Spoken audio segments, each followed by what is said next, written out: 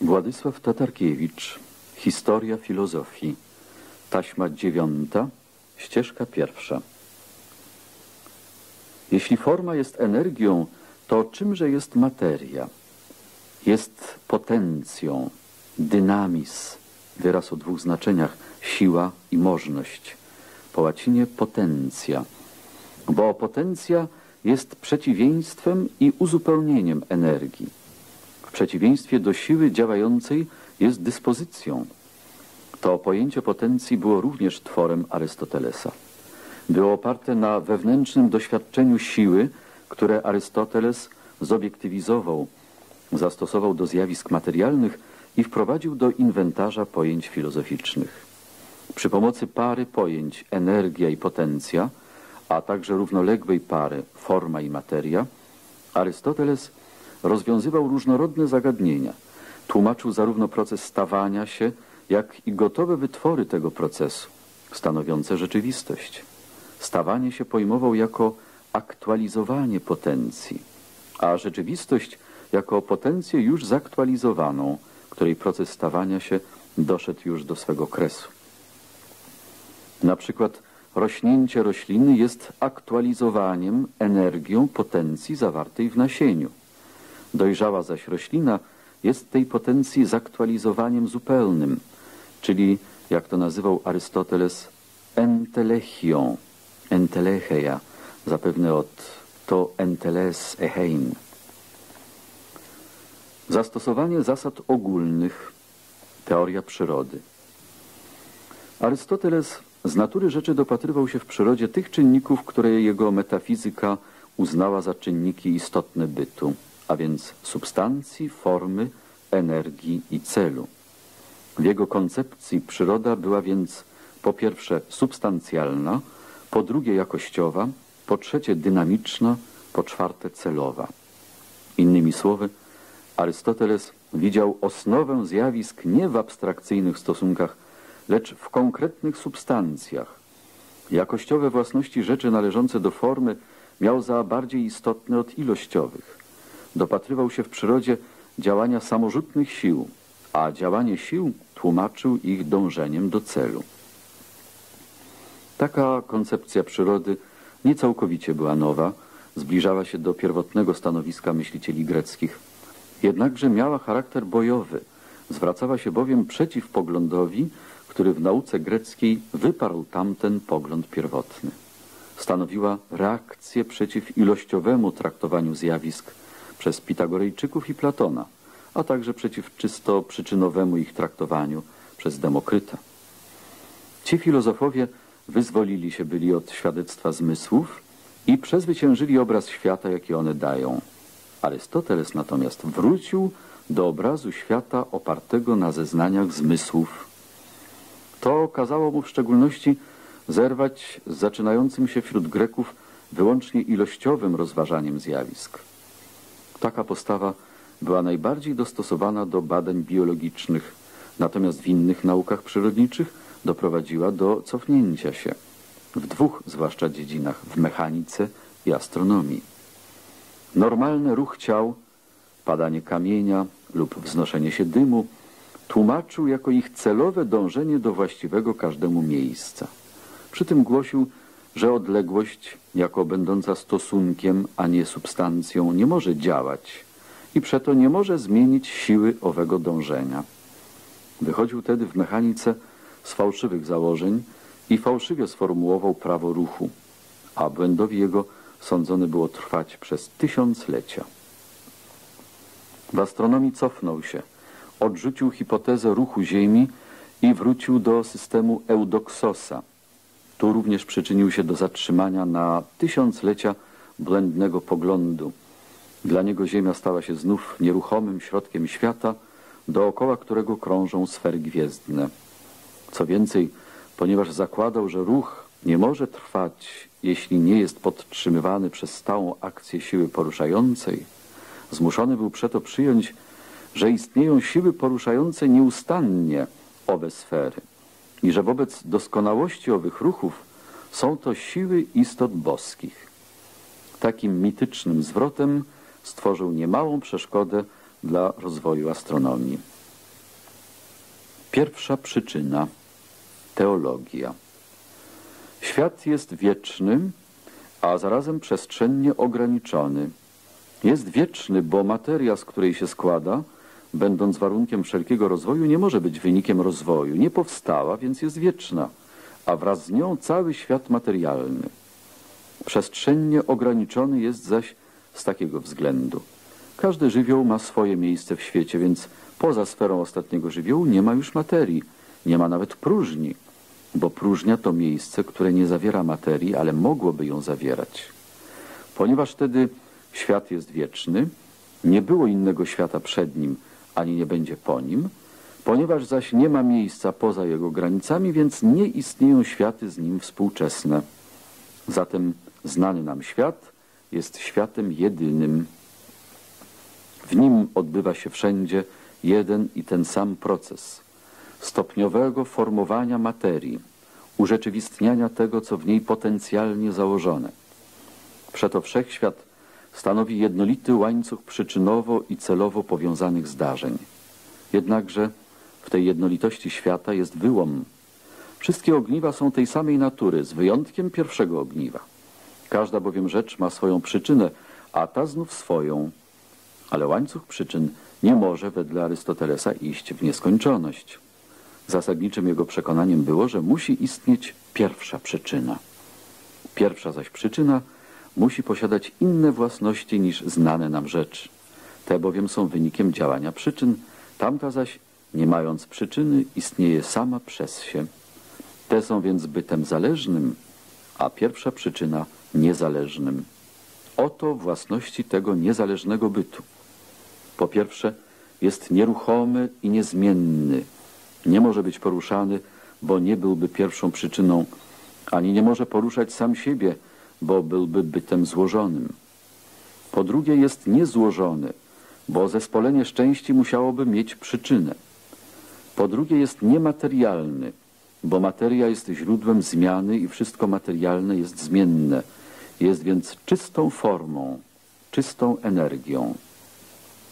Po czwarte, jest istotą duchową, inaczej bowiem niematerialnej formy niepodobna pojąć. Po piąte, jest rozumem. Analogia z ludzkim życiem duchowym każe wyłączyć niższe funkcje psychiczne jako pobudzane przez przyczyny zewnętrzne. Po szóste, jakże rozum może wprawiać w ruch materialny świat? Tylko w ten sposób, że stanowi cel, który pociąga świat. Działa jak ukochany, który pociąga kochającego. Porusza świat, będąc celem świata. Zasada jego działania to zasada nieruchomej atrakcji. Po siódme, działaniem rozumu może być jedynie myślenie, a przedmiotem myślenia może być w tym wypadku jedynie sam rozum. Poznający bowiem upodobnia się do poznawanego i gdyby pierwsza przyczyna za przedmiot swych myśli miała świat, to upodobniłaby się doń i przyjęła jego niestałe własności. Ósme. Jest tylko jeden. Inaczej nie byłoby jedności w świecie. Świat byłby tylko zbiorem epizodów, a tymczasem świat rzeczywiście jest jednością. Dziewiąte. Jest konieczny, bo nie zawiera materii, która nosi w sobie różne możliwości. Dziesiąte. Jest doskonały, bo najdoskonalszą w bycie jest forma, rozum, energia. Taki zespół własności nie był obcy greckim filozofom. Te same mniej więcej własności Parmenides przypisywał bytowi, a Platon ideom. Świat przypadkowy, niedoskonały, zależny wskazuje tedy na byt konieczny, doskonały, absolutny. Jeśli istnieje świat, to istnieje również absolut. Taki tok rozumowania odróżniał Arystotelesa zarówno od Demokryta, jak i od Platona.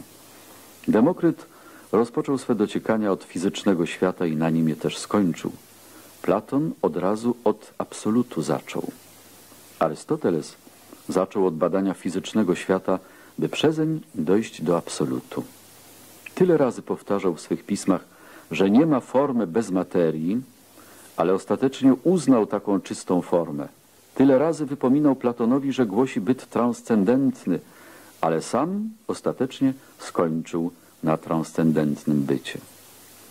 A byt absolutny, konieczny, doskonały, który sam będąc nieruchomy porusza świat, to nic innego jak to, co wszyscy nazywają Bogiem. Kosmologia doprowadziła Arystotelesa do teologii. Przez rozważania kosmologiczne doszedł do uzasadnienia istnienia Boga i do określenia Jego natury. Te rozważania były prototypem dowodu istnienia Boga, który otrzymał z czasem nazwę kosmologicznego. W dziejach zaś teologii greckiej poglądy Arystotelesa były ważnym etapem. Monoteizm, który od Ksenofanesa nurtował filozofię grecką, u niego znalazł pełny wyraz. Nowa była koncepcja Boga jako istoty czysto duchowej. Nowa poniekąd transcendencja Boga, choć miał tu wzór w rozumie Anaksagorasa i w platońskiej idei dobra. Rolę Boga wobec świata Arystoteles pojął inaczej niż Platon. Bóg nie był dlań wykonawcą świata. Świat bowiem w ogóle nie był wykonany. Świat jest wieczny. Bóg wprawił świat w ruch i w tym sensie jest jego pierwszą przyczyną, a także jego celem ostatecznym, ale twórcą jego nie jest.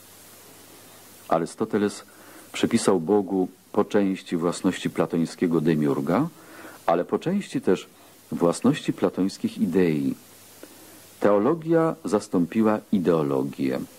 Na miejsce przeciwstawienia rzeczy i idei przyszło przeciwstawienie świata i Boga. Okrąg niebiański i okrąg ziemski. Kosmologia. Dualizm świata i Boga, niedoskonałego i doskonałego bytu odbił się w kosmologii Arystotelesa i wprowadził do niej dualizm. Bóg działa w sposób niezmienny, a przeto i ruch, którego jest sprawcą, musi być niezmienny. Takim zaś ruchom podlega jedynie niebo gwiazd stałych, zewnętrzny okrąg świata, tak zwane pierwsze niebo. Tylko więc jego ruch pochodzi bezpośrednio od Boga. Na tę jedną zewnętrzną sferę świata pierwsza przyczyna działa bezpośrednio. Że jednak ruch pozostałych sfer jest podobny do ruchu pierwszego nieba, więc Arystoteles przyjął, iż wprawiane są w ruch przez istoty podobne do pierwszej przyczyny, tylko mniej doskonałe. Pierwsza przyczyna ruchu, pierwotnie jedyna, uległa rozmnożeniu dla względów astronomicznych. Teologia przekształciła się w astronomię, czy raczej odwrotnie, astronomia w jakąś astroteologię. Cały okrąg nadksiężycowy został pojęty jako dziedzina działań boskich. Są tedy we wszechświecie dwa okręgi, których natura jest całkowicie odmienna. Okrąg niebiański i ziemski. Niebiański, wprawiany w ruch przez pierwszą przyczynę i przez pokrewne jej istoty, które wywołują ruch sfer, jest nieporównanie doskonalszy. Ruch, jaki w nim panuje, jest okrężny. Ruch okrężny jest najdoskonalszy, bo najbardziej regularny i jednolity, a materia eteryczna. W okręgu ziemskim, który znajduje się w samym ośrodku świata, ruch normalny jest prostolinijny, a materia zbudowana z czterech żywiołów. Tamten jest okręgiem rzeczy wiecznych i niezmiennych na modłę Eleatów, ten zaś zmiennych i przemijających na modłę Heraklita. Jeśli świat ziemski ma w sobie co cennego, to tylko przez wpływ świata niebiańskiego, przez działanie gwiazd. Traktowanie przyrodoznawstwa jako stosowanej teologii odwiodło Arystotelesa od drogi, którą poprzednio szli greccy badacze i na której osiągali cenne zdobycze. Porzucił pitagorejski system astronomiczny, demokrytejską naukę o jednolitej budowie świata. Spekulacje teologiczno-przyrodnicze Arystotelesa pochodziły zapewne z wczesnych jego lat i były zależne od Platona. Może zaniechał ich później, oddawszy się specjalnym badaniom naukowym. Niemniej w pismach jego pozostały i zostały przezeń przekazane potomności. I wszystkie te teorie, przeciwstawienie niebiańskiego i ziemskiego świata i teoria wpływu gwiazd, wraz z nauką o centralnym położeniu Ziemi i o istnieniu boskich istot wprawiających w ruch sfery świata, przetrwały wieki, pod gwarancją powagi naukowej Arystotelesa. Dusza, psychologia. W psychologii Arystoteles stosował ogólne zasady swej filozofii. Użył pojęcia formy i materii, by ująć stosunek duszy i ciała. Dzięki temu stworzył trzecią wielką koncepcję, jaką grecka myśl wydała w tej kwestii. Wedle niej dusza nie jest substancją oderwaną od ciała, jak chciał Platon, ale też nie jest ciałem, jak chciał Demokryt. Jest wedle Arystotelesa formą, czyli energią ciała organicznego. To znaczy, że dusza i ciało organiczne stanowią nierozłączną całość. Dusza nie może istnieć bez ciała, a ciało nie może spełniać swych funkcji bez duszy, która ożywia ciało. Określenie, że dusza jest energią ciała organicznego, znaczyło, że jest ona przyczyną samorzutnych czynności organicznej istoty. Było to dynamiczne pojęcie duszy, przygotowane już przez Platona. Było pojęciem szerokim, niespecjalnie psychologicznym, lecz ogólnobiologicznym. Dusza pojęta w ten sposób była podstawowym czynnikiem życia organicznego i zrozumiałe jest powiedzenie Arystotelesa, że przyrodnik ma więcej do czynienia z duszą niż z ciałem. Świadomość była tylko jedną z funkcji tak pojętej duszy, która ma funkcji tyle, ile ciało organiczne ma czynności. Funkcje te Arystoteles ułożył hierarchicznie. Za wyższe miał te, które nie mogą być wykonywane bez innych, niższych. W tym sensie myśl jest wyższa od postrzegania, a postrzeganie od odżywiania, bo i ono jest funkcją tak szeroko pojętej duszy. Odróżniał trojakie funkcje i odpowiednio do tego trzy rodzaje duszy. Dusza roślinna posiada jedynie funkcję najniższą, powoduje odżywianie się i rośnięcie. Nie posiadając zaś odpowiedniego narządu, nie jest zdolna do postrzegania. Zdolność tę posiada dusza wyższego szczebla, dusza zwierzęca. Że zaś z postrzeganiem łączy się przyjemność i przykrość, a z nimi pożądanie przyjemności i popęd do unikania przykrości, więc dusza zwierzęca, ale dopiero ona, posiada uczucia i popędy.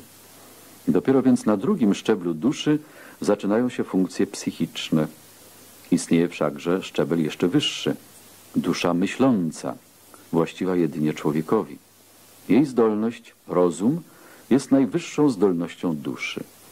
Rozum poznaje zarówno byt, jak i dobro. Znając zaś dobro, kieruje wolą, czyni, że wola staje się rozumną. Rozum, gdy kieruje wolą, nazywa się praktycznym, w odróżnieniu od teoretycznego, czyli poznającego. Ponieważ wyższe zdolności zakładają niższe, więc dusza ludzka łączy wszystkie zdolności duszy. Arystoteles zbliżał tedy ku sobie przeciwieństwa ciało i duszę, zmysły i rozum. Psychologia jego była typowym przykładem tego, jak kompromisowo usposobiony umysł z tego, co dla innych było przeciwieństwem, czynił szczeble jednego szeregu. Jednakże i u niego ciągłość szeregu była zerwana w jednym punkcie. Mianowicie najwyższa zdolność duszy, rozum, ma zupełnie odrębny charakter i stanowi wyłom w zasadach psychologii Arystotelesa. W pojęciu, jakie Arystoteles miał o rozumie, zawarta była zasadnicza trudność. Był bowiem przekonany, że wszelka władza poznawcza duszy musi być receptywna, gdyż poznania wysnuć z siebie niepodobna. Ale z drugiej strony dusza czysto receptywna byłaby maszyną poruszaną z zewnątrz. Arystoteles gotów był uznać, iż maszynami są dusze niższe, ale nie dusza rozumna. Ta musi być samorzutna musi być pierwszą przyczyną swych działań. Trudność tę, że rozum jest z jednej strony receptywny, a z drugiej samorzutny, rozwiązywał przez rozróżnienie dwojakiego rozumu.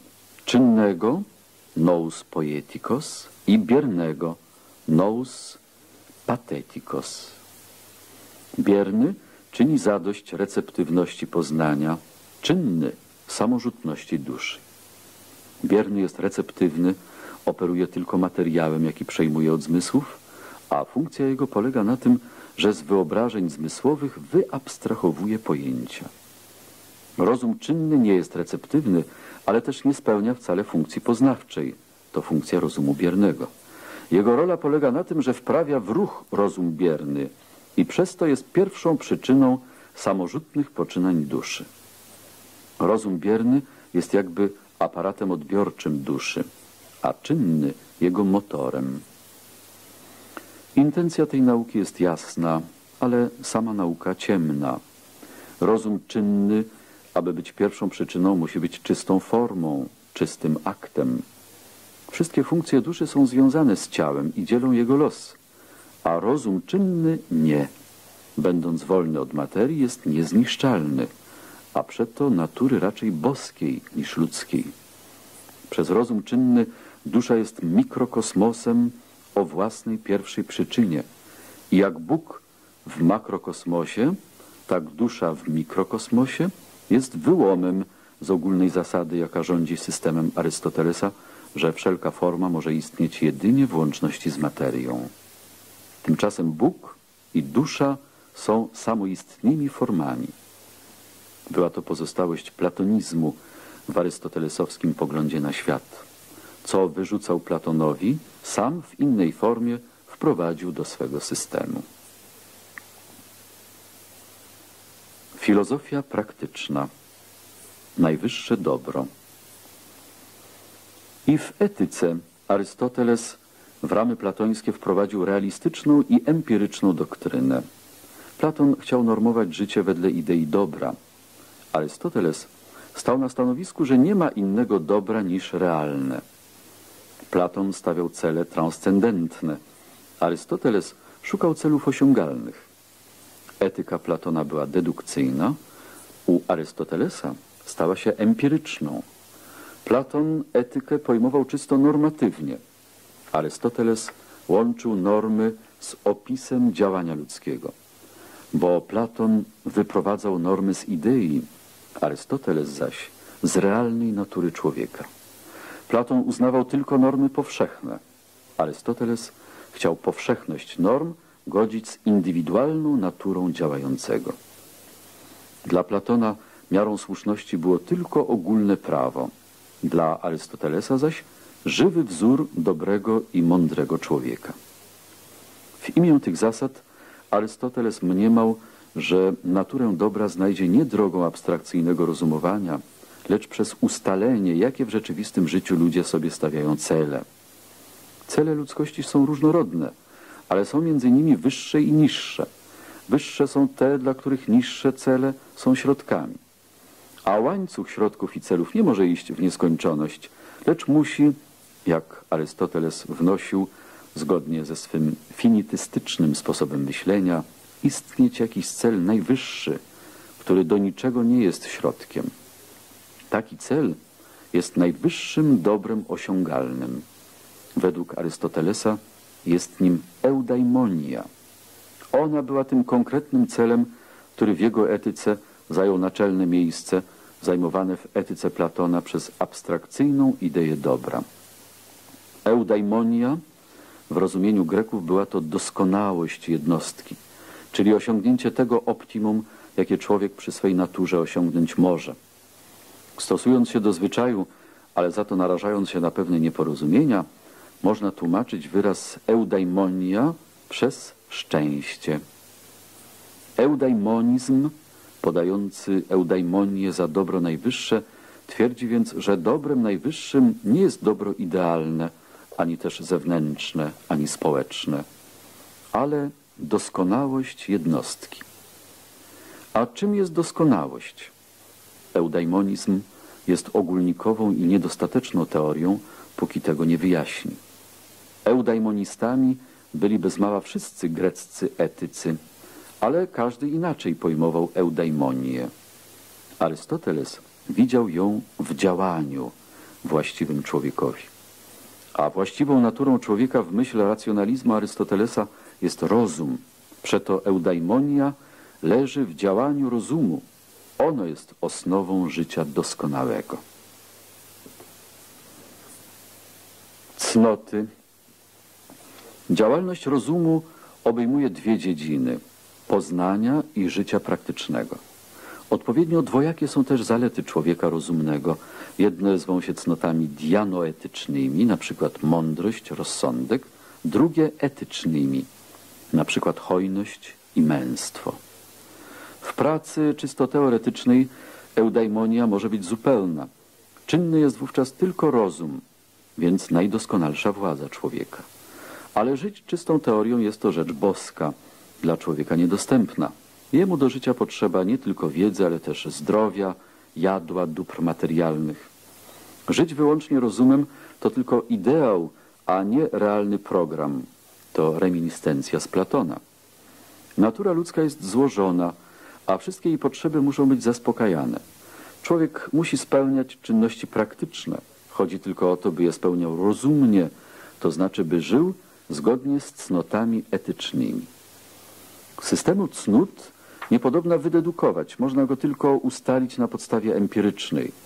Cnót jest tyle, ile właściwych człowiekowi czynności, bo każda czynność ma swoją cnotę.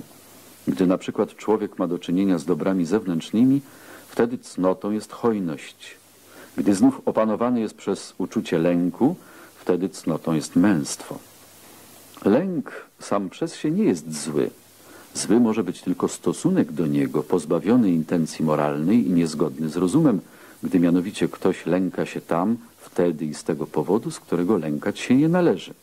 Albo też nie lęka się tam, wtedy, z tego powodu, z jakiego lękać by się należało. Trafnym, rozumnym stosunkiem do lęku jest właśnie męstwo. Jest ono środkiem między tchórzostwem a zuchwalstwem. Tak samo znów hojność jest trafnym stosunkiem do dóbr zewnętrznych. Jest środkiem między rozrzutnością a skomstwem. Podobnie w każdej dziedzinie można i należy znaleźć odpowiedni środek, mesotes. Na tej podstawie Arystoteles określał cnotę jako usposobienie zachowujące środek.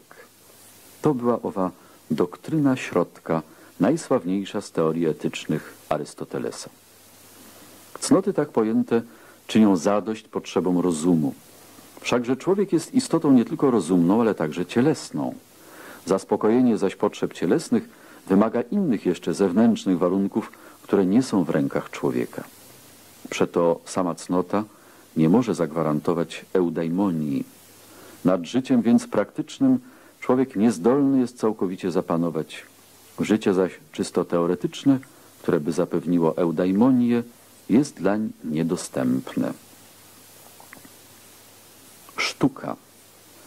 Właściwością Platona było, że ponad znaną rzeczywistością doszukiwał się innej, wyższej, ponad rzeczami idei, a tak samo ponad doświadczeniem poznania intuicyjnego, ponad zwykłą sztuką wieszczej. Właściwością zaś Arystotelesa było, iż odrzucał te nadbudowy jako irrealne i irracjonalne odrzucał idee, intuicje, a tak samo wieszcze pretensje poetów. Odpadła tedy w jego ujęciu ta dwoistość, którą Grecy widzieli w sztuce, a którą Platon jeszcze spotęgował, oddzielając boską natchnioną poezję i zwykłą sztukę, będącą tylko naśladownictwem. Skoro nie ma sztuki wierzczbiarskiej, to jest tylko naśladownicza. Teraz dopiero powstały w Grecji warunki do wytworzenia ogólnej, jednolitej teorii sztuki, obejmującej wszystkie jej działy, od poezji do plastyki.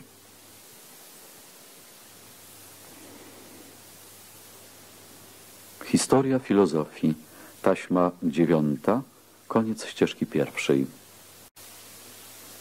Historia filozofii, taśma dziewiąta, ścieżka druga. Ta pierwsza teoria była naturalistyczna. Widziała osnowę sztuki w odtwarzaniu natury. Arystoteles zresztą pojmował ją bardzo szeroko i liberalnie. Jak w innych swych teoriach, tak też i w tej estetycznej daleki był od jednostronności. Uwzględniał w działaniu sztuki także czynniki formalne oraz, zwłaszcza w słynnej swej teorii tragedii, czynniki uczuciowe. Dopiero późniejsi estetycy przeszli do wyłącznego jednostronnego naturalizmu. Istota arystotelizmu Arystotelizm jest filozoficzną doktryną środka, unikającą skrajnych rozwiązań, a skłonną do uznania cząstki prawdy, jaka w każdym z nich tkwi. W metafizyce Arystotelizm unika zarówno idealizmu, jak materializmu. W teorii poznania zarówno czystego racjonalizmu, jak czystego sensualizmu. W etyce zarówno moralizmu, jak hedonizmu. W metafizyce jest twierdzeniem, że wbrew idealizmowi nie ma innych substancji niż materialne, ale że wbrew materializmowi osnowę substancji stanowi idealna ich istota, że substancje są jednostkowe, ale istota ich jest ogólna. W jednostkowych rzeczach odnajdywać ogólną istotę to arystotelizm. W teorii poznania arystotelizm jest twierdzeniem, że wbrew aprioryzmowi pochodzenie poznania jest empiryczne, ale że wbrew empiryzmowi wyniki jego są racjonalne. Empiryczną drogą znajdywać racjonalną wiedzę to arystotelizm. W etyce jest twierdzeniem, że wbrew moralizmowi najwyższym dobrem jest nie cnota, lecz szczęście, ale że wbrew hedonizmowi osnowę szczęścia stanowi nie doznawanie przyjemności, lecz działalność godna człowieka, rozumna i cnotliwa. Przez cnotę dochodzić szczęścia. To arystotelizm. Ogromna jest ilość pomysłów, teorii, rozumowań, jakie Arystoteles wprowadził do filozofii i utrwalił w niej. Szczegółowy podział filozofii, wyodrębnienie logiki jako dyscypliny służebnej i pierwszej filozofii jako dyscypliny naczelnej, szczegółowe opracowanie logiki pojętej jako sylogistyka i szczegółowe opracowanie psychologii pojętej jako teoria władz psychicznych, próba zestawienia kategorii i zasad, cztery zasady, czyli przyczyny formalna, materialna, sprawcza i celowa, nowe pojęcia metafizyczne, formy, materii, energii, potencji, istoty rzeczy, nowe pojęcie Boga jako pierwszej przyczyny świata i nowe ujęcie duszy jako formy ciała organicznego, nowa teoria rozumu rozdzielonego na czynny i bierny, to wszystko i wiele innych idei naukowych i filozoficznych pochodzi od Arystotelesa. Następcy Arystotelesa. Szkoła perypatetycka. Likeion, zgodnie z duchem ostatnich lat mistrza, chciał służyć celom ściśle naukowym. Zainteresowania filozoficzne perypatetyków zeszły na drugi plan wobec specjalnie naukowych. Teofrast 362-287, kierownik szkoły po śmierci jej założyciela, pozostawił epokowe, godne prac zoologicznych Arystotelesa prace botaniczne. Kontynuował również jego badania nad dziejami filozofii. Teofrasta, Fizikon Dosei były podstawą całej późniejszej doksografii greckiej. Eudem z Rodosu, należący wraz z Teofrastem do najbliższych uczniów Arystotelesa, słynny był ze swojej encyklopedycznej wiedzy, a szczególnie odznaczył się jako historyk matematyki.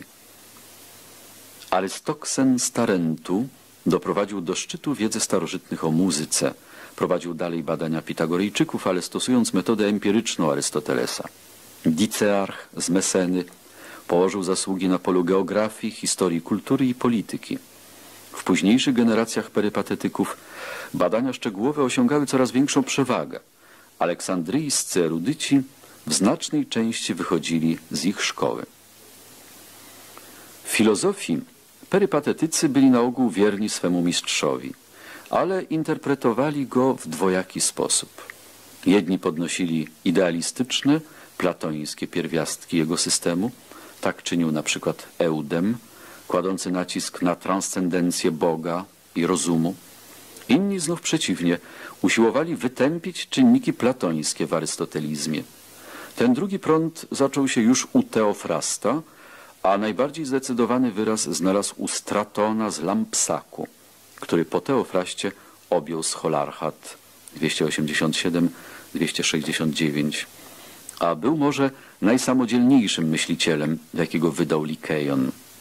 Stratonizm był materialistyczną interpretacją Arystotelesa, zaprzeczającą istnieniu przedmiotów niematerialnych i transcendentnych. Nie ma form poza materią, nie ma Boga poza przyrodą, ani rozumu poza zdolnością postrzegania. Komentatorzy Ku końcowi starożytności, od I wieku przed Chrystusem, gdy potrzeba autorytetu i tradycji opanowała umysły, w szkole Arystotelesa obudził się zatracony poprzednio pietyzm dla mistrza. Odtąd szkoła oddała się rozważaniu i komentowaniu jego pism. Wówczas to Tyranion poddał je krytyce filologicznej. Andronikos z Rodosu ułożył systematycznie. Inni jeszcze pracowali nad ich egzegezą. Komentatorom Arystotelesa przypadło zadanie nie tylko objaśniać, ale i uzupełniać jego poglądy. Tylko bowiem poglądy logiczne i poniekąd przyrodnicze i etyczne pozostawił w postaci mniej więcej wykończonej. Metafizyczne zaś zaledwie naszkicował. W szczególności nie było zupełnie jasne, jak pojmował naturę Boga i rozumu ludzkiego. W epoce zaś wzmożonych zainteresowań religijnych, jaka nastąpiła na schyłku starożytności, właśnie te zagadnienia musiały być wyjaśnione. Chcąc je wyjaśnić, komentatorzy musieli nie tylko rekonstruować, ale uzupełniać myśli Arystotelesa. Tekst jego, zwłaszcza w teorii rozumu, stał się punktem wyjścia dla różnych doktryn. Uzupełnienie poszło w dwóch kierunkach. W kierunku Teofrasta i w kierunku Eudema. W naturalistycznym i w idealistycznym. Znakomitym przedstawicielem pierwszego kierunku wśród komentatorów był Aleksander, drugiego Temistius. Aleksander z Afrodyzji około 200 roku po Chrystusie dał naturalistyczną interpretację Arystotelesa, która od jego imienia nosi nazwę aleksandrynizmu.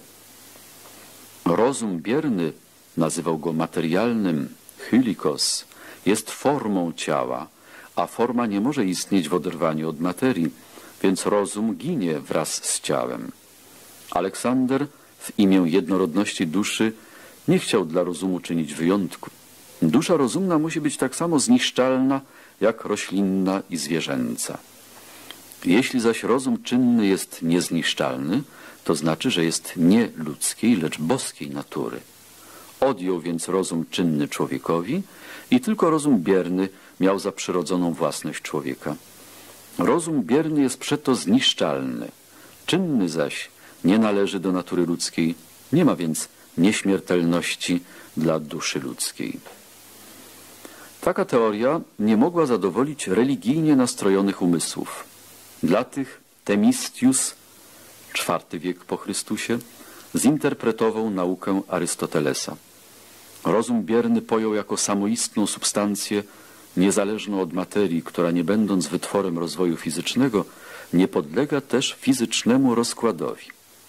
Rozum bierny w tej interpretacji stał się równie trwałym jak czynny, a czynny równie przyrodzonym jak bierny.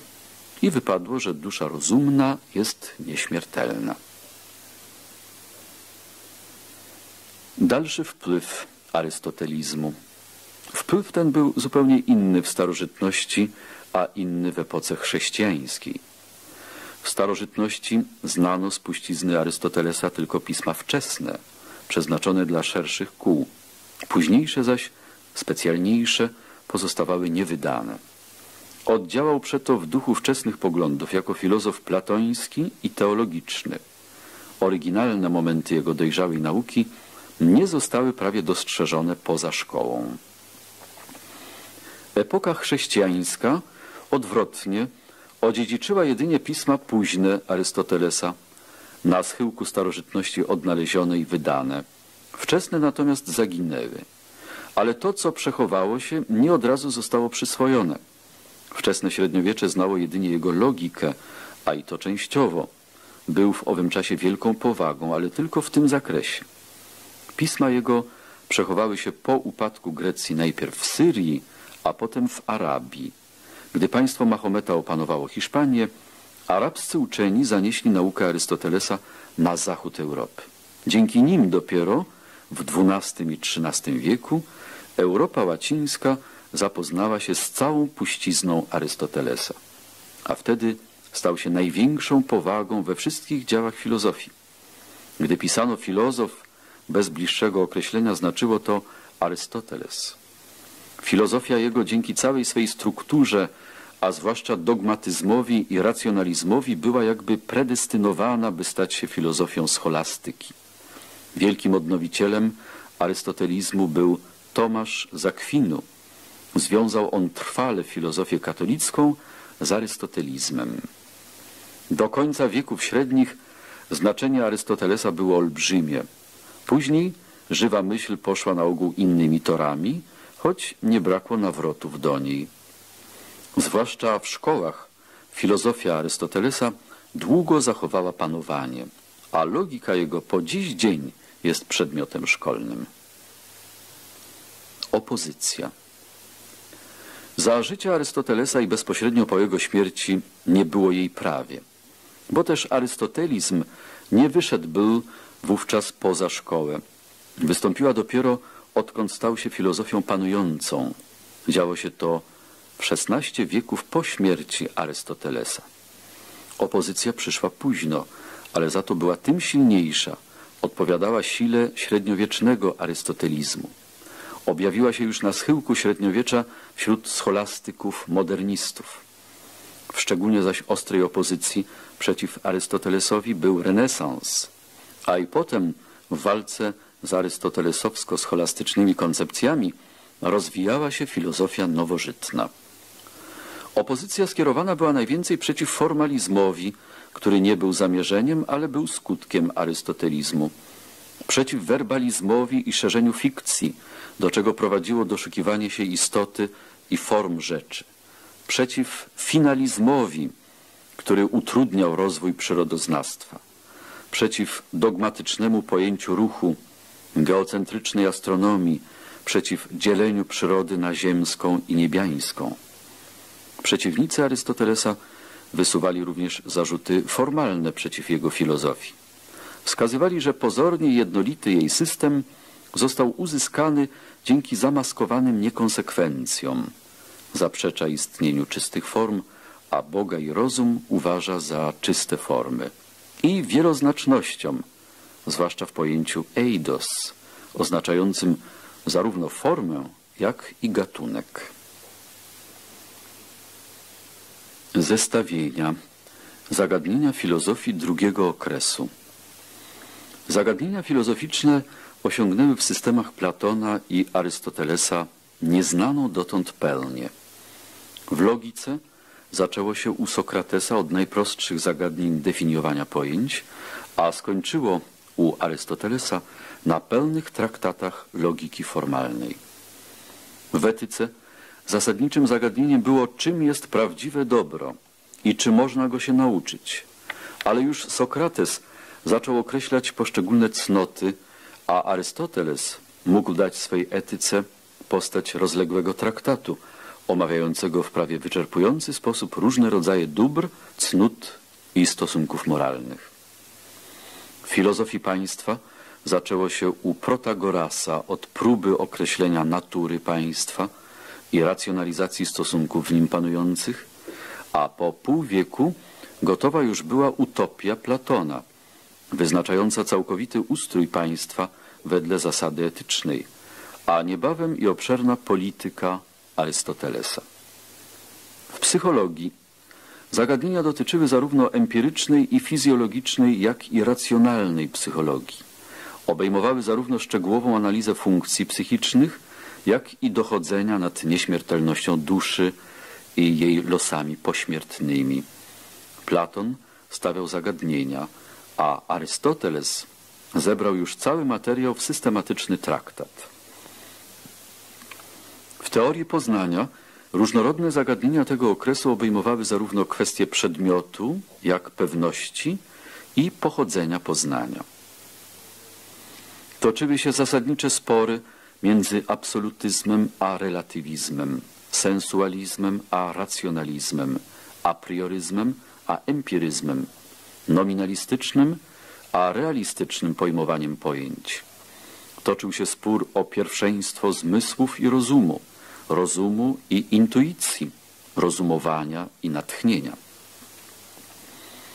W filozofii przyrody rozdzieliły się obozy posługujące się spekulatywną i empiryczną metodą, głoszące jakościowe i ilościowe pojmowanie przyrody, nieskończoną i tylko skończoną podzielność materii, koncepcję statyczną i dynamiczną, kauzalizm i finalizm. W metafizyce zasadnicze pytanie było tu jedno. Jaka jest istota bytu?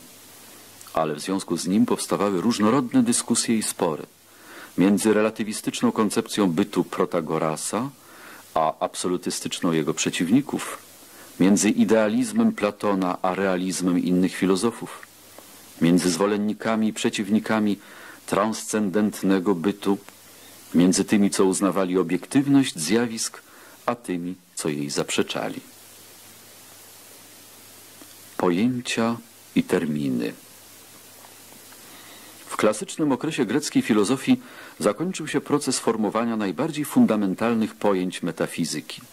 Oddzielone zostały i przeciwstawione sobie materia i dusza, rzeczy i idee, Bóg i świat. Należy uświadomić sobie, że gdy filozofia rozpoczynała się, te pojęcia nie były wyróżnione. Filozoiści jońscy przypisywali materii cechy duchowe. Duszy nie oddzielali od materii i faktycznie nie posiadali jeszcze ani czystego pojęcia materii, ani czystego pojęcia duszy. Przed Platonem nie było mowy o odróżnieniu realnego i idealnego bytu. Również i Bóg pierwotnie nie był przeciwstawieniem świata. Bogowie zamieszkiwali świat tak samo jak ludzie. Zresztą zaledwie pojęcia te zostały rozróżnione, już rozpoczęły się próby sprowadzenia ich do siebie. Już dusza została sprowadzona do materii przez materialistę Demokryta, byt idealny do realnego przez Arystotelesa, a niebawem i Bóg zostanie sprowadzony do świata przez stoików. Takich rozróżnień i przeciwstawień w filozofii ówczesnej było więcej i to niewiele mniej fundamentalnych. Platon odróżniał byt i stawanie się, rzeczywistość i zjawisko, analizę i syntezę. W dziedzinie poznania już dawniej rozdzielone było poznanie zmysłowe i rozumowe. Teraz zaś Platon rozdzielił jeszcze poznanie intuicyjne i dyskursywne. Platonowi wypominali starożytni brak ustalonej terminologii. Istotnie, styl jego był tego rodzaju, że raczej chodziło mu o wypowiedzenie się wyraziste i poetyckie niż terminologicznie ścisłe. Inaczej Arystoteles. Poza swoistymi terminami jego systemu w rodzaju energia, entelechia, istota rzeczy, konkretna jednostka, a nawet hyle, materia – która dopiero u niego stała się terminem, jego dziełem jest podstawowa terminologia logiki formalnej.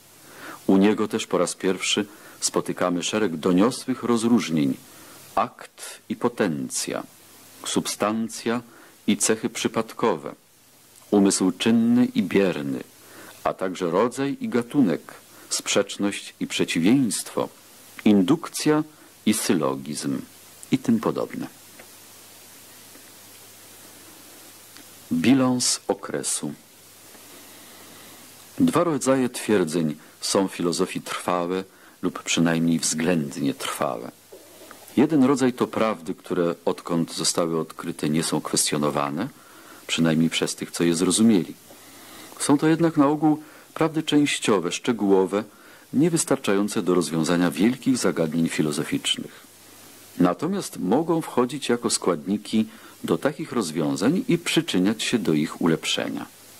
Drugi zaś rodzaj to twierdzenia, które wprawdzie nie mają powszechnego uznania, są kwestionowane, jednakże stale powracają i znajdują zwolenników. To te, które zaspokajają pewne potrzeby umysłowe, formułują pewien pogląd na świat, a robią to w sposób dotychczas najlepszy, klasyczny.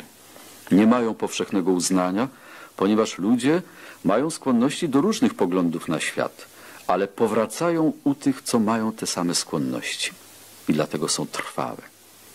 Otóż Bilans tego okresu filozofii greckiej wykazuje wiele twierdzeń obu tych rodzajów. Do pierwszych niekwestionowanych należą wprowadzenie definicji i indukcji przez Sokratesa, zrelatywizowanie wielu prawd do człowieka i uwidocznienie konwencji w teorii i praktyce przez sofistów, oddzielenie wiedzy pojęciowej od zmysłowej i wykrycie pojęciowej nawet w postrzeżeniach przez Platona, opracowanie reguł sylogistyki, zestawienie kategorii, wyodrębnienie funkcji psychicznych przez Arystotelesa, przeciwstawienie związków celowych i przyczynowych przez Platona i Arystotelesa, analiza pojęcia przyjemności przez Cyrenaików, klasyfikacja wartości moralnych i cnót zaczęta przez Sokratesa, wykończona przez Arystotelesa, analiza przeżyć estetycznych, przeprowadzona zarówno przez sofistów, jak przez Arystotelesa. Niemniej ważne są zdobycze tego okresu, jeśli chodzi o twierdzenia trwałe drugiego rodzaju, o klasyczne sformułowania pewnych stanowisk. Do nich należy sformułowanie idealizmu, a także spirytualizmu przez Platona, równie klasyczne jak sformułowanie przeciwnego stanowiska, mianowicie mechanistycznego materializmu przez Demokryta.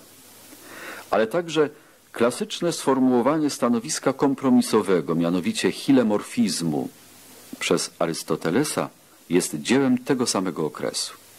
Tak samo sformułowanie klasyczne przeciwieństw w zakresie teorii poznania, a prioryzmu przez Platona i empiryzmu przez jego przeciwników. I tak samo w etyce. Klasyczne sformułowanie hedonizmu przez Cyrenaików i moralizmu przez Sokratesa, Platona, cyników. Wszystkie te teorie ontologiczne, epistemologiczne, etyczne, choć następne pokolenia usiłowały je korygować czy łagodzić, pozostały w swoim rodzaju nieprześcignione. Chronologia Okres klasyczny był niedługi. Obejmował właściwie tylko trzy pokolenia. Do pierwszego z nich pokolenia ludzi działających w drugiej połowie V wieku należeli głównie sofiści z Protagorasem na czele i Sokrates. Ono to wytworzyło nową, humanistyczną postawę filozofii i ruch relatywistyczny, a było też twórcze na polu filozofii przyrody dawnego typu. Należał doń Demokryt. Drugie pokolenie, dojrzałe w pierwszej połowie IV wieku, było pokoleniem Platona, a także młodszych sofistów i na wpół sofistycznie usposobionych sokratyków, Antystenesa i Arystypa. Należeli doń także najświetniejsi pitagorejscy uczeni, Archytas i inni. Trzecie pokolenie wydało Arystotelesa. Wydarzenia współczesne. Był to wielki okres nie tylko dla filozofii. To, co we wszystkich działach kultury podziwia się jako najdoskonalsze dzieła Greków, pochodzi z lat będących z punktu widzenia filozofii erą sofistów i Sokratesa, druga połowa V wieku, Platona, pierwsza połowa IV wieku i Arystotelesa, druga połowa IV wieku. Era sofistów i Sokratesa zaczęła się w czasach Peryklesa, powszechnie uważanych za czasy klasyczne kultury greckiej. Wydała największe dzieła architektury ateńskiej Partenon, Propileje, Erechteion. Była erą wielkich rzeźbiarzy ateńskich Fidiasza i Polikleta, była erą przełomu w malarstwie dzięki Polignotowi i Mikonowi, Zeukisowi i Parazjosowi.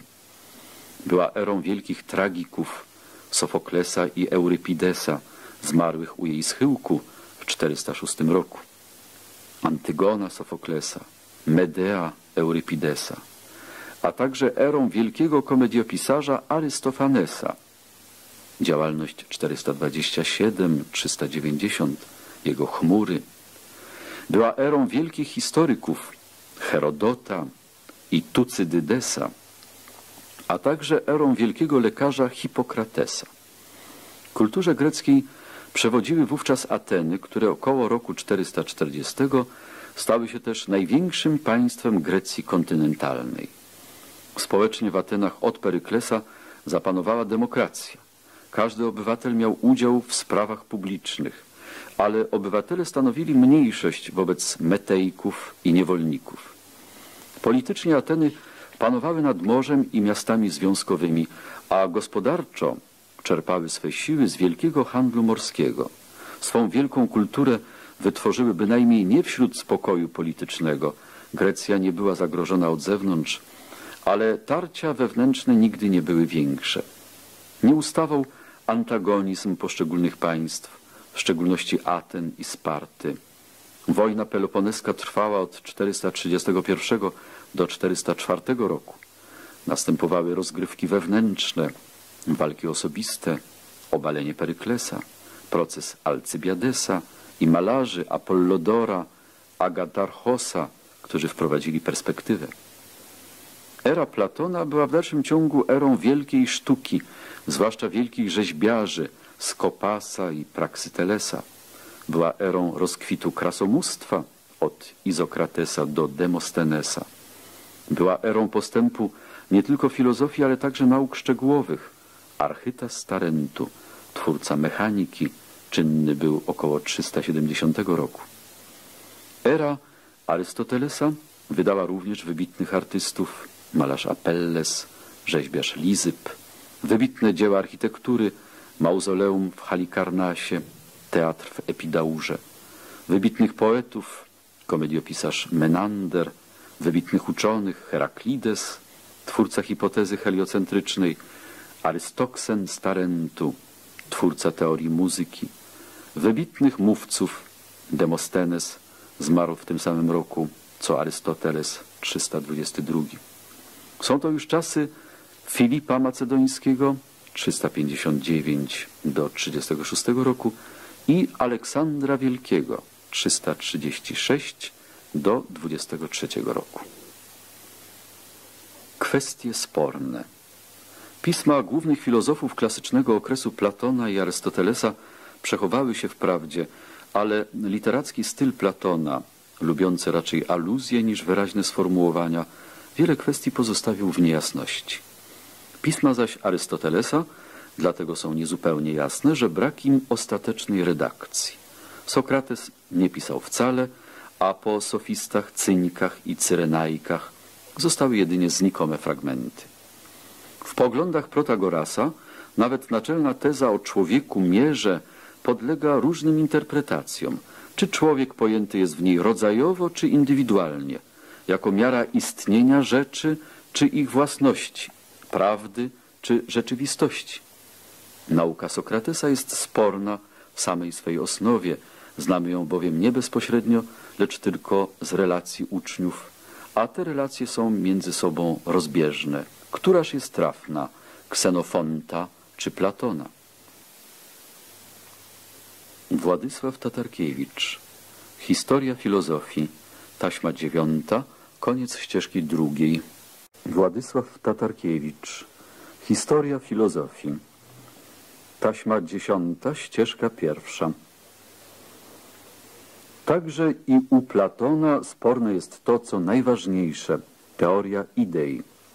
Czy pojmował je ontologicznie jako byty zaświatowe, stara szkoła z Cellerem na czele, czy też logicznie, jako zasadnicze pojęcia umysłu. Loce, szkoła marburska, poniekąd lutosławski. Poza tym, czy trwał przy swej nauce o ideach, czy też się jej później wyrzekł lub przynajmniej zmienił jej rozumienie.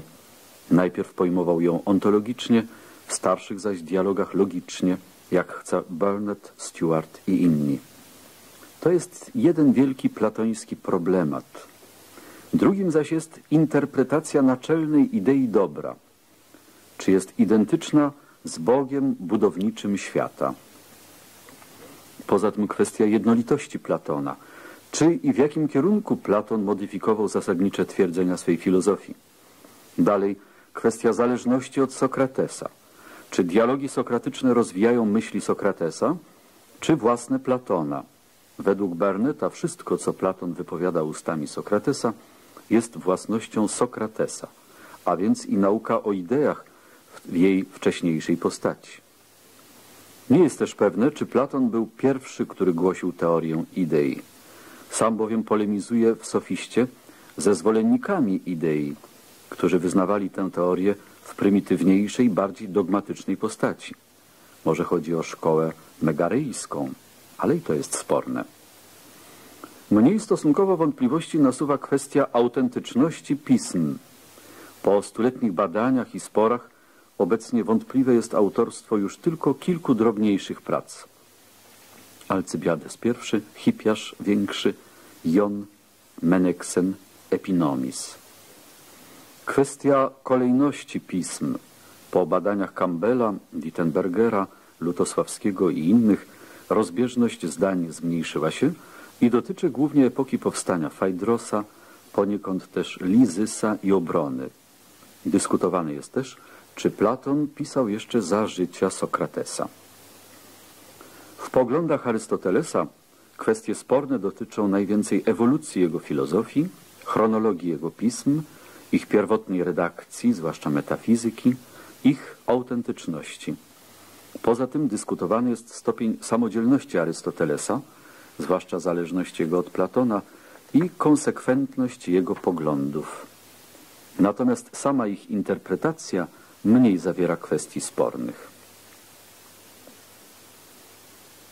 Trzeci okres filozofii starożytnej, okres hellenistyczny, trzeci, pierwszy wiek przed Chrystusem. Hellenizm. Kultura grecka, która długo rozwijała się w zupełnym prawie odosobnieniu i niezależności od wpływów obcych, od czasów Aleksandra Wielkiego zetknęła się bliżej z kulturą obcą i częściowo jej uległa. Odtąd z helleńskiej stała się hellenistyczną, to jest wytworzoną przez czynniki nie tylko greckie, ale też i panującą nie tylko w Grecji. Straciła na czystości, zyskała na ekspansji. Dzieje filozofii miały też okres hellenistyczny, począwszy od III wieku. Filozofowie tego okresu byli po części rasowo nie Grekami, a teren ekspansji filozofii wybiegał daleko poza Grecję. Jednakże w filozofii przewaga greczyzny była ogromna. Czynnik obcy doszedł tu do głosu w znikomym tylko zakresie. To też między okresem hellenistycznym a poprzednim klasycznym okresem filozofii greckiej więcej jest podobieństwa niż różnic. Zwłaszcza, że podstawowe poglądy tego okresu powstały jeszcze w Atenach na przełomie IV i III wieku. Wprawdzie począwszy od II wieku przed Chrystusem filozoficzne środowisko ateńskie zaczęło upadać, a nowe ośrodki wytworzyły się w Rzymie i w Aleksandrii, jednakże i tam przez długi czas rozwijano tylko idee ateńskie. Podział filozofii W okresie tym filozofia przestała być jedyną nauką. Specjalne badania, które Arystoteles złączył był z filozofią przez Unię osobistą, teraz oddzieliły się od niej i były uprawiane niezależnie od ogólnej spekulacji filozoficznej. Filozofia przestała również być jedną nauką, uległa rozczłonkowaniu i podzieleniu na części, które uprawiane były względnie niezależnie od siebie. Podział wywodzący się z akademii, a wymyślony zapewne przez Ksenokratesa, przyjął się prawie powszechnie. Rozróżniał on trzy części filozofii. Logikę, zwaną w niektórych szkołach również kanoniką, fizykę i etykę, czyli teorię poznania, teorię bytu i teorię dobra. Znaczenie, jakie przypisywano tym częściom filozofii nie było równe. Przewagę miała etyka. Filozofia grecka zaczęła się od przewagi kosmologii, ale już od czasu Sokratesa zainteresowania etyczne wzięły górę. Jeszcze Arystoteles utrzymywał równowagę między kosmologią i etyką, tak samo jak zachowywał ją między ogólną spekulacją a specjalnym badaniem naukowym. Ale główne myśli greckiego poglądu na świat były wypowiedziane i twórczość na tym polu zaczęła wygasać. Objawiła się natomiast na polu etyki. Zdarzało się teraz, że określano filozofię wprost jako studium virtutis. Popularne greckie zagadnienie, jak najlepiej żyć i osiągnąć dostępne człowiekowi dobra, czyli eudaimonię, stało się teraz powszechnym zagadnieniem filozofów. Filozofowie tego okresu Zajmowali się również i z pomyślnym wynikiem fizyką i logiką, ale stanowisko etyczne było głównym łącznikiem ich systemów i oddziaływało na stanowisko logiczne i przyrodnicze. Czego innego oczekiwano teraz od filozofii niż w okresie klasycznym, bo też od złotej ery Peryklesa sytuacja w Grecji zmieniła się szybko, a radykalnie. Po serii triumfów przyszła seria upokorzeń. Po wolności od Heronei 338 rok niewola. Potrzebna była pomoc i podpora moralna. Tej spodziewano się teraz od filozofii. Gdy przedtem była głównie naukową teorią przyrody, teraz musiała stać się przede wszystkim naukową teorią życia. Szkoły filozoficzne Rozwój filozofii zaśrodkował się w okresie hellenistycznym w szkołach. To nadaje mu szczególny charakter. Każda bowiem szkoła stanowiła zamknięty obóz filozoficzny. Dwie wielkie szkoły rozporządzające kompletnymi systemami filozoficznymi, platońska akademia i arystotelesowski Likeion, czynne już w poprzednim okresie, istniały i rozwijały się dalej. Zaraz zaś na początku nowego okresu powstały trzy nowe – szkoła stoicka, epikurejska i sceptycka. Ostatnia nie posiadała formalnie organizacji szkolnej, ale miała tradycje i wszelkie wewnętrzne własności szkoły.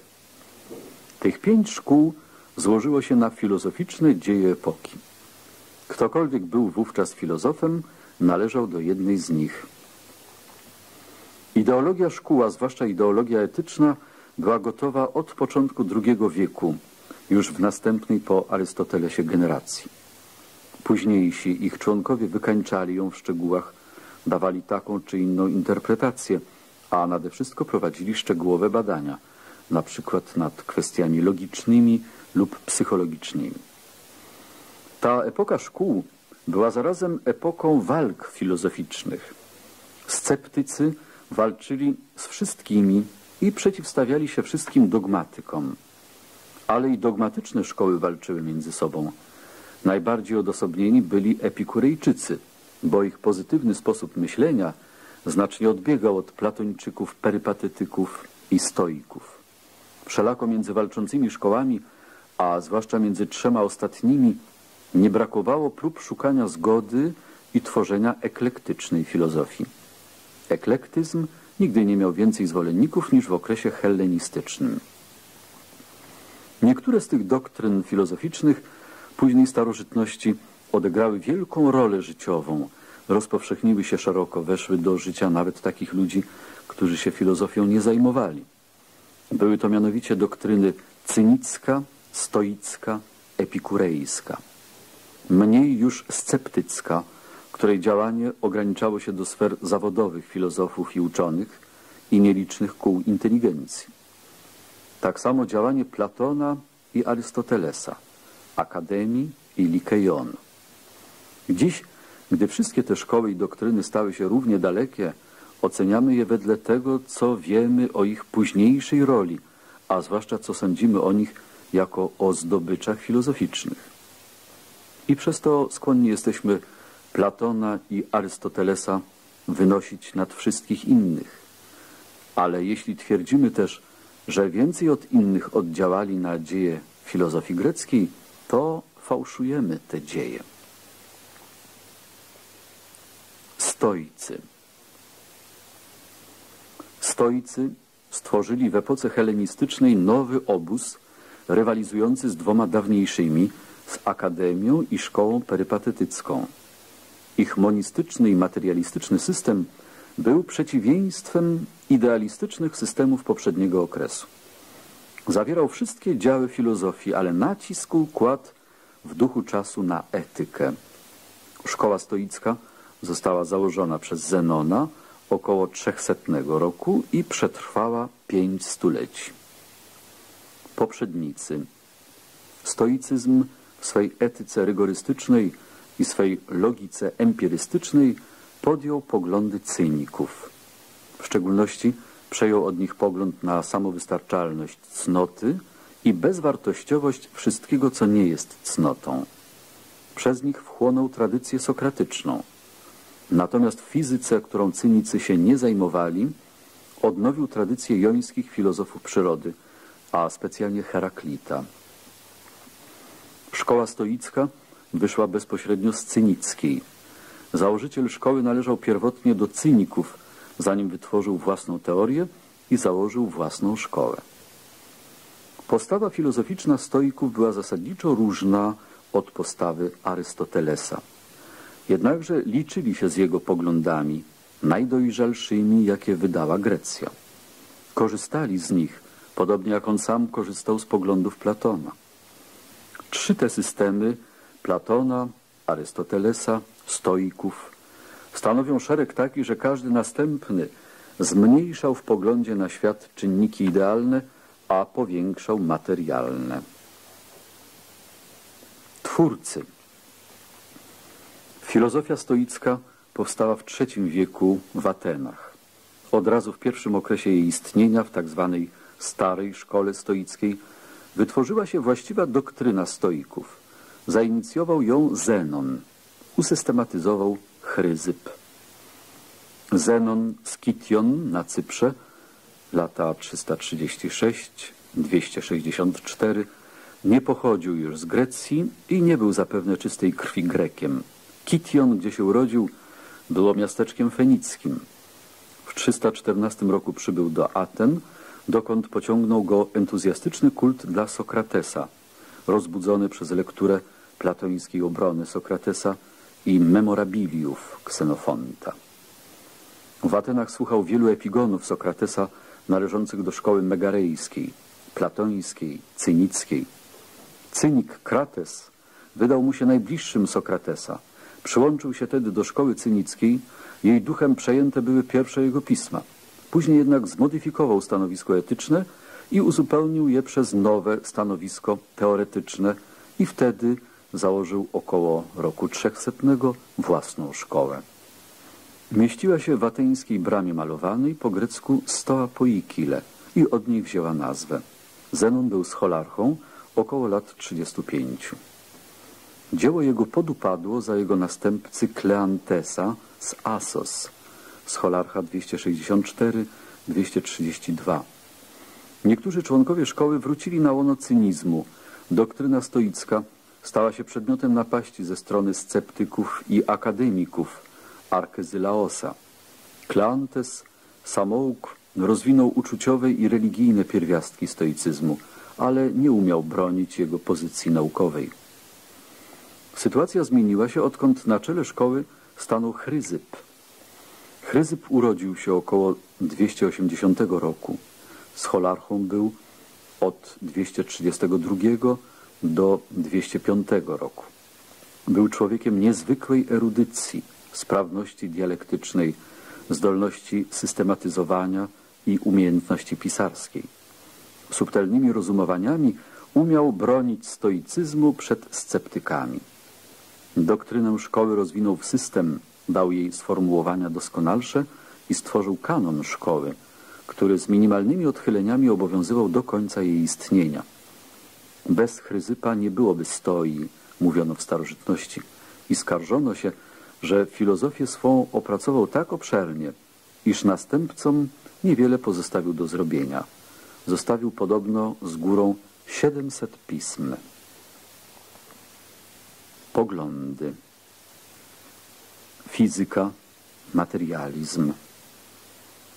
Fizyka stoików wyrosła z przekonania, że świat ma budowę jednolitą, jest cały materialny, a zarazem cały ożywiony i na miarę boską doskonały. Dzięki temu przekonaniu mogli wytworzyć system monistyczny w przeciwieństwie do systemów dawniejszych Platona i Arystotelesa, przejętych dualizmem ciała i ducha, materii, życia, Boga i świata. Zgodnie z energetycznym pojęciem bytu, wprowadzonym przez Arystotelesa i zachowanym przez stoików, bytem jest jedynie to, co działa i podlega działaniu. Działać zaś i podlegać działaniu mogą tylko ciała. One więc tylko są bytem. A zatem dusze, jeśli istnieją, są cielesne. Nie tylko rzeczy, ale i własności rzeczy są cielesne. cielesne są cnoty, cieleśni są bogowie. Stoicy zaprzeczali, jakoby istniał byt niematerialny, duchowy czy idealny, to znaczy byli materialistami. Co jest niematerialne, jest niebytem. Niebytem jest próżnia, a także przestrzeń i czas stoicy uważali za niebyt. Przyznawali, że przedmiotem pojęć ogólnych ta lekta nie są rzeczy materialne, lecz oderwane ogóły, ale też w jaskrawym przeciwieństwie do Arystotelesa, a zwłaszcza Platona, zaprzeczali, jakoby przedmiotem pojęć ogólnych był byt rzeczywisty. Pojęcia te były dla nich wytworami mowy, które nie mają odpowiednika w rzeczywistości. Zajmowali więc w konsekwencji swego materializmu to stanowisko, które później nazywano nominalizmem. Dynamizm. Ciała, z których składa się świat, nie są bytem prostym, lecz zawierają dwa pierwiastki, mają dwa czynniki, bierny i czynny. Te dwa pierwiastki odpowiadały arystotelesowskim materii i formie. Materię pojmowali stoicy tak jak Arystoteles. Natomiast formę, czyli pierwiastek czynny i stanowiący o jakości każdego ciała, pojmowali inaczej, pojmowali ją materialnie. Wynikało to z ich podstawowego założenia. Forma w istocie swej nie była dla nich przeto różna od materii. Oba pierwiastki były tej samej natury. Odbył się tu proces materializacji arystotelesowskiej formy, równolegle zresztą do takiegoż procesu w łonie samej szkoły perypatetyckiej zainicjowanego przez Stratona. Forma była dla stoików materią, ale bardziej subtelną od zwykłej. Wyobrażali ją sobie na podobieństwo ognia i powietrza, coś jak ciepłe powietrze, jak tchnienie i nazywali ją pneuma, czyli tchnienie. Ona przenika całą bierną materię, niby ogień rozżarzone żelazo a przenikając kształtuje ją, stanowi własności rzeczy martwych, naturę roślin, duszę zwierząt, rozum człowieka. Przeto przedmioty martwe nie są w istocie swej różne od dusz, ani osoby rozumne od bezrozumnych ciał. Pneuma jest bowiem wszędzie jedna i ta sama. Nie ma różnych rodzajów ciał, są tylko różne stopnie natężenia jednej i tej samej pneumy. Wobec tego, że czynna pneuma obecna jest we wszystkich ciałach, wszystkie ciała są czynne, nie ma ciał bezwładnych. Wszelka materia ma w sobie, a nie poza sobą źródło ruchu i życia. Gdzie jest materia, tam są siły działające. Koncepcja świata była więc u stoików dynamistyczna. Ich materializm był całkowicie innego typu niż materializm atomistów. Był dynamistyczny, nie mechanistyczny. Jak dla wykazania, że wszystko jest materią, stoicy musieli przyjąć istnienie nieznanego jej rodzaju pneumy, tak znowu, by wykazać, że wszędzie działają siły, wprowadzili nieznany rodzaj ruchu, ruch toniczny. Ruch ten, różny od tego, który obserwujemy potocznie, miał polegać na napięciu, tonos materii był przedstawiany przez stoików jako wewnętrzny ruch rzeczy. Był ruchem właściwym pneumie i właśnie od jego intensywności zależy stan pneumy. Gdzie jest najmniejszy, tam ciała są martwe, największy zaś jest w istotach rozumnych. Tak to stoicy, rzuciwszy platońsko-arystotelesowskie subtelne rozróżnienia dotyczące budowy świata, cofnęli się do pierwotniejszego poglądu, do jońskiego hilozoizmu – Wszechświat jest jednorodny, jest zawsze i wszędzie tylko materią i nieodłącznym od niej ruchem. Materia i ruch przyjmują różne postacie, ale poza materią i ruchem nic nie istnieje. U Jończyków materia i ruch, a także ciało i dusza nie były jeszcze pojęciowo oddzielone. Teraz, choć były oddzielone, zostały złączone z powrotem. Po dualistycznych systemach Platona i Arystotelesa Stoicy dzięki fikcji pneumy i tonosu mogli powrócić do monistycznego obrazu świata. Wszechświat jest jeden, pisał Marek Aureliusz, i Bóg jeden we wszystkim, i substancja jedna, i prawo jedno, Rozum jest wspólny we wszystkich rozumnych istotach i prawda jedna, i jeden cel dla istot jednorodnych i jednego używających rozumu.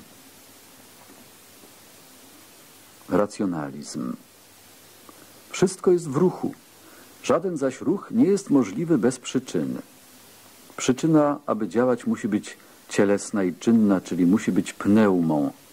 Pneuma zaś jest wszędzie jedna, więc przyczyny są wszędzie jednej tej samej natury.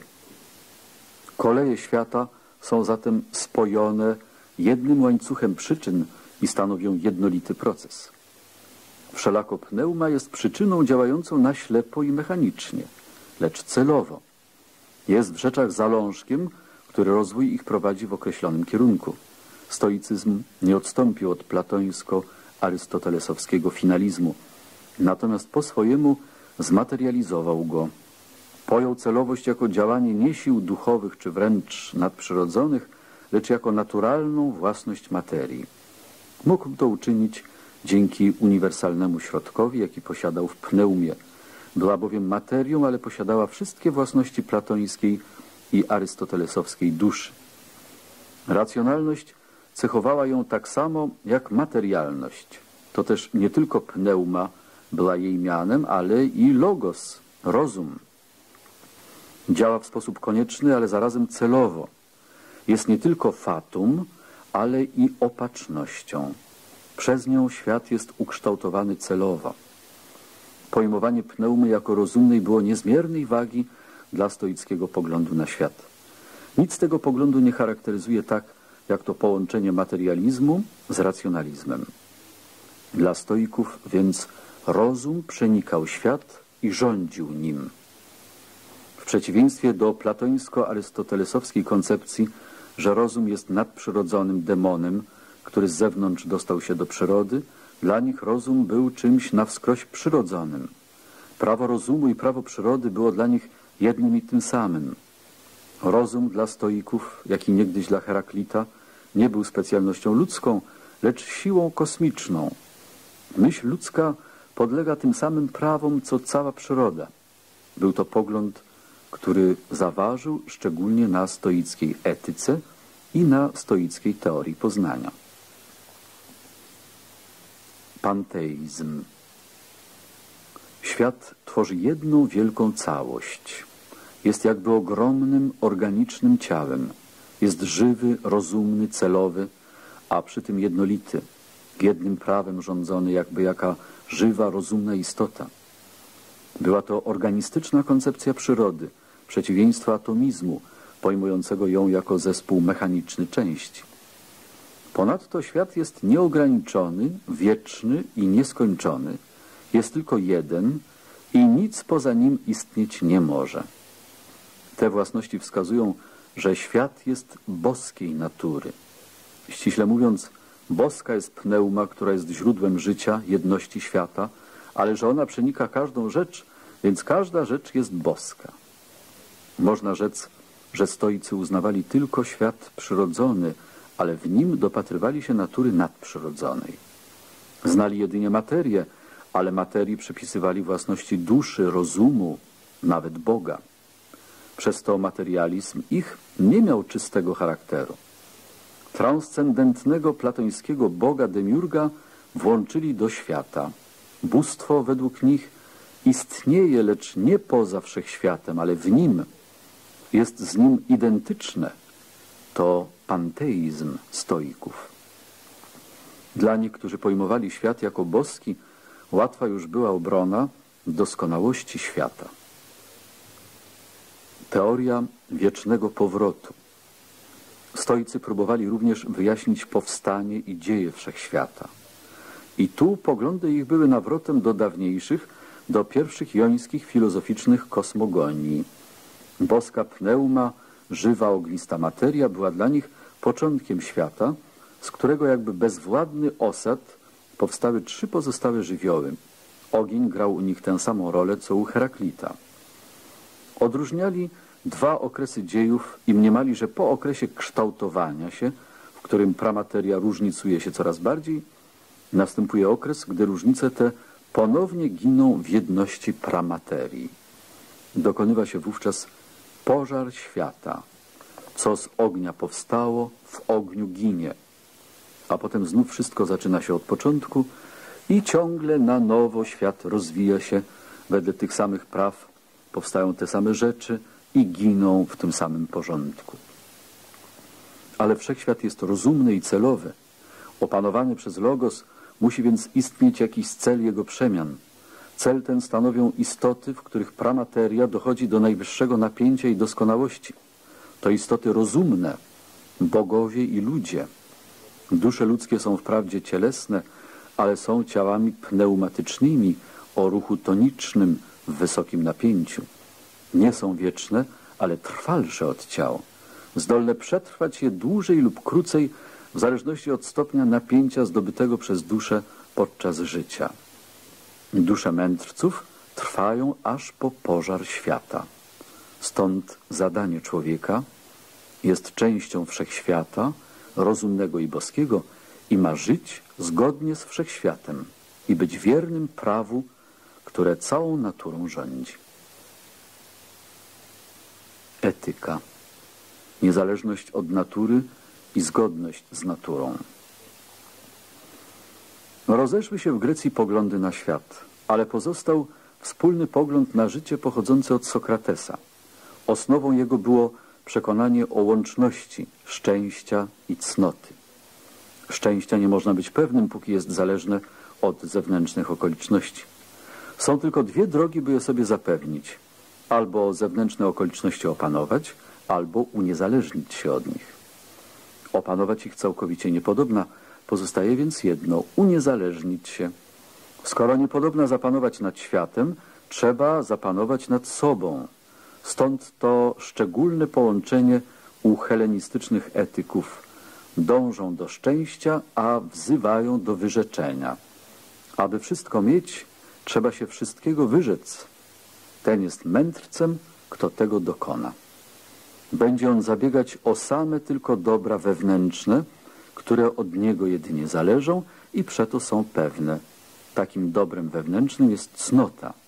Ceniąc cnotę i tylko cnotę, mędrzec uniezależnia się od wszelkich niepomyślnych okoliczności, jakie by zajść mogły i zapewnia sobie szczęście. Historia filozofii. Taśma dziesiąta, koniec ścieżki pierwszej. Historia filozofii. Taśma dziesiąta, ścieżka druga. Ta łączność mądrości, cnoty, niezależności i szczęścia była wspólną osnową posokratesowskiej etyki w Grecji. Ale nikt nie przejął się nią i nie pogłębił jej tak bardzo jak stoicy. Uważając, że cnota i ona jedna jest warunkiem dostatecznym szczęścia, utożsamiali ją wręcz ze szczęściem i mieli za dobro najwyższe, a nawet jedyne prawdziwe dobro. Ten moralizm stanowił jedną połowę etyki stoików, tę, która była wspólna epoce. Druga połowa była już ich własnością. Polegała na kulcie natury, wynikającym ze stoickiego poglądu na świat. Tamta połowa ich teorii wywyższała cnotę, ta wyjaśniała, na czym cnota polega. Wedle stoików natura jest rozumna, harmonijna, boska. Największą więc doskonałością dla człowieka jest dostosowanie się do tej powszechnej harmonii. Życie powinno być przede wszystkim zgodne z naturą samego człowieka. Ale wtedy będzie zarazem zgodne z naturą w ogóle, bo jedno prawo rządzi naturą, nie wyłączając człowieka. Na tym życiu zgodnym polega cnota. Żyć cnotliwie i żyć zgodnie z naturą to jedno i to samo. Stoicy dobro uzależniali od natury. To, co być powinno, określali w zależności od tego, co jest rzeczywiście. W tak pojętej cnocie widzieli największą doskonałość, jaka jednostce może przypaść w udziale. Doskonałość jednostki Grecy nazywali eudaimonią a do której należy również to poczucie doskonałości, jakie nazywamy szczęściem. Życie cnotliwe jest życiem wolnym. Wprawdzie we wszechświecie panuje wszędzie konieczność, ale wedle stoickiego pojęcia wolności, które stało się klasycznym w etyce, konieczność wolności nie wyklucza. Kto bowiem działa zgodnie ze swą naturą, ten jest wolny, a działanie cnotliwe jest właśnie zgodne z naturą. Życie zgodne z naturą jest zarazem zgodne z rozumem. Nie namiętności bowiem, lecz rozum stanowi naturę człowieka.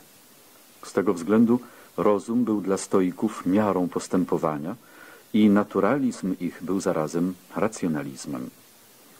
Cnotę definiowali wręcz jako rozsądek, phronesis, jako wiedzę, epistemę, jako rozum, ratio perfecta u Seneki, u Cycerona. Rozum zaś rządzi nie tylko człowiekiem, ale całym kosmosem. Stanowi więc łącznik między człowiekiem a kosmosem, między cnotą ludzką a prawem natury. Racjonalizm stoików był jakby wspólnym mianownikiem ich czci dla cnoty i czci dla natury. Przejęli sokratysowską zasadę zależności dobra od rozumu i dali jej oparcie w swej teorii natury. Dobro, zło i rzeczy obojętne. Życie zgodne z naturą, rozumne, szczęśliwe, cnotliwe, wolne, to zatem było dla stoików jedno i to samo. Ich ideałem był mędrzec, to znaczy człowiek rozumny i cnotliwy, który przez to jest szczęśliwy, wolny, bogaty, bo posiada to, co prawdziwie cenne. Przeciwieństwem jego jest szaleniec, zarazem zły i nieszczęśliwy, niewolnik i nędzarz. A między mędrcem a szaleńcem nie ma przejść. Cnota jest bowiem usposobieniem, które nie ulega stopniowaniu. Diatezis. Kto nie ma pełnej cnoty, nie ma jej wcale. To był pierwszy paradoks etyki stoickiej, a było ich więcej. Ludzie dzielą się na dobrych i złych. Kto postępuje na drodze cnoty, prokope, w przeciwieństwie do arete, jest jeszcze poza cnotą. Cnota jest jedna i niepodzielna. Nie ma różnicy między sprawiedliwością, męstwem czy roztropnością. To samo rozumne usposobienie objawia się przy rozdawaniu jako sprawiedliwość, w znoszeniu cierpień jako męstwo, w prowadzeniu swych spraw jako roztropność. Cnota jest jedna dla wszystkich i na wszystkie warunki życia i niepodobna posiadać jej pod jednym względem, a pod drugim nie. Wszystko to było przygotowane przez naukę Sokratesa, a wynikało stoikom z ich pojęcia cnoty, które nie miało żadnych cech względnych i osobistych. Nic, co by mogło być podstawą stopniowania, różnicowania czy dzielenia cnoty. Cnota jest dobrem jedynym. Wszystko, co poza tym ludzie nazywają dobrami, jak bogactwo lub sława, może być źle użyte i może wyjść na złe, więc dobrem nie jest. Cnota jest dobrem, które cechuje samowystarczalność, antarkeia. Do szczęścia i doskonałości nic poza cnotą nie potrzeba. Poza cnotą jej przeciwieństwem, złem, wszystko jest obojętne, adiaforon. Bogactwo, siła, uroda, zaszczyty, nawet zdrowie i życie. Wszystkie te nietrwałe, znikome rzeczy nie są potrzebne do szczęścia i brak ich nie może powodować nieszczęścia. W tym sensie są obojętne. Stoicy pragnęli nakłonić ludzi, by stały się dla nich obojętne jeszcze w innym znaczeniu, mianowicie, aby nie wzbudzały ani pożądania, ani wstrętu. Mędrzec ignoruje je i przez to jest prawdziwie niezależny. Był to motyw cyników, który stoicy włączyli do swego systemu. Jednakże te rzeczy obojętne są materiałem naszych czynów. Można z nich robić dobry albo zły użytek i nie są jednak sobie równe. Nie będąc dobrami, mają jednak mniejszą lub wyższą wartość. Rozum wybiera między nimi i wytwarza reguły operowania nimi, licząc się z naturą, już nie rozumną, ale cielesną, zwierzęcą naturą człowieka. Okazuje się, że jedne z nich są godne wyboru, proegmena, inne godne odrzucenia, apoproegmena. W tym punkcie stoicy wzięli rozbrat ze skrajnością cyników. Rzeczy godne wyboru dzielą się na a. duchowe, jak talenty, pamięć, bystrość myślenia, postępy wiedzy, te są stosunkowo najwyższe, b. cielesne, jak sprawność narządów zmysłowych, nawet samożycie i c. zewnętrzne, jak posiadanie dzieci, rodziców, miłość ludzka, uznanie, dobre pochodzenie, umiarkowana majętność. W przeciwieństwie do dobra, które jest bezwzględne, wartość tych proegmenów jest względna.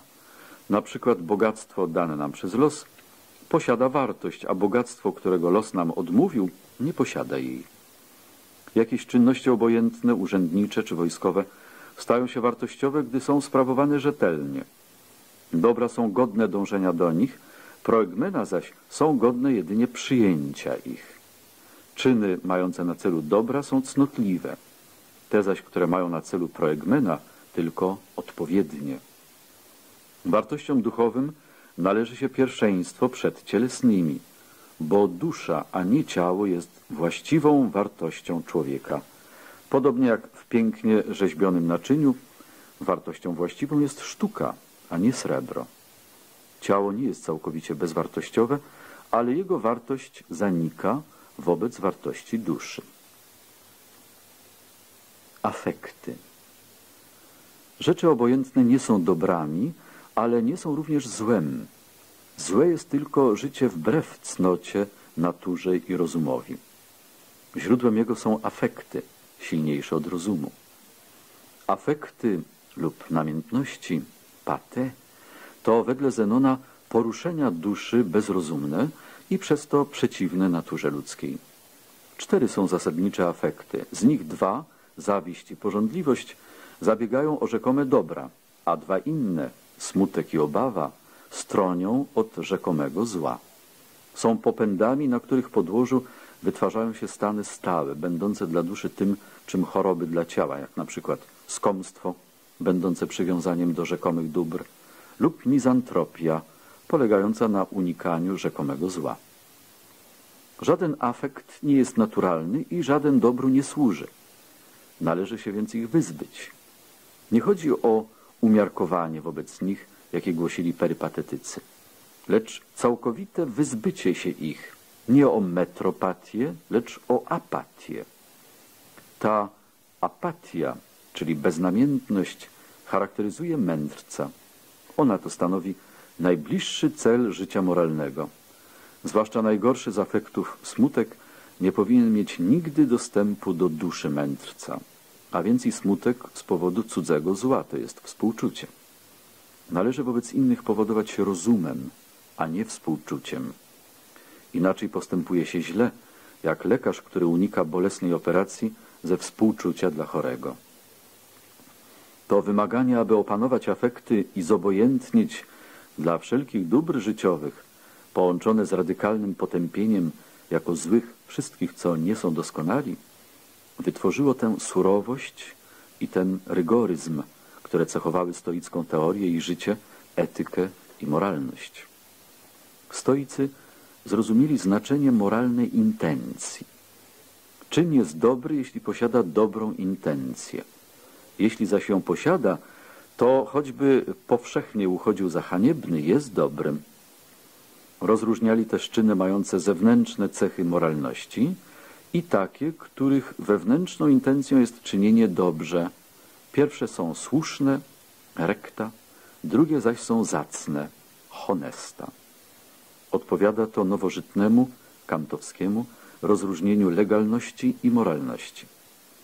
Do jakiej kategorii czyn jakiś należy, widzowie nieznający jego wewnętrznej intencji niełatwo mogą osądzić.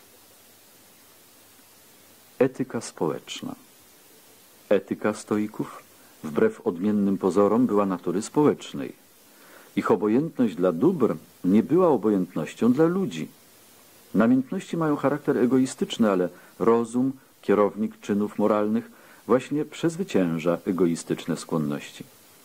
Kto kieruje się w życiu zasadami rozumu, mądrości i cnoty, ten nie znajduje żadnego przeciwieństwa między interesami osobistymi a społecznymi. W pojmowaniu społeczeństwa, tak samo jak w pojmowaniu przyrody, stoicy byli dalecy od atomizmu, traktującego części jako samodzielne wobec całości. Przeciwnie, traktowali społeczeństwo również jako organiczny zespół. W stworzeniu takiego zespołu, politikon systema, widzieli zadanie państwa. Każdy człowiek należy do różnych grup węższych i szerszych i ma wobec nich obowiązki. Te obowiązki opasują go niby koła koncentryczne, coraz szersze, których on jest ośrodkiem. Te koła to własne ciało, krewni, towarzysze, naród. Ostatnie, najszersze koło obejmuje całą ludzkość.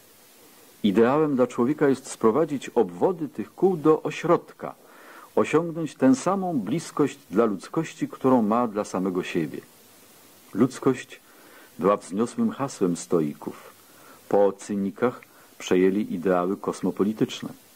Dążyli do usunięcia granic między państwami narodowymi, do zerwania z tradycyjnym przeciwstawieniem pełnoprawnych Hellenów i barbarzyńców. Imperium Romanum realizowało ideę stoików. Etykę stoików cechowała surowa powaga, rozsądna trzeźwość, ale także optymizm, wiara w możność, a nawet łatwość osiągnięcia dobra. Bo też dobro jest nie poza nami, lecz w nas i od nas tylko zależne. Ale też ponadto i świat jest zbudowany rozumnie i natura ludzka w istocie swej jest dobra i rozumna. Więc cnota jest łatwa i łatwa radość. Jakże łatwo odtrącić od siebie i odepchnąć wszelkie wyobrażenia niepokojące i niestosowne i natychmiast uzyskać pogodę ducha, pisał cesarz stoik Marek Aureliusz. Logika Stoicy pierwsi użyli terminu logika. Użyli go w szerokim znaczeniu, obejmując te działy, które dawniejsi nazywali dialektyką, analityką, topiką, a także i te, które współczesne im szkoły zwały kanoniką, czyli nauką o kryterium prawdy. Pojmowali logikę jako naukę o logosie, w obu znaczeniach wyrazu, o rozumie i o mowie. Jako nauka traktująca o mowie, logika obejmowała również retorykę, a nawet gramatykę. Stanowiła więc duży i niezupełnie jednolity kompleks dyscyplin. W kompleksie tym widzieli jednak wspólny przedmiot, który umożliwił im jednolitą definicję całego kompleksu. Mianowicie określali logikę jako naukę o znaku i o tym, co on oznacza. Z tego kompleksu wyróżniali część traktującą o prawdziwości oznaczonego i tę najważniejszą część nazywali dialektyką. Stoicy, ceniący tylko to, co służy cnocie, uznawali jednakże potrzebę logiki, a zwłaszcza dialektyki. Cnota jest bowiem oparta na wiedzy i mędrzec powinien być doskonałym dialektykiem. I rzeczywiście cnotliwi mędrcy stoiccy odznaczyli się w dialektyce, wytworzyli nowe i owocne teorie postrzeżeń, pojęć i sądów, prawdy i kryterium, a nawet całą nową teorię logiki formalnej. Pochodzenie wiedzy W kwestiach poznania stoicy tak samo odeszli od tradycji platońskiej jak w metafizyce. Tam nie uznawali idealnych czynników bytu, tu nie uznawali a priorycznych czynników wiedzy. Pochodzenie jej pojmowali sensualistycznie. Klantes wyznawał nawet bardzo gruby sensualizm, bo pojmował postrzeżenie jako odciśnięcie, topozis przedmiotów w duszy. Chryzyp wysubtelnił teorię, mówił już nie o odciśnięciach, lecz o zmianie dokonanej w duszy. I zaznaczał, że postrzegamy nie rzecz i nawet nie stan duszy, lecz właśnie tylko zmiany zachodzące w tym stanie. Spostrzeżeń, które są wtedy pierwszym podłożem wiedzy, powstają pojęcia. Te są różnych rodzajów. Jedne z nich są naturalne, wytwarzane niejako automatycznie przez umysł, inne zaś są wytwarzane świadomie, na drodze refleksji. Pośród zaś naturalnych są takie, co, jak na przykład pojęcia dobra i Boga, specjalnie odpowiadają naturze ludzkiej i przez to są powszechne, wszystkim wspólne. Są naturalne i powszechne, ale niewrodzone. Nie czyniły wyłomu w sensualistycznych intencjach stoików, bo i one wyrastały na podłożu doświadczenia. Rozum był podstawowym czynnikiem filozofii stoików, ale nie rozporządzał wrodzonymi pojęciami. Ich racjonalizm był połączony z genetycznym sensualizmem. Kryterium prawdy Naczelnym zagadnieniem ówczesnej logiki było zagadnienie kryterium, czyli środka rozpoznawania prawdy i odróżnienia jej od fałszu. Za kryterium mogą służyć tylko prawdy, które bezpośrednio i niezawodnie okazują swą prawdziwość. One już kryteriów nie potrzebują, natomiast innym twierdzeniom służą za kryteria. Stoicy przyjmowali, że takie prawdy istnieją i że poznajemy je przy pomocy zmysłów.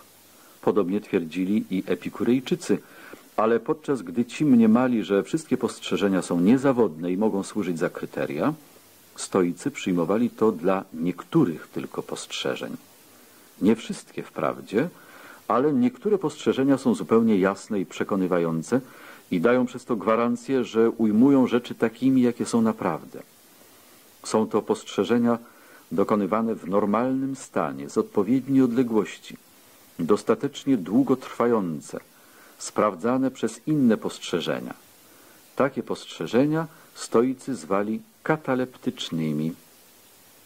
Klasyfikując w samodzielny sposób władze poznawcze, uważali władzę sądzenia za władzę odrębną. Sądy nie są li tylko derywatem postrzeżeń, czyli wyrazami pochodnymi.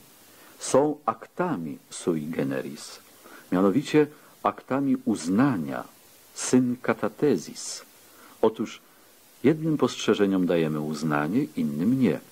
Postrzeżenia kataleptyczne są to te, którym uznania odmówić niepodobna.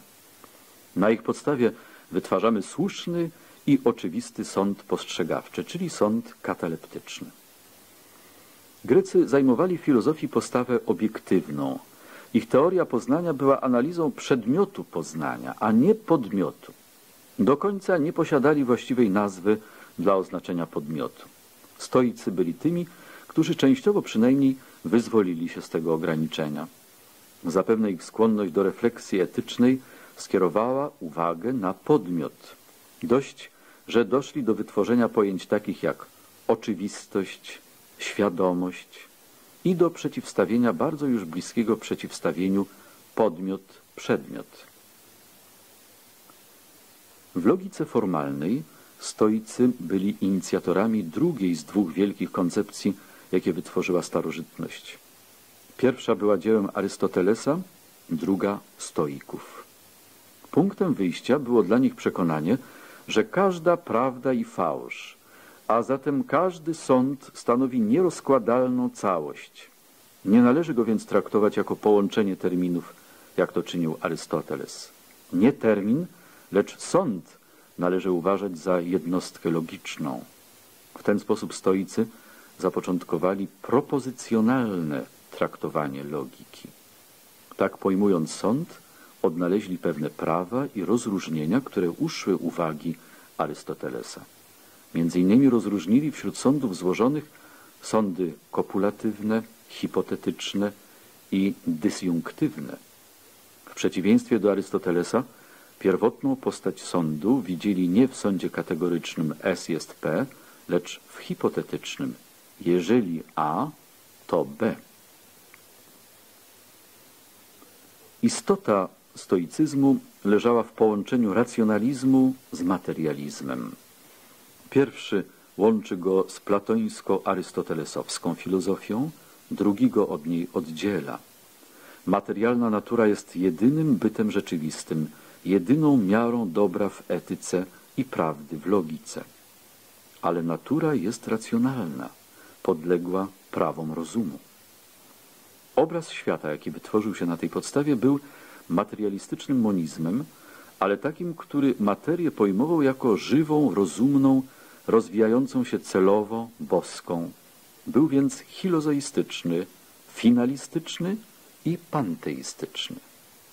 Stoicyzm, nawet tam, gdzie zasady przejął z dawniejszej filozofii, w przeprowadzeniu ich wykazał wiele oryginalności, zwłaszcza w etyce.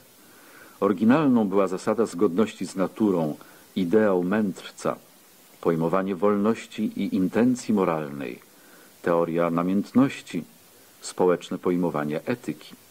ale również i w logice, teoria postrzeżeń kataleptycznych, pojęć naturalnych, sądu jako aktu uznania, językowa koncepcja logiki lub nowa wobec arystotelesowskiej klasyfikacja sądów.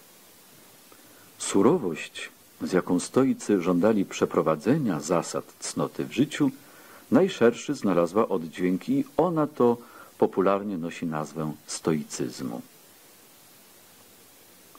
Szkoła stoicka przeszła przez trzy okresy. Pierwszy okres to stara szkoła ateńska, do której należą twórcy stoicyzmu. Drugi okres, średnia szkoła, która kwitła na przełomie II i I wieku przed Chrystusem, ale nie w Atenach już, lecz na wyspie Rodos i która od czystej nauki stoickiej przeszła do eklektycznej. I trzeci okres, młodsza szkoła, rozwijająca się w Rzymie w okresie cesarstwa, która częściowo powróciła do pierwotnej doktryny stoickiej. Średni okres stoicyzmu zaczął się odkąd kierownictwo szkoły w 129 roku objął Panaitios z Rodosu 185-110. Najwybitniejszym wszakże myślicielem tego okresu był jego następca Poseidonios 135-50. Pochodził z syryjskiej Apamei, był niewiele starszy od Cycerona. Zagubienie jego pism przyczyniło się do tego, że zasługi jego poszły w zapomnienie i dopiero najnowsze badania wydobyły na jaw, że był przełomową postacią w dziejach późnogreckiej myśli. A pisma te były, jak można sądzić, nie mniej liczne i nie mniej różnorodne niż Arystotelesa. Istotne w jego filozofii było to, że oparł ją na zdobyczach nauk ścisłych. Metodę na nich wypróbowaną zastosował także w teologii, historii kultury, pedagogice. Zarówno do objaśniania materii, jak ducha używał pojęć fizykalnych, takich jak natura, siła, przyczyna, działanie. I przeto jego obraz świata wypadł zupełnie jednolicie. Ducha interpretował jako siłę natury, tę samą, która objawia się też jako siła życiowa. Tchnął w stoicyzm nowe życie, dociągając go do najwyższego poziomu ówczesnej nauki. Jako syntetyk, nie eklektyk, powiada o nim Simko, zamyka filozofię helenistyczną jak Arystoteles klasyczną. Ale niebawem zaczął się w filozofii stoików objawiać zwrot zupełnie inny, a naturalny w owym okresie. Zbliżyli swój sposób myślenia do doktryn idealistycznych i dualistycznych, przede wszystkim zaś do doktryny Platona. Co więcej, zbliżyli go także do sposobu myślenia ludzi wschodu. Tradycyjne greckie zainteresowanie światem zewnętrznym zaczęło ustępować miejsca zainteresowaniu światem wewnętrznym. I w duchu nadchodzącej ery religijno-filozoficznej wzmogły się także filozofii stoików czynniki teologiczne i pojawiły mistyczne. U młodszych stoików wszakże wziął górę nie ten prąd religijny, lecz rzymsko-moralistyczny. Ograniczyli filozofię stoicką prawie wyłącznie do zagadnień etyki i mądrości życiowej. Najsławniejsi wśród nich byli i są dziś jeszcze Seneca, żyjący między trzecim a 65 rokiem po Chrystusie, dygnitarz zarządów Nerona, autor wielu popularno-etycznych pism o życiu szczęśliwym, o krótkości życia, o gniewie i inne. Epiktet około 50 roku do 130, niewolnik pochodzący z Frygii, później nauczyciel filozofii w Rzymie, najbliższy starostoickiej tradycji, Poglądy jego przechowały się spisane przez Ariana i wydane pod nazwą Diatryby i w skróconej postaci jako podręcznik moralności. Wreszcie cesarz Marek Aureliusz, panujący od 161 do 180 roku, autor rozmyśleń. Stoicy ci, zwłaszcza Seneca i Marek Aureliusz, odbiegli od pierwotnego stoickiego materializmu. Ich pogląd na świat skłaniał się do dualizmu i spirytualizmu. Zajmowali się prawie wyłącznie sprawami etycznymi i w tym zakresie byli wierni tradycji stoickiej. Oddziałali potężnie. W ujęciu ich filozofia stała się sprawą życiową, radą i podporą w życiu. Pisma ich trafiły do szerokich mas i do dnia dzisiejszego zostały żywe. Epikur i Epikurejczycy Drugi nowy system helenistyczny jeszcze dalej odbiegł od idealizmu i był wyrazem krańcowo trzeźwego i pozytywnego sposobu myślenia. W etyce głosił hedonizm, w fizyce materializm, w logice sensualizm. Filozofię teoretyczną podporządkował całkowicie praktycznym celom życia. Kładł nacisk na etykę, traktując inne działy tylko jako służebne. Stworzony został przez Epikura, w tym samym czasie co system stoicki. Szkoła epikurejska założona w Atenach na progu III wieku miała zwolenników do końca okresu helenistycznego i stanowiła w nim czwarty wielki obóz filozoficzny. Poprzednicy Atomiści i Cyrenajcy byli głównymi poprzednikami epikurejczyków.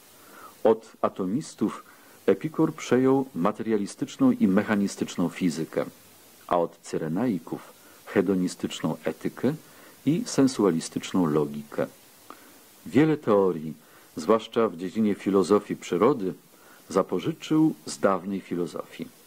Wszakże i tym dał nowy odcień, a zwłaszcza nowy sens życiowy.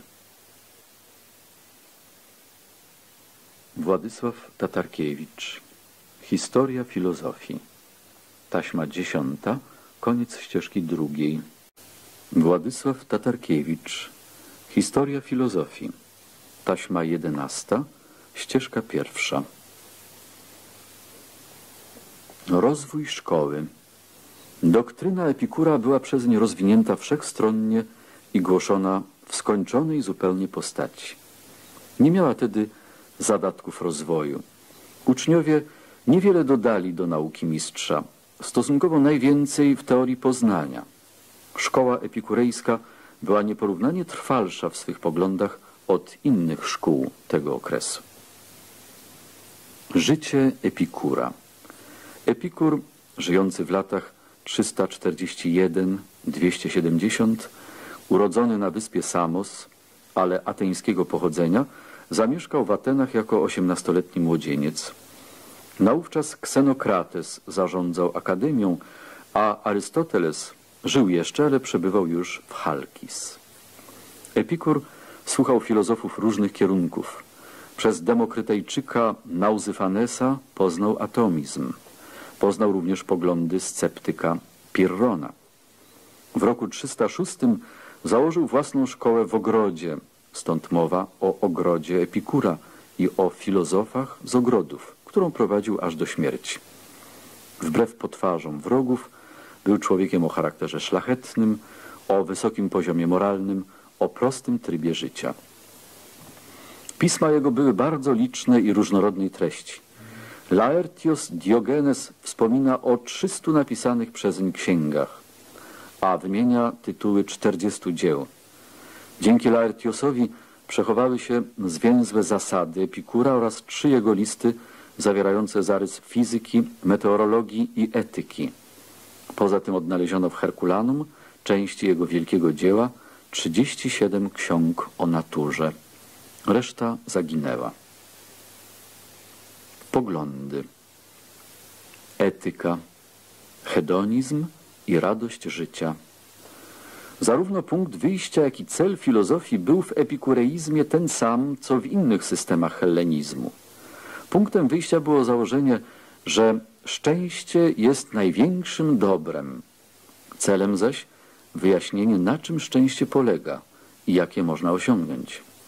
A wyjaśnienie, jakie dał Epikur, było ze wszystkich najprostsze, mianowicie szczęście polega na doznawaniu przyjemności, a nieszczęście na doznawaniu cierpień. Wyjaśnienie to nie było tautologią.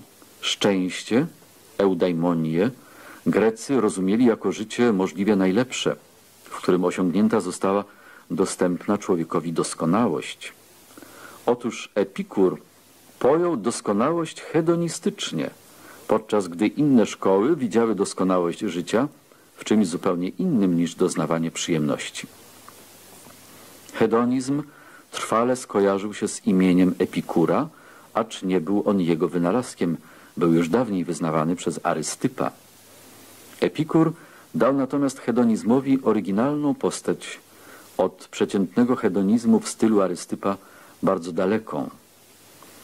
Podstawową myślą Epikura było, że do szczęścia wystarcza brak cierpienia. Brak cierpienia bowiem odczuwamy już jako przyjemność. Tłumaczy się to tym, że człowiekowi jest z natury dobrze, byle tylko nie unieszczęśliwiały go cierpienia. Naturalny stan człowieka, gdy nic dobrego i nic złego go nie spotyka, jest stanem przyjemnym. Sam proces życia, samo życie jest radością. Jest to radość wrodzona, o którą nie potrzebujemy zabiegać, gdyż nosimy ją w sobie. Jako wrodzona jest niezawodna. Niech tylko ciało będzie zdrowe i dusza spokojna, a życie będzie rozkoszą. To był najistotniejszy punkt epikureizmu, że w nim hedonizm łączył się z kultem życia. Życie jest dobrem i to jedynym, jakie naprawdę na własność jest nam dane. W formach religijnego kultu epikurejczycy czcili życie, byli niejako sektą czcicieli życia. Niemniej mieli świadomość, że dobro to jest ograniczone i krótkotrwałe. W przeciwieństwie do przyrody, która jest nieskończona, trwała i odradzająca się wciąż na nowo, życie ludzkie jest tylko epizodem. Złudzeniem była dla Epikura wiara w metempsychozę i w periodyczny powrót rzeczy. Tak się złożyło, że filozofia starożytna uświadomiła sobie wartość życia równocześnie z uświadomieniem jego znikomości. Wniosek, jaki stąd wyciągnęła, brzmiał Dobro, jakie posiadamy, trzeba ocenić i użyć od razu, bo jest przemijające i jednorazowe. Trzeba go użyć docześnie. Na przyszłe bytowanie nie można liczyć. Była to doktryna etyczna na wskroś doczesna. Przyjemności zewnętrzne. Radość życia jest głównym składnikiem szczęścia, ale nie jest jedynym.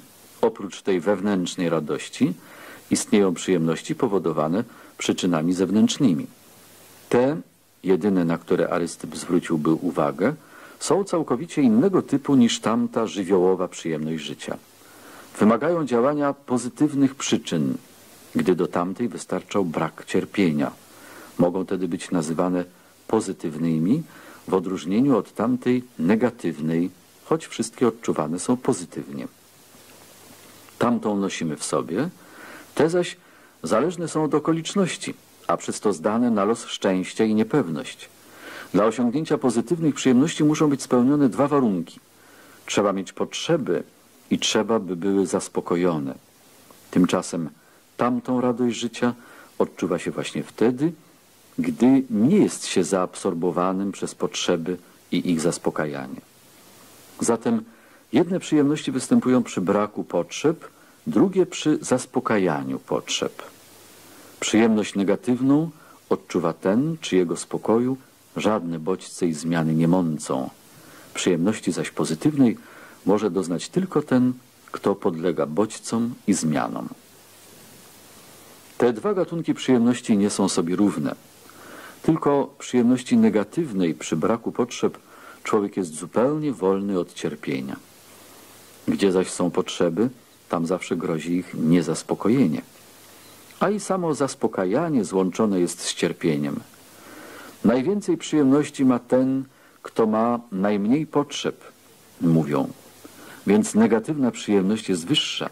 Ona jest wtedy właściwym celem życia. Aby ten cel osiągnąć, nie potrzeba zabiegać o przyjemności, lecz trzeba tylko unikać cierpień, nie zaspokajać potrzeb, lecz się ich wyzbywać. Przyjemność pozytywna nie jest celem, lecz jedynie środkiem, mianowicie środkiem do zagłuszania cierpień, gdy te człowieka dręczą. Należy zerwać z pierwotnym instynktem, który każe ubiegać się o każdą przyjemność, jaka się nadarza.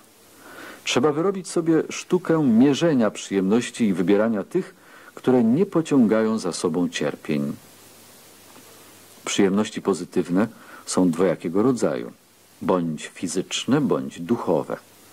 Stosunek ich jest taki, że cielesne są bardziej zasadnicze, gdyż duchowe nie mogłyby istnieć bez nich.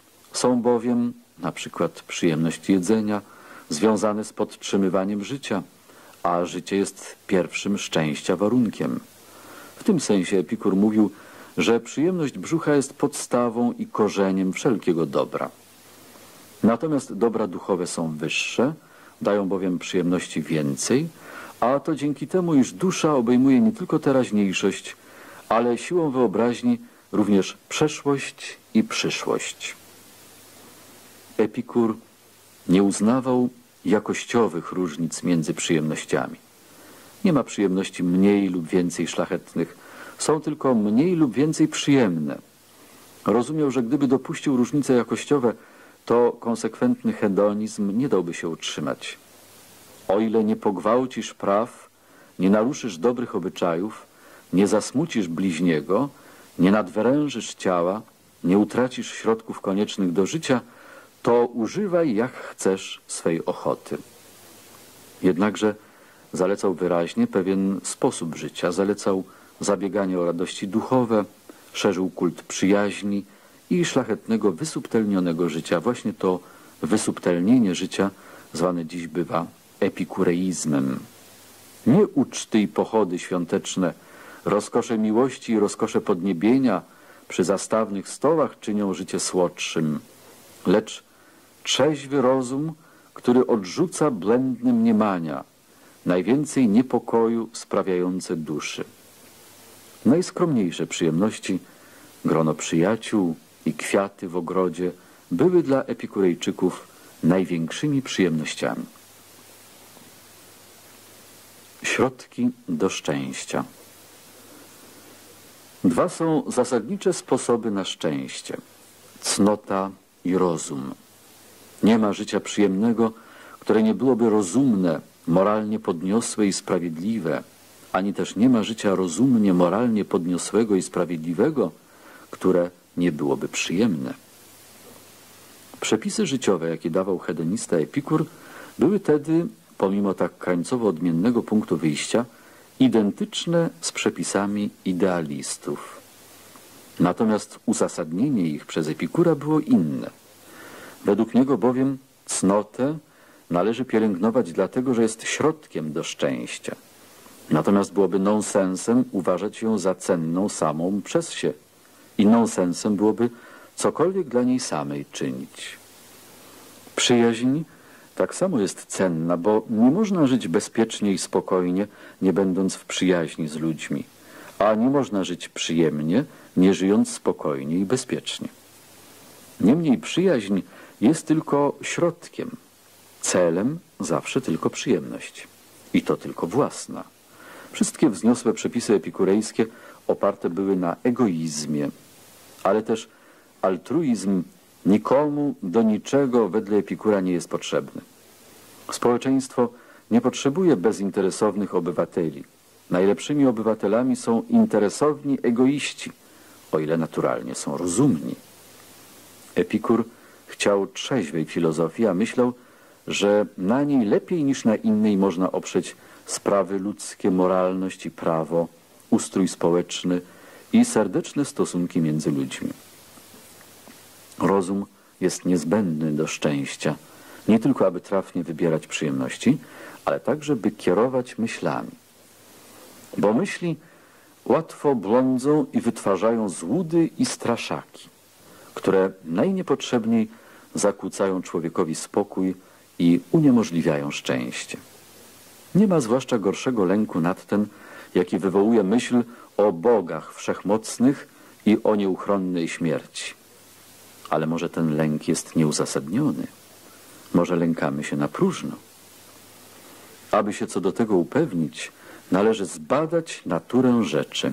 W tym celu Epikur zajmował się fizyką. Aby zaś do tego badania wyszkolić rozum, zajmował się logiką. Stąd te dwa działy dostały się do filozofii Epikura. Fizyka. Przyrody nie warto według Epikura badać dla niej samej. Warto natomiast, jeśli badanie wzmoże szczęście. Przede wszystkim, jeśli uspokoi umysł. A może uspokoić go, wykazawszy, że przyroda nie jest dla człowieka groźna. Z tą myślą Epikur budował swą teorię przyrody. Fizyka bez bóstw. Epikur przekonany, że prawdziwe wyjaśnienie jest tylko przyczynowe, nie mógł korzystać z platońskiej i arystotelesowskiej, a nawet stoickiej teorii przyrody. Mógł nawiązać jedynie do Demokryta i wytworzył, on jedyny w okresie hellenizmu, system ściśle przyczynowy, podczas gdy wszystkie inne szkoły rozwijały tylko finalistyczną metodę platońskiego Timajosa. Jego teoria przyrody była w ogólnych zarysach demokrytejska. Była materialistyczna. Przyjmowała, że nie istnieje nic poza ciałami i pustą przestrzenią. Była atomistyczna w opozycji do platońskiej, arystotelesowskiej i stoickiej koncepcji, traktujących świat jako organiczną całość. Przyjmowała, że ciała składają się z mnogości wzajem od siebie niezależnych atomów. Co z naszych przedstawień nie jest atomem ani zespołem atomów, to jest ich własnością, albo jak na przykład czas, własnością własności. Własnością atomów jest tylko wielkość i kształt. Jakości zmysłowe nie są własnościami atomów, ale też tym tkwiła różnica między poglądami Demokryta i Epikura, nie są subiektywne. Powstają w zespołach atomów. Materializm łączył ogólnikowo Epikura i stoików, ale zresztą dzieliło go od nich wszystko, bo oni byli materialistami, których idealizm głęboko pociągał i którzy dla nie robili możliwie największe ustępstwa. On zaś był skrajnym przeciwnikiem idealizmu. Jego kauzalizm przeciwstawiał się stoickiemu finalizmowi. Jego atomizm organicznej koncepcji przyrody, jaką wyznawali stoicy. Jego mechanizm stoickiemu dynamizmowi. Teoria Epikura bowiem w pojmowaniu przyczyn była mechanistyczna. Ruch atomów tłumaczył wyłącznie ich mechanicznym ciężarem, dlatego ruch ten odbywa się w kierunku z góry na dół. Gdyby wszakże atomy wszystkie spadały równomiernie w tym samym kierunku, to układ ich nie ulegałby zmianie. Aby więc wytłumaczyć zmiany zachodzące w świecie, Epikur przyjmował, że atomy spadając odchylają się od pionu. Mniemał, iż odchylenia wystarczają, by wytłumaczyć całą różnorodność w układzie świata i w jego dziejach. Zarazem wprowadzał przez nie wolność. Robił wyłom w ściśle przyczynowej, mechanistycznej koncepcji świata. Mimo ten wyłom sądził, że wyjaśnia świat jako wynik mechanicznie działających materialnych sił. To było dla Epikura najważniejsze, bo stąd wyprowadził wniosek, o który mu chodziło, że przyroda tłumaczy się sama, bez udziału bóstw. Nie był ateistą. Bogowie istnieją, są wieczni, szczęśliwi, wolni od zła, ale bytują w pozaświatach i w błogim, niezmąconym spokoju, nie wtrącając się do losów świata, boć to wymaga wysiłku i troski, a te nie dadzą się pogodzić z doskonałym i szczęśliwym bytowaniem bogów. Bluźnierstwem jest obarczanie ich czynnością, która nie jest ich godna. Oni są tylko wzorami dla świata. Jeśli zaś bogowie nie mają udziału w losach świata, to nie ma powodu obawiać się ich. Nauka Epikura uwalniała więc człowieka od jednego z najgorszych lęków człowieka lęku przed bogami. Psychologia bez nieśmiertelnej duszy. Największą trudność dla systemu materialistycznego stanowiło wyjaśnienie zjawisk psychicznych. Ale z tej trudności Epikur, jak zresztą ogromna większość starożytnych, niezupełnie sobie zdawał sprawę. Był przekonany, że dusza jako rzeczywista i czynna musi być cielesna. Jest cielesna, ale zgodnie z powszechnym starożytności poglądem innej natury niż ciała. Pojmował ją jakby jakiś koloid, jako materię płynną rozprowadzoną po całym ciele na podobieństwo ciepła, Dusza i ciało są dwiema materiami, dwoma rodzajami atomów, oddziaływającymi na siebie wzajem. Dusza, jak wszystko cielesne, jest w ruchu, a wynikiem jej ruchu jest życie i świadomość. Wrażenia są przemianami dokonywanymi w duszy przez działające na nią przedmioty zewnętrzne. Różnorodność funkcji psychicznych Epikur nie umiał wytłumaczyć inaczej niż zakładając, że dusza składa się z różnych materii, że jedna materia jest przyczyną spokoju, druga ruchu, trzecia ciepła podtrzymującego życie, czwarta, najsubtelniejsza, czynności psychicznych. Dusza jest złożonym układem cielesnym, więc jest zniszczalna. Ze śmiercią kończy się jej istnienie. Wiara w nieśmiertelność jest złudzeniem, więc nieuzasadniona jest obawa śmierci. To źródło niepokoju, a przeto i nieszczęść ludzkich. Śmierć nas nic nie obchodzi, bo zło i dobro jest tylko tam, gdzie można coś odczuwać zmysłami. Śmierć zaś jest końcem zmysłowego odczuwania. Kto to zrozumie, wyzbędzie się lęku przed śmiercią, przekona się, że nie ma przed nim nieskończonych perspektyw cierpienia, a skoncentrowawszy swe zabiegi na życiu doczesnym, jedynym, jakie nam jest dane, będzie umiał odpowiednio je wyzyskać i osiągnąć szczęście, do którego nieśmiertelność nie jest potrzebna. Jak fizyka Epikura obchodząca się bez interwencji bóstw w przyrodzie uwalniała od lęku przed bóstwami, tak jego psychologia bez nieśmiertelnej duszy miała uwolnić od drugiego lęku przed śmiercią. Cztery są według Epikura rzeczy unieszczęśliwiające człowieka. Cztery obawy. Przed niemożnością osiągnięcia szczęścia, przed cierpieniem, przed bogami i przed śmiercią. Poczwórnym lekarstwem na te cztery cierpienia miała być filozofia Epikura. Dwa pierwsze leczyła jego etyka, dwa następne jego fizyka. Pierwsze, radość, która jest jedynym dobrem, łatwa jest człowiekowi do zdobycia, jeśli tylko żyje rozumnie. Po drugie, cierpienie, które jest jedynym złem, łatwe jest do zniesienia, bo gdy jest silne, to nie jest długotrwałe, a gdy długotrwałe, to niesilne. A zresztą to nie cierpienie naprawdę dokucza ludziom, lecz lęk przed cierpieniem. Po trzecie, bogów nie ma się co lękać, bo nie mieszają się do życia ludzkiego. Po czwarte, i śmierci nie, bo największe zło, śmierć, nie dotyka nas ani trochę, gdyż póki jesteśmy, nie ma śmierci, a odkąd jest śmierć, nie ma nas. Ludzkość dzięki kulturze, jaką sobie wywalczyła, zdołała już osiągnąć pewną ilość szczęścia. Wbrew Platonowi i stoikom, Epikur nie wierzył w wiek złoty, który by był początkiem dziejów ludzkości.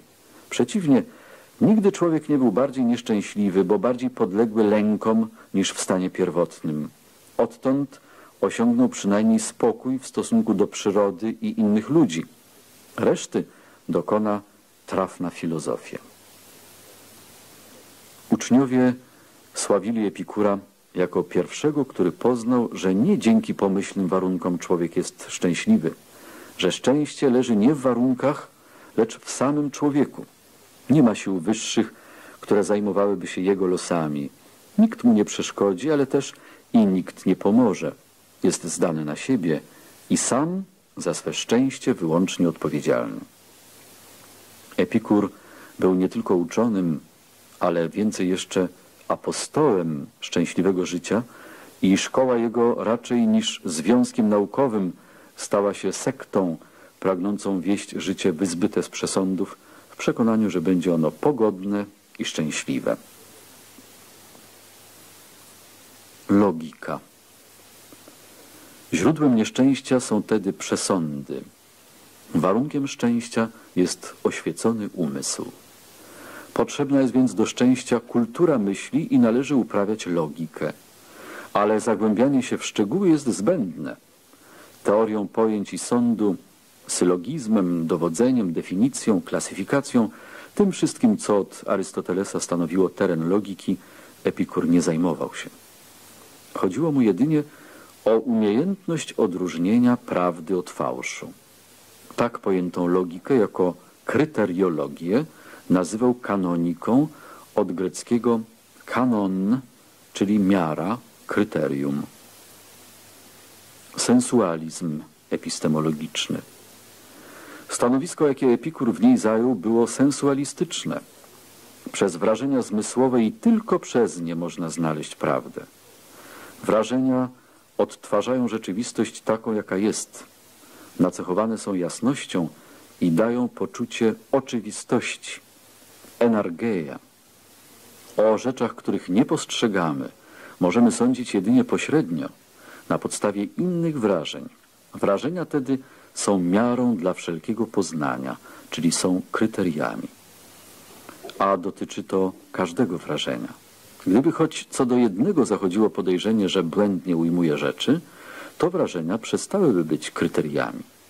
Epikur nie cofnął się przed absurdalnym poglądem, że sny i halucynacje obląkanych również są prawdziwe. Nikt nigdy nie posunął dalej sensualizmu w teorii poznania. A jednak Epikur nie traktował sprawy naiwnie. Wiedział, że ulegamy blędom i złudzeniom. Trudności rozwiązywał w ten sposób, że błędy i złudzenia, przypisywane zmysłom, kładł wyłącznie na karp sądu. Przez to mógł już bezpośrednio wrażenie uważać za nieomylne. Niemniej pozostawał fakt, że jeden i ten sam rzeczywisty przedmiot wywołuje zupełnie odmienne wrażenia. Dla wyjaśnienia go Epikur odwołał się do demokrytejskiej teorii podobizn, eidola. Wrażenia nigdy nie kłamią, ale dotyczą bezpośrednio nie samych przedmiotów, lecz podobizn, które odrywają się od przedmiotów i dostają się do narządów postrzegającego.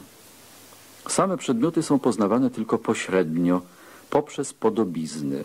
Przejście zaś od podobizn do przedmiotów może być dokonane jedynie przy pomocy sądu. I tu grozi błąd temu, kto nie liczy się nieustannie z tym, że podobizny a. zmieniają się w drodze, że b. zderzając się z podobiznami innych przedmiotów wytwarzają zespoły nieodpowiadające żadnemu z rzeczywistych przedmiotów i że wreszcie c. narządy zmysłowe ze względu na swą budowę nie przepuszczają wszystkich podobizn. Ta sama teoria, z której Demokryt wnosił o subiektywności wrażeń, służyła jego uczniowi do tłumaczenia ich obiektywności. Sensualistyczna teoria Epikura obejmowała również i uczucia. Uczucia zmysłowe, przyjemność i przykrość nigdy nie mylą. Blond może powstać dopiero, gdy na ich podstawie tworzymy sądy – i gdy na podstawie odczucia przyjemności i przykrości wydajemy sądy o dobru i złu. Sensualistyczna teoria dała tedy Epikurowi to, na czym mu zależało podwalinę dla hedonistycznej etyki. Sensualizm psychologiczny. Epikur, a zwłaszcza jego uczniowie, zajmowali się nie tylko kwestią kryteriów poznania, ale także jego genezy. Badali, jak formują się ogólne pojęcia i sądy. I tu także oparli się na wrażeniach zmysłowych. Dopatrzyli się w nich nie tylko kryterium poznania, ale także jego źródła, z którego wszystkie nasze przedstawienia i sądy się wywodzą. Znaczy to, że wyznawali sensualizm również i w sensie genetyczno-psychologicznym. Ich opis, jak z wrażeń powstają w myśle ogólne pojęcia – nazwano indukcją epikurejską. Mówiła ona o tym, jak w wytwarzaniu się pojęć bierze udział wyobraźnia, pamięć, myśl, jak wyobrażenia formują się na czworakiej drodze wypadku analogii, podobieństwa, syntezy. Jak z pierwotnych wyobrażeń powstają wyobrażenia typowe, a następnie pojęcia, sądy i przypuszczenia jak kresem procesu jest znalezienie powszechnych i niezbędnych własności rzeczy. Logika indukcyjna. Epikurejczycy zajmowali się również indukcją w sensie logicznym. Tu chodziło już nie o psychologiczny opis, jak uogólniamy, lecz o logiczny przepis, jak należy poprawnie uogólniać. Logika indukcyjna była jedyną, jaką epikurejczycy chcieli się zajmować. Była w starożytności ich domeną, jak dedukcyjna domeną Arystotelesa i stoików. Było to naturalne przy ich sensualizmie. Usiłowali odnaleźć podstawę wnioskowania indukcyjnego i dopatrzyli się jej w podobieństwie jednych rzeczy do drugich. Nazwali ją też wnioskowaniem wedle podobieństwa, katomoloteia. Sądzili, że jej uogólnienia obejmują nie tylko dostępne nam zjawiska, ale także rzeczy niedostępne, adela, czym wywołali u sceptyków zarzut dogmatyzmu. Historia filozofii, taśma jedenasta, koniec ścieżki pierwszej. Historia filozofii, taśma jedenasta, ścieżka druga. Epikureizm wypływał z dwóch źródeł. Po pierwsze z kultu życia i pragnienia szczęścia i po drugie z trzeźwej postawy umysłu ufającego tylko temu, co mu bezpośrednio jest dane i operującego wyłącznie konkretnymi wyobrażeniami. Ze źródeł tych pochodzi zarówno hedonistyczna etyka, jak materialistyczna fizyka i sensualistyczna teoria poznania Epikura. W szczególności epikureizm to etyka uznająca jedynie dobra doczesne, czyniąca człowieka odpowiedzialnym za własne szczęście i nieszczęście, uważająca spokój za najdoskonalszy stan człowieka i oświecenie umysłu za jedyny środek przeciw zmorom mącącym jego spokój, a będącym wytworem jego własnej głupoty. Wreszcie widząca paradoksalnie w rozumnym, cnotliwym, kulturalnym trybie życia najlepszy środek do osiągnięcia egoistycznego szczęścia, a w egoistycznej postawie najpewniejszą drogę do szczęścia ogółu.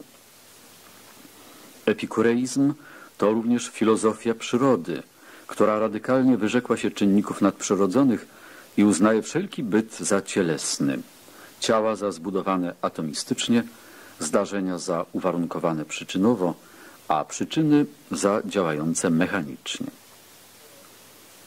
Szkoła epikurejska przetrwała do IV wieku po Chrystusie, ale nieznacznie tylko rozwinęła naukę mistrza.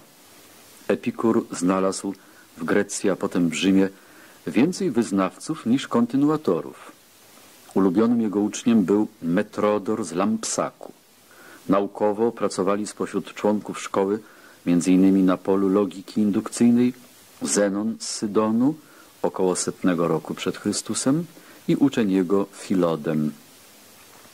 W Rzymie liczni byli ludzie ze sfer pozanaukowych, którzy w epikureizmie znaleźli odpowiadający im pogląd na świat.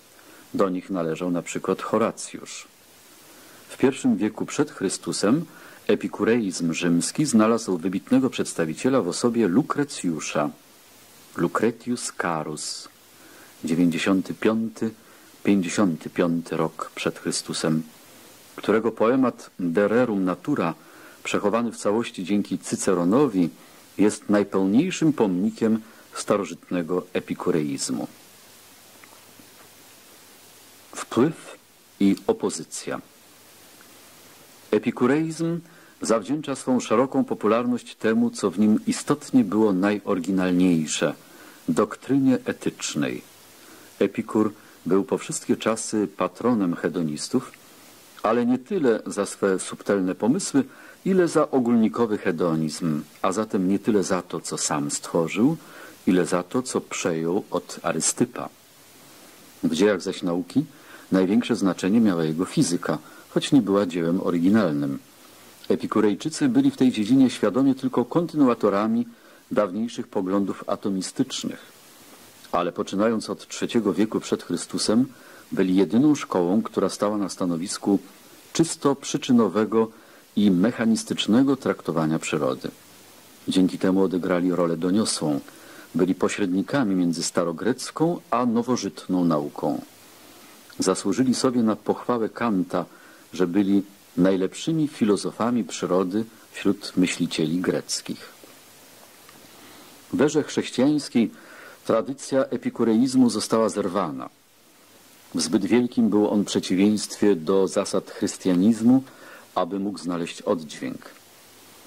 W wiekach średnich był synonimem ateizmu, materializmu, zaprzeczającego istnieniu duszy nieśmiertelnej, mechanizmu, negującego wolność i hedonizmu, odrzucającego wszelkie ideały etyczne.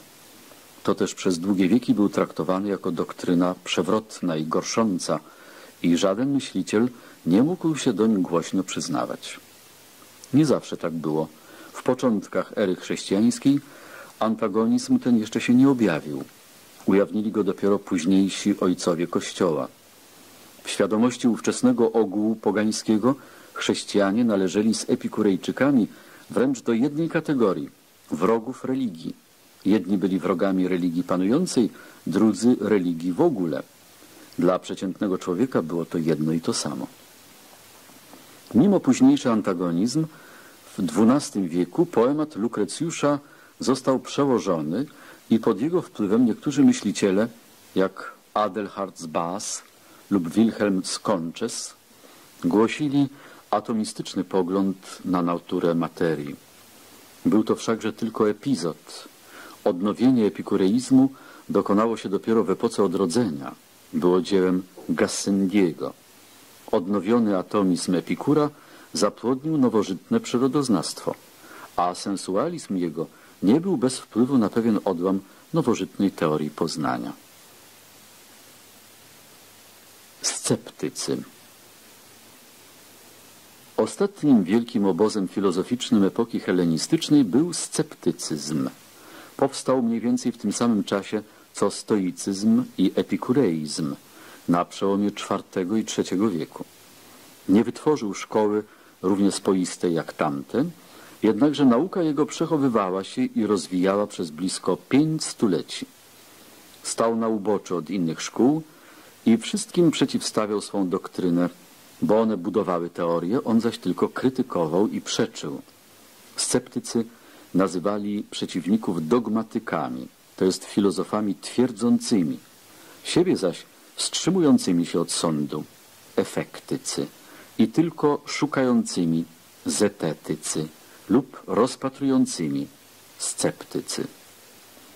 Ta ostatnia nazwa przyjęła się i sceptycyzmem zowie się stanowisko zaprzeczające możliwości poznania prawdy. W starożytności zresztą stanowisko to zwane było częściej od imienia jego twórcy pirronizmem, a jego mniej radykalna forma, która rozwinęła się w akademii, akademizmem. Poprzednicy. Głównymi poprzednikami sceptycyzmu byli sofiści z Protagorasem na czele.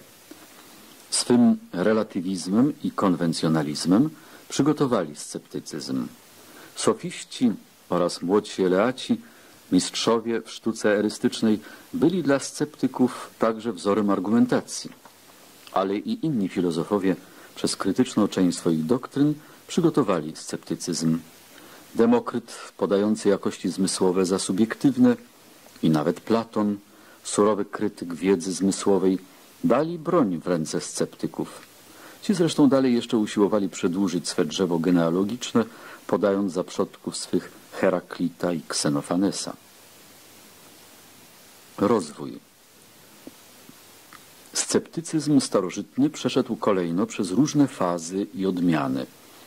Miał początkowo charakter praktyczny, to jest występował nie tyle jako najprawdziwsza, ile jako najgodniejsza i najwygodniejsza postawa życiowa. Potem stał się doktryną czysto teoretyczną. Pierwotnie kwestionował radykalnie możność jakiejkolwiek wiedzy. Potem nieraz krytykował już tylko wiedzę dotychczas zdobytą. Sceptycyzm praktyczny i radykalny był głoszony przez pirronistów, a teoretyczny i krytyczny zwłaszcza przez akademików. W dziejach starożytnego sceptycyzmu można rozróżnić trzy okresy. Pierwszy to pierwotny pirronizm, reprezentowany przez samego Pirrona i ucznia jego Tymona, wiek III. Sceptycyzm wówczas miał charakter wybitnie praktyczny. Etyka stanowiła jego jądro, a dialektyka jedynie zewnętrzną powłokę. był pod wieloma względami doktryną analogiczną do pierwotnego stoicyzmu i epikureizmu. Ale Pirron, starszy od Zenona i Epikura, wystąpił z nauką swą wcześniej od nich i raczej on oddziałał na nich niż odwrotnie. Drugi okres to akademizm. Właśnie w czasie, gdy przerwał się szereg Pirończyków, prąd sceptyczny ogarnął akademię. Działo się to w III i w II wieku, w średniej akademii, której najwybitniejszymi nauczycielami byli Arkezylaos i Karneades. I trzeci okres, tak zwany młodszy pierronizm, który znalazł zwolenników mniej więcej w czasie, gdy sceptycyzm wygasł w akademii. Korzystając z pracy akademików, późniejsi sceptycy usystematyzowali argumentację sceptycką. Etyczny punkt wyjścia usunęli wówczas na drugi plan wobec epistemologicznej krytyki. Głównymi przedstawicielami ich byli Ainezydem i Agryppa. Wielu zwolenników sceptycyzmu w tym ostatnim okresie rekrutowało się spośród lekarzy szkoły empirycznej, m.in. Menodot i Sextus Empiryk. Sceptycyzm, choć dochował wiary swej zasadniczej postawie, uległ jednak w ciągu rozwoju niemałej przemianie. Rygorystyczny i moralistyczny sceptycyzm Pierrona znalazł po wiekach ujście w pozytywistycznym empiryzmie. Twórcy Pirron żył prawdopodobnie od 376 do 286 roku. Był z zawodu malarzem i w dojrzałym dopiero wieku poświęcił się filozofii. Na ukształtowanie się jego poglądów największy wpływ miała nauka Demokryta. Był uczniem Anaxarcha z Abdery, który z kolei był uczniem Metrodora, ucznia Demokryta. A potem magowie i asceci indyjscy, z którymi się spotkał biorąc udział w wyprawie Aleksandra do Azji. W ich obojętności dla życia i cierpienia ujrzał najlepszy środek dla osiągnięcia szczęścia. Rozwinął myśl tę w teorii i zastosował we własnym życiu. Postawa nieczuła wobec życia, kwintesencja mądrości wschodu była obcym motywem, który przez Pierrona dostał się do filozofii Greków. Po powrocie z Azji zamieszkał w Elidzie i tam założył szkołę. Życiem swym zasłużył na cześć powszechną.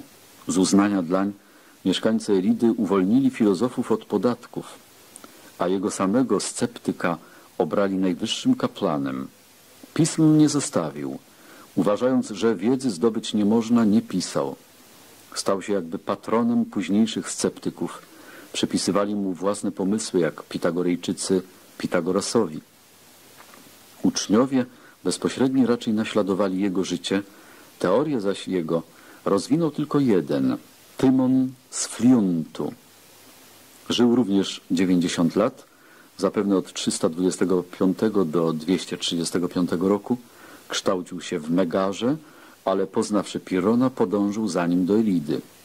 Później osiadł w Atenach, gdzie otoczony szacunkiem mieszkał do końca życia. Zarabiał na życie jako nauczyciel retoryki i filozofii. Był człowiekiem innego już typu niż Pirron. Jego sceptycyzm miał jakby dwojakie źródło. Z jednej strony pirronowską rezygnację, z drugiej zaś jakąś sarkastyczną żyłkę, każącą mu podchwytywać wszędzie fałsz. W przeciwieństwie do Pirrona pisał wiele. Wypowiadał się zarówno w traktatach filozoficznych, jak i w tragediach, komediach i wierszach satyrycznych. Arkezylaos, scholarcha Akademii 315-241, który wprowadził do niej sceptycyzm, był nieco młodszym rówieśnikiem Tymona. Był uczniem perypatetyka Teofrasta. Akademia i Likeion walczyły o utalentowanego filozofa. Akademia przeciągnęła go na swoją stronę, ale potem on przeciągnął Akademię na stronę Pirrona. Przedstawiał inny znów typ niż poważny Pirron i sarkastyczny Tymon. Był typem sceptyka światowca. Wytworność miała być dominującą cechą jego umysłu. Był człowiekiem, który umiał sobie życie urządzić, był miłośnikiem piękna, sztuki i poezji. Słynął jako charakter bezinteresowny i rycerski. Karneades był scholarchą Akademii mniej więcej w 100 lat po Arkezylaosie. Żył między 214 a 129 rokiem. Był tym, który po Pirronie najwięcej przyczynił się do rozbudowy sceptycyzmu. Wiele najsłynniejszych argumentów sceptyckich pochodzi od niego, a w szczególności krytyka dogmatyzmu religijnego. Był znów innym typem. Ten sceptyk tak był zajęty zwalczaniem dogmatyzmu, że wedle starożytnych relacji nie miał czasu na strzeżenie brody i obcinanie paznokci. Podobnie jak Pirron i Arkezylaos nie pisał. Ale jak Pirron miał Tymona, a Arkezylaos Lakidesa, tak on miał swego Klejtomacha, który pisał za niego. O późniejszych sceptykach brak wiadomości personalnych. Pisma. Z pism sceptyków przechowały się jedynie pisma późnego przedstawiciela szkoły Sextusa o przezwisku Empiryk, który żył w III wieku po Chrystusie. Dwa jego dzieła przechowane w całości dają jasny i systematyczny obraz starożytnego sceptycyzmu. Jedno z tych dzieł, Zarysy Pirronejskie, referuje w trzech księgach w formie podręcznikowej poglądy sceptyków, zestawiając najpierw ogólne ich argumenty za niemożliwością wiedzy w ogóle, a potem kolejno za niemożliwością wiedzy logicznej, fizykalnej i etycznej. Drugie dzieło, przeciw matematykom, w jedenastu księgach ma treść podobną, ale formę polemiczną. Składa się z dwóch części. Pięć ksiąg zwróconych jest przeciw dogmatyzmowi filozofów, a sześć ksiąg przeciw dogmatyzmowi uczonych specjalistów, zarówno z zakresu matematyki, jak i astronomii, muzyki, gramatyki, retoryki. Poglądy. Pierwotne podłoże sceptycyzmu było praktycznej natury. Pirron zajął filozofii postawę sceptyczną w przekonaniu, że ona jedna zapewni szczęście. Zapewnia bowiem spokój, a szczęście jest w spokoju. Atarazja. Mianowicie sceptyk przekonany jest, że jest niezdolny do trafnego rozstrzygania jakiejkolwiek kwestii. Nie zabiera w żadnej głosu. Afazja. I ta powściągliwość zapewnia mu spokój. Nauka Pirrona miała dwa składniki. Etyczną doktrynę spokoju i epistemologiczną doktrynę sceptycką. Pierwsza decydowała o jego zasadniczej postawie filozofii. Druga służyła za argument. Pierwsza stała się powszechną własnością filozofii hellenistycznej. Druga natomiast pozostała specjalnością Pirrona i jego uczniów. Pirron stawiał trzy zasadnicze pytania. Po pierwsze, jakie są własności rzeczy? Po drugie, jak mamy się wobec rzeczy zachowywać? Po trzecie, jakie są następstwa naszego wobec nich zachowania? I odpowiadał, po pierwsze, nie wiemy, jakie są własności rzeczy. Po drugie, wobec tego musimy się powstrzymywać od sądów o nich. Po trzecie, to powstrzymanie da spokój i szczęście. Dla Pierrona najistotniejszą była teza ostatnia, ale następcy jego przerzucili punkt ciężkości na tezę pierwszą. W niej bowiem spoczywało uzasadnienie całej doktryny i w niej też tkwiła oryginalność sceptycyzmu. Nie zaś w kwietystycznym eudaimonizmie, który był w duchu czasu i do którego skłaniały się również inne szkoły, zwłaszcza epikurejczycy. Odrębnym zadaniem, jakie stało przed sceptykami, była tedy krytyka ludzkiej wiedzy, wykazanie, że w żadnym dziale i w żadnej postaci nie jest ona możliwa. Odpowiednio do tego zadania wytworzyli w sobie swoistą postawę umysłu krytyczną, negatywną, destrukcyjną i starali się zdolność sceptyczną kultywować w sobie. I z powściągliwej postawy Pirrona przeszli do zaczepnej. Odrzucali wszystkie sądy naukowe. Wszystkie bowiem są niepewne. Tylko sądów o zjawiskach nie myśleli kwestionować, że na przykład jem teraz coś słodkiego lub słyszę jakiś dźwięk, to nie jest wątpliwe.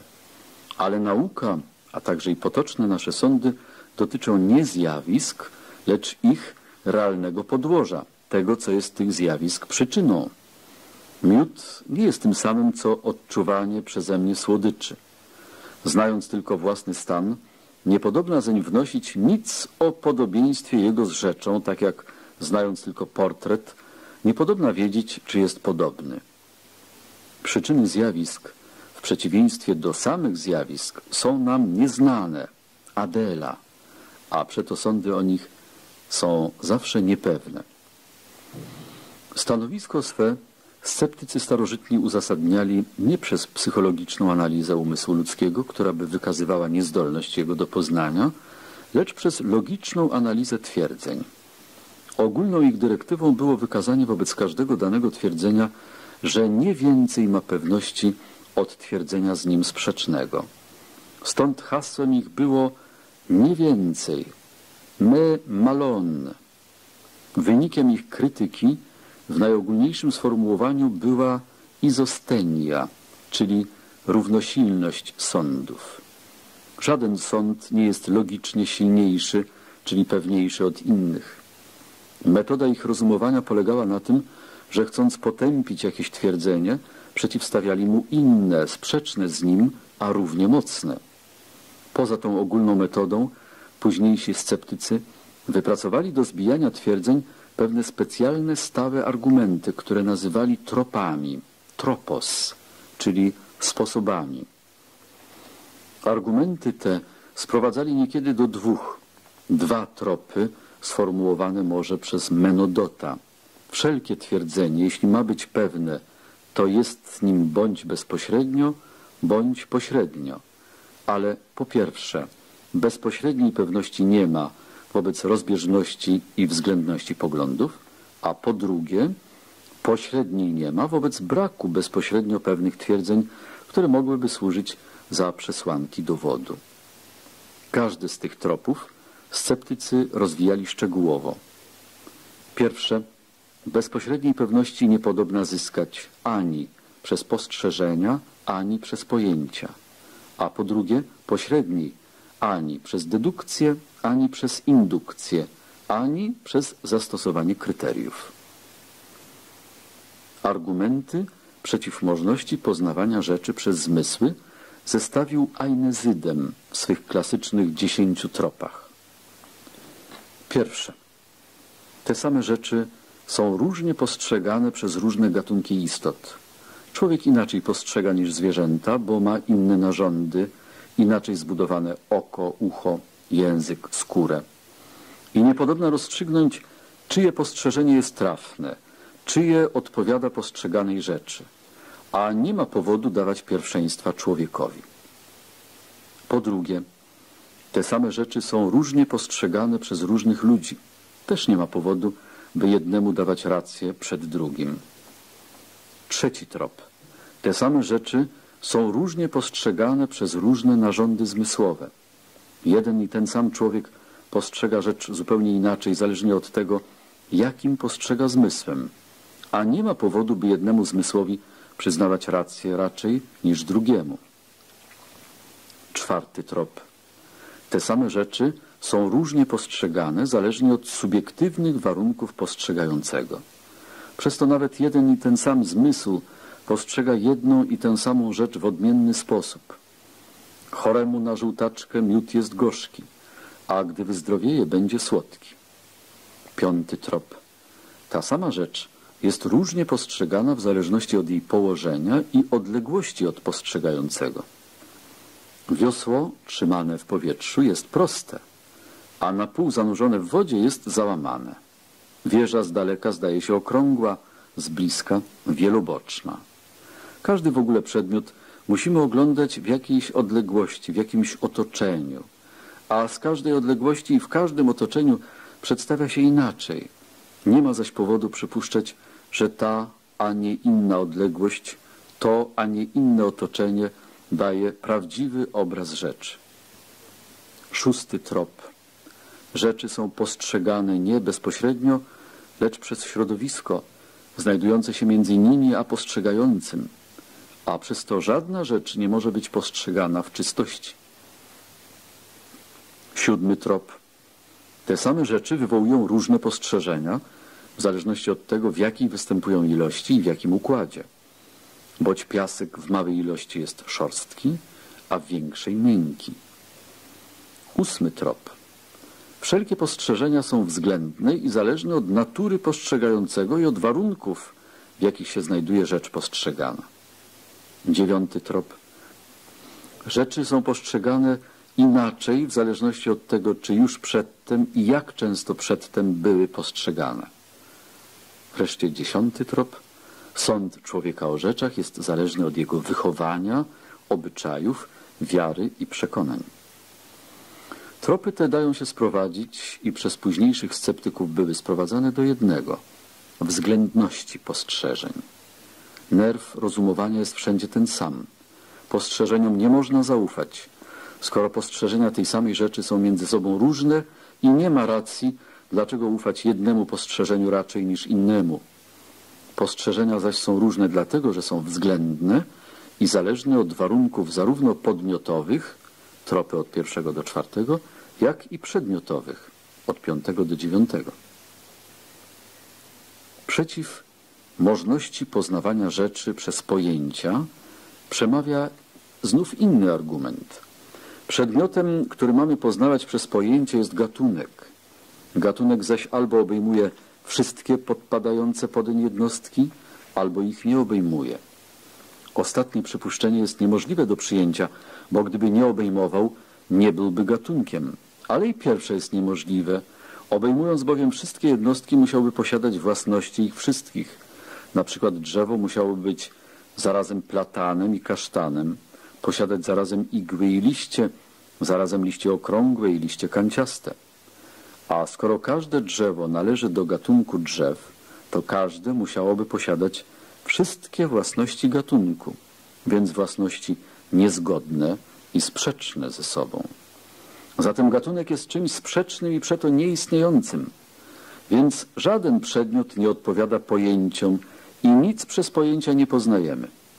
A zatem metoda poznawania przy pomocy pojęć, głoszona przez większość filozofów, a w szczególności przez Sokratesa, Platona, Arystotelesa, musi być odrzucona. Żadna też metoda pośredniego uzasadnienia twierdzeń nie jest trafna ani dedukcyjna, ani indukcyjna. Dedukcje zwalczają niektóre z tropów Agrypy. Tropów tych jest pięć. Rozbieżność poglądów, nieskończoność dowodu, względność postrzeżeń, posługiwanie się niedowiedzionymi przesłankami i wreszcie błędne koło w dowodzeniu. Wykaz ten, sformułowany później niż wykaz Einezydema, obejmuje w mniejszej ilości tropów większy materiał niż tamten. Tu trop pierwszy odpowiada ostatniemu u Einezydema, a trop trzeci jego pozostałym dziewięciu. Trzy pozostałe, nie mające odpowiednika w wykazie Einezydema, zwrócone są przeciw możliwości dedukcji dowodu. Drugi i czwarty tworzą dylemat. Szukając dla następstw racji albo przy jakimś twierdzeniu, Przerywam dalsze uzasadnienie, a wtedy opieram całe dowodzenie na nieuzasadnionej przesłance. Czwarty trop. Albo nie przerywam, ale wtedy muszę dowodzić w nieskończoność, a żadna nieskończoność nie da się urzeczywistnić. Drugi trop. Ale nie dość tego. Ponadto, wedle tropu piątego, w każdym dowodzie popełniamy błędne koło, gdyż konkluzja zawsze jest zawarta w przesłance – Stąd, że wszyscy ludzie są śmiertelni, wnosimy, że Dion jest śmiertelny. Ale w twierdzeniu, że wszyscy ludzie są śmiertelni, już zawarliśmy twierdzenie, że Dion jest śmiertelny. Zarzuty te nie kwestionują stosunku wynikania między przesłanką a konkluzją, lecz dotyczą samych przesłanek, które nigdy nie są takie, aby można było oprzeć na nich rozumowanie zwrócone są specjalnie przeciw arystotelesowskiej nauce o bezpośrednio pewnych przesłankach. Amesa. Przeciw indukcji argumentacja sceptyków była taka. Indukcja jest bądź zupełna, bądź niezupełna. Ale zupełna jest niemożliwa, bo jest zadaniem nieskończonym, a przeto niewykonalnym. Niezupełna zaś jest nic nie warta, bo nieuwzględniony przez nią wypadek może obalić jej wyniki. Władysław Tatarkiewicz. Historia filozofii. Taśma jedenasta. Koniec ścieżki drugiej. Władysław Tatarkiewicz. Historia filozofii. Taśma dwunasta. Ścieżka pierwsza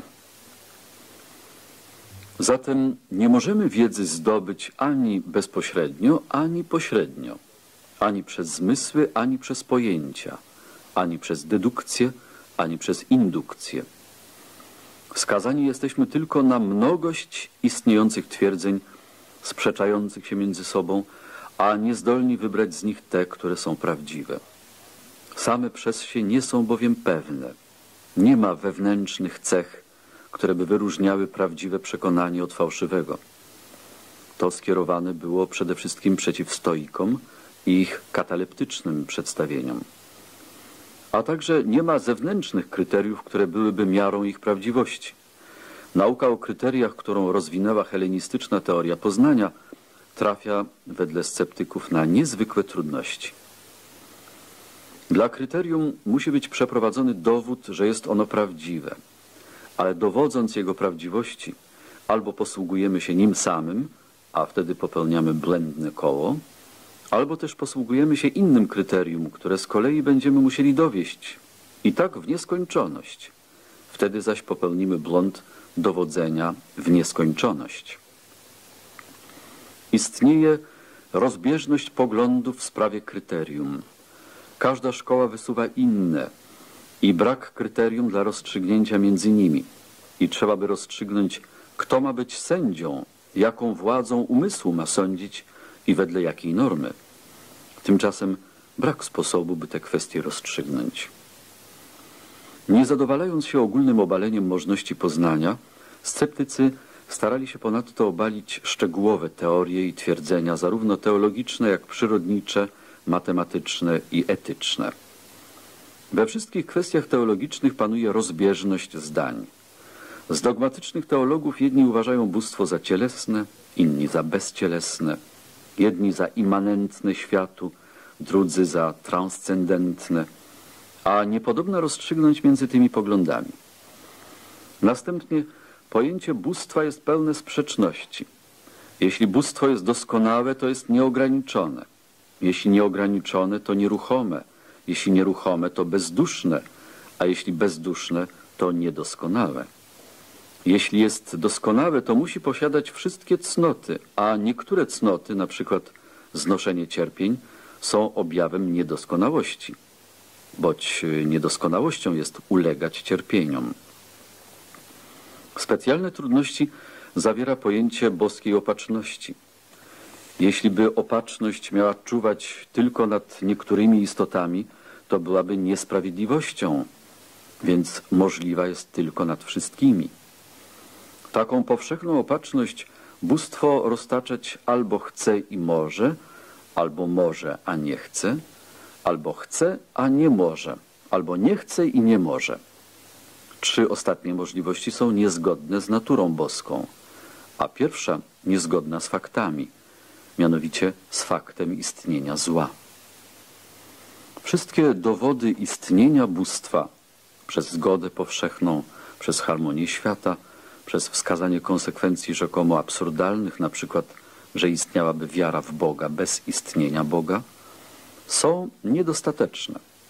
Niemniej sceptycy nie twierdzili, że bóstwa nie ma, bo dowody za nieistnieniem bóstwa są równie niedostateczne jak za jego istnieniem. Pozostawało więc tylko jedno w rzeczach istnienia – a tak samo i własności bóstwa. Przyznać, że nic o tym naprawdę nie wiemy i powstrzymać się od sądu. Zasadnicze pojęcia przyrodnicze są nie mniej sprzeczne od teologicznych. Co do materii, to istnieje ogromna rozbieżność w poglądach na jej naturę. Uznanie wszystkich tych poglądów za słuszne prowadzi do absurdu. Uznanie zaś tylko niektórych zakłada posiłkowanie się kryterium, a przeto prowadzi bądź do błędnego koła, bądź do nieskończoności w dowodzie. Pojęcie przyczyny, którym najwięcej posługują się przyrodnicy, jest pojęciem sprzecznym, daje się pojąć tylko w jeden z trzech sposobów. Bądź jako współczesna ze skutkiem, bądź wcześniejsza odeń, bądź późniejsza. Nie może zaś być współczesna, bo nie można wytwarzać czegoś, co już istnieje. Nie może być wcześniejsza, bo w takim razie nie byłoby żadnej łączności między przyczyną a skutkiem. Nie byłoby skutku, póki istnieje przyczyna i nie byłoby przyczyny, gdy istnieje skutek. Tym bardziej zaś przyczyna nie może być późniejsza, gdyż byłby to jeszcze większy absurd. Jeśli zaś nie jest możliwy żaden z tych trzech wypadków, to niemożliwe jest istnienie przyczyn. W podobny sposób sceptycy usiłowali wskazać, że niemożliwa jest przyczyna ani cielesna, ani niecielesna, ani ruchoma, ani nieruchoma, ani działająca samodzielnie, ani wespół z innymi. Przeto przyczyna jest czymś, o czym myślimy i mówimy, a o czym w rzeczywistości nic nie wiemy. Z drugiej znów strony, zaprzeczanie, jakoby w przyrodzie działały przyczyny, również prowadzi do absurdalnych konsekwencji. Nic więc tu ani twierdzić, ani przeczyć nie można. Podobne trudności sceptycy znajdowali zarówno w przyjęciu, jak i w odrzuceniu i innych naczelnych zasad przyrodoznawstwa dotyczących ruchu, czasu, przestrzeni. Rozważania matematyków są również niepewne, a ich pojęcia równie pełne sprzeczności. Sprzeczny jest na przykład punkt nierozciągły, sprzeczna jest linia jako mnogość punktów, linia jako wielkość pozbawiona szerokości, płaszczyzna jako pozbawiona głębi. Sceptycyzm etyczny opierał się na analogicznych argumentach. Najpierw na rozbieżności panującej zarówno w obyczajach moralnych, jak i w teoriach etycznych. Nie ma nic takiego, co by przez wszystkich było uznane za dobro. Następnie nikt nie wie, co to jest dobro. Nikt nie umie go zdefiniować. Definicje, jakie bywają dawane, bądź wcale nie dotyczą dobra, tylko rzeczy z nim związanych, na przykład gdy definiuje się je jako pożytek, bądź są tak ogólnikowe, na przykład gdy określa się je jako szczęście, że dają się interpretować jak się komu podoba. Wreszcie nie ma nic takiego, co by z natury było dobre, tak jak są na przykład rzeczy z natury gorące lub zimne, bo na przykład ogień zawsze i wszystkich grzeje, a śnieg zawsze i wszystkich ziębi. Żadne zaś z tak zwanych dóbr nie daje zawsze i wszędzie poczucia dobra. Ostatecznie dobro, a także i zło jest tak samo niepoznawalne jak Bóg, przyroda czy figury matematyczne. Każdy ma o nim inne mniemanie, a jedynie słuszną wobec niego postawą jest powstrzymać się od sądu. Dotyczy to zresztą podobnie jak wiedzy teoretycznej rzeczy, a nie zjawisk. Jest wątpliwe, czy dana rzecz jest dobra, ale niewątpliwe, czy ją za dobrą uważam. Trzeba wszakże jakoś żyć i z innymi współżyć. Sceptycy nie uznawali żadnych zasad poznania, ale musieli mieć i mieli pewne zasady życia, mianowicie kierowali się tym, do czego każdego skłaniają naturalne popędy i obyczaje. W życiu praktycznym nie potrzeba pewności. Wystarcza rozsądne prawdopodobieństwo. W duchu takiego probabilizmu poszedł rozwój sceptycyzmu akademickiego, a także późniejszego pirronizmu. Probabilizm objął później i teorię. Carneade stwierdził, że wprawdzie żadne sądy nie są pewne, ale nie w równej mierze są niepewne. Są stopnie prawdopodobieństwa. Po pierwsze, sądy tylko prawdopodobne. Po drugie, prawdopodobne i niezaprzeczone. Po trzecie, prawdopodobne, niezaprzeczone i sprawdzone. I mniemał, że niekoniecznie należy powstrzymywać się od sądu, że można wypowiadać sądy, skoro są prawdopodobne. Przez to charakter nauki sceptyków uległ zmianie, straciła swój radykalizm i zbliżyła się do zdrowego rozsądku. Znaczenie sceptycyzmu Choć zadania, jakie stawiali sobie sceptycy, były negatywne, chodziło im nie o ustalenie prawdy, lecz o obalenie fałszu i ujawnienie niepewności sądów ludzkich. Jednakże znaczenie ich dziejowe było pozytywne i doniosłe. Wyrugowali wiele dowolności i błędów w przyjętych poglądach filozoficznych. Zużytkowali i usystematyzowali wszystko, co było krytyczną myślą w Grecji, znakomicie to jeszcze pomnożywszy. Byli teoretycznym sumieniem swej epoki. Podnieśli poziom wymagań stawianych dowodowi i w ogóle nauce. Rozwijając przez parę wieków ze skrupulatną systematycznością swe stanowisko, stworzyli prawdziwą skarbnicę pomysłów i argumentów sceptyckich, z której czerpały późniejsze epoki. Opozycja skierowana przeciwko sceptycyzmowi wobec trudności atakowania wprost zwalczała go przeważnie drogą okulną. Po pierwsze, usiłowała wykazać niepodobieństwo utrzymania się konsekwentnego na stanowisku sceptycyzmu. Życie sceptyka nie jest i nie może być w zgodzie z jego teorią. Po drugie, zarzucała sceptykom posługiwanie się ukrytymi, dogmatycznymi założeniami, bez których argumentacja ich traci siłę. Po trzecie, wypominała zgubne rzekomo skutki moralne sceptycyzmu.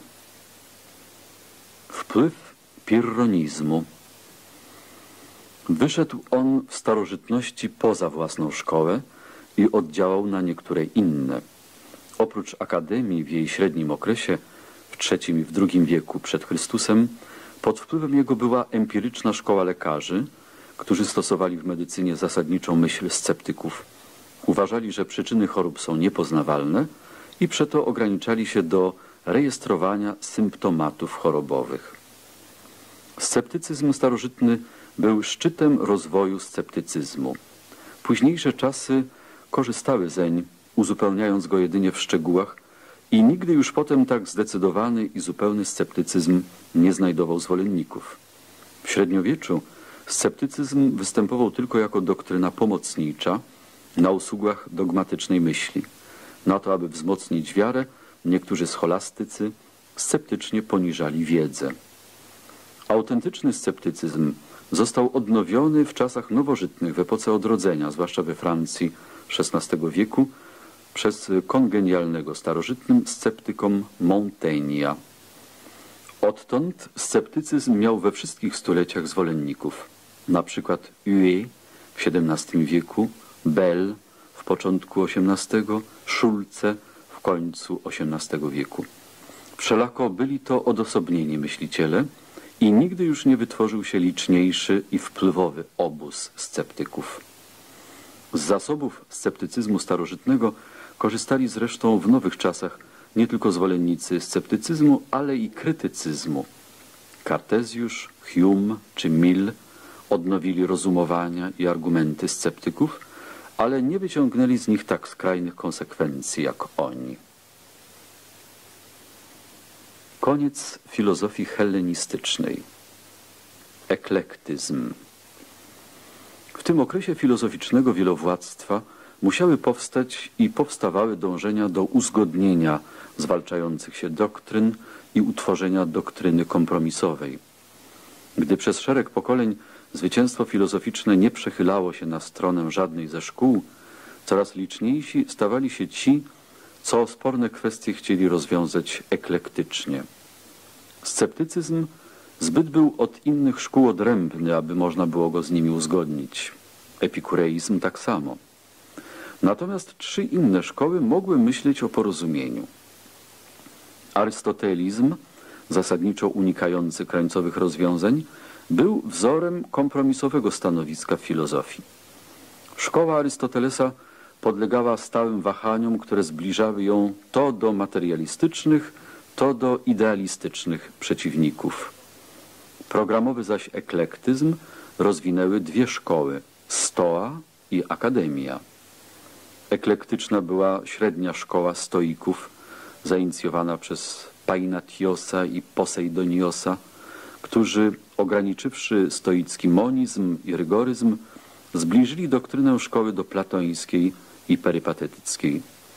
Prąd ten panował wśród stoików mniej więcej od połowy II wieku do połowy I wieku przed Chrystusem.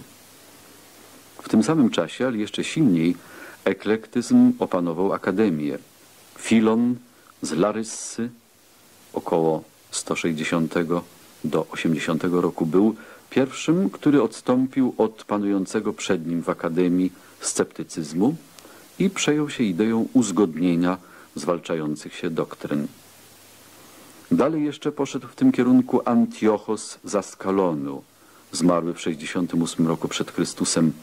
Dla niego platonizm, arystotelizm i stoicyzm były spadkobiercami tej samej nauki Sokratesa i różniły się tylko w sformułowaniu, nie w rzeczy. Za podstawę swych poglądów brał filozofię stoicką, ale w etyce obok dóbr moralnych uwzględniał cielesne, a w metafizyce obok czynników materialnych duchowe. Jeden z uczniów jego, Potamon, usiłował nawet założyć specjalną szkołę eklektyczną. Szczególnie podatnym gruntem dla eklektyzmu okazał się Rzym. W tym środowisku filozoficznie nietwórczym filozofowie, nie umiejąc tworzyć idei nowych, zestawiali stare. Rzym wytworzył nieporównanych mistrzów eklektyzmu, sławnego Varrona i jeszcze sławniejszego Cycerona. Marek Tulliusz Cicero 106-43 słuchał za młodu epikurejczyka Fajdrosa, akademika Filona i stoika Diodotosa. Potem uczył się jeszcze od epikurejczyka Zenona, akademika eklektyka Antiochosa z Askalonu i od platonizującego stoika Poseidoniosa. A teorie, jakie uznawał, były równie różnorodne jak jego mistrzowie. Zręcznie łączył teorie pochodzące ze wszystkich szkół filozoficznych. W latach męskich swego ruchliwego życia nie zajmował się filozofią, uprawiał ją jedynie za młodu i w starości. Liczne jego pisma filozoficzne pochodzą prawie wyłącznie z trzech ostatnich lat życia. Wszystkie są oparte na źródłach greckich, na które zresztą sam otwarcie wskazywał. Więc de finibus bonorum et malorum korzystał z Antiochosa i współczesnych sobie stoików i epikurejczyków. W Tusculane Disputationes, traktujących o warunkach szczęścia, z Panaitiosa, Poseidoniosa, Antiochosa, Chryzypa. W De Natura Deorum, z Fajdrosa, Klejtomacha, Karneadesa i innych. De Republica było naśladownictwem Platona, a ponadto w treści korzystało z Panaitiosa i Poseidoniosa. Lelius Sive de Amicitia czerpał z Teofrasta przez pośrednictwo stoików i tak dalej, i tak dalej. Cyceron nie był nigdzie twórczym filozofem. Wszędzie był wyrazem eklektycznego ducha panującego na schyłku starożytności. Ponieważ zaś źródła, z których korzystał, przeważnie zginęły, przeto on sam stał się niezastąpionym źródłem.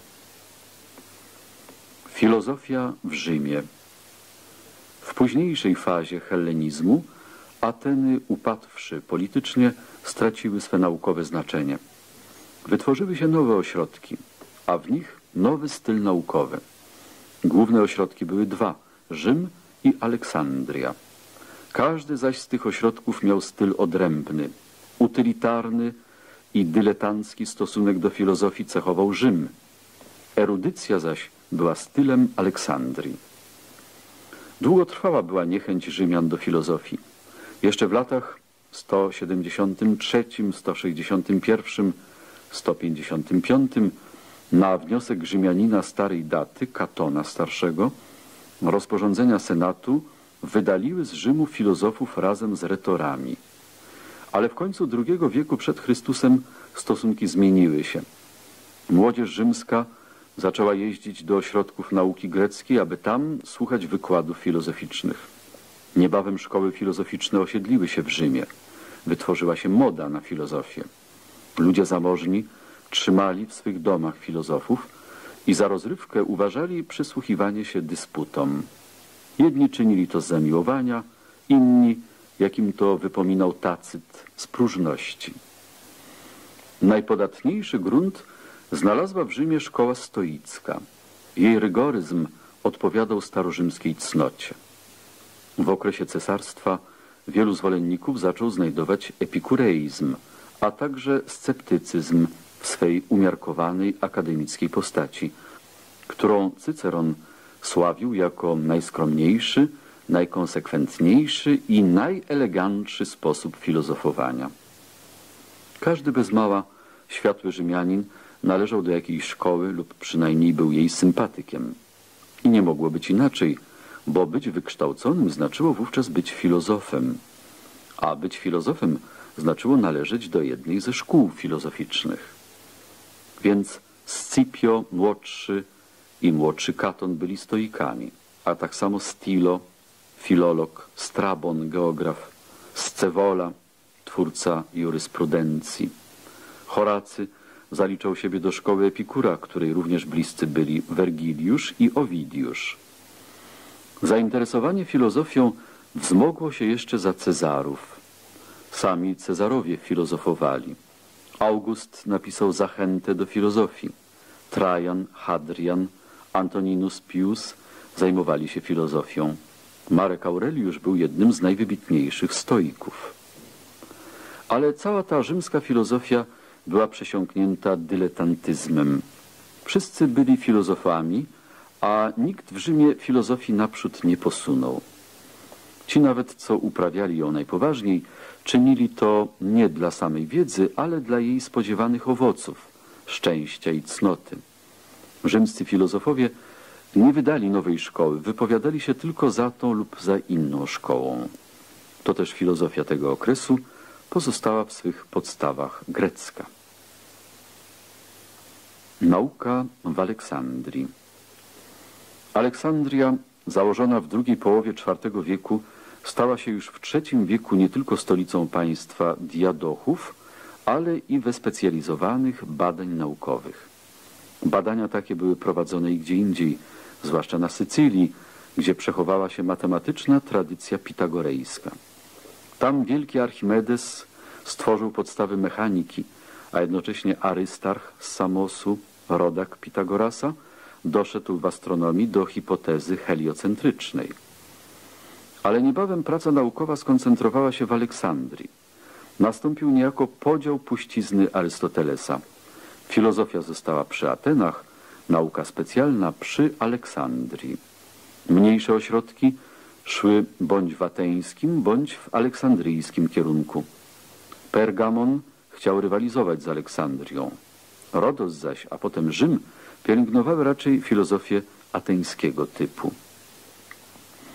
Stosunki w Aleksandrii podobne były do współczesnych nam stosunków w Ameryce ze względu na nieograniczone wprost środki, jakimi dysponowała nauka.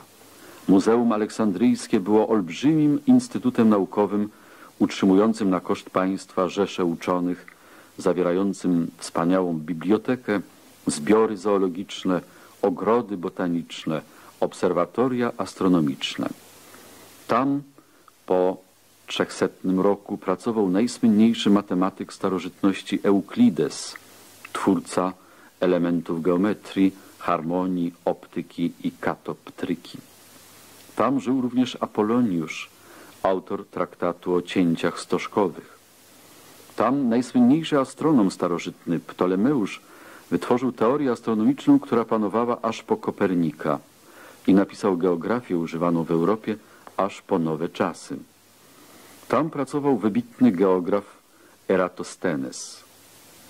Przez aleksandryjskich uczonych starożytność oswoiła się z kulistym kształtem Ziemi, zrozumiała mechanizm faz Księżyca, poznała większość pojęć, którymi i dziś operuje kosmografia. A jednocześnie pielęgnowano w Aleksandrii nauki humanistyczne, założono podstawy naukowe dla filozofii i historii literatury. Biblioteka w Aleksandrii osiągnęła w początku naszej ery liczbę 700 tysięcy tomów. Uczoność aleksandryjska nabrała specjalnie erudycyjnego, antykwarskiego charakteru. Trzeba było czekać aż do XIX wieku, aby powtórzył się podobny kult i nagromadzenie erudycji. Historyczne studia aleksandryjskich uczonych obejmowały również i dzieje filozofii. Natomiast z samą filozofią nauka była w stosunku tak luźnym, jak nigdy dotąd. Filozofia w Aleksandrii zaczęła rozwijać się dopiero w następnym okresie, zaczynając od pierwszego wieku po Chrystusie, zgodnie z duchem owego czasu.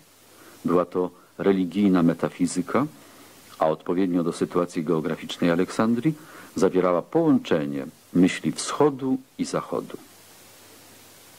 Zestawienia Zagadnienia okresu hellenistycznego Zagadnienia naczelne i szczególnie charakterystyczne dla epoki były trzy. W fizyce, co jest ukrytą przyczyną zjawisk. W logice, co stanowi kryterium prawdy. W etyce, co daje szczęście. Tym trzem były podporządkowane wszystkie inne. Fundamenty nowych szkół zostały założone w najbliższym czasie po Platonie i Arystotelesie. Szkoły te starały się rozwiązać te same prawie zagadnienia, co oni. Tyle tylko, że zasób zagadnień został zwiększony. Wyraźne to zwłaszcza u sceptyków. Rozrost zagadnień objawił się głównie w dziedzinie etyki, a zagadnienia te różniły się zasadniczo od tych, które potem przyniosła epoka chrześcijańska. Zasadniczą cechę etyki starożytnych stanowiło to, że dla niej dobrem najwyższym i celem było szczęście. Między dobrem a szczęściem nie było przeciwieństwa ani nawet rozdziału. Stąd wynikały ważne konsekwencje. Nie było w ich etyce ani nakazu, ani obowiązku w ścisłym słów tych znaczeniu. Dawała nie nakazy, lecz rady, jak osiągnąć szczęście. Była optatywna, jak ją nazwał Broszar, nie imperatywna. Podawała wykazy cnót, ale nie wykazy obowiązków. Nie znała grzechu, lecz tylko blond. Nie znała też pojęcia zasługi i winy. Pojęcia i terminy. Pojęć i terminów przybyło najwięcej w dziedzinie teorii poznania i etyki. Inicjatywa w tworzeniu nowych terminów wychodziła najwięcej od stoików. W teorii poznania teraz dopiero znaleziono nazwy dla najbardziej zasadniczych pojęć, jak na przykład dla przeciwieństwa podmiotu i przedmiotu. Teraz dopiero ustalono termin dla świadomości, samowiedzy, wrażenia, oczywistości, aktu uznania, sądu postrzegawczego. Zostały ustalone techniczne nazwy dla pojęcia i dla kryteriów.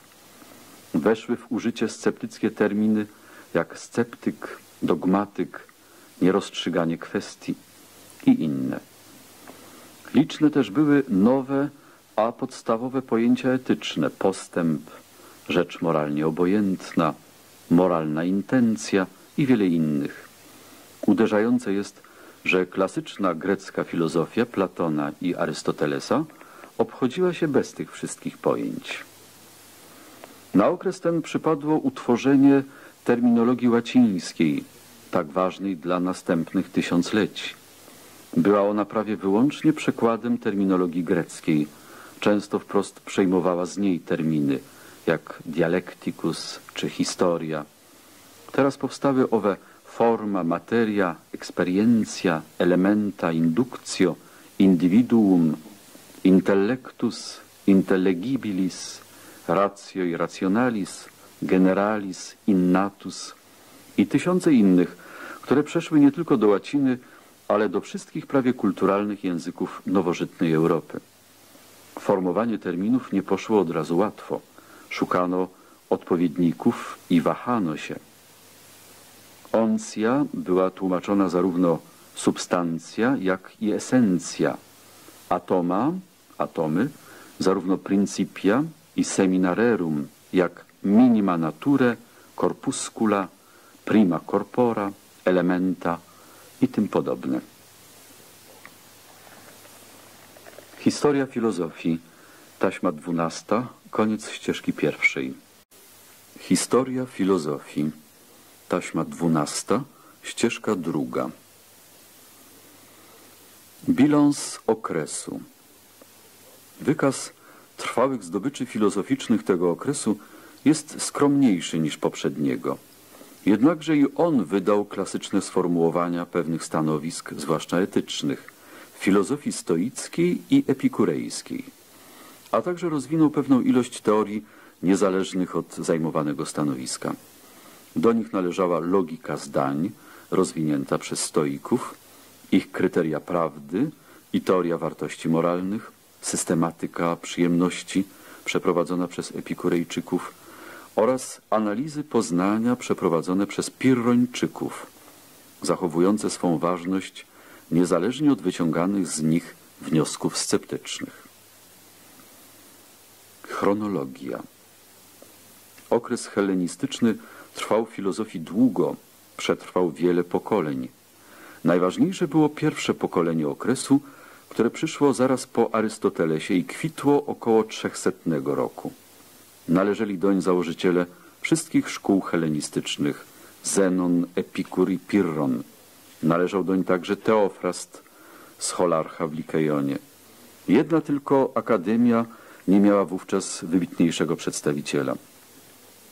W tym pokoleniu żył też wielki uczony Euklides i rozkwitała już nauka aleksandryjska. Drugie pokolenie, około 270 roku, wydało Kleantesa, stoika, Tymona, sceptyka, Stratona, perypatetyka, Arkezylaosa, sceptycznego akademika, a uczeni szczycili się Arystarchem z Samosu. W trzecim pokoleniu twórczość filozoficzna zaczęła wygasać. Jeden tylko Chryzyp ze szkoły stoickiej był twórczym myślicielem. Potem nie występuje już żadne wybitne nazwisko filozofii, choć były to czasy Archimedesa. Aż koło połowy II wieku ukazały się wydatniejsze postacie Karneadesa i Panaitiosa. W tym pokoleniu objawił się przyrost energii filozoficznej, która wyładowała się bądź w sceptycyzmie, bądź w eklektyzmie. Eklektyczne było też następne pokolenie, przynajmniej szóste po Arystotelesie, do którego około setnego roku należeli Poseidonios, stoik i Filon z Laryssy, scholarcha Akademii. Potem żyli współcześnie w pierwszej połowie I wieku przed Chrystusem Lukrecjusz, Epikurejczyk, Cyceron i uczony Arystotelik Andronikos z Rodosu. Było to pokolenie ludzi bardzo do filozofii zapalonych, ale mało twórczych. Następna zaś generacja należał do niej Filon z Aleksandrii, inaugurowała już nową epokę. Niemniej stare szkoły helenistyczne trwały dalej i dopiero po paru pokoleniach platonizm wydał Plutarcha, stoicyzm Marka Aureliusza, a pirronizm Sextusa Empiryka. Wydarzenia współczesne Gdy okres ten się zaczynał, było nad Morzem Śródziemnym wiele państw, a gdy się kończył, po bitwie pod Akcjum w roku 31, było już tylko jedno imperium rzymskie. Gdy się zaczynał, Grecja stanowiła centrum kultury, a gdy się kończył, była już tylko zaniedbaną prowincją. Utworzyły się poza nią inne ośrodki. Od III wieku Aleksandria ze swą biblioteką i muzeum stała się, zwłaszcza pod Ptolemeuszem Filadelfosem, wielkim ośrodkiem życia umysłowego. Tak samo od III wieku miasto Pergamon stało się ośrodkiem kultury, zwłaszcza artystycznej, a w tym samym czasie stawał się Rzym ośrodkiem politycznym. Okres zaczynał się kulturą, która była czysto grecka, a gdy się kończył, kultura stała się już wzrostem różnych pierwiastków greckich i rzymskich, wschodnich i zachodnich, europejskich i azjatyckich. Gdy się zaczynał, przeważała kultura filozoficzna. Później zaś obok filozofii równorzędne miejsce zajęły nauki szczegółowe.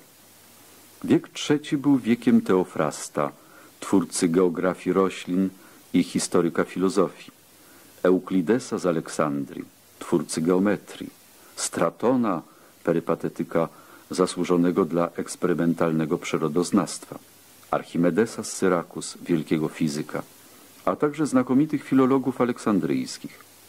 W wieku drugim, mniej ważnym dla filozofii, rozkwit nauk szczegółowych trwał dalej. Wówczas to czynny był Heron z Aleksandrii, sławny matematyk, fizyk, technik, a prace humanistów nabrały uniwersalnego charakteru.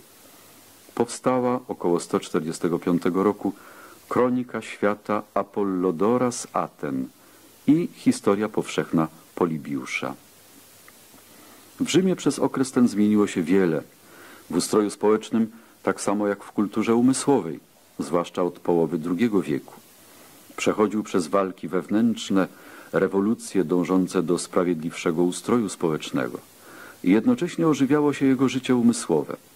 W roku 167 Polibiusz przybył do Rzymu, a mniej więcej w tym czasie zaczęły się pojawiać własne prace naukowe Rzymian, jak Katona Starego de Agricultura.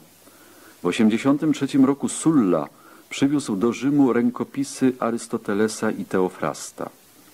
Koło połowy I wieku za Lukrecjusza, Varrona, Cezara i Catulla Rzym był stolicą już nie tylko w sensie politycznym.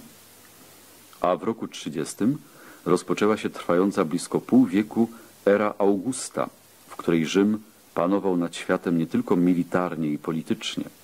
Żyli w nim i działali wielcy poeci, Wergiliusz, Horacy, Owidiusz, Propercjusz, historyk Liviusz, geograf Strabon, znakomici gramatycy, wielcy prawnicy i powstawały najbardziej monumentalne dzieła sztuki rzymskiej, jak Panteon.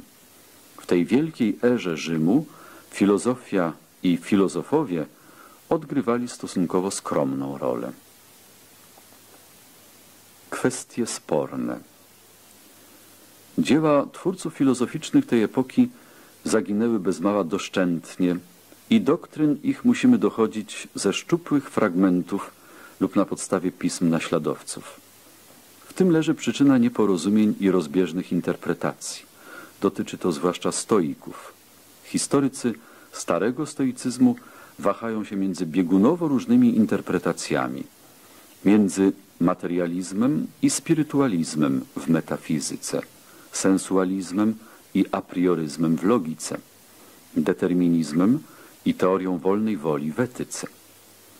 Dziejopisarze szkoły stoickiej uwzględniali na ogół tylko bądź założycieli szkoły, bądź jej ostatnich, najbliższych nam przedstawicieli. I przez to pośrednie ogniwa rozwoju zostały niezbadane i są jeszcze zagadką. Od niedawna dopiero zwrócono uwagę na doniosłe postacie Panaitiosa i Poseidoniosa, stanowiącego niejako stację węzłową w drogach rozwojowych greckiej filozofii. W epikureizmie przedmiotem sporu wciąż jeszcze są najistotniejsze dla tej doktryny kwestie, mianowicie kwestie etyczne, jak na przykład teoria negatywnego szczęścia lub stosunku rozkoszy cielesnych i duchowych. W pirronizmie najtrudniejsze jest zrozumienie samego Pirrona.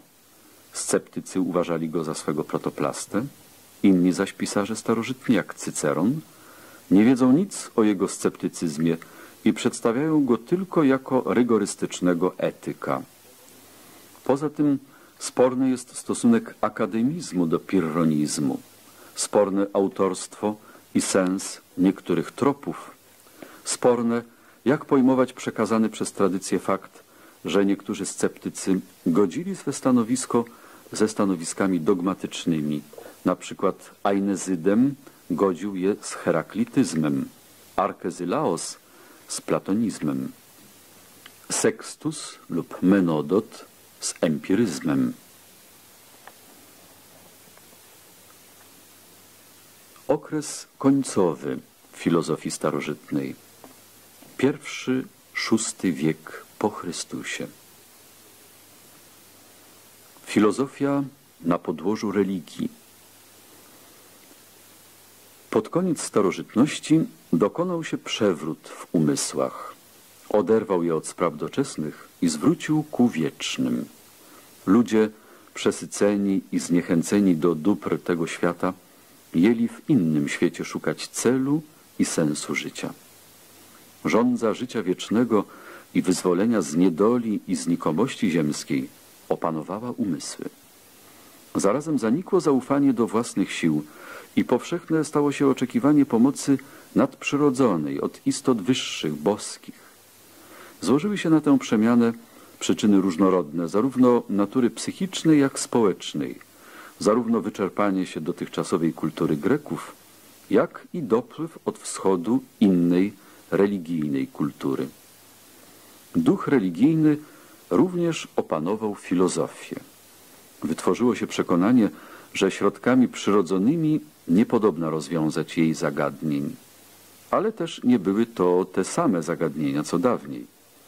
Filozofia musiała teraz odpowiedzieć na pytania natury religijnej, inaczej zdawała się niepotrzebna. Jeśli nie umiała zastąpić religii, to była zastępowana przez nią, przez religię wschodu, przez stary zakon, przez nową wiarę chrześcijańską, czy nawet przez pogaństwo. Proces zbliżenia filozofii z religią wypełnił ostatnią epokę starożytności. Przewagę zachowała religia. Ona podporządkowała sobie filozofię, nieodwrotnie. Wprawdzie epoka ta wydała też filozoficzną religię, ale przede wszystkim religijną filozofię. Filozofia zaczęła się była w Grecji od czysto teoretycznych zainteresowań. Ograniczył jej już okres helenistyczny. Jego zasadniczym pytaniem było, jak żyć. Obecnie nastąpiło dalsze jeszcze przesunięcie zagadnień. Nie jak żyć, lecz jak wyzwolić się od życia i połączyć z bóstwem. Do starych koncepcji i definicji filozofii przybyły tymi czasy nowe, odpowiadające jej religijnej orientacji. I weszło w zwyczaj zarówno w środowiskach greckich, jak i chrześcijańskich zestawiać aż sześć definicji filozofii. Pierwsza poznanie bytu jako takiego. Druga poznanie rzeczy boskich i ludzkich. Trzecia nauka nad naukami. Czwarte miłość mądrości. To były definicje starogreckie. Pierwsza arystotelesowskiego pochodzenia, druga stoickiego. Ale ponadto piąta rozmyślanie nad śmiercią i szósta upodobnianie się do Boga. Te dwie ostatnie definicje filozofii były wyrazem jej zespolenia z religią, jakie dokonało się na schyłku starożytności. Filozofia oparta na objawieniu. Przez to zespolenie zmieniła się tedy sama koncepcja filozofii. Z narzędzia poznania świata stała się narzędziem połączenia z Bogiem. Ze środka do kierowania życiem doczesnym stała się środkiem do wyzwolenia z życia. Gdy mówiono teraz o poznaniu, gnozis, to miano na myśli nie zrozumienie, lecz ponadrozumowe oglądanie prawdy. Przedmiotem godnym poznania był dla ludzi tej epoki jedynie Bóg, był nie tylko przedmiotem, był także i źródłem poznania, bo do poznania, jak do zbawienia, potrzebna jest pomoc nadprzyrodzona. Przez to poznanie stało się zależne od objawienia. Objawienie spływa na człowieka w stanach mistycznych, gdy bezpośrednio obcuje z bóstwem. Wobec pytania wiedza przyrodzona czy mistyczna straciło swą aktualność stare greckie pytanie zmysły czy rozum. Ani bowiem zmysłowe doświadczenie, ani trzeźwe rozumowanie nie objawiało tej prawdy, której obecnie szukała filozofia. Lecz chyba jedynie wiedza mistyczna, osiągana w stanach ekstazy, gdy dusza wychodzi z ciała i łączy się z bóstwem. I środek do zdobycia wiedzy musiano teraz ujrzeć w tym, co usposabia do ekstazy, a więc w modlitwie, czystości serca i w wierze. Kto objawienia nie otrzymał osobiście, mógł opierać się na objawieniu otrzymanym przez innych ludzi, wybranych przez bóstwo. Tacy wybrańcy byli autorytetami, to jest osobą swą gwarantowali prawdę. Potrzeba autorytetu naturalna w religii przeniknęła do filozofii.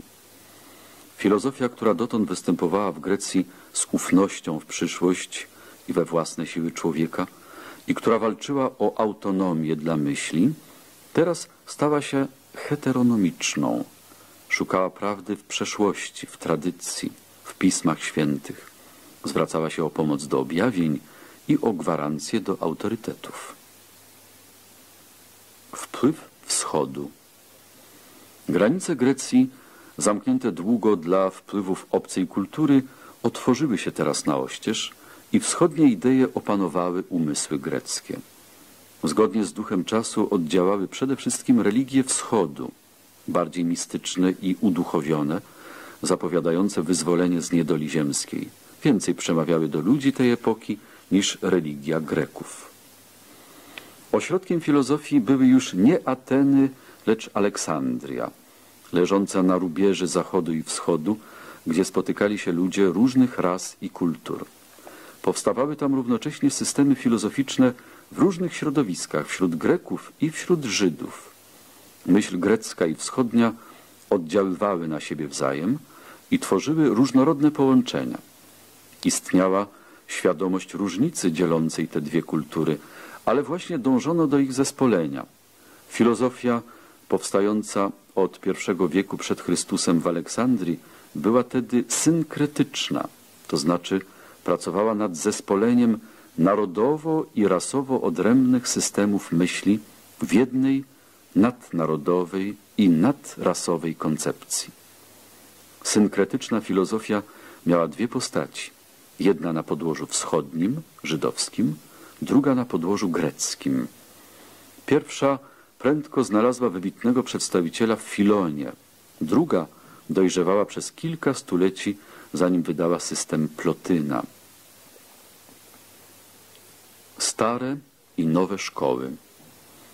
Szkoły filozoficzne założone dawniej przez Greków platońska, arystotelesowska, cynicka, stoicka, epikurejska, sceptycka istniały dalej, ale doktryny ich otrzymały teraz nowe zabarwienie przez wzmocnienie pierwiastków religijnych.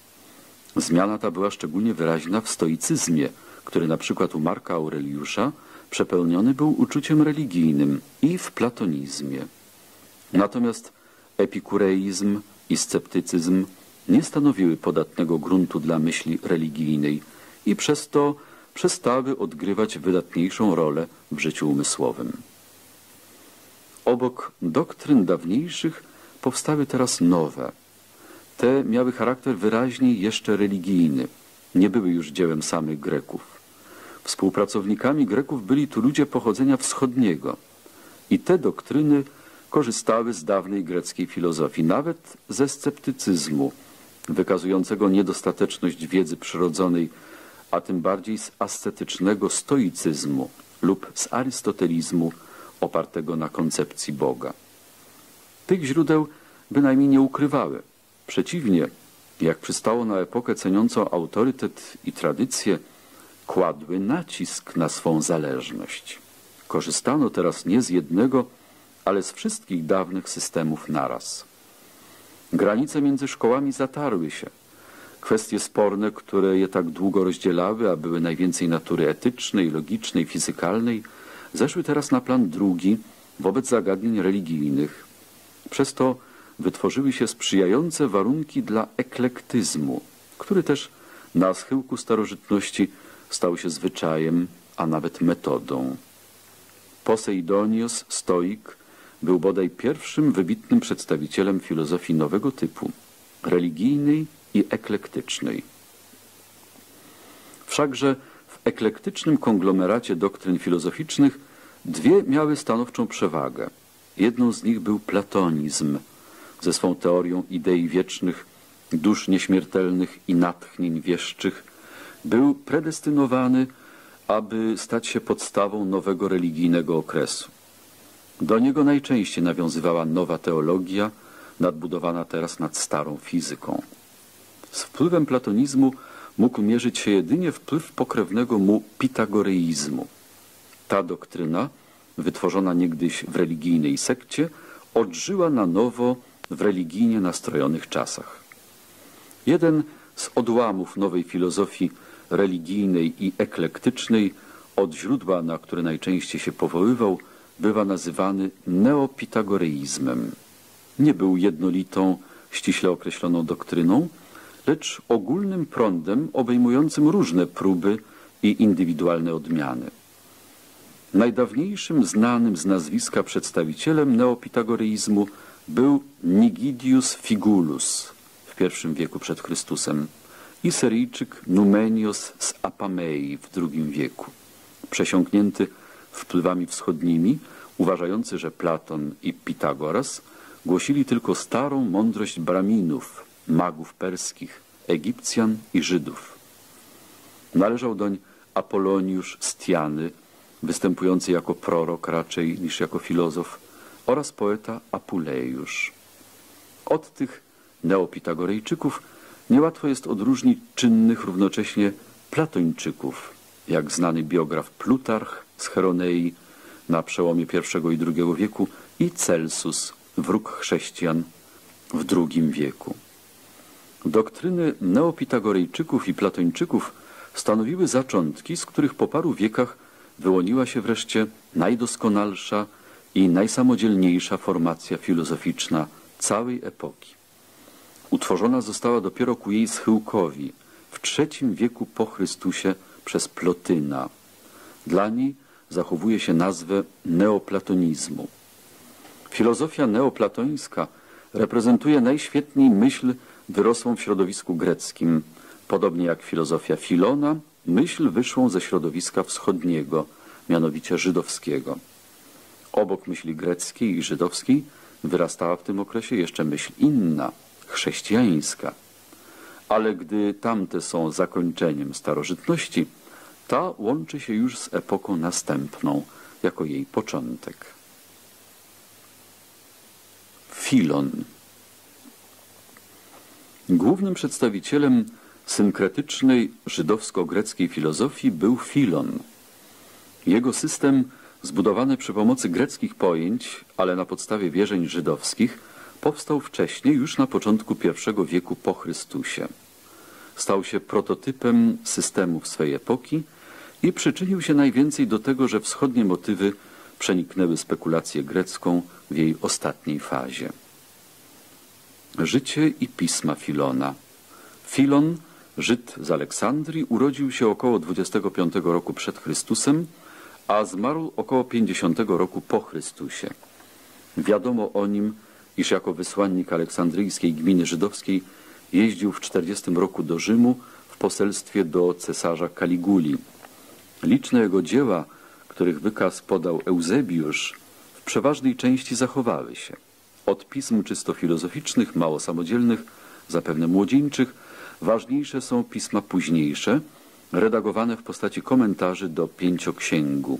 Noszą one tytuły Legis Allegorie, De Sacrificis Abeli et Caini, De Cherubim, Quod Deus sit immutabilis, De Confusione Liquarum i inne.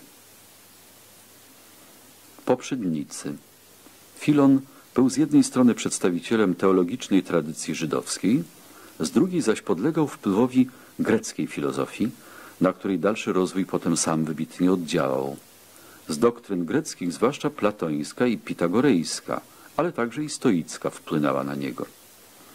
Jego próba spojenia greckich i żydowskich elementów miała już poprzedników wśród Żydów, przede wszystkim w osobie Arystobula, Żyda greckiego żyjącego w połowie II wieku przed Chrystusem, który stosował filozofię grecką do egzegezy pięcioksięgu oraz nieznanego autora pisma o mądrości Salomona, który przejęty był doktrynami platońskimi, stoickimi i heraklitejskimi.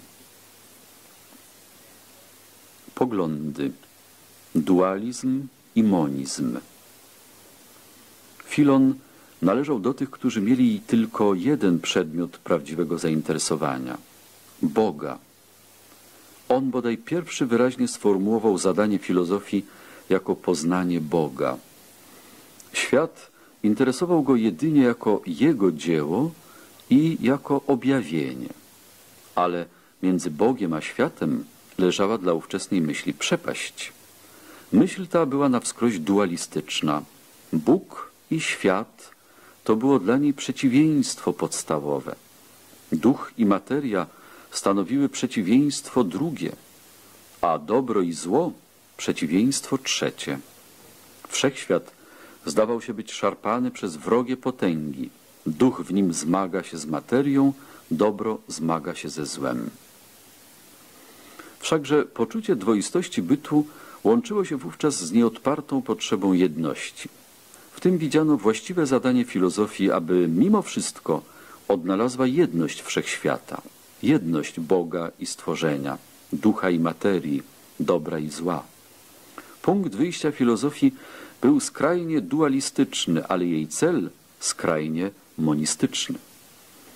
Filozofia ta nie mogła być monistyczna na dawny sposób. Dawniejsze systemy Grecji, jeśli były monistyczne, to były materialistyczne. Monizm ich pochodził stąd, że byt wyższy sprowadzały do niższego, ducha sprowadzały do materii, a i Boga pojmowały na jej podobieństwo. Teraz przyszedł czas na system odwrotny. W tym religijnym, uduchowionym okresie duch wydawał się realniejszy od materii. Bóg realniejszy od stworzenia. Przeto wywodzono stworzenie z Boga, materię z ducha i w ogóle byt mniej doskonały wywodzono z bardziej doskonałego, a nie odwrotnie. Nowy monizm mógł być tylko spirytualistyczny.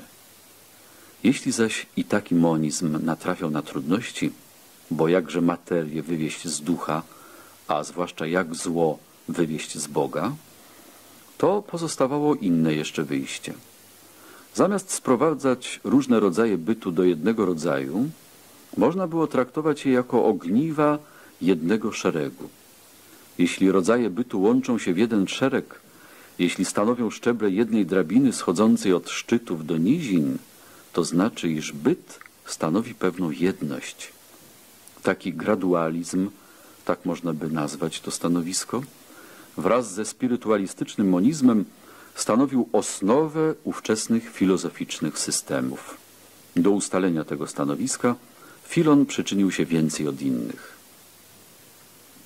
Aleksandryjski schemat metafizyki Filozofowie owej epoki widzieli między Bogiem a materialnym światem przepaść zbyt wielką, by mogły to być sąsiednie ogniwa jednego szeregu. Należało znaleźć ogniwo pośrednie. Tak też uczynił Filon i utworzył schemat, który na długo przyjął się wśród filozofów Aleksandrii, zarówno żydowskich, jak greckich i chrześcijańskich. Bóg był punktem wyjścia systemu. Było to ujęcie nowe, bo dotąd punktem wyjścia rozważań filozoficznych bywał świat, a Bóg tylko punktem dojścia. Filon zaś nie tworzył pojęcia Boga na podstawie poznania świata, lecz odwrotnie. Jak pojmował Boga? Pojmował go synkretycznie, łącząc w jednym pojęciu własności greckiego absolutnego bytu z własnościami żydowskiego jedynego Boga. Absolutny byt, o którym rozprawiali greccy filozofowie, to byt niezależny, istniejący dzięki swej własnej naturze. Jest jeden i niezłożony, niezmienny i wieczny, ponadczasowy i ponadprzestrzenny. Te wszystkie cechy zaczerpnięte z Platona, Arystotelesa, poniekąd nawet z Eleatów, Filon przypisywał Bogu. Ale ponadto jego Bóg był osobą, był dobrotliwy, potężny, wszechwiedzący. To znów były cechy czerpane ze Starego Zakonu, natomiast zupełnie obce greckiemu pojęciu absolutu. Co więcej, Bóg Filona był niedostępny i niepojęty.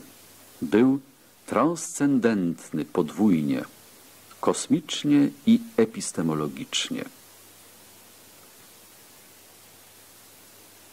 Władysław Tatarkiewicz Historia filozofii. Taśma dwunasta. Koniec ścieżki drugiej. Władysław Tatarkiewicz. Historia filozofii. Taśma trzynasta. Ścieżka pierwsza. Bóg jest poza światem.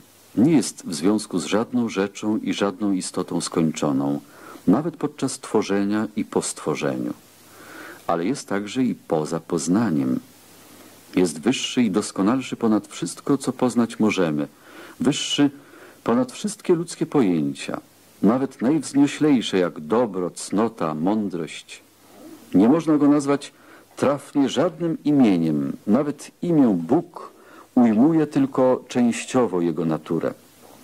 Ta nauka o transcendencji Boga miała również główne źródło w religii żydowskiej. Cała zaś filońska teoria Boga – utożsamiająca byt niezmienny z niepojętą osobą boską, była klasycznym tworem synkretycznej myśli. Materia stanowiła przeciwległy kraniec w systemie Filona. Pojmował ją po platońsku.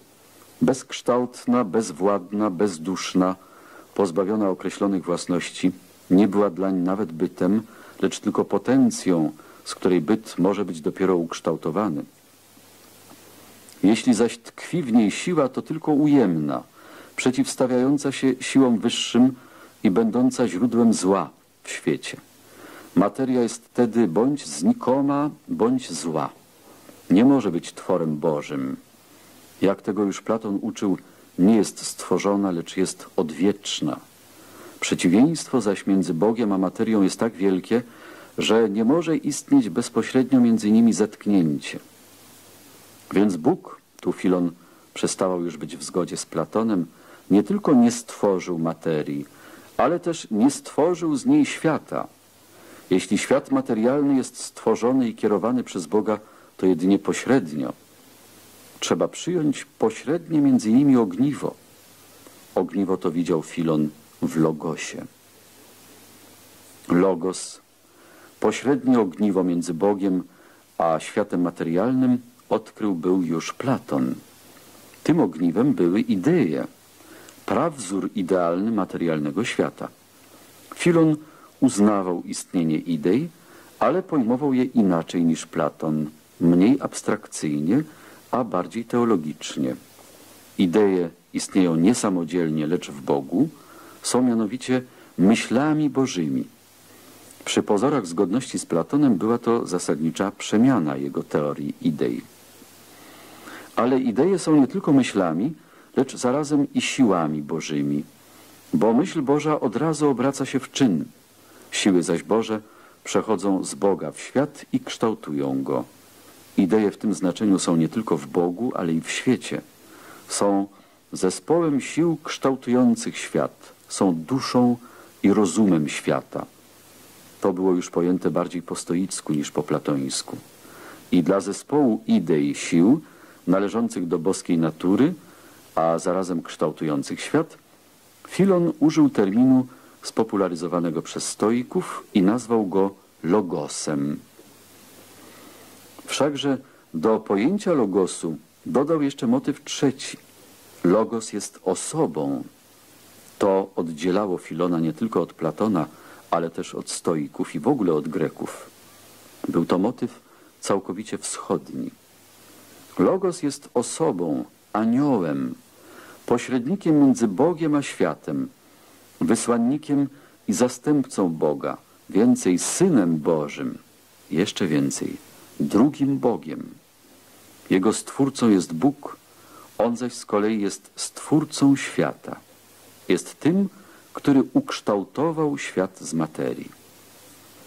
Tak oto z różnorodnych motywów platońskich idei, stoickich sił, żydowskich aniołów wyrosło u Filona pojęcie logosu. Połączone w nim zostało to, co Grecy rozdzielali skrzętnie. Ale właśnie takie irracjonalne połączenie pojęć potrzebne było tamtej epoce. I na szereg stuleci uwaga metafizyków ześrodkowała się nie na Bogu niedostępnym, ani na materii znikomej, lecz na logosie. Bóg, logos i świat materialny to były trzy szczeble w drabinie bytów, wstępującej od doskonałości do niedoskonałości. Z tej trójcy Filon stworzył schemat, który stał się podłożem dla całego dalszego rozwoju metafizyki aleksandryjskiej. Psychologia. W filozofii przyrody Filon był niesamodzielny. Układał ją z motywów stoickich, platońskich i pitagorejskich. Więcej znów samodzielności wykazał w psychologii. Była odbiciem jego metafizyki. Duszę bowiem ludzką uważał za miejsce spotkania dwóch światów, materialnego i boskiego. Zmysłowa część duszy jest czysto materialna, a rozum jest wypływem bóstwa.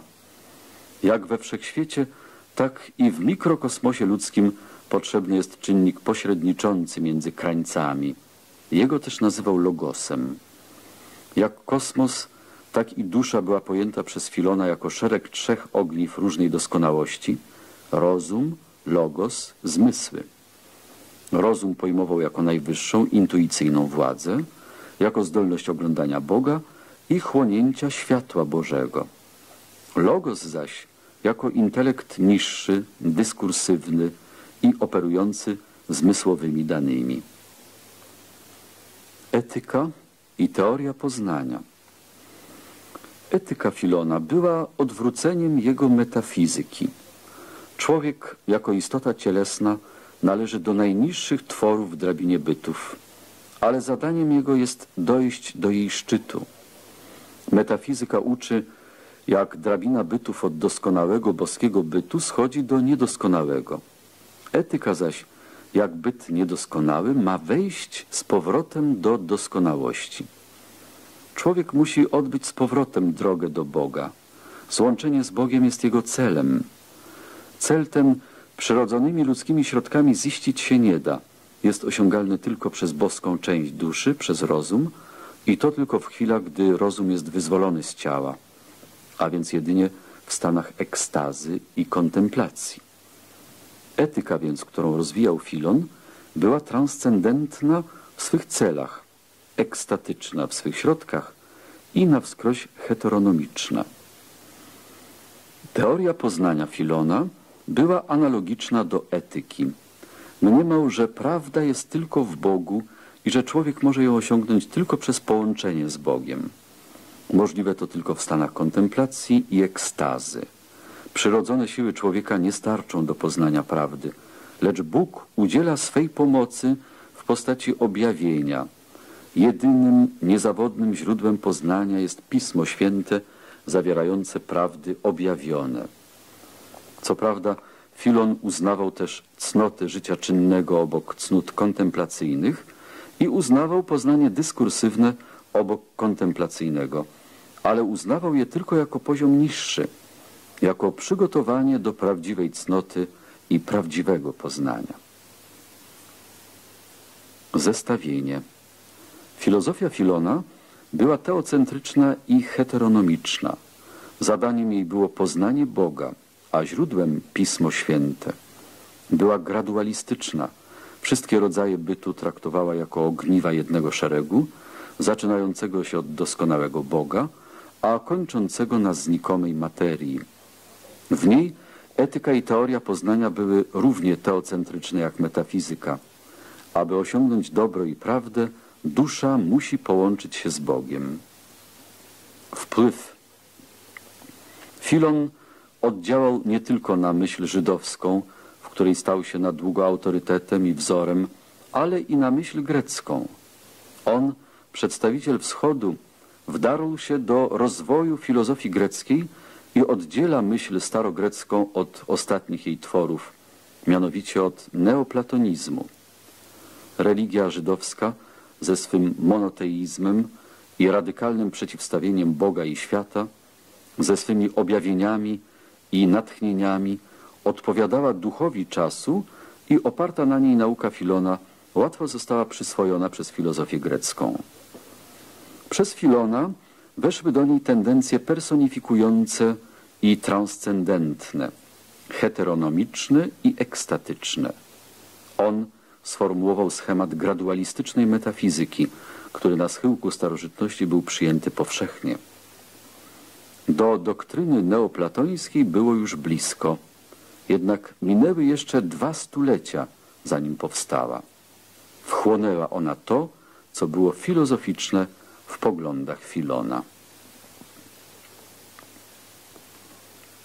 Plotyn i neoplatończycy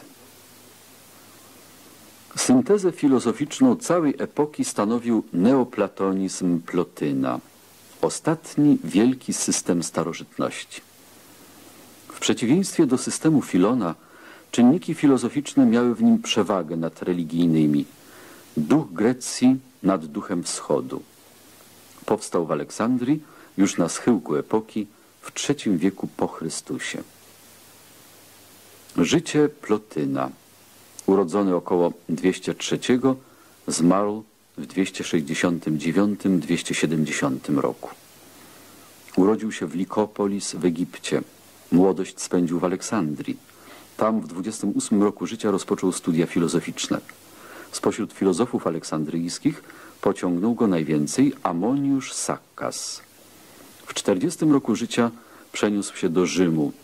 Przeszedł przez życie obcy sprawom materialnym i doczesnym, pochłonięty całkowicie życiem duchowym. Wstydził się, jak pisze uczeń jego i biograf Porfiriusz, że posiada ciało. Był oryginalnym myślicielem, a zarazem niezwykłym erudytą, znawcą dawniejszych poglądów filozoficznych. W Rzymie pozyskał dla swej nauki liczne grono zwolenników, m.in. samego cesarza Galiena. Jego projekt, by założyć miasto filozofów, które miało nazywać się Platonopolis, był ponoć bliski urzeczywistnienia. Pisma. Plotyn zaczął pisać późno, dopiero od 50 roku życia. Pisał niesystematycznie, nie zebrał w jednym dziele podstawowych swych poglądów. Zostawił 54 rozprawy, które Porfiriusz ułożył w sześć dziewiątek, czyli Enneat. Nazwa ta i układ Porfiriusza, rzeczowy, niechronologiczny, przyjęte zostały powszechnie. Pierwsza Enneada obejmuje rozprawy etyczne, druga fizykalne, trzecia kosmologiczne, czwarta rozprawy o duszy, piąta o rozumie, szósta o najwyższych kategoriach bycie, dobru, jedności. Rozwój. Można wyróżnić trzy okresy w rozwoju Plotyna. W pierwszym był wyznawcą Platona i rozwijał naukę jego duszy i jej oczyszczeniu. W drugim przeszedł od tych specjalnych zagadnień do poszukiwania ogólnej teorii bytu i zarazem od cudzego do własnego poglądu na świat. Od platonizmu do neoplatonizmu. W trzecim okresie starzejący się Plotyn przerwał abstrakcyjne dociekania i skupił się na sprawach bardzo aktualnych, przeważnie etyczno-religijnych. Poprzednicy. Głównym poprzednikiem jego był Platon. Plotyn podawał się za jego egzegetę. Faktycznie jednak świadomie przekształcił jego naukę i dlatego nazywany jest już nie platończykiem, lecz neoplatończykiem. Poza tym korzystał też z Arystotelesa i stoików. Przede wszystkim zaś z aleksandryjskich filozofów Filona i neopitagorejczyków. Od Aleksandryjczyków przejął gradualistyczną koncepcję metafizyki wedle schematu Bóg, świat i pośrednik między Bogiem a światem. Zachował również koncepcję etyki nakazującej stworzeniu powrót do Boga i koncepcję poznania jako osiągalnego w stanach ekstazy. A wszystkim tym koncepcjom dał postać samodzielną i dojrzałą.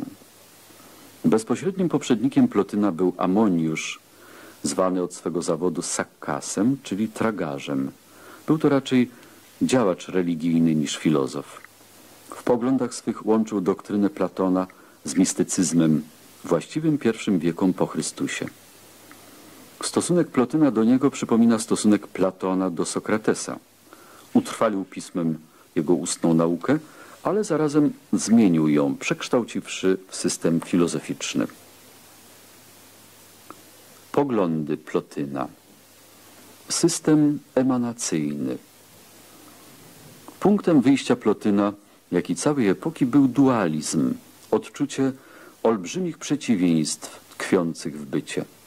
Celem przeciwnie było wykazanie jedności bytu, zbudowanie monistycznego systemu.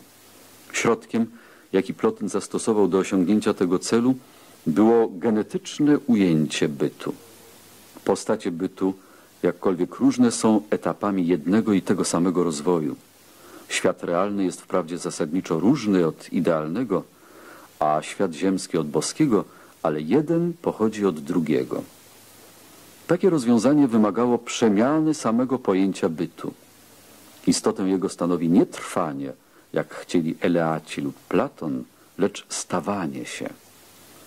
To dynamiczne pojęcie bytu umożliwiło stworzenie monistycznego systemu. Nie ma wielu bytów, lecz jest jeden byt rozwijający się i przybierający różnorodne postacie.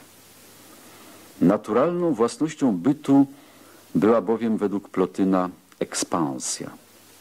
Dzięki niej wyłaniają się z bytu coraz nowe jego postaci. Heraklit zbliżał się do zrozumienia dynamicznej natury bytu. Był jednak w błędzie sądząc, że byt przyjmując nową postać traci postać poprzednią. Plotyn uczył, że byt trwa, produkując byty nowe, albowiem byt ma naturę światła, którego istotę stanowi promieniowanie. To, że wyłania z siebie nowe postacie, należy do jego natury i jest odeń nieodłączne. Wyłonione postacie są jakby promieniami bytu lub wedle innej, zazwyczaj używanej przenośni, jego emanacją. Teoria emanacji była podstawową myślą systemu Plotyna. Świat był dlań kolejnym emanowaniem coraz nowych bytów. Teoria ta zajęła miejsce nauki o stworzeniu świata, przyjmowanej przez systemy oparte na Pismach Świętych w rodzaju systemu Filona. W jakim porządku dokonywa się emanacja? Plotyn zakładał, że postacie bytu są więcej lub mniej doskonałe. Im byt jest doskonalszy, tym ma większą moc twórczą, a twór jest zawsze mniej doskonały od twórcy. Każda postać bytu pochodzi tedy od innej, która jest odeń doskonalsza. Porządek powstawania bytu jest więc porządkiem zmniejszającej się doskonałości. Stanowi szereg o obniżającym się poziomie. Szereg ten zaczyna się od bytu najdoskonalszego i trwa, dopóki zmniejszająca się stopniowo doskonałość i moc twórcza nie wyczerpie się. Absolut. Jakiż jest ów byt najdoskonalszy, z którego wszystkie dalsze postacie bytu emanują? I na to pytanie Plotyn odpowiedział w sposób oryginalny. Nie rozważał jak Filon religijnego przeciwstawienia Boga i świata, lecz filozoficzne przeciwstawienie świata idealnego i realnego.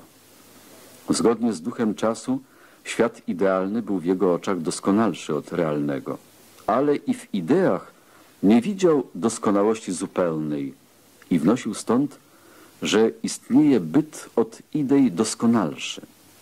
Miał już zresztą poprzednika, chociażby w Filonie, dla którego Bóg stał ponad ideami. Plotyn poszedł za nim, ale usiłował być niezależny od wiary i opierać się wyłącznie na rozumowaniu. Rozumowanie to, operujące ostatnimi abstrakcjami w atmosferze szczytów, gdzie myśl z trudem tylko posuwa się naprzód, dało wynik następujący. Byt pierwotny, jako doskonalszy, musi być wolny od jakiejkolwiek mnogości i jakichkolwiek przeciwieństw. Jest przeto czystą jednią, to enne. Nie jest duchem, ani myślą, ani wolą, bo duch, myśl i wola posiadają swe przeciwieństwa. Podczas gdy wszelki znany nam byt jest w ten czy inny sposób zależny, on jest niezależny i bezwzględny, jest absolutem. Plotyn wielbił go jako będący ponad wszelką doskonałością szczyt piękna, dobra, prawdy i jedności. Był dlań tym, co religie nazywają Bogiem. Był źródłem wszystkiego, co istnieje i to była jedyna pozytywna własność absolutu. Poza tym był dla Plotyna czymś na wskroś negatywnym, leżącym poza sferą tego, co można objąć myślą, poznać i nazwać.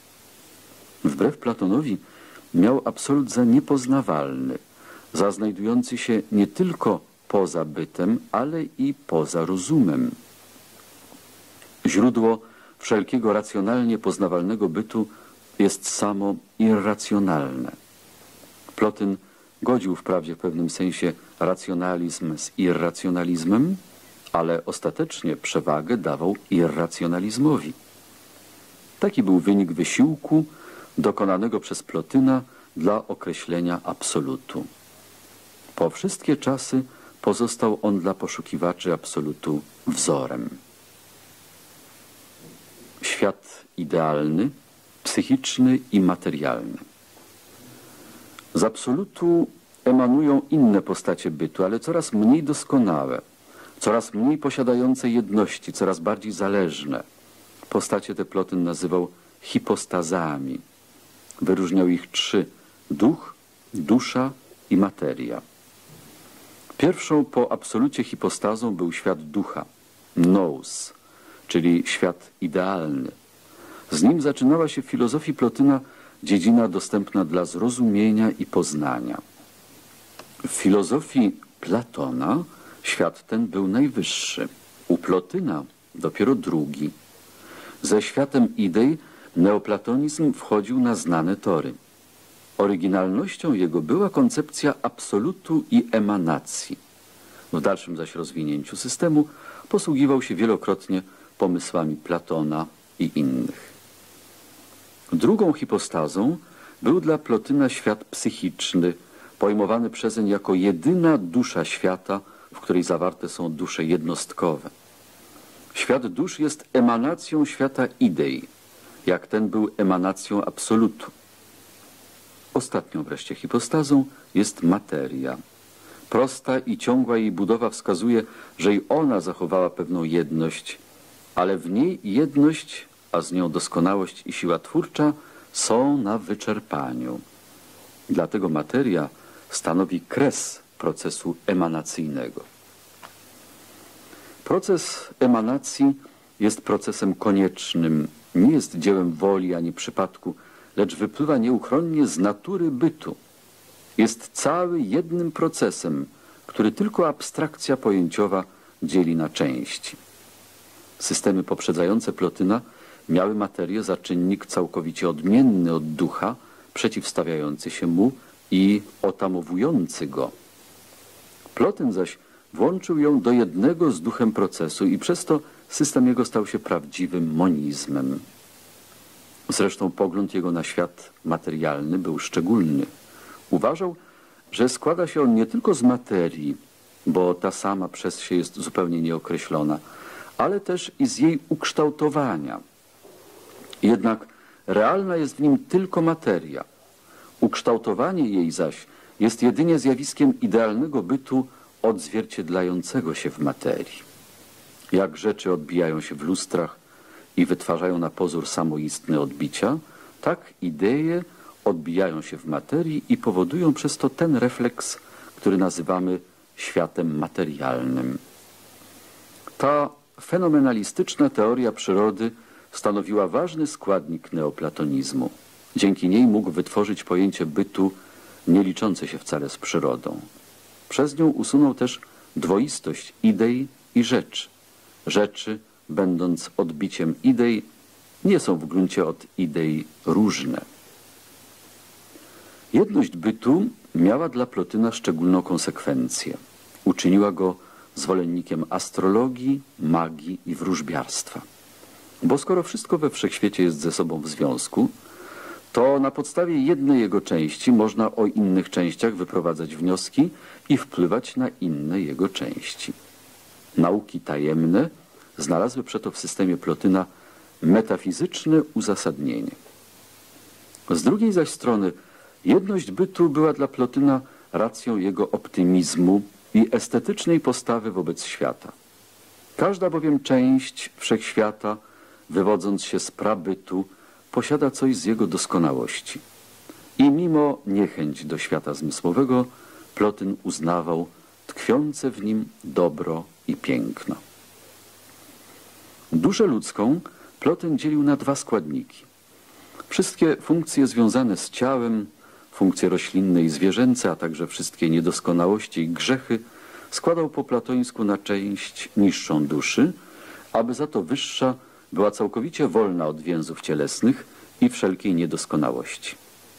Tak pojętą duszę mógł zaliczyć do wyższych regionów bytu. Należąc do wyższych regionów, dusza schodzi jednakże do niższych, aby je uduchowić i przez to podnieść.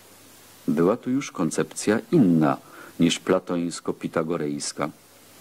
Z tej Plotyn zachował wszakże przekonanie, że dusza, choć podnosi świat cielesny, sama dostawszy się doń upada, traci bowiem łączność z regionami wyższymi i odwraca się od boskiego prabytu. Aby mogła wrócić doń, potrzebne jest nawrócenie.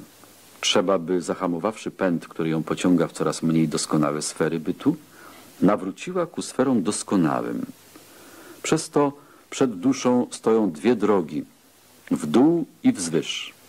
Pierwsza idzie w naturalnym kierunku zmniejszania się doskonałości bytu, druga zaś jest drogą powrotną, przebywaną dzięki wysiłkowi duszy. Ten schemat dwóch dróg, niewymyślony, bo znał go już Filon, ale rozwinięty przez Plotyna, znalazł szerokie rozpowszechnienie w religijnie myślącym schyłku starożytności, bo dawał wyraz powszechnemu naówczas poczuciu upadku i równie powszechnej potrzebie oczyszczenia duszy i połączenia jej z Bogiem.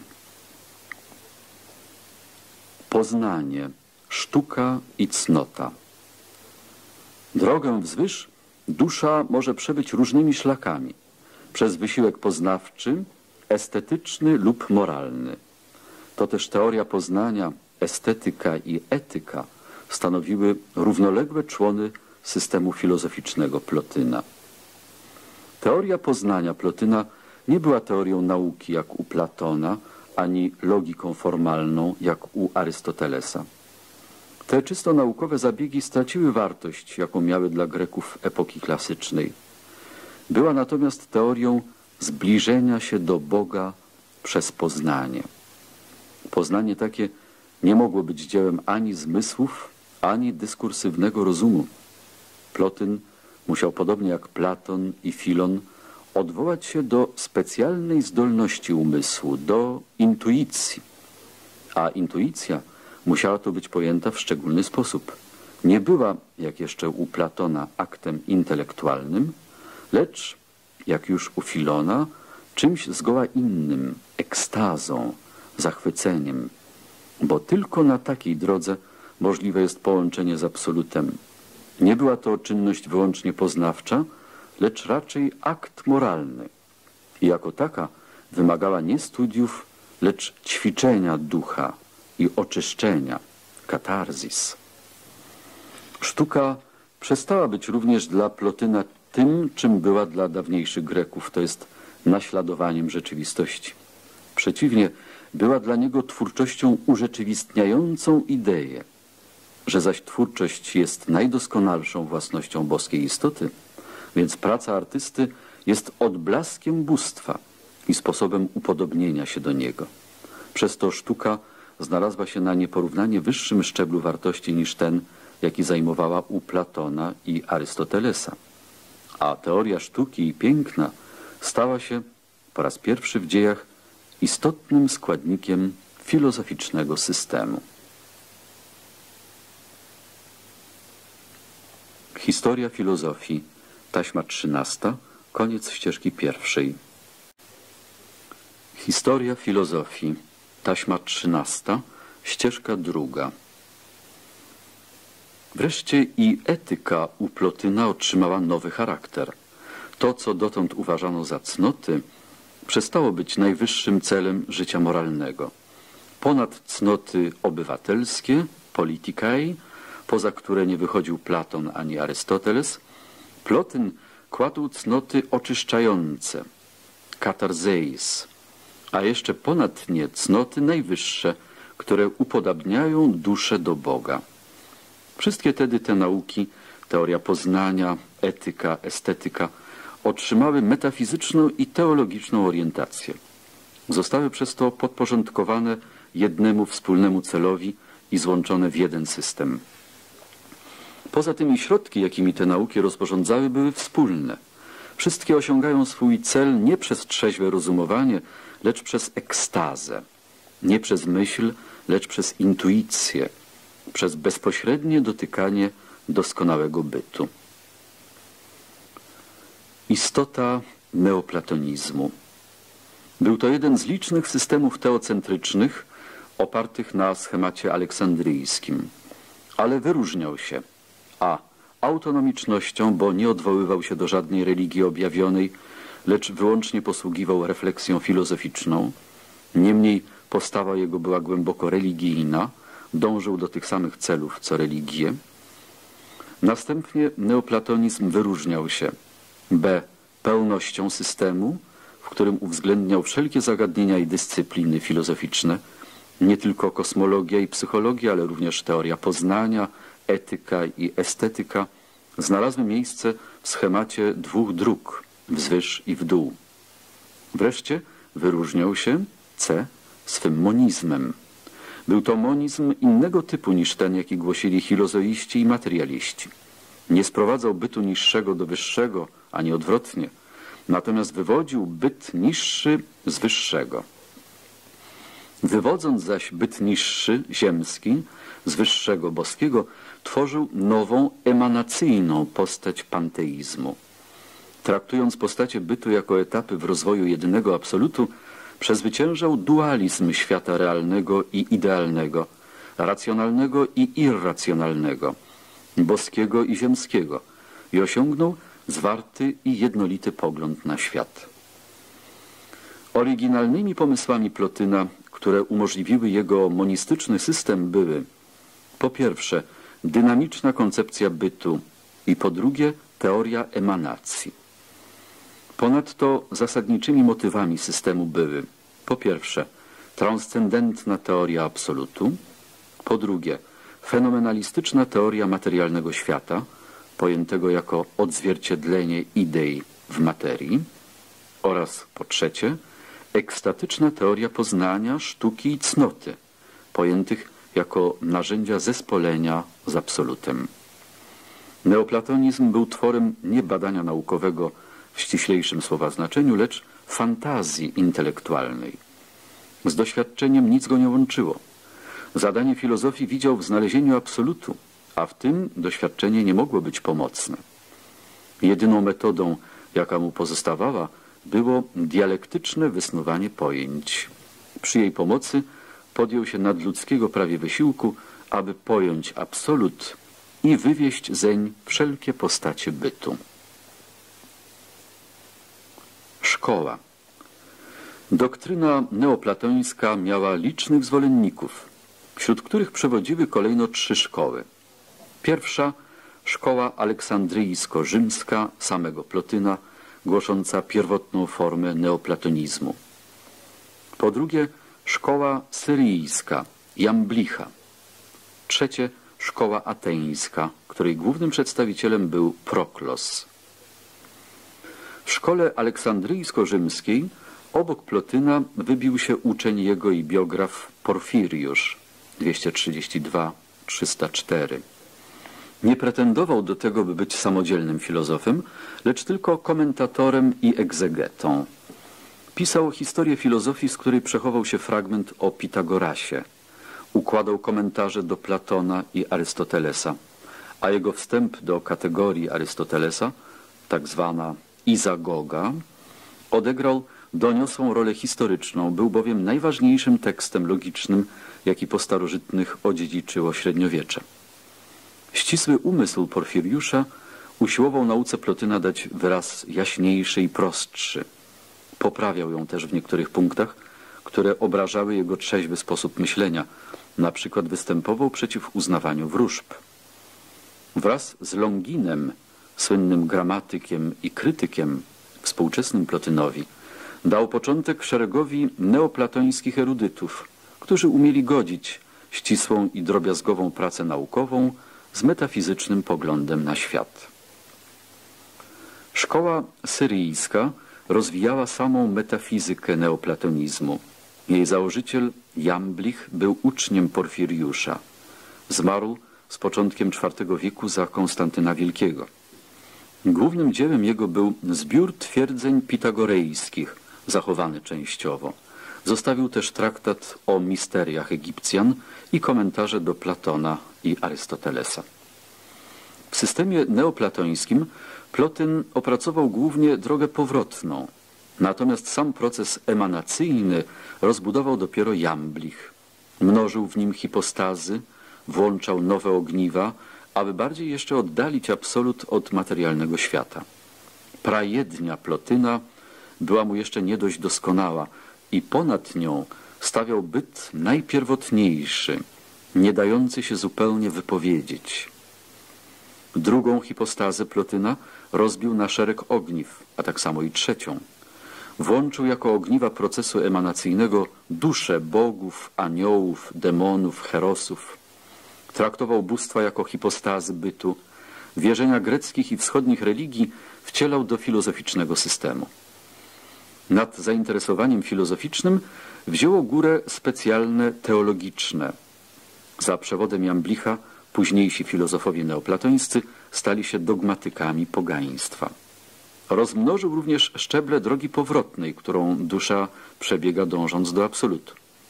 Gdy Plotyn rozróżniał trzy szczeble cnót, Jamblich rozróżniał ich już pięć.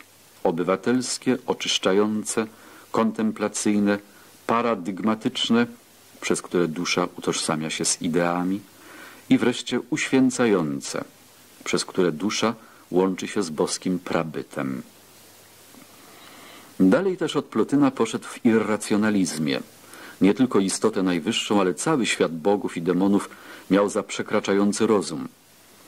Prawdziwa znajomość bóstw wymaga, jak mniemał, zjednoczenia z nimi. Jest więc czymś więcej niż poznaniem. W poznaniu bowiem podmiot zawsze przeciwstawia się przedmiotowi, a nie jednoczy z nim. Mistyczny czynnik neoplatonizmu wzmógł się znacznie u Jamblicha i jego następców. Szkoła ateńska miała najświetniejszego przedstawiciela w Proklosie 410-485. Połączył on erudycyjne aspiracje neoplatończyków z ich aspiracjami metafizycznymi. Był z jednej strony wielkim erudytą w przeróżnych dziedzinach wiedzy, nieporównanym komentatorem nie tylko Platona, ale i Euklidesa, z drugiej zaś metafizykiem o nieokiełznanej fantazji, nieznającej granic między nauką a mitologią. Umysłem pokrewny Jamblichowi poszedł dalej jeszcze w mnożeniu, dzieleniu, różnicowaniu hipostas, we wprowadzaniu do systemu filozoficznego tłumu demonów, aniołów i bóstw różnych wyznań. Ześrodkował swe dociekania w najwyższych i najabstrakcyjniejszych sferach bytu. Nawiązując do platońskiego Fajdrosa, widział w Erosie, prawdzie i wierze najwyższe szczeble w podnoszeniu się ducha. Eros, czyli miłość do piękna, przygotowuje, prawda zaś doprowadza do boskiej mądrości, ale ponad wszystkim jest wiara. W niej uspokaja się wszelka czynność poznawcza i następuje milczenie, sige, mistyczne pochłonięcie przez to, co niepoznawalne, a najdoskonalsze. Ten stan mistyczny stanowi cel i kres wszelkiego życia umysłowego, moralnego, religijnego. Ta zupełnie irracjonalna koncepcja była ostatnim słowem greckiej myśli, która rozpoczęła się i długo rozwijała jako czysty twór rozumu. Wpływ dalszy. Neoplatonizm był ostatnią formacją filozoficzną, jaką wydała Grecja. Pod jego znakiem kończyła się filozofia starożytna, ale przetrwał starożytność zaszczepiony myśli chrześcijańskiej. Systemy filozofii chrześcijańskiej, jakie powstały na wschodzie, zaczynając od Origenesa, który razem z Plotynem słuchał Amoniusza, poprzez Pseudodionizego, aż po Jana z Damaszku, posługiwały się zasadniczymi ideami neoplatonizmu i w gruncie rzeczy nie więcej przekształciły doktrynę Plotyna niż oficjalni przedstawiciele jego szkoły, Jamblich lub Proklos.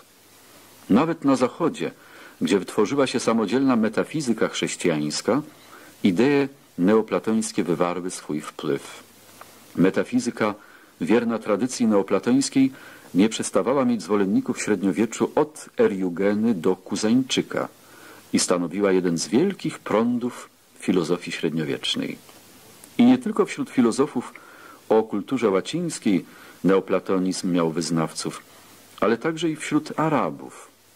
Ich najwięksi filozofowie, choć podawali się za uczniów Arystotelesa, byli faktycznie uczniami Plotyna. Tradycja neoplatońska przetrwała średniowiecze i przetrwała renesans. Ewolucyjny monizm stworzony przez Plotyna powracał też w różnych postaciach w nowożytnej metafizyce, aż po XIX wiek, po Schellinga i Hegla. Starożytność, ściślej Grecja sama, wytworzyła olbrzymi zasób najróżnorodniejszych koncepcji filozoficznych. Filozofię systematyczną i krytyczną, dogmatyczną i sceptyczną, dualistyczny i monistyczny pogląd na świat, idealizm i realizm, wariabilizm i inwariabilizm, teizm, ateizm i panteizm, logikę pojęć i logikę zdań, w filozofii przyrody mechanizm i dynamizm, w teorii poznania empiryzm i aprioryzm, sensualizm i racjonalizm, w etyce moralizm i hedonizm.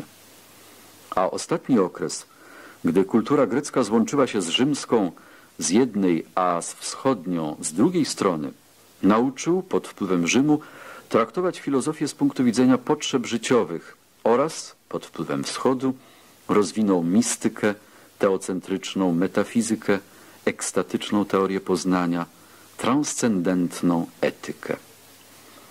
Koncepcje stworzone przez starożytność zostały już na zawsze typami i wzorami dla następnych epok. Wieki średnie posługiwały się stale starożytnymi ideami, a wieki nowe zaczęły od powrotu do idei starożytnych. Jednakże późniejsze epoki nie były tylko naśladowaniem Greków, bo też Grecy nie wyczerpali filozoficznych możliwości. Umysłowość starożytnych miała swoistą postawę i poza wykreślone przez nią granice nie wyszła. Postawa ta była najpierw obiektywistyczna. Myśl starożytnej była zwrócona ku rzeczom zewnętrznym. Przeżycia wewnętrzne były dla niej objawem wtórnym, odbiciem rzeczy zewnętrznych. Mimo analizy epistemologiczne, starożytna filozofia poza ten obiektywizm nie wyszła. Powtórę, postawa starożytnych była intelektualistyczna. We wszystkich dziedzinach życia i kultury osnową dla nich była myśl, wola zaś i uczucie były zawsze niesamodzielnymi funkcjami, wtórnymi wobec intelektu i od intelektu niższymi. Po trzecie, była uniwersalistyczna. W oczach starożytnych jednostka była od ogółu zależna i od ogółu mniej cenna. Dotyczyło to zarówno rzeczy, jak ludzi, zarówno bytu, jak poznania. Prawda ogólna dla starożytnych była doskonalsza od jednostkowej. Po czwarte, była to postawa finitystyczna. Starożytni pojmowali świat jako skończony. Nieliczni tylko myśliciele stanowili wyjątek. Co więcej, starożytni mieli skończoność za doskonalszą od nieskończoności. Nieskończoność była dla nich równoznaczna z nieokreślonością i chaosem. Od tego przekonania nie odstępował bodaj żaden rodowity Grek. I ci, co wypowiadali się za nieskończonością przyrody, mieli to za jej niedoskonałość. Nie istniał więc dla Greków dualizm świata skończonego i nieskończonego. Cele życiowe, jakie stawiała ich etyka, były skończone i osiągalne. Poznanie było procesem skończonym i założeniem dochodzenia prawdy było że w nieskończoność rozumować niepodobna. Te cztery właściwości były źródłem starożytnego poglądu na świat. Jeśli nawet zdarzały się odchylenia od zasadniczej postawy, to były zbyt słabe, by wytworzyć pogląd na świat innego typu. Wprawdzie zetknięcie się z poglądami wschodu, jakie dokonało się pod koniec starożytności, zachwiało tradycyjną postawą greckiej myśli, ale i ono nie zdołało jej przezwyciężyć. Zmiany postawy dokonali dopiero myśliciele chrześcijańscy, choć w niezmiernej ilości spraw korzystali z helleńskiej filozofii, ale przezwyciężyli obiektywizm, intelektualizm, uniwersalizm, finityzm starożytny. To też pojawienie się chrześcijaństwa, będące bez znaczenia dla rozwoju nauk szczegółowych w dziejach filozofii, było datą przełomową. Filozofia chrześcijańska w okresie poprzedzającym średniowiecze do V wieku. Wiara, a filozofia chrześcijan. W tym samym czasie, kiedy powstawały ostatnie systemy starożytne, neopitagoreizm i neoplatonizm, rozpoczął się rozwój nowej filozofii, filozofii chrześcijan. Była ona związana z tradycją starożytną i miała charakter analogiczny do współczesnej sobie filozofii Greków. Jednakże nie może być pojęta jako wytwór rozwoju greckiej filozofii, lecz zakłada nowy własny początek wiarę chrześcijańską. Pierwotne chrześcijaństwo, nauka bezpośrednich uczniów Chrystusa, nie było systemem filozoficznym, nie robiło nawet założeń filozoficznych. Była to głównie nauka moralna. A oto trzy istnieją zasady pańskie, pisał święty Barnaba. Nadzieja żywota jako początek i koniec wiary naszej, sprawiedliwość jako sądu początek i koniec i miłość radosna i weselna jako czynów sprawiedliwych świadectwo. Nauka ta streszczała się w trzech pojęciach. Gnosis, nomos i epagelia, czyli poznanie, prawo i zapowiedź. Mianowicie poznanie Boga, prawo moralne i zapowiedź życia pośmiertnego.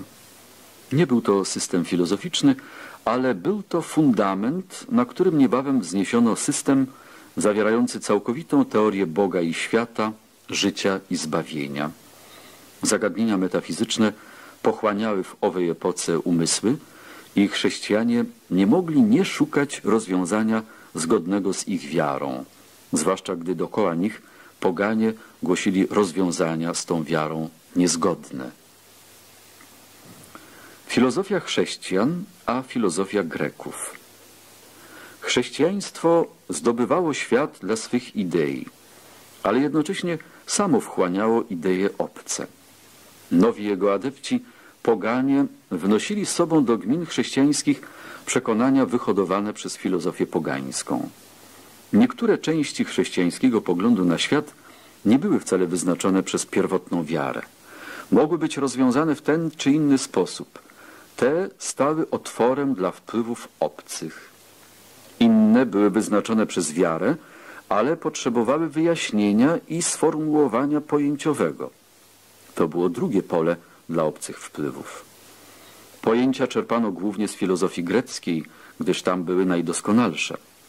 W okresie zaś, gdy zaczynało się chrześcijaństwo, pojęcia filozoficzne Greków były tak bardzo przepojone myślą religijną, że łatwo mogły być przystosowane do każdej wiary.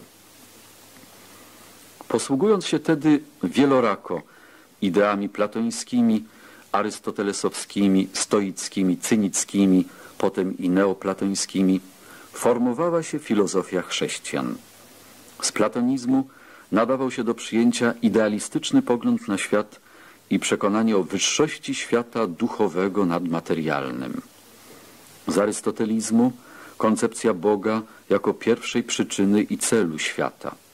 Ze stoicyzmu pomysł, że świat materialny jest przesycony duchem. Z cynickiej filozofii obojętność dla rzeczy doczesnych. Nawet sceptycyzm mógł być pożyteczny, bo odbierając wartość poznaniu zmysłowemu i rozumowemu, dostarczał pośrednio argumentów tym, co w objawieniu i natchnieniu widzieli źródło poznania prawdy ale fundament chrześcijaństwa był już utworzony w nauce Chrystusa, zanim te obce wpływy działać zaczęły. Oddziałały też one nie na jądro nauki, lecz na jej pojęciowe ujęcie i systematyczne rozwinięcie. Grecja dawała formy dla chrześcijańskiej filozofii, ale gdy formy te były niezgodne z pierwotną wiarą, Kościół odrzucał je pewną ręką.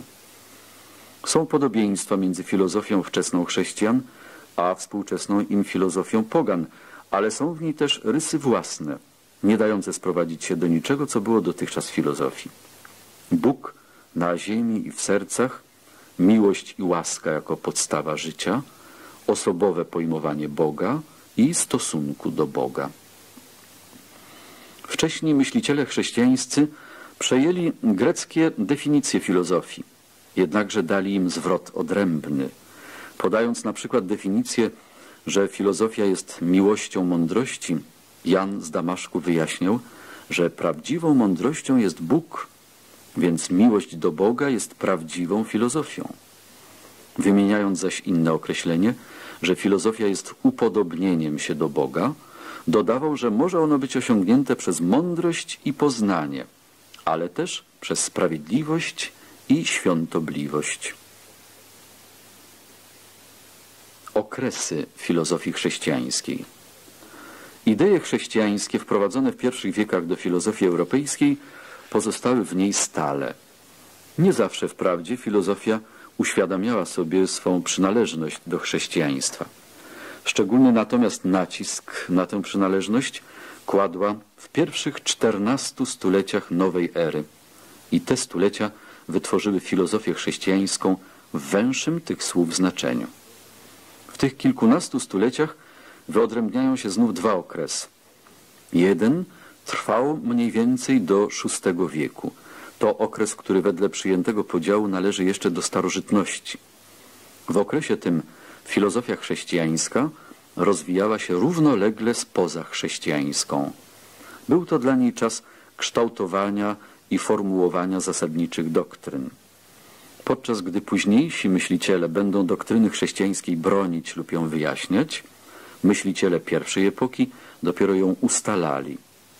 Najbardziej na tym polu zasłużeni zwani są ojcami Kościoła, patres, a nauka ich nauką ojców, czyli patrystyką.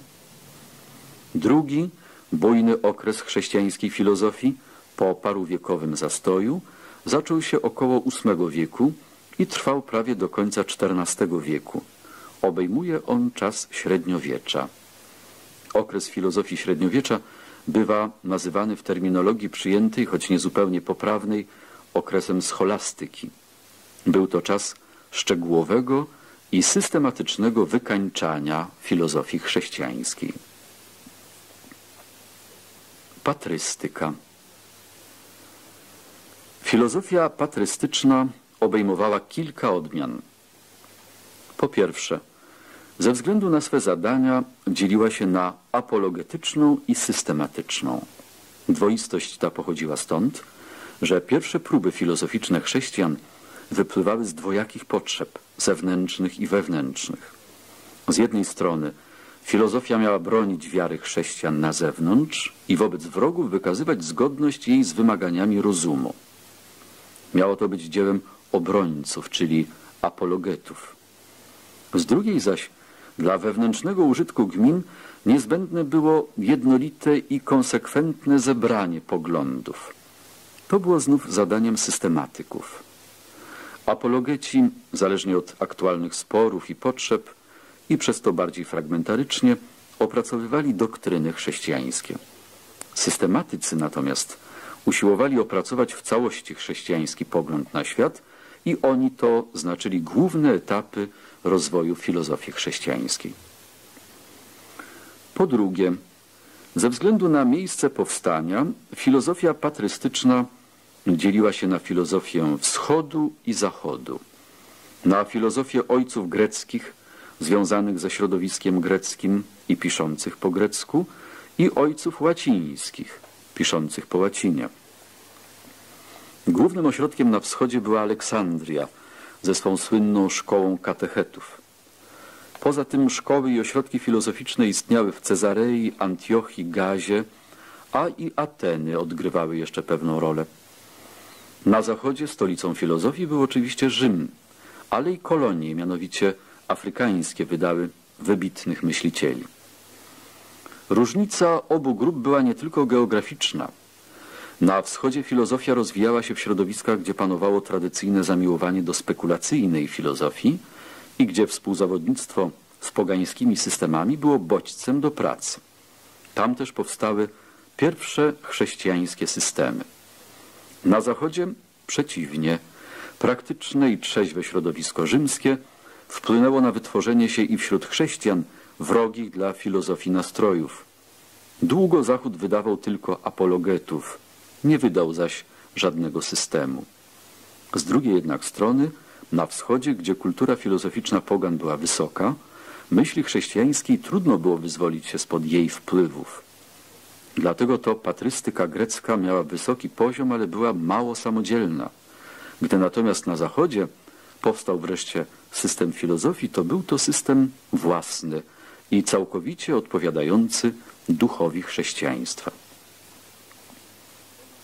Po trzecie, chronologicznie patrystyka dzieliła się na okres przygotowawczy i szukający. Mniej więcej do Soboru Nicejskiego w 325 roku i na okres po Soborze. Zostały w nim ustalone podstawowe dogmaty, poza które prawowierna filozofia wyjść nie mogła. Rozwój systemów chrześcijańskich patrystycznego okresu idący ku a. coraz większej samodzielności wobec obcych i b. coraz większej zgodności z wiarą, przeszedł przez cztery główne fazy.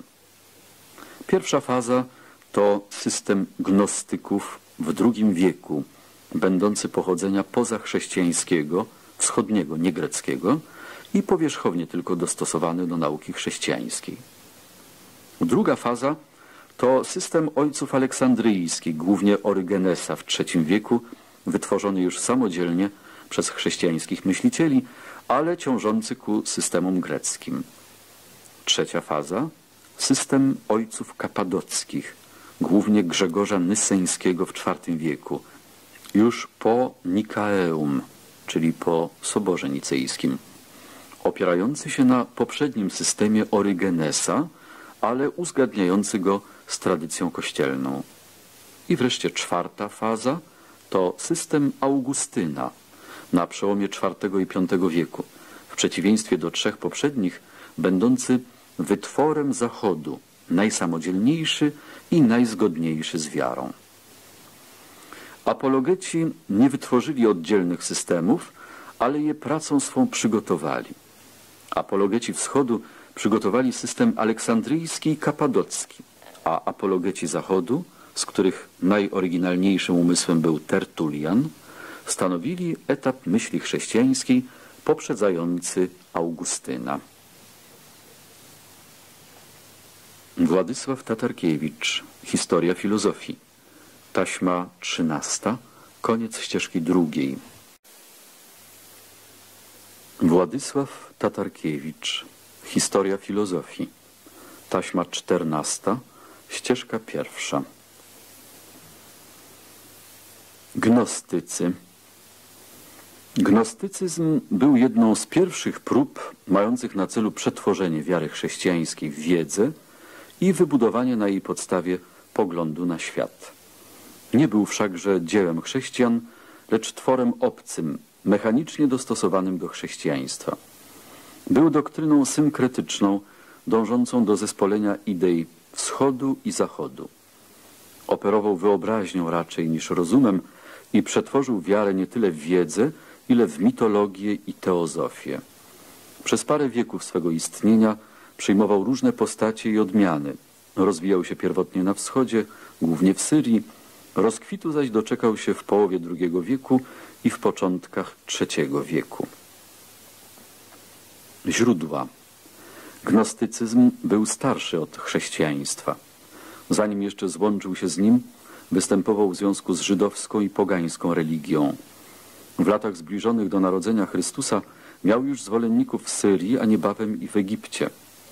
Ale przedchrześcijański gnostycyzm obejmował tylko drobne sekty bez znaczenia. Historyczną wagę otrzymał jako doktryna chrześcijan i wtedy dopiero wydawszy wybitniejsze siły i różnorodne pomysły. Do nauki Chrystusa był przystosowany powierzchownie. Przeważały w nim pierwiastki babilońskie, egipskie, syryjskie, żydowskie. Nie naukowe, lecz religijne. Pierwotnie wystąpił jako rodzaj mistycznego kultu. Potem dopiero obudziły się wśród gnostyków aspiracje teoretyczne. Wtedy do jego treści religijnej przyłączyły się pewne idee filozoficzne, czerpane głównie z helenistycznych, aleksandryjskich systemów. Przede wszystkim ów schemat stopniowej ewolucji od Boga do materii, właściwy systemom gradualistycznym. Przedstawiciele Gnostycy nie stanowili jednej szkoły, przeciwnie tworzyli oddzielne gminy i doktryny o różnych odcieniach. Najsłynniejsi z nich byli Saturnil z Antiochii, żyjący za Hadriana i reprezentujący judaistyczną odmianę gnostycyzmu, Bazylides, Syryjczyk, który nauczał w Aleksandrii między 120 a 140 rokiem, a u którego przeważały znów czynniki pogańskie, choć i on występował jako filozof chrześcijański. Walentyn, Egipcjanin, działający między 135 a 165 rokiem w Aleksandrii i Rzymie, twórca najbardziej filozoficznego i najrozleglejszego systemu gnostyckiego, zbliżony najwięcej do filozofów helenistycznych. Walentyn miał najliczniejszą szkołę. Jednym z ostatnich gnostyków był Bardezanes Syryjczyk 153-222. Główne pisma gnostyckie zaginęły. Przechowały się jedynie późne, na przykład anonimowe pismo znane pod nazwą Pistis Sophia. Najważniejsze źródło stanowią polemiczne rozprawy przeciwników, apologetów chrześcijaństwa. Poglądy System eonów Różnorodne odmiany gnostycyzmu miały jednakże pewne idee wspólne. Przede wszystkim przekonanie o dwoistości między duchem a materią. Były to dwa krańce bytu, dla których gnostycyzm szukał połączenia przez wprowadzenie pośrednich między nimi ogniw. Pod tym względem nie różnił się od większości ówczesnych systemów. Różnił się natomiast tym, że abstrakcyjny schemat filozofów splatał z mitologiczną teologią i kosmologią, traktując ogniwa systemu nie tyle jako rodzaje bytu, ile jako osoby boskie. Powtórę, odrębnością jego było, że schemat ten pojmował historycznie, jako schemat dziejów. Dzieje zaś wyobrażał sobie jako kolejne powstawanie i zmaganie się sił kosmicznych, personifikowanych przez bóstwa i duchy. Przynależność swą do chrześcijaństwa zaznaczał tym, że za przełomowy moment dziejów miał przyjście na świat Chrystusa.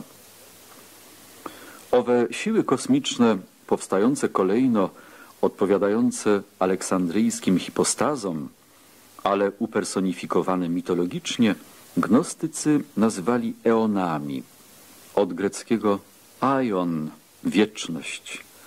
Układali różne systemy eonów. Najbardziej rozpowszechnionych z tych systemów przyjmował, że istnieje siedem duchów tworzących świat, na wpół dobrych i na wpół demonicznych. Te eony gnostyckie pochodziły z religii babilońskiej, gdzie były bogami siedmiu planet. Tego, którego umieszczali na czele, gnostycy utożsamiali ponadto ze Stwórcą Starego Testamentu. Duchy te stanowiły wszakże tylko niższe ogniwa w hierarchii eonów. Ponad nimi stała matka ich, nosząca cechy bóstw wschodnich, zwłaszcza Astarty. A jeszcze nad nią był ojciec wszystkich Bóg, nierozpoznawalny i nienazywalny. Ten był już pozbawiony cech którejkolwiek z narodowych religii.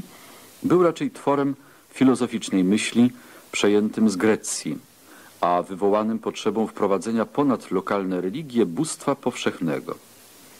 Poza tym gnostycy przyjmowali jeszcze pełnię eonów, które były różne w różnych szkołach gnostyckich. Nosiły często abstrakcyjne nazwy jak rozum i prawda, logos i życie, poczynały się zwykle parami, a czasem egipskim i babilońskim teogonicznym obyczajem układały się w trójki, czwórki i szóstki. To wszystko należy do dziejów sekciarstwa religijnego, nie do dziejów myśli filozoficznej. Godne jest jednak uwagi jako mitologiczny odpowiednik abstrakcyjnych systemów filozoficznych wybudowanych na tym samym zasadniczym schemacie. Dualistyczny pogląd na świat. Teologia gnostyków, obejmująca całą skalę bóstw różnej doskonałości, była w związku z ich dualistyczną postawą, która stanowiła najistotniejsze źródło ich filozofii. W świecie widzieli dwie zmagające się ze sobą zasady – światło i ciemność, dobro i zło. W tym była odrębność gnostycyzmu. Greckiej religii dualizm taki był obcy. Ani religia ludowa, ani religia spekulatywna filozofów nie uznawała pozytywnego zła jako drugiej równorzędnej z dobrem zasady. Co więcej, nawet dualistyczne religie orientalne nie widziały w świecie tyle zła, co gnostycy. Choć głosiły, że świat jest terenem zmagania się duchów dobrych i złych, ale sam świat uważały przeważnie za twór Boga, a nie złego ducha. Koncepcję zmagania się w świecie wrogich mocy gnostycy czerpali ze wschodu, ale połączyli ją z pochodzącym z Grecji przekonaniem o znikomości świata materialnego w porównaniu z idealnym.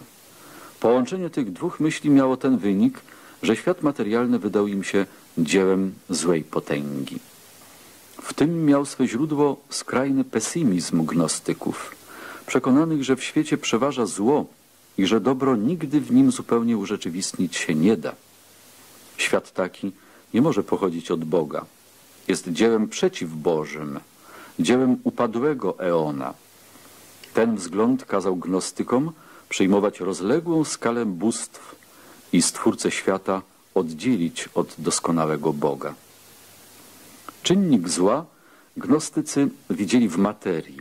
Jako zła nie może być zależna od Boga. Jeśli istnieje złe bóstwo, to dlatego, że złączyło się z materią. Jeden z eonów, zwyciężony przez wrogie mu siły, opadł w materię i wówczas nastąpiło zmieszanie niezgodne z naturą dwóch czynników boskiego i materialnego i stworzony został świat łączący dobro ze złem. Przy pomocy takich koncepcji, w których wschodnia mitologia była zmieszana z grecką filozofią, próbowali gnostycy odpowiedzieć na pytanie wywołane przez ich pesymistyczny pogląd na świat, skąd pochodzi zło. Wyzwolenie. Wyznawcy tego pesymistycznego poglądu musieli szukać wyzwolenia od zła. Idea wyzwolenia była niewątpliwie tym, co przyciągnęło do siebie gnostycyzm i chrystianizm. Chrystusa pojęli jako jeden z eonów, ale ten, który spełnia najdonioślejsze zadanie, bo wyzwala świat od zła, jakie sprawił eon upadły, stwórca świata. Wyzwolenie od zła pojmowali jako wyzwolenie z materii, a więc jako uduchowienie świata. Materię mieli za tak radykalnie złą, że wielu z nich nie chciało dopuścić myśli, żeby Chrystus mógł rzeczywiście posiadać ciało i przeto skłaniali się do doketyzmu, czyli pojmowali cielesnego Chrystusa jako zjawisko, a nie realną istotę. Dla tego samego powodu w przekonaniu, że zetknięcie z ciałem poniża duszę, odrzucali naukę o zmartwychwstaniu ciał.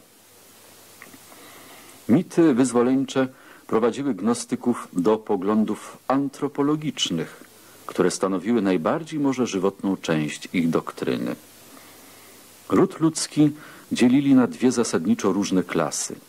Na tych, co należą wyłącznie do zmysłowego, materialnego świata i na tych, co posiadają iskrę świata wyższego. Taki podział charakterystyczny dla religii uprawiających misteria, bo dzieliły one ludzi na wtajemniczonych i niewtajemniczonych, przedostał się do gnostycyzmu i znalazł w jego dualizmie uzasadnienie metafizyczne. Później podział ten uległ modyfikacji i gnostycy dzielili ludzi na trzy kategorie. Na tych, co posiadają tylko ciało, na tych, co duszę i na tych, co ponadto i ducha, czyli na chilików, psychików i pneumatyków. Od greckich wyrazów hyle, psyche i pneuma. Siebie zaliczali do ostatniej, najwyższej kategorii. Oni bowiem dostąpili wiedzy. Od wiedzy, gnozis, noszą miano gnostyków. Program ich polegał na zastąpieniu wiary przez wiedzę. Gdy wiara bierze słowa pisma dosłownie, oni dla zdobycia wiedzy tłumaczyli je alegorycznie. Alegoryczna interpretacja, traktowanie prawd wiary jako symboli stanowi istotną cechę gnostycyzmu. Ale wiedza ich była szczególnego rodzaju. Jeśli porzucali prostą wiarę, to bynajmniej nie dlatego, by ją dostosowali do wymagań trzeźwego rozumu. Przeciwnie, ich genealogie eonów i mity o upadku i wyzwoleniu były bez porównania bardziej irracjonalne od prostej moralnej nauki zawartej w Ewangelii. Istotę gnostycyzmu stanowi po pierwsze skrajnie dualistyczna i pesymistyczna koncepcja świata. Zło jest czynnikiem równie odwiecznym jak dobro. Zło pochodzi z materii, dobro z Boga. Po drugie, historyczna koncepcja świata jako zmagania się mocy złych i dobrych, mająca wytłumaczyć, skąd zło dostało się do świata. Po trzecie, alegoryczna metoda wywodzenia tych koncepcji z Pisma Świętego. Opozycja. Chrystianizm musiał odrzucić tę fantastyczną teologię. Po pierwsze, główną przyczyną było przemienienie w symbole tego, co Pismo podało jako fakty. Taki symbolizm stanowi najistotniejszą cechę herezji. To też gnostycyzm jest niejako prototypem wszelkich herezji. Z tym łączyły się inne przyczyny potępienia. Po drugie, prostą moralno-religijną myśl chrześcijaństwa gnostycy przemienili w tajemnicę teozoficzną. Po trzecie, jednego Boga zastąpili przez mnogość bogów. Hierarchia eonów miała charakter politeistycznej mitologii. Poza tym jeszcze ojcowie Kościoła potępiali gnostyków, po czwarte za skrajny dualizm, który przyjmując niezależność materii od Boga, ograniczał przez to jego wszechmoc.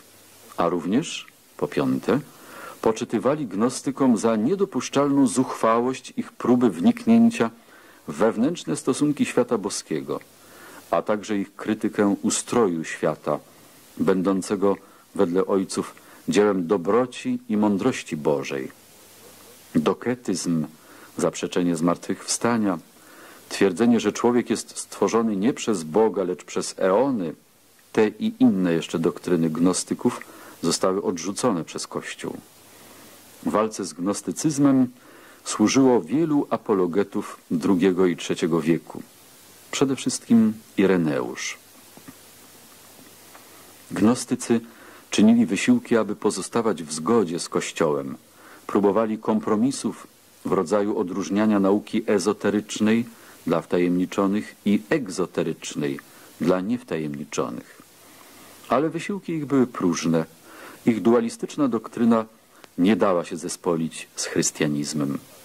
Gnostycyzm nie zaspokoił potrzeb ani religijnych, ani naukowych. Religijnych nie, bo odszedł od wiary, a sprawy moralne i soteriologiczne zaniedbał dla konstrukcji kosmologicznych. Naukowych zaś nie, bo odchodząc od wiary nie zapewnił ścisłości i pewności. Próba racjonalizacji wiary chrześcijańskiej na podłożu wschodnim zawiodła. Gnostycyzm miał dla chrześcijaństwa znaczenie raczej negatywne.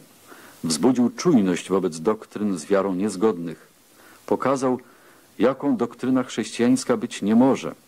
Zmusił do skonsolidowania kanonu. Poza tym jednak utorował też drogę spirytualistycznej filozofii chrześcijańskiej. Ale filozofia ta w dalszych swych poczynaniach wychodziła już nie z ducha wschodu, lecz zachodu, z bardziej racjonalnej i optymistycznej postawy greckiej. Pokrewne gnostycyzmowi były wszystkie bez mała herezje, które szerzyły się w pierwszych trzech stuleciach.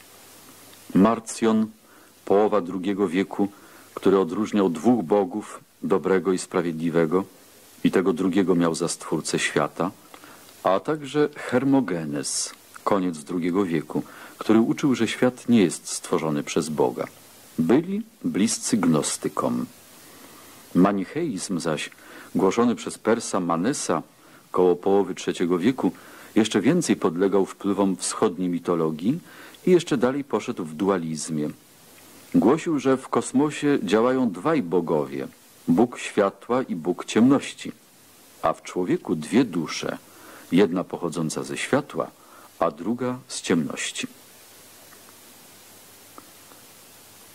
Apologeci Wschodu Apologeci byli pierwszymi pisarzami, którzy stojąc na gruncie Ewangelii dążyli do rozstrzygnięcia ściśle wedle niej zagadnień filozoficznych. Zarazem byli pierwszymi filozofami chrześcijańskimi, którzy zasymilowali pojęcia filozofii greckiej. Przez to wytworzyli na greckim podłożu swoiste koncepcje chrześcijańskie. Dotyczy to głównie apologetów wschodnich, Ich działalność przypada na drugi wiek. Było to stulecie apologetów, jedynych wówczas prawowiernych filozofów. Główni apologeci wschodu. Apologeci byli różnego pokroju. Jedni mieli znaczenie teoretyczne dla ustalenia nauki chrześcijańskiej, inni tylko praktyczne dla jej propagandy. Jedni polemizowali z poganami, inni z heretykami. Jedni byli zwolennikami, inni wrogami helleńskiej kultury umysłowej. Jedni oddawali się spekulacjom metafizycznym, inni opierali się na trzeźwym głosie zdrowego rozsądku. Wschód, w przeciwieństwie do Zachodu, wydał przeważnie teoretyków, hellenofilów, metafizyków. Najwybitniejszym apologetą Wschodu był we wcześniejszej generacji Justyn, a w późniejszej Ireneusz. Justyn Męczennik, urodzony około 106 roku, zmarł około 166, pochodził z Palestyny. Wcześniej poświęcił się filozofii. Przeszedł przez różne szkoły, zwłaszcza stoicką i neoplatońską. Późno poznał naukę chrześcijańską, ale poznawszy, całkowicie oddał się jej sprawie. Napisał dwie apologie chrześcijaństwa, obie skierowane do cesarza Antonina oraz apologetyczny dialog z Żydem Tryfonem. Śmierć męczeńską poniósł w Rzymie. Ireneusz, około 130 roku, zmarły około 202, urodzony był w Azji Mniejszej. Zmarł zaś jako biskup Lugdunu i on miał gruntowną kulturę filozoficzną, ale spekulacjom filozoficznym, zwłaszcza gnostyckim, jakie pojawiły się wówczas wśród chrześcijan, przeciwstawił tradycję bezpośrednich uczniów Chrystusa.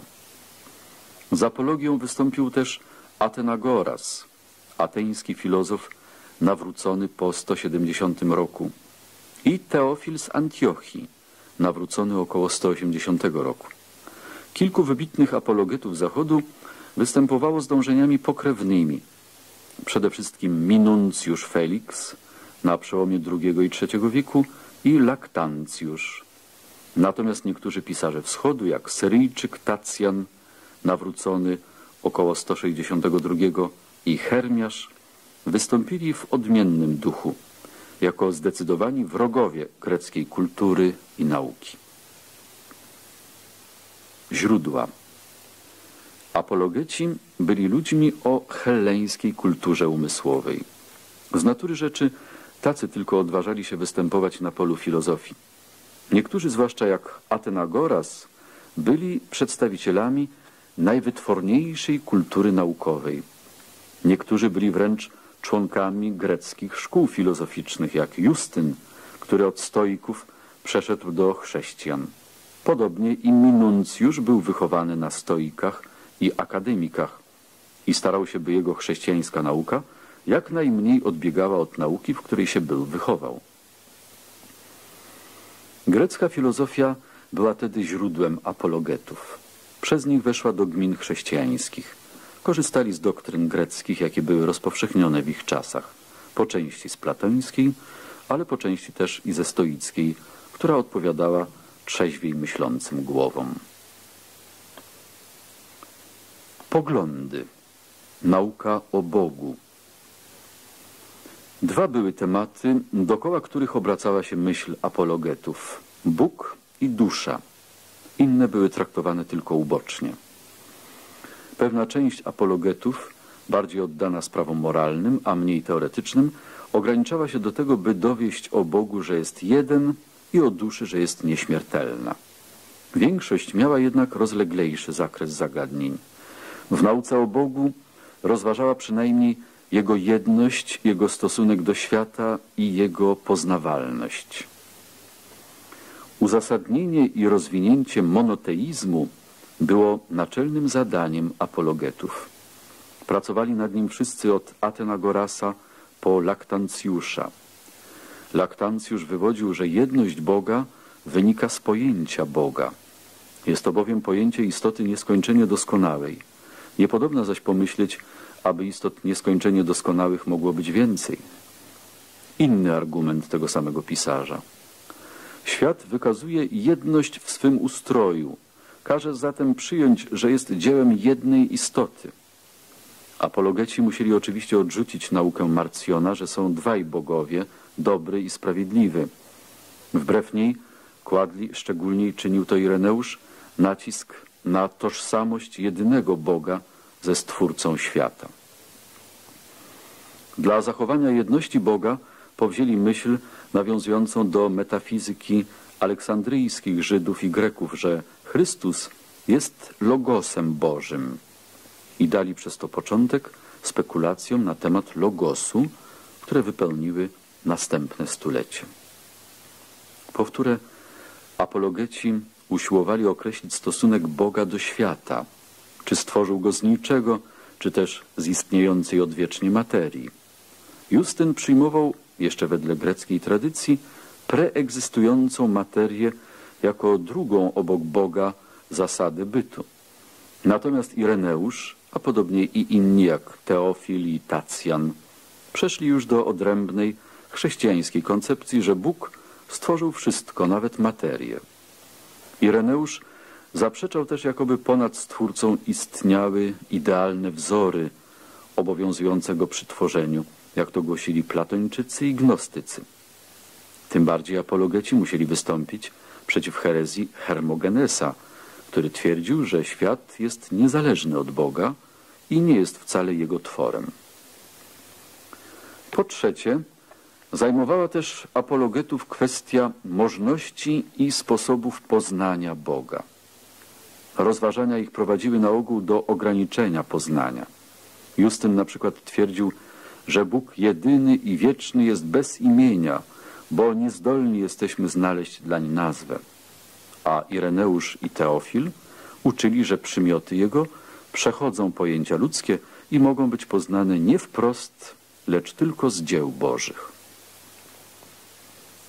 Nauka o duszy. Czy dusza jest nieśmiertelna?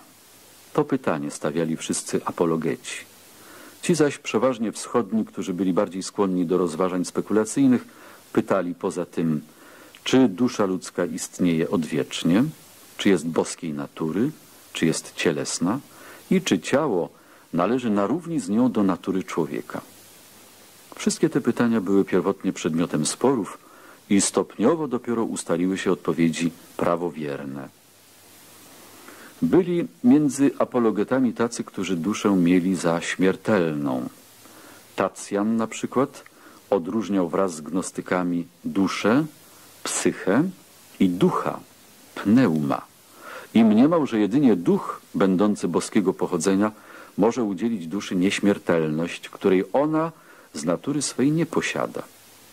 Był to pogląd platońsko-filońskiej tradycji. Przeważył jednak pogląd przeciwny. Nieśmiertelność duszy wywodzono, tak czynił na przykład Atenagoras, jako konsekwencję jej rozumności. Niemniej sprawa nieśmiertelności nie przestawała być przedmiotem sporu. Spór toczył się dalej o to, czy jest nieśmiertelna z własnej natury, czy jedynie z postanowienia Bożego. I najwybitniejsi apologeci jak Justyn i Laktancjusz wypowiadali się przeciw przyrodzonej nieśmiertelności. Pogląd na pochodzenie duszy również nie od razu ustalił się wśród apologetów. Jedni z nich wyznawali traducjanizm, czyli teorię, że wszystkie dusze istnieją odwiecznie, a przy urodzeniu są nie tworzone, lecz tylko przeprowadzane w ciała. Był to pogląd przedchrześcijański, idący śladem Platona. Ale obok niego zaczął przebijać się pogląd inny, który miał potem utrwalić się w filozofii chrześcijańskiej. Był to kreacjanizm, twierdzący, że dusze nie preegzystują, lecz są tworzone dopiero w chwili urodzenia cielesnego. Przekonanie o boskości duszy miało zwolenników między apologetami. Ci nawiązywali do stoików i twierdzili, że z duszą związany jest duch pneuma, który jest boskiej natury. Ale wielcy apologeci, jak i Reneusz, odrzucili ten pogląd. Boski duch może, pisali, znaleźć się w człowieku, ale jedynie drogą łaski, bo do natury jego nie należy. Dusza nie jest boska, lecz tylko jest obrazem imago Boga. Wśród wczesnych pisarzy kościelnych istniało, a może nawet przeważało przekonanie, że dusza jest cielesna. I to przekonanie było przedchrześcijańskie, greckie. Argumenty i tu były czerpane od stoików. I nie tylko apologeci łacińscy, bardziej zależni od stoicyzmu, ale także należący do czysto greckiej kultury Ireneusz poczytywał duszę za subtelniejszego rodzaju ciało. Wszakże obok tej koncepcji wytworzyła się u ojców Kościoła koncepcja niematerialności duszy, która później miała zapanować wyłącznie w filozofii prawowiernej. Co prawda wytworzyła się względnie późno, ale już zupełnie wyraźnie wystąpiła u Atanazego.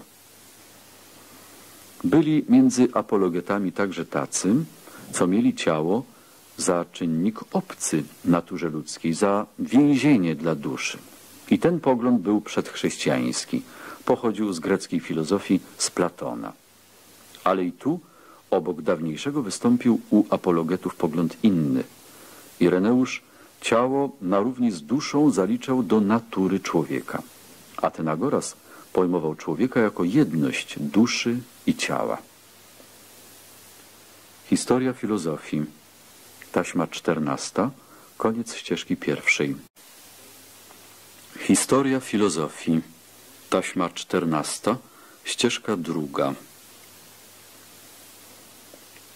Nowa metafizyka.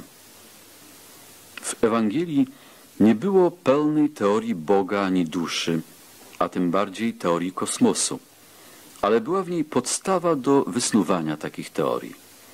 Ewangelia nie głosiła dualizmu Boga i świata, ale mówiła o grzeszności ludzkiej i o ofierze Chrystusa, która nie byłaby potrzebna, gdyby świat miał boską naturę, więc pośrednio prowadziła do dualizmu. Ewangelia nie zawierała twierdzenia, że świat powstał z niczego, ale mówiła o wszechmocy Bożej. A Bóg nie byłby wszechmocny, gdyby budując świat musiał stosować się do odwiecznej materii lub odwiecznych idei. Ewangelia prowadziła więc pośrednio do creatio ex nihilo. Ewangelia nie mówiła nigdzie explicite o nieśmiertelności duszy, ale zapowiadała zbawienie, a zbawienie nie godziło się ze śmiertelnością, więc skłaniała pośrednio do przyjęcia nieśmiertelności duszy. Ewangelia nie uczyła nigdzie niematerialności duszy, ale przyjęcie nieśmiertelności duszy pociągało za sobą przyjęcie jej niematerialności, gdyż wszystko materialne jest zniszczalne.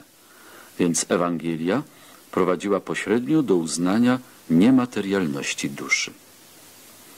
Twierdzenia metafizyczne zawarte implicite w Ewangelii wysnuli z niej wcześniej filozofowie chrześcijańscy, że zaś żaden starożytny system metafizyki nie czynił całkowicie zadość wymaganiom Ewangelii, więc zaczęli tworzyć nową metafizykę. Starożytni rozumowali tak. Albo świat w całości pochodzi od Boga, a wtedy jest boskiej natury i doskonały, albo jest niedoskonały, nieboskiej natury, a wtedy nie pochodzi w całości od Boga. Trzeciej możliwości nie dopuszczali. Chrześcijanie zaś doszli właśnie do trzeciej koncepcji. Świat w całości pochodzi od Boga, ale nie jest boskiej natury. Pierwsze uważali za konsekwencję wszechmocy Bożej, drugie zaś wnosili z ofiary Chrystusa, która nie byłaby potrzebna, gdyby świat był natury boskiej. Analogiczna zmiana dokonała się w koncepcji duszy. Starożytni rozumowali tak. Albo dusza jest boska, a wtedy jest nieśmiertelna, albo jest śmiertelna, a wtedy nie jest boska. Trzeciej możliwości nie znali, bo znali tylko bądź wieczny byt boski, bądź znikomy byt ziemski. Chrześcijańscy zaś filozofowie stanęli właśnie na trzecim stanowisku. Dusza jest nieśmiertelna, ale nie jest boska. Pierwsze wynikało z zapowiedzi zbawienia, drugie z ofiary Chrystusa. Wreszcie starożytni rozumowali w ten sposób. Albo coś jest zmienne, albo niezmienne. Co jest zmienne, to ma początek i koniec. Co zaś niezmienne, to nie ma ani początku, ani końca. Chrześcijańscy zaś apologeci przyjęli trzecią możliwość, że dusza ma początek, a nie ma końca. Pierwsze wynikało z wszechmocy Bożej, drugie z zapowiedzi zbawienia. Podobnie było i w innych zagadnieniach metafizyki. Wiara prowadziła do innych rozwiązań niż te, które znalazł autonomiczny rozum. Znaczenie dziejowe apologetów wschodu polegało na tym, że stojąc na gruncie zarazem Ewangelii i filozofii greckiej, zespolili Ewangelię z filozofią grecką i sformułowali naukę chrześcijańską w terminach nauki greckiej. Byli tymi, co pojęli naukę Chrystusa nie tylko jako religię, ale zarazem i jako filozofię. Dla przekonania o jej prawdziwości odwoływali się nie do samej tylko wiary, ale też do bezstronnego rozumu, który jest sędzią filozofii. I przez to postawili naukę chrześcijańską na jednej płaszczyźnie z filozofią. Ewangelia nie była filozofią, ale apologeci wysnuli z niej filozofię. Wcześniejsi z nich mniemali, że filozofia ich będzie identyczna z filozofią Greków. To też zaczęli od tego, że przejmowali gotowe teorie starożytne, ale przekonawszy się, iż nie harmonizują z ich wiarą, stworzyli teorie nowe. Terminy pozostały greckie, ale treść była już odrębna. Przy tym filozofia apologetów pierwotnie skłaniała się do tej spośród teorii starożytnych, która była najbardziej trzeźwa i naturalistyczna, do teorii stoickiej.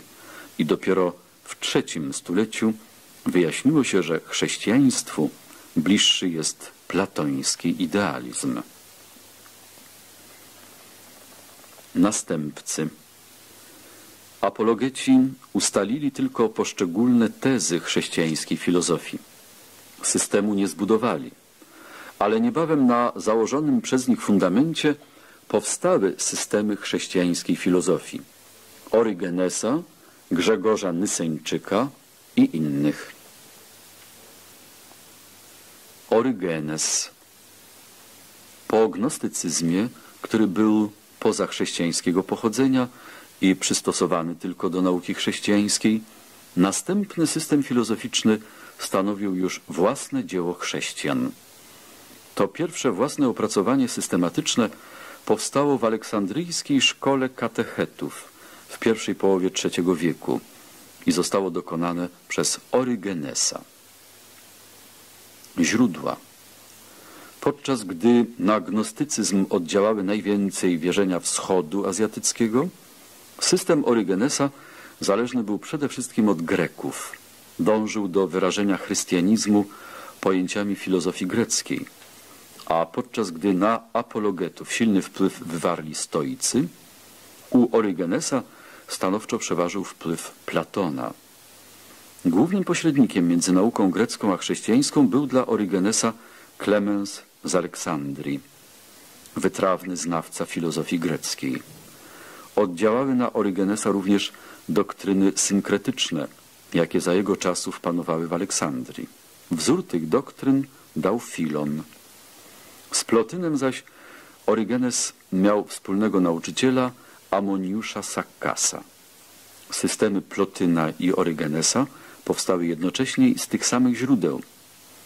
Drugim źródłem systemu Orygenesa była oczywiście praca dokonana przez wcześniejszych pisarzy chrześcijańskich apologetów.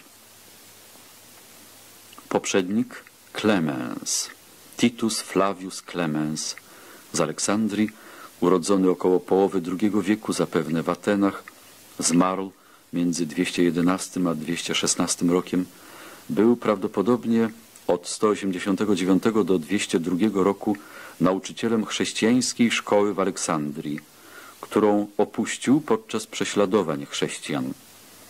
Pisma jego mają trzy działy. Upomnienie Greków Protrepticus ze 195 roku rozważa błędy pogańskie. Paedagogus napisany wkrótce potem, przedstawia chrześcijańską naukę moralności. I trzecie, barwne kobierce, stromata, zredagowane aforystycznie, rozwijają podstawową naukę chrześcijańską, przedstawioną nie jako wiara, pistis, lecz jako wiedza, gnosis, i to całkowicie zgodna z filozofią starożytną. To przekonanie pozwalało Klemensowi korzystać obficie z tej filozofii. Sam filozoficznie niesamodzielny i eklektyczny stworzył jednak program nauki chrześcijańskiej i przyczynił się do tego, że grecka kultura umysłowa została użyta przy kształtowaniu filozofii chrześcijańskiej. Program jego wypełnił Orygenes na podstawie wiary, która podaje fakty, quia sint, jak to formułowano później, usiłował stworzyć wiedzę, która te fakty tłumaczy. Quomodo aut unde sint. Życie Orygenesa Orygenes, urodzony w 185 lub w 186 roku, zmarły w 254, zwany Adamantinus za swą żelazną pracę, był najsławniejszym i najwpływowszym chrześcijańskim teologiem wschodu. Pochodził z Aleksandrii. Urodzony był z rodziców chrześcijan. Był uczniem Klemensa, ale również słuchał Amoniusza Sakkasa. Wcześniej posiadł znajomość zarówno pism biblijnych, jak i filozoficznych pism greckich, zwłaszcza Platona, neopitagorejczyków i stoików. Mając 18 lat, zaczął uczyć w szkole katechetów, a w latach 203-31 stał na jej czele. Oskarżony o herezję i potępiony przez synod aleksandryjski, został pozbawiony stanowiska w 232 roku i usunięty z Aleksandrii. Mieszkał później w Cezarei, gdzie założył szkołę, która rychło stała się sławna. Pisma. Główne dzieło Orygenesa nosiło tytuł O zasadach. Peri Archon.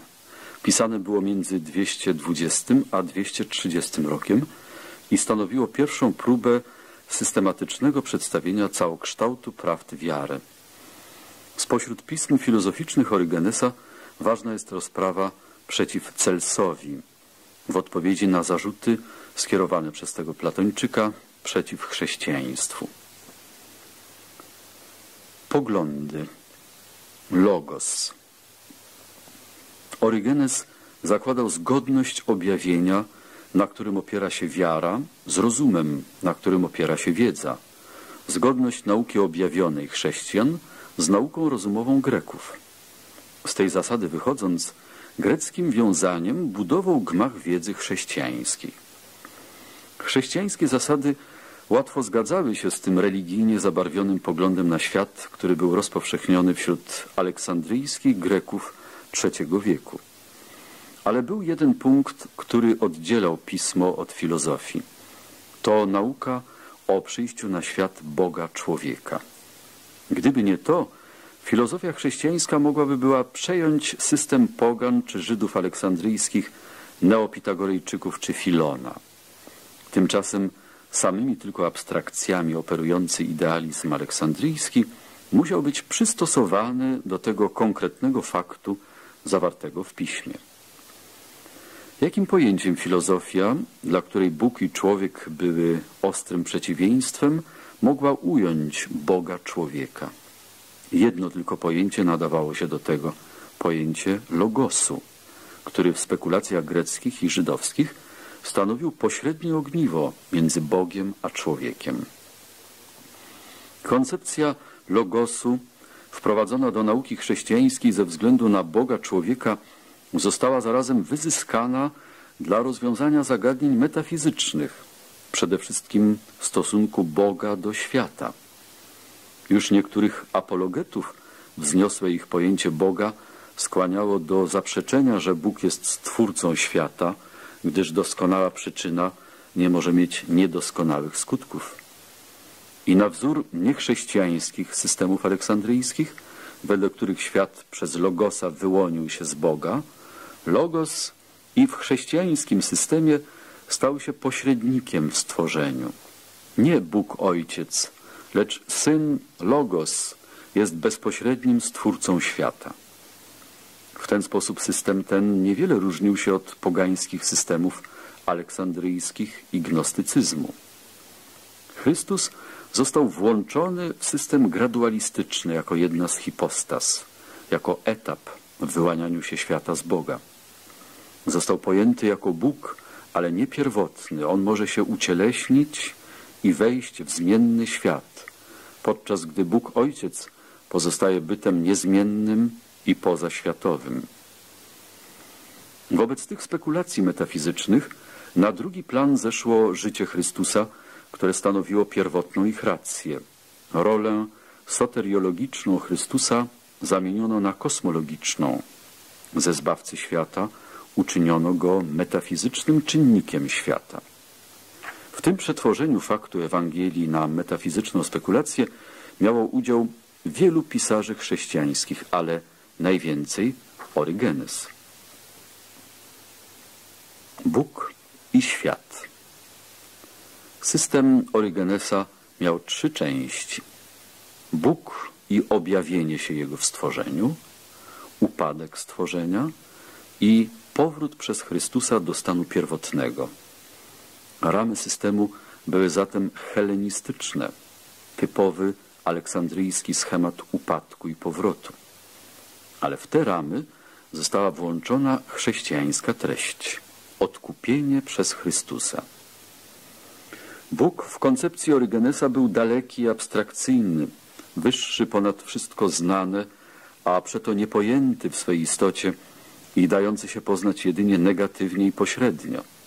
W przeciwieństwie do rzeczy doczesnych, które są różnorodne, zmienne, skończone i materialne. On jest jeden, niezmienny, nieskończony, niematerialny. Do tych powszechnie wśród filozofów aleksandryjskich uznawanych własności Boga Orygenes dodawał jeszcze własności zupełnie inne, swoiście chrześcijańskie. Bóg jest dobrocią i miłością. Chrystus Logos był dla Orygenesa hipostazą bytu, drugim Bogiem, a pierwszym szczeblem w przejściu od Boga do świata, od jedności do mnogości, od doskonałości do niedoskonałości. Wyłonił się z Boga, a z kolei z Niego wyłonił się świat. On jest stwórcą świata. W tej spekulacyjnej teorii logosu tkwił najdrażliwszy punkt orygenizmu, bo odrębna wiara chrześcijańska sprowadzona została do ogólnej koncepcji hellenistycznych filozofów. Jednakże orygenesowska koncepcja logosu miała też cechy swoiście chrześcijańskie. Wedle niej logos był nie tylko stwórcą świata, ale też jego zbawcą. Świat powstał całkowicie z Boga. Nie tylko duchy, które stanowią część jego najdoskonalszą, ale nawet materia, wbrew gnostykom, jest tworem Bożym, czyli świat został stworzony z niczego, ale stworzony został w myśl greckiej filozofii odwiecznie i przeto nie ma początku, tak samo jak Bóg. Albowiem tak Orygenes argumentował za odwiecznością świata, odkąd istnieje Bóg, musiało też istnieć pole jego działania. Świat jest wieczny, ale nie jest wieczna żadna z jego postaci. Ten określony świat, w którym obecnie żyjemy, kiedyś powstał i kiedyś zginie, aby ustąpić miejsca nowemu. Różni się zaś od wszystkich innych, bo w nim właśnie Logos stał się człowiekiem. Upadek i zbawienie duchów. Duchy zostały wraz z materialnym światem stworzone odwiecznie. Są tedy nie tylko nieśmiertelne, ale i odwieczne. Mają zgodnie z platońskim poglądem preegzystencję. Cechą duchów stworzonych jest wolność. Dobro natomiast nie należy do ich natury. Z wolności swej mogą korzystać dla dobra i zła. Natura wszystkich duchów jest podobna. Jeśli zaś jedne są wyższe, drugie niższe, jeśli są między nimi dobre i złe, to jest to skutek ich wolności. Jedne skorzystały z niej, by pójść za Bogiem, drugie nie. Na ogół anioły poszły za Bogiem, ludzie przeciw Bogu. Upadek ich stał się przełomem w dziejach świata, bo poniżył duchy i poniżając złączył z materią. Wszakże moc Boża przeważy nad materią i złem i przez Logosa wszystkie duchy będą zbawione. Po odpadnięciu od Boga nastąpi drugi okres dziejów świata, nawrócenie do Boga, bo zło jest ostatecznie tylko negatywne, jest odwróceniem się od Boga, od doskonałości i pełni bytu. Aby je usunąć, trzeba duchy nawrócić do Boga. Droga zaś nawrócenia prowadzi przez poznanie. W tym wyrażał się grecki intelektualizm, odziedziczony przez Orygenesa. A poznanie w jego przekonaniu było zawarte w nauce chrześcijańskiej. I podobnie do pogańskich systemów aleksandryjskich, Orygenes twierdził, że końcem dziejów świata będzie apokatastazis, czyli powrót wszech rzeczy do pierwotnego źródła, do Boga. Ta perspektywa powrotu do doskonałości i szczęścia dawała systemowi Orygenesa piętno optymizmu. Istota filozofii Orygenesa W systemie Orygenesa prawda chrześcijańska nabrała cech aleksandryjskiego neoplatonizmu.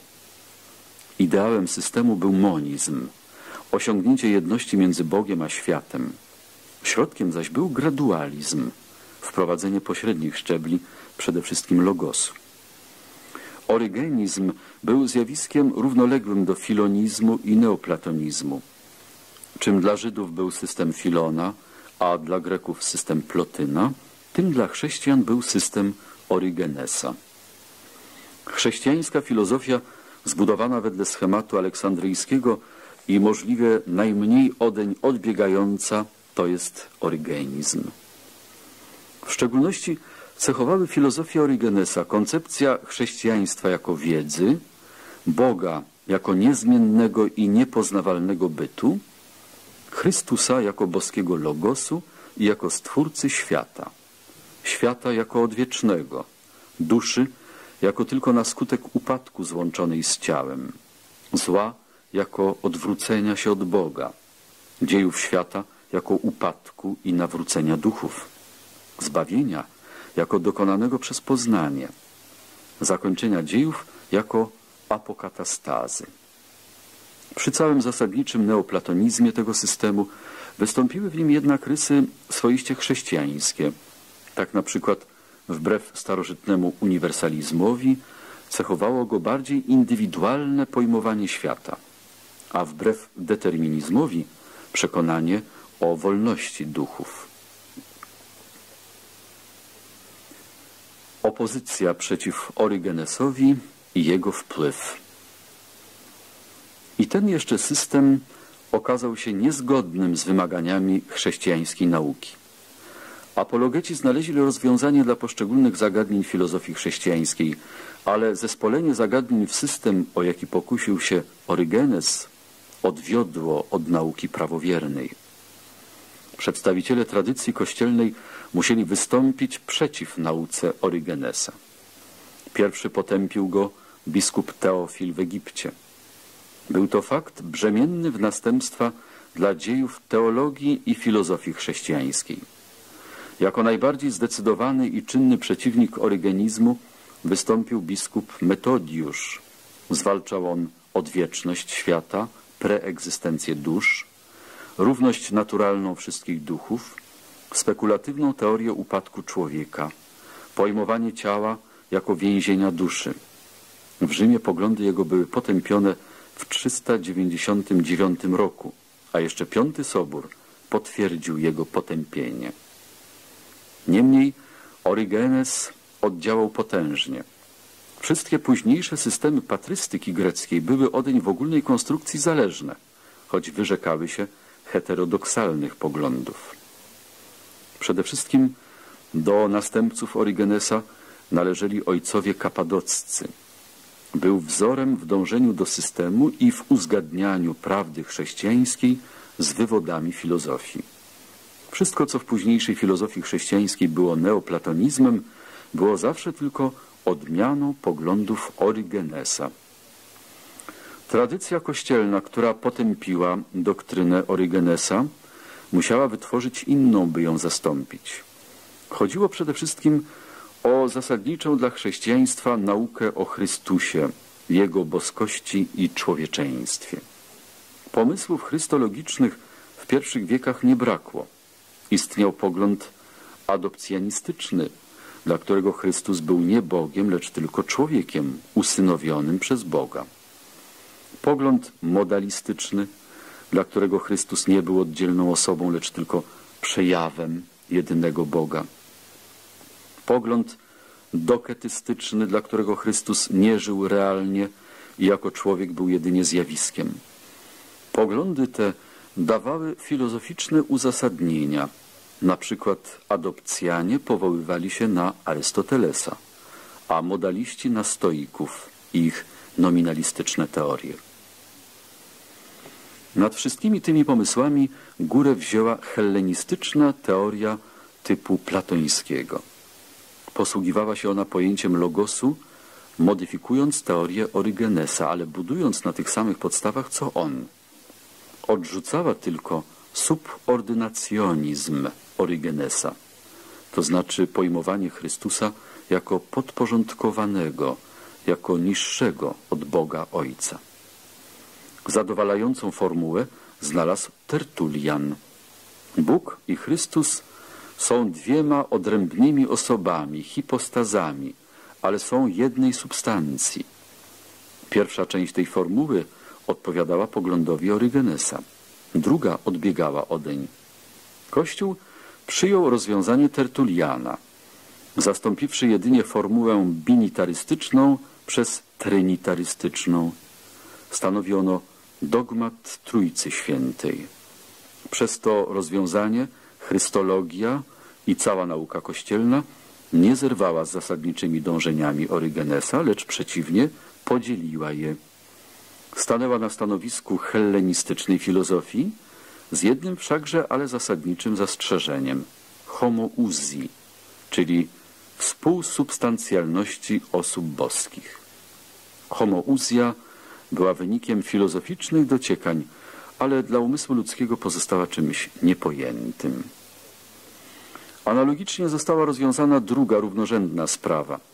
Wypadało bowiem ustalić stosunek Boga człowieka nie tylko do natury boskiej, ale i do natury ludzkiej. Ireneusz wskazał był tu drogę, a odpowiednią formułę i tu znalazł wyszkolony na prawniczych trudnościach Tertulian. Dzięki nim powstała nauka o dwóch naturach Chrystusa.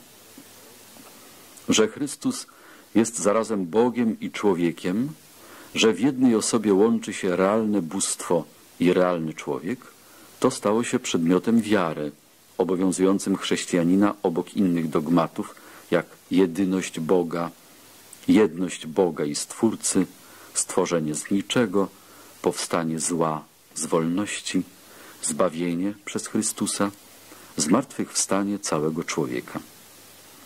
Zamierzenia Orygenesa spełniły się, choć nie w tej postaci, którą on sam im dał. Nad wiarą Ewangelii powstała spekulacyjna nadbudowa. W niej soteriologiczny punkt widzenia zeszedł na drugi plan. Kwestie filozoficzne wzięły górę nad wszelkimi innymi. Przede wszystkim sprawa poznania nad sprawą zbawienia, a abstrakcje filozoficzne nad konkretnymi naukami pisma. Groziło, że fakty, jakie podaje Ewangelia, będą przetransponowane w symbole, że Bóg, pojęty jako byt prawdziwy i przyczyna świata, przysłoni sobą Zbawiciela.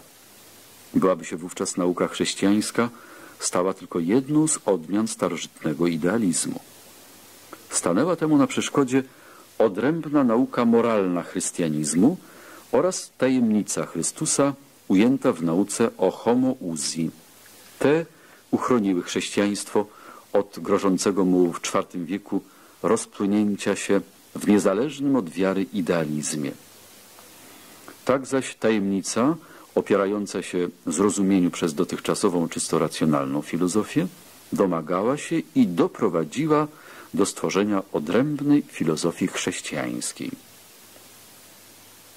Grzegorz Nysseńczyk Dzieło systematyzacji zapoczątkowane przez Orygenesa było prowadzone dalej, ale w zmienionych od IV wieku warunkach.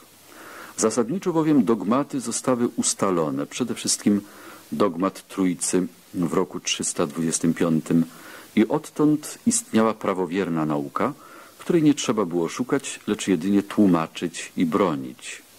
Przez to rozpoczął się nowy okres patrystyki.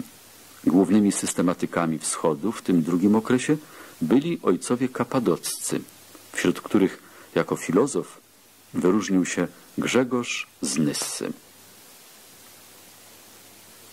Władysław Tatarkiewicz Historia filozofii Taśma czternasta Koniec ścieżki drugiej Władysław Tatarkiewicz Historia filozofii Taśma piętnasta Ścieżka pierwsza Poprzednicy Głównym poprzednikiem był Orygenes. Grzegorz zachował zasadniczą budowę jego systemu.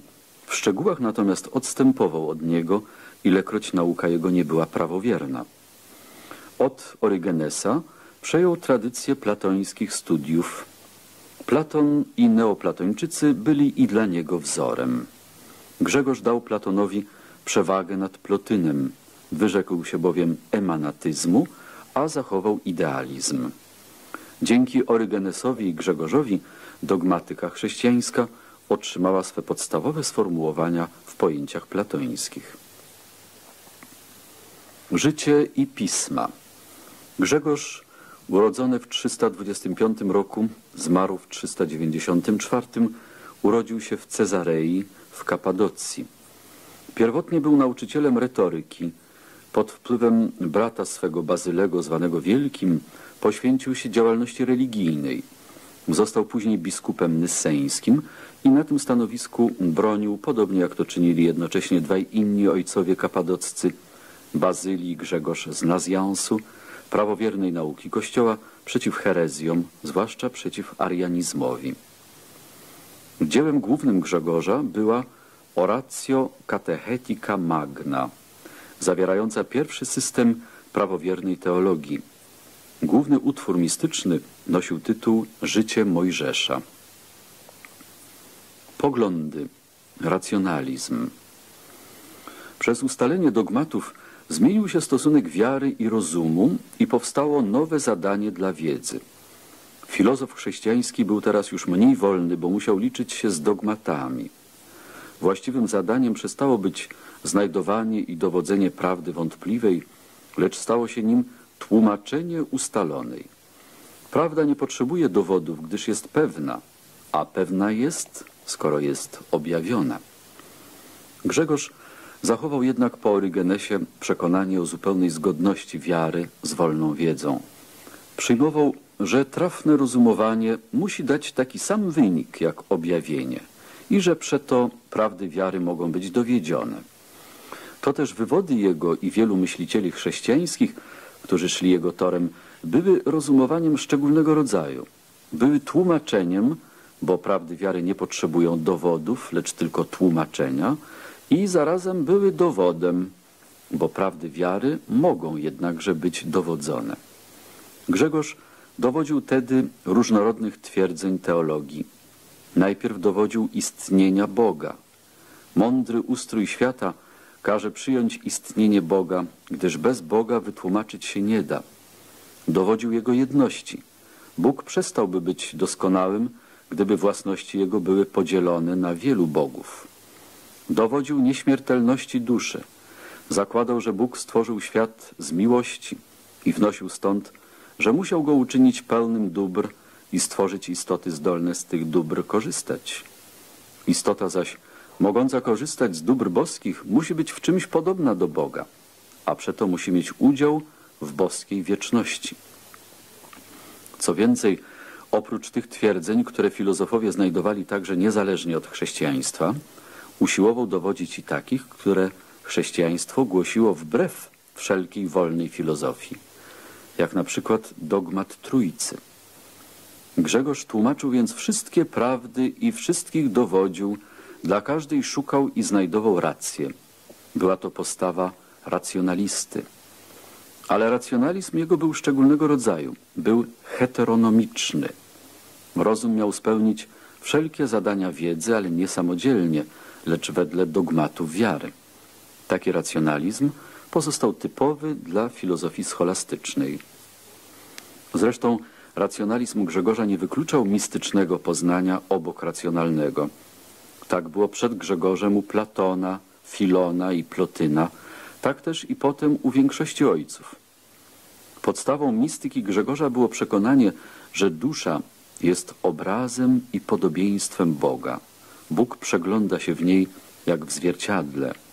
Jeśli więc nie utraciła czystości, to można w duszy oglądać bezpośrednio Boga i prawdy wieczne.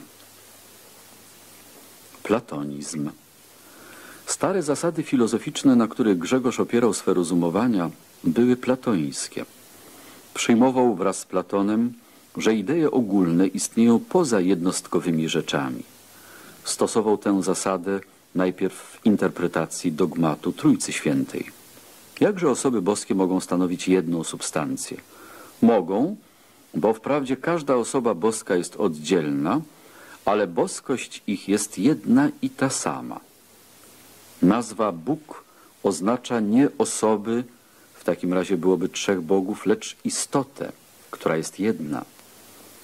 Przyjąwszy platoński punkt widzenia, Grzegorz nie widział już w dogmacie Trójcy nic szczególnego i tajemniczego. Gdybyśmy, pisał, nazwę człowiek stosowali nie do jednostkowych ludzi, lecz do tego, co stanowi ich istotę, to Piotr, Paweł i Barnaba byliby nie trzema, lecz jednym człowiekiem. Również po platońsku pojmował Grzegorz stworzenie człowieka. Gatunek miał za pierwotniejszy od jednostek. Twierdził więc, że pierwotnym tworem Boga był człowiek jako gatunek, wieczny, a pozbawiony cech jednostkowych. Jako gatunek nie istniał on realnie, lecz tylko idealnie, w umyśle Boga. Platońska była psychologia Grzegorza. Odrzucał arystotelesowskie pojęcie duszy. Rozumiał duszę jako prostą i niezłożoną, której ciało do istnienia nie jest potrzebne. Neoplatońska była eschatologia. Głosił powrót wszech rzeczy do pierwotnego stanu, czyli połączenie ostateczne z Bogiem. W chrześcijańskim sformułowaniu nazywało się to zbawieniem wszystkich dusz, ale odpowiadało ściśle apokatastazie Orygenesa i innych filozofów aleksandryjskich. Grzegorz uzasadniał tę koncepcję przekonaniem o negatywnej naturze zła, które jako negatywne nie może być wiekuistą postacią bytu. Immaterializm. Z platońskiego ducha wywodziła się również kosmologia Grzegorza. Jednakże była samodzielnym jego tworem i ona to daje mu odrębne miejsce wśród filozofów, a w szczególności filozofów chrześcijańskich. Była to kosmologia immaterialistyczna lub, jak się również mówi, idealistyczna. Tezą jej było, że materia nie jest realna, że byt jest wyłącznie natury idealnej. Argumentacja Grzegorza była nie mniej oryginalna niż sama teza. Jakości są niematerialne, a z jakości składają się rzeczy, więc rzeczy są niematerialne. Dalsza argumentacja miała charakter religijny. Istota niematerialna może wytwarzać jedynie przedmioty niematerialne. Bóg zaś jest niematerialny, więc świat, który jest Jego tworem, musi być też niematerialny. Przypuszczenie, że jest materialny, prowadziłoby do twierdzenia, że nie jest stworzony przez Boga, a więc do ateizmu.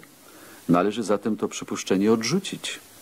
Tak tedy we wczesnym okresie myśli chrześcijańskiej podjęte było usiłowanie, aby przezwyciężyć dualizm świata idealnego i realnego w duchu czystego idealizmu, uznającego jedynie świat idealny. Znaczenie Grzegorza Chociaż Grzegorz był następcą Orygenesa, zasadniczo różnił się odeń pojmowaniem filozofii. Przeszedł od jej pojmowania autonomicznego do heteronomicznego. U Orygenesa była wolna, u niego już ograniczona przez dogmaty wiary. Takie pojmowanie nie wyróżnia jednak Grzegorza z pomiędzy pisarzy chrześcijańskich, gdyż stało się ono ich pojmowaniem normalnym. Wyróżnia go natomiast inny pogląd, immaterializm. Rozwój myśli chrześcijańskiej poszedł później torem realistycznym i Grzegorz pozostał odosobniony w swym usiłowaniu połączenia wiary chrześcijańskiej z immaterialistycznym poglądem na świat. Przeciwnicy Działalność Grzegorza i innych ojców kapadockich miała za zadanie walkę z szerzącymi się za ich czasów herezjami. Jak typową herezją pierwszych czasów chrześcijańskich był gnostycyzm, tak typową IV wieku był arianizm. Występował on przeciw podstawowemu dogmatowi chrześcijaństwa, dogmatowi Trójcy. Wraz z innymi herezjami owego czasu zajmował stanowisko naturalizmu. Prawdę chrześcijańską pragnął widzieć dostępną przyrodzonemu rozumowi, nieróżną od prawdy pogan czy Żydów. Wobec takiego stanowiska jest zrozumiałe, że arianizm i pokrewne mu herezje nie wydały filozoficznie nowych poglądów, lecz trzymały się poglądów przedchrześcijańskich. Poglądy Grzegorza, choć występował w obronie prawowiernej nauki, same nie okazały się całkowicie prawowiernymi i znalazły przeciwników wśród przedstawicieli Kościoła. Augustyn skorygował je w zasadniczych punktach. Nie utrzymała się ani idealistyczna interpretacja Trójcy, ani apokatastaza. Tertulian Obok głównego wśród apologetów prądu, który wedle zasad starożytnej nauki usiłował wykazywać słuszność chrześcijańskiego poglądu na świat, istniał drugi uboczny prąd, usposobiony wrogo wobec starożytnej i w ogóle wszelkiej nauki świeckiej. Dla niego chrześcijaństwo miało słuszność właśnie wbrew zasadom starożytnej nauki.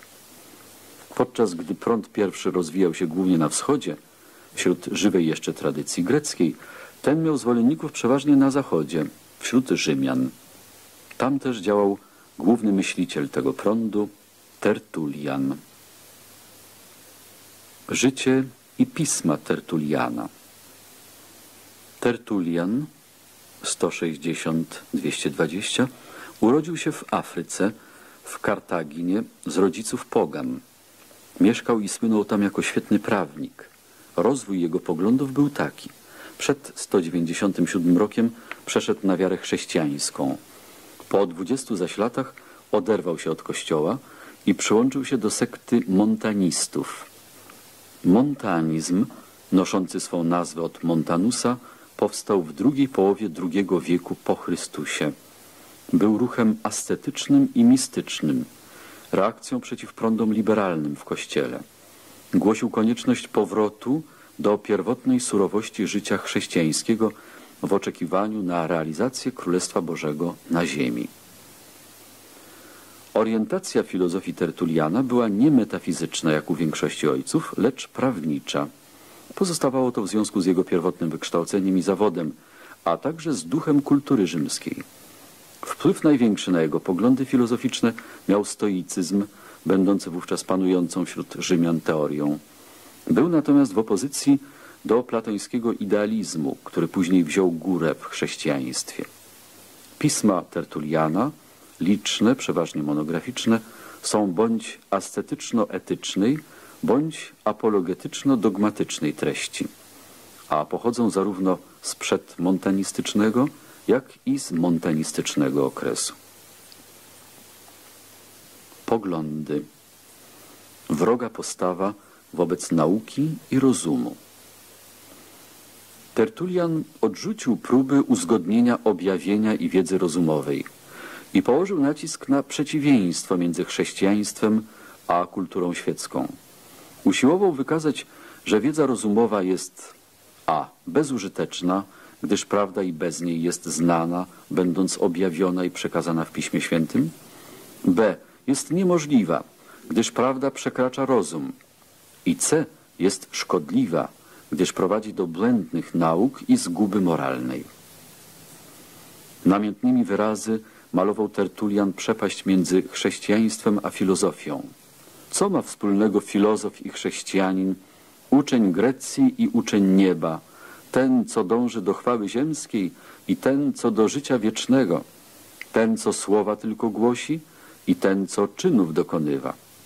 Nasza nauka każe szukać Pana w prostocie serca, a nie przez metody platońskie czy stoickie. Po Chrystusie zbędna jest wszelka ciekawość i zbędne jest wszelkie szukanie po Ewangelii. Nikt bowiem nie może poznać prawdy bez Boga, a nikt nie zna Boga bez Chrystusa. Każdy rzemieślnik, chrześcijanin znalazł Boga i umie odpowiedzieć na każde dotyczące Boga pytanie, podczas gdy największy z filozofów pogańskich, Platon, zapewnia, że trudno jest znaleźć budowniczego świata. Negatywne stanowisko wobec nauki Tertulian uzasadniał przede wszystkim tym, że zamierzenie jej, aby rozumem poznać prawdę, jest niewykonalne. Prawda jest bowiem zupełnie inna niż ją rozum przedstawia sobie. Co dla rozumu jest niemożliwością, absurdem, to właśnie jest prawdą. Zmartwychwstanie Chrystusa jest pewne właśnie dlatego, że jest niemożliwe. Certum est, quia impossibile est. Można i należy wierzyć w to, co dla rozumu jest niedorzecznością. Credo quia absurdum. Formuła przypisywana Tertulianowi, choć w pismach jego nie znajduje się. Dla poznania prawdy zbędny jest wysiłek rozumu, potrzebne natomiast przygotowanie się sercem do objawienia. Ujemny pogląd na naturę ludzką. Razem z nauką Tertulian potępiał umysł ludzki, który ją stworzył. Na całą naturę ludzką miał pogląd ujemny, odmawiał człowiekowi wszelkich wyższych zdolności, tak samo zdolności czynienia dobra, jak poznawania prawdy. Zostawiał mu jedynie zdolności niższe, cielesne i zmysłowe. Jakaś umysłowa trzeźwość rzymska kazała mu się przeciwstawić spekulatywnej fantazji późnych Greków, którzy nie znali granic w przypisywaniu władz i zdolności duszy ludzkiej. Ale nade wszystko kierowała Tertulianem szczególna intencja, aby poniżyć naturę ludzką. Poniżał ją zaś, ogałacał ze wszelkich przyrodzonych zdolności na to, aby zrobić miejsce dla nadprzyrodzonej łaski i objawienia. Chciał wykazać, że cała mądrość i cała dobroć, jaka jest w człowieku, nie pochodzi z jego własnej natury, lecz jest darem Boga. Wszystko, co cielesne, jest złe, a w człowieku nie ma nic poza ciałem. Poniżał człowieka, aby uwydatnić wszechmoc i łaskę Boga. Materializm. Przeto w człowieku Tertulian widział jedynie istotę materialną i zmysłową. Jego psychologia była materialistyczna, jego teoria poznania sensualistyczna. Choć był wrogiem filozofii greckiej, korzystał tu z jej argumentów. Tylko podczas gdy większość pisarzów chrześcijańskich szła za Platonem, Tertulian poszedł za stoikami. Ich wzorem argumentował na korzyść cielesności duszy. Gdyby nie była cielesna, to nie mogłaby działać na ciało. Materialistyczną koncepcję stosował nie tylko do człowieka. Po stoicku wszelki byt uważał za cielesny. Cokolwiek jest, jest ciałem pewnego rodzaju. Nie ma nic bezcielesnego poza tym, co nie istnieje. Konsekwentnie i Boga pojmował jako cielesnego. Któż zaprzeczy, że Bóg jest ciałem, skoro jest duchem? Duch bowiem jest ciałem sui generis. Jest to fakt godny uwagi, że wśród różnych doktryn filozoficznych, jakie próbowano dostosować do chrześcijaństwa, nie brakowało i materializmu. Był on filozofią mniejszości wczesnych chrześcijan, ale bądź co bądź był wyznawany wśród nich. Tertulian wprowadzał wszędzie trzeźwy punkt widzenia, właściwy umysłowości rzymskiej. Podczas gdy ojcowie wschodu ujmowali naukę Chrystusa jako filozofię, on ujął ją jako prawo i religia otrzymała odeń formuły prawne. Rzymianin, niechętny dla spekulacji wybujałej na wschodzie, kładł i w religii nacisk na to, co związane z życiem i działaniem. z doczesnymi potrzebami ludzkości. To też w tym ujęciu religii podstawowym czynnikiem był nie Bóg na niebie, lecz Kościół na ziemi i podczas gdy na wschodzie rozważano najwięcej te dogmaty, które dotyczyły natury Boga, Tertulian i inni rzymscy chrześcijanie skupili uwagę raczej na tych, które miały za przedmiot człowieka. Istotę tertuliańskiego ujęcia chrześcijaństwa stanowiło po pierwsze przeciwstawienie religii kulturze świeckiej, wbrew przeważającej wśród filozofów chrześcijańskich tendencji do zgody z kulturą świecką. Po drugie, oparcie filozofii chrześcijańskiej na materializmie i sensualizmie, wbrew przeważającej tendencji do oparcia jej na spirytualizmie i racjonalizmie. Po trzecie, ujęcie religii z punktu widzenia życia praktycznego, prawa, doczesnych potrzeb religijnych, wbrew ujęciu jej z punktu widzenia spekulacyjnej filozofii i perspektyw wiecznych. Wreszcie i nade wszystko, po czwarte, pogląd na świat dążący do wywyższenia Boga przez poniżenie człowieka, wbrew przeważającej wśród myślicieli chrześcijańskich tendencji, aby wykazać wielkość Boga przez wielkość Jego dzieła. Opozycja i wpływ. Kościół nie uznał koncepcji Tertuliana, choć wiele szczegółowych jego poglądów włączył do swej nauki. Nie poszedł za jego skrajnym materializmem, tak samo jak nie poszedł za skrajnym immaterializmem Nyseńczyka. Tertulian sam pod koniec życia zerwał z kościołem i przyłączył się do herezji montanistów. W swej naturalistycznej koncepcji chrześcijaństwa nie był zresztą odosobniony. Dzielił ją przede wszystkim Arnobiusz na przełomie III i IV wieku. Tak samo miał towarzyszy w swych wystąpieniach przeciw helleńskiej kulturze. Tertulianizm nie stał się nigdy panującą doktryną w chrześcijańskiej filozofii i teologii.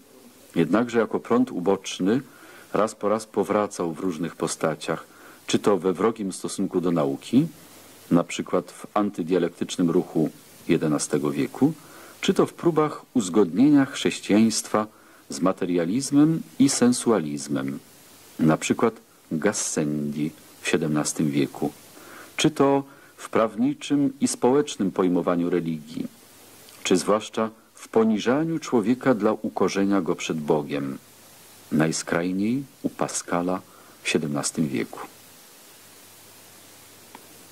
Święty Augustyn Na wschodzie filozofowie chrześcijańscy pielęgnowali dawną tradycję grecką, na zachodzie zaś próbowali iść własnymi drogami. To też wschód dał filozofii chrześcijańskiej od razu wysoką kulturę, ale Zachód dał jej samodzielność. Zachód najwięcej przyczynił się do tego, że myśl chrześcijańska była nowym początkiem w dziejach filozofii. Nie zrywając ze starożytną tradycją, jak chciał Tertulian i inni hellenofobi, ale też nie podporządkowując się jej, jak to uczynili Orygenes i jego następcy. Znalazł koncepcję filozoficzną będącą wyrazem odrębnej chrześcijańskiej postawy wobec Boga i świata. Stało się to na przełomie IV i V wieku, a było dziełem świętego Augustyna. Życie Augustyna Święty Augustyn urodził się w roku 354 w Tagasta w Numidii z ojca poganina i z matki chrześcijanki.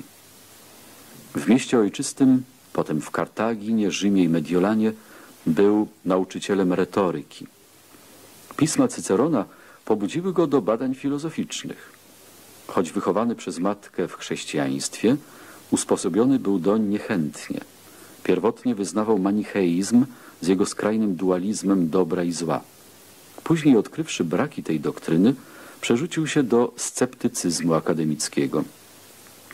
Dopiero w 386 roku lektura dzieł neoplatońskich skłoniła go do powrotu do dogmatycznej filozofii, a kazania biskupa Ambrożego nawróciły go do kościoła. Ochrzczony w 1387 roku powrócił do Afryki i tam spełniał czynności kapłańskie. Od 395 roku jako biskup Hippony z zapałem bronił nauki Kościoła i zwalczał herezje, nawet te, które jego samego pociągały dawniej. Manicheizm, donacjanizm, występujący przeciw jedności Kościoła i pelegianizm, uzależniający łaskę od zasługi. Filozoficzne zainteresowania Augustyna ustępowały pod koniec życia coraz więcej miejsca teologicznym. Zmarł w roku 430. Pisma Augustyna są bardzo liczne.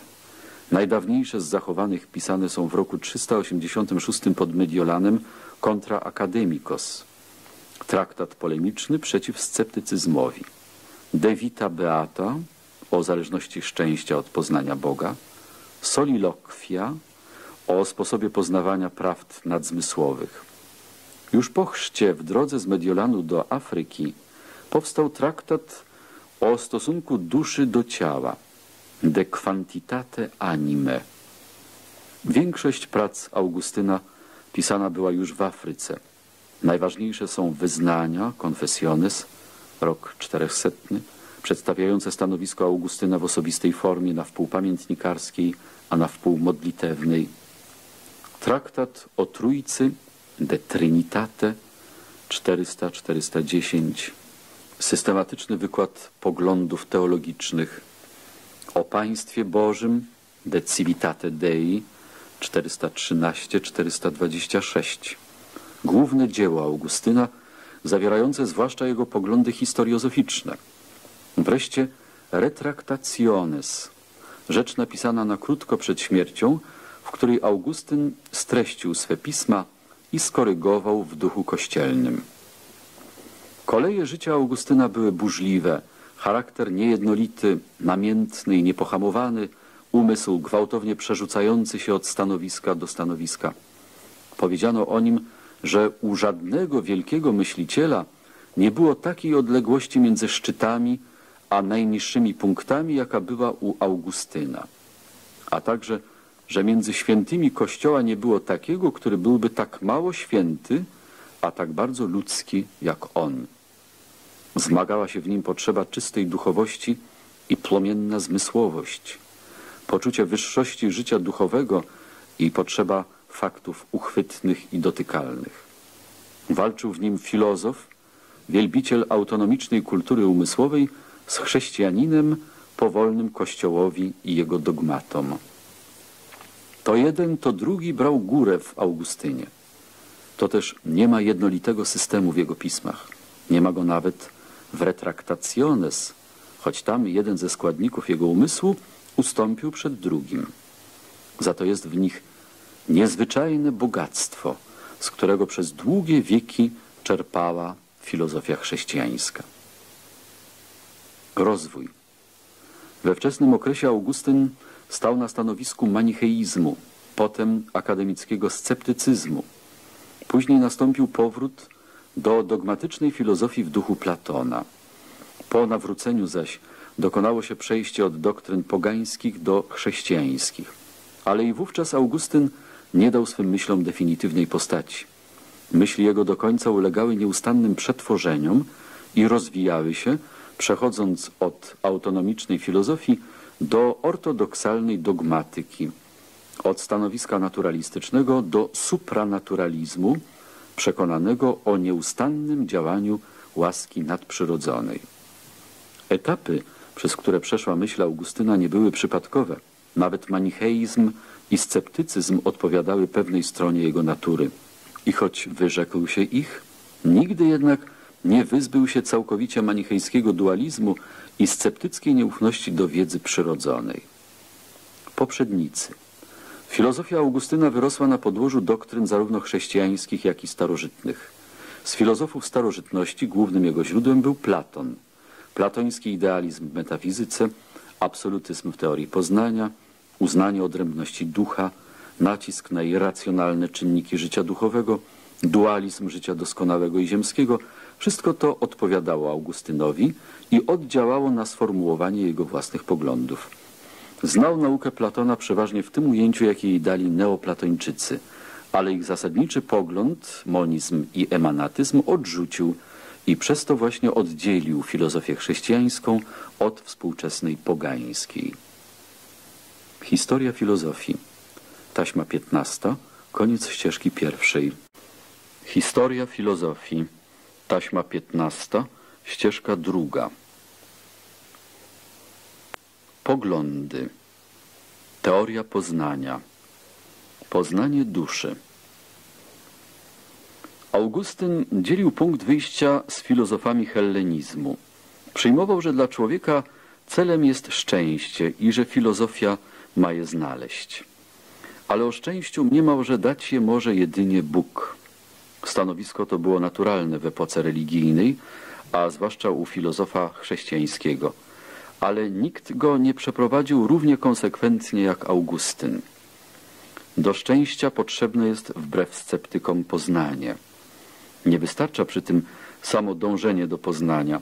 Potrzebne jest posiadanie go. Wszakże nie wszelkie poznanie jest potrzebne, lecz tylko poznanie Boga i własnej duszy. Badania przyrody są to, jak pisał z powodu astronomii, poszukiwania bardzo ciekawe i bardzo próżne. Pragnę znać Boga i duszę. I nic więcej? Nic więcej. To ograniczenie Augustyn przekazał stuleciom. Przetrwało ono całe średniowiecze. Poznanie zaś jest możliwe wbrew sceptykom. Zapewne zmysły podlegają złudzeniom, ale najpierw nie podlegają im zawsze, a powtórę myśl nie we wszystkim jest od zmysłów zależna, lecz posiadając własne tryby rozumowania, może sama niektóre prawdy ustalać. Augustyn szukał takiego sposobu poznania, który nie podlega błędom i przeto stanowi niezawodny punkt wyjścia dla wiedzy. I znalazł przede wszystkim to, że błędy powstają wtedy, gdy wypowiadamy twierdzenia o rzeczach, ale nie powstają, gdy o zjawiskach. Nawet i postrzeżenia stają się pewne, o ile rozważa się ich treść, a nie rzeczy, które je wywołują. Nie twierdź nic więcej jak to, że Tobie rzeczy się takimi przedstawiają, a nie będziesz miał zawodu. Ale Augustyn nie skończył na fenomenalizmie. Znalazł inną jeszcze niezawodną podstawę wiedzy. Zauważył mianowicie, że zarzuty sceptyków przeciw poznaniu dotyczą tylko poznania rzeczy zewnętrznych, ale nie przeżyć wewnętrznych. Twierdzenia niezawodne nie ograniczają się tedy do zjawisk, lecz obejmują również przeżycia wewnętrzne. O istnieniu rzeczy zewnętrznych można wątpić, ale o własnym życiu wątpić niepodobna. Własna myśl jest faktem ze wszystkich najpewniejszym. To słynna zasada Augustyna. W porównaniu z wiedzą psychologiczną, posiadającą pewność bezpośrednią, wiedza fizykalna o rzeczach zewnętrznych musiała się Augustynowi wydać niepewną, raczej przypuszczeniem i wiarą niż wiedzą. Ty, który chcesz poznać siebie, czy wiesz, że istniejesz? Wiem. Skąd to wiesz? Nie wiem. Czy odczuwasz się jako substancję prostą czy złożoną? Nie wiem. Czy wiesz, że poruszasz się? Nie wiem. Czy wiesz, że myślisz? Wiem. Wszystko jest wątpliwe, prócz tego tylko, że jestem i że myślę. A w innym miejscu. Czy powietrze, czy ogień jest źródłem życia? Co do tego ludzie wątpili, ale któż może wątpić, że pamięta, że rozumie, że chce, że myśli, że wie, że sądzi? Bo choćby wątpił, niemniej żyje. Jeśli wątpi, pamięta, dlaczego wątpi. Jeśli wątpi, rozumie, że wątpi. Jeśli wątpi, to chce się upewnić. Jeśli wątpi, to myśli. Jeśli wątpi, to wie, iż nie wie. Jeśli wątpi, to sądzi, iż nie należy twierdzić. A zatem wejdź w samego siebie. We wnętrzu człowieka mieszka prawda. Zasada ta, znana jako kartezjańska, ale na wiele wieków przed Kartezjuszem wypowiedziana przez Augustyna, stanowiła zupełne odwrócenie poglądu na poznanie. Było to zerwanie z obiektywizmem, poza który starożytność nie wyszła. Myśl szukająca prawdy, która dotąd stale i mimo wszelkie trudności zwracała się po nią ku rzeczom zewnętrznym, została odwrócona i skierowana ku wewnętrznemu życiu poznającego. I gdy dotąd dusza i jej przejawy traktowane były na podobieństwo rzeczy, teraz odwrotnie, wraz ze zmienioną postawą umysłu, życie psychiczne musiało stać się wzorem dla pojmowania natury rzeczy. Jest zrozumiałe, że to odwrócenie postawy dokonało się w epoce religijnie nastrojonego filozofowania. Oddziałało tu zobojętnienie chrześcijańskie na zewnętrzne warunki życia, oderwanie się od nich i skoncentrowanie na zbawieniu i na życiu wewnętrznym, które doń wiedzie. Poznanie idei i oświecenie przez Boga. Co umysł poza własnymi przeżyciami poznaje najlepiej? Rzeczy zewnętrzne? Nie. Wedle Augustyna od rzeczy lepiej poznaje prawdy wieczne. To była druga teza wyróżniająca jego teorię poznania. Choć w niej miał poprzedników starożytnych, uzasadniał ją w szczególny sposób, łącząc argumenty antyczne z nowymi.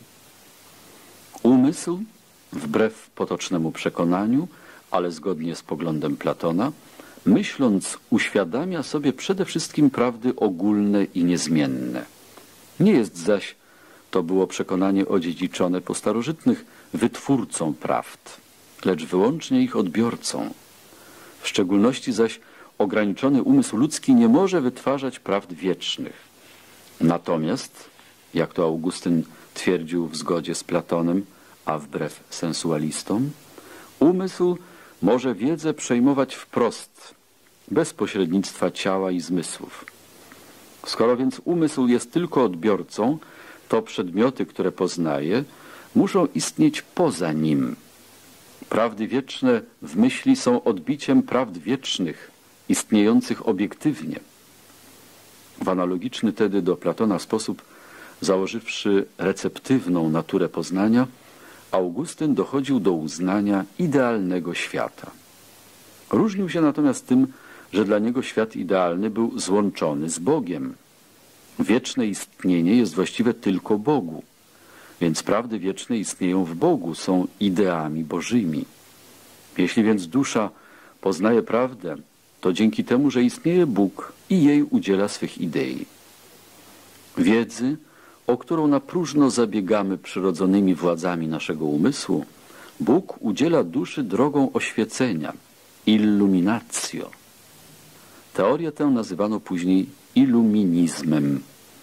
Umysł wedle niej bezpośrednio widzi prawdę, jak oczy widzą rzeczy. Wizjo intelektualizm. Poznanie umysłowe ma charakter intuicyjny. Umysł dochodzi prawdy wprost, bez rozumowania. Podczas gdy na przykład dla Arystotelesa poznanie Boga było rzeczą rozumowania, dla Augustyna było ono przede wszystkim aktem bezpośredniej intuicji, kontemplacji.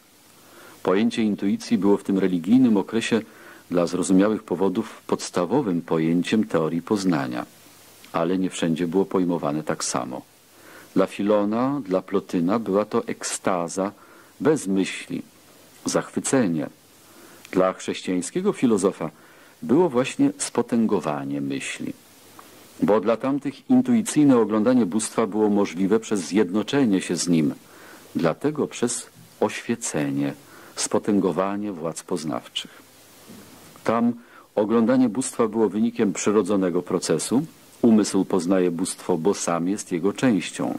Tu przeciwnie, oświecenie było pojęte jako fakt nadprzyrodzony, dzieło łaski. Moment nadprzyrodzoności i łaski stanowił kamień węgielny chrześcijańskiej nauki o intuicji. Jeśli ekstaza ma oznaczać wyjście z siebie i zjednoczenie z bóstwem, to intuicja u neoplatończyków była uwarunkowana przez ekstazę. Natomiast w chrześcijańskim poglądzie intuicja nie wymagała ekstazy. Łaska oświecenia przypada dobrym. Przygotowaniem do oświecenia jest więc mniej ćwiczenia umysłu niż oczyszczenie serca. Augustyn kładł na to nacisk i poznanie na pierwszym swym szczeblu przestało być dlań funkcją teoretyczną, a stało się funkcją praktyczną. Poznanie zakładające bezpośredni udział w nim bóstwa jest poznaniem mistycznym. Mistyczna była ekstatyczna intuicja Plotyna, mistyczna też intuicja Augustyna. Ale charakter intuicyjnego poznania był w obu wypadkach odmienny. Przez nacisk na oświecenie, spotęgowanie władz przyrodzonych i łaskę, Augustyn stworzył podstawy odrębnego mistycyzmu chrześcijańskiego. Wzorem Greków Augustyn przyjmował, że poznanie przechodzi szereg stopni, zanim dojdzie do swego celu. Ale jeszcze dalej rozwinął naukę ich o stopniach poznania. Ponad stopnie znane Platonowi i Arystotelesowi kładł, jak to było w duchu religijnej filozofii, jak to czynili również neoplatończycy, wyższe jeszcze stopnie, mające charakter już nieracjonalny, lecz mistyczny. Ta doktryna Augustyna, pojmująca poznanie mistyczne jako ukoronowanie racjonalnego, stała się wzorem filozofii średniowiecznej. Biorąc za punkt oparcia wiedzę a prioryczną o ideach, Augustyn sposobem na wpół racjonalnym i na wpół mistycznym dowodził naczelnych tez metafizyki, istnienia Boga i nieśmiertelności duszy. Mamy niezachwianą świadomość prawd wiecznych. Wszystko zaś, co wieczne, może istnieć jedynie w Bogu, więc Bóg istnieje. Jak inni dowodzili istnienia Boga jako przyczyny świata, tak on dowodził jako źródła prawdy, a w analogiczny sposób dowodził również nieśmiertelności duszy. Musi być wieczna, bo uświadamiając sobie prawdy wieczne ma udział w wieczności. Była to zupełnie inna droga niż ta, którą dla dowiedzenia tych samych tez chodziła na przykład filozofia perypatetycka, za punkt wyjścia przyjmująca wiedzę doświadczalną o realnych rzeczach. Teocentryczna metafizyka Augustyn przeprowadził to, co było intencją jego poprzedników. Uczynił Boga ośrodkiem myśli filozoficznej. Przeprowadził w poglądzie na świat przewagę Boga nad stworzeniem i całkowitą zależność stworzenia od Boga. Pogląd jego na świat był konsekwentnie teocentryczny.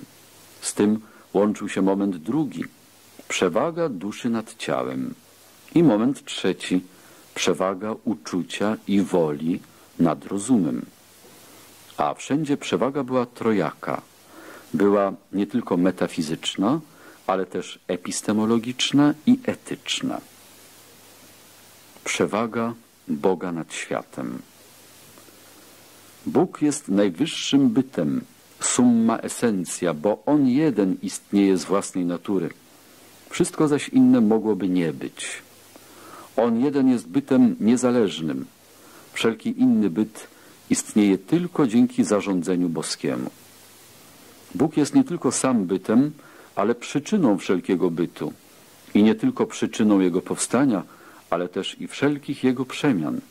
Nie tylko stworzył świat, ale nieustannie zachowuje go, jakby tworzy na nowo, creatio continua, wbrew poglądowi wcześniejszych pisarzy, że świat, odkąd raz został stworzony, rozwija się już samodzielnie.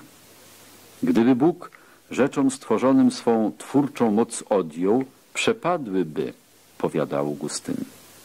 Bóg kieruje światem i to w najdrobniejszych szczegółach. Nie należy słuchać tych, którzy nauczają, że wyższymi świata dziedzinami rządzi opatrzność, niższą zaś częścią wstrząsają okoliczności i ruchy przypadkowe. Bóg jest najważniejszym przedmiotem poznania. Poznanie przemijających zjawisk nie ma bowiem wartości wobec poznania bytu absolutnego. Zarazem Bóg jest przyczyną poznania.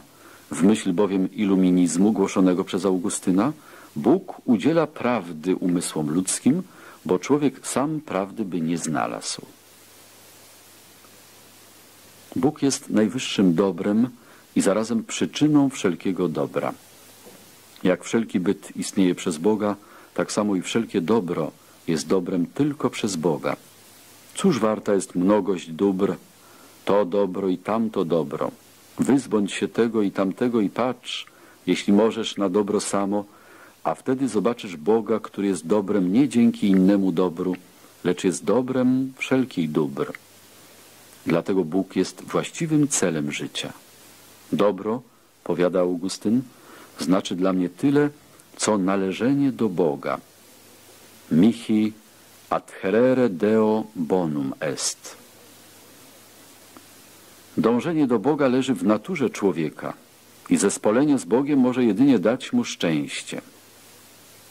Uczyniłeś nas dla siebie i niespokojne jest serce nasze, póki nie spocznie w Tobie. Tak zaczynają się wyznania świętego Augustyna. Co więcej, dobra i szczęścia człowiek nie może zdobyć sam, lecz tylko z pomocą Bożą.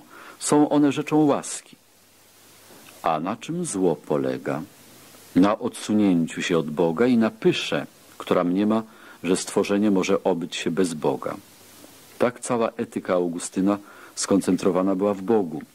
Wszelkie dążenie do dobra, tak samo jak poznawanie prawdy, ma w Bogu zarówno przyczynę, jak i cel. Wobec tej przewagi, jaką w niej posiada Bóg, filozofia Augustyna brzmi jak czysta teologia, ale nie inaczej jest w innych systemach tej epoki. Wystarcza zaś zastąpić słowo Bóg przez byt, bezwzględny, by znaleźć analogię między filozofią Augustyna a filozofią poprzednich, mniej religijnie usposobionych okresów. Przewaga duszy nad ciałem. Augustyn osiągnął czysto spirytualistyczną koncepcję duszy, która zapowiadała się już od Platona i do której ciążyła myśl chrześcijańska. Dusza jest substancją samoistną, nie jest ani własnością ciała, ani rodzajem ciała. Nie ma w sobie nic materialnego. Posiada tylko takie funkcje jak myśl, wola, pamięć. Wbrew starożytnym nie ma nic wspólnego z funkcjami biologicznymi. Za odrębnością duszy od ciała przemawia szereg względów. Najpierw, że funkcje jej różnią się od funkcji ciała, bo one tylko mogą być zwracane ku sobie, można myśleć o sobie, pamiętać o sobie i tak. Powtórę, w przeciwieństwie do ciała, dusza nie znajduje się w jednym miejscu, bo odczuwa podrażnienie, gdziekolwiek ciało zostanie podrażnione. Dusza jest nie tylko różna od ciała, jest odeń doskonalsza. To po Grekach nie było nowością. Nowe było raczej uzasadnienie. Jest doskonalsza, bo bliższa Boga. Gdy ciało jest zniszczalne, ona jest nieśmiertelna. Jest nieśmiertelna, bo poznając prawdy wieczne, ma udział w wieczności. Duszę znamy lepiej niż ciało. Wiedza o duszy jest pewna, o ciele niepewna. To był wynik dokonanego przez Augustyna odwrócenia poglądu na poznanie. Co więcej, dusza, a nie ciało poznaje Boga, którego nie podobna oglądać cielesnymi oczami ani żadnym takim zmysłem.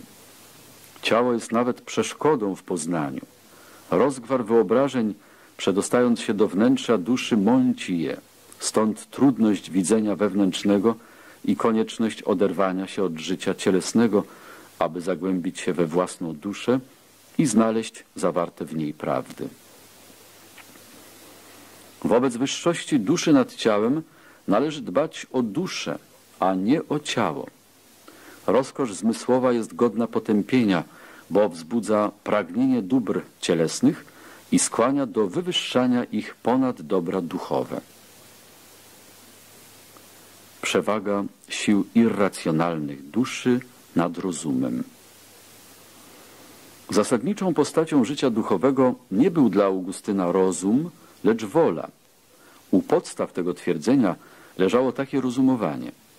Właściwa natura każdej rzeczy przejawia się tam, gdzie rzecz jest czynna, a nie gdzie jest bierna. To była jedna przesłanka. Rozum zaś, wedle zgodnej opinii całej starożytności, jest bierny. To przesłanka druga. Stąd wniosek, naturę ludzką stanowi nie rozum, lecz czynna wola. Natura człowieka przejawia się nie w tym, co wie, lecz w tym, czego chce. tą nauką o pierwszeństwie woli Augustyn zerwał ze starożytnym intelektualizmem. Stanowisko swoje Augustyn stosował nie tylko w psychologii, ale analogicznie i w teologii. Nie tylko w naturze ludzkiej, ale i w naturze Boga dopatrywał się pierwszeństwa woli. Filozofia jego przeszła tedy na całej linii od intelektualizmu do woluntaryzmu. Była to jedna z najdonioślejszych przemian, jakie dzieliły nowy pogląd na świat od starożytnego. Czynniki irracjonalne mają przewagę nie tylko w dziedzinie działania, ale i w dziedzinie samego poznania. Prawdę o Bogu, która przerasta przyrodzenie człowieka, poznać może nie rozum, lecz wiara. Wiara zaś jest rzeczą raczej woli niż rozumu, a jeszcze więcej rzeczą uczucia, czyli jak mówił Augustyn, serca. Nie pojmiesz patrząc, staraj się zrozumieć wierząc.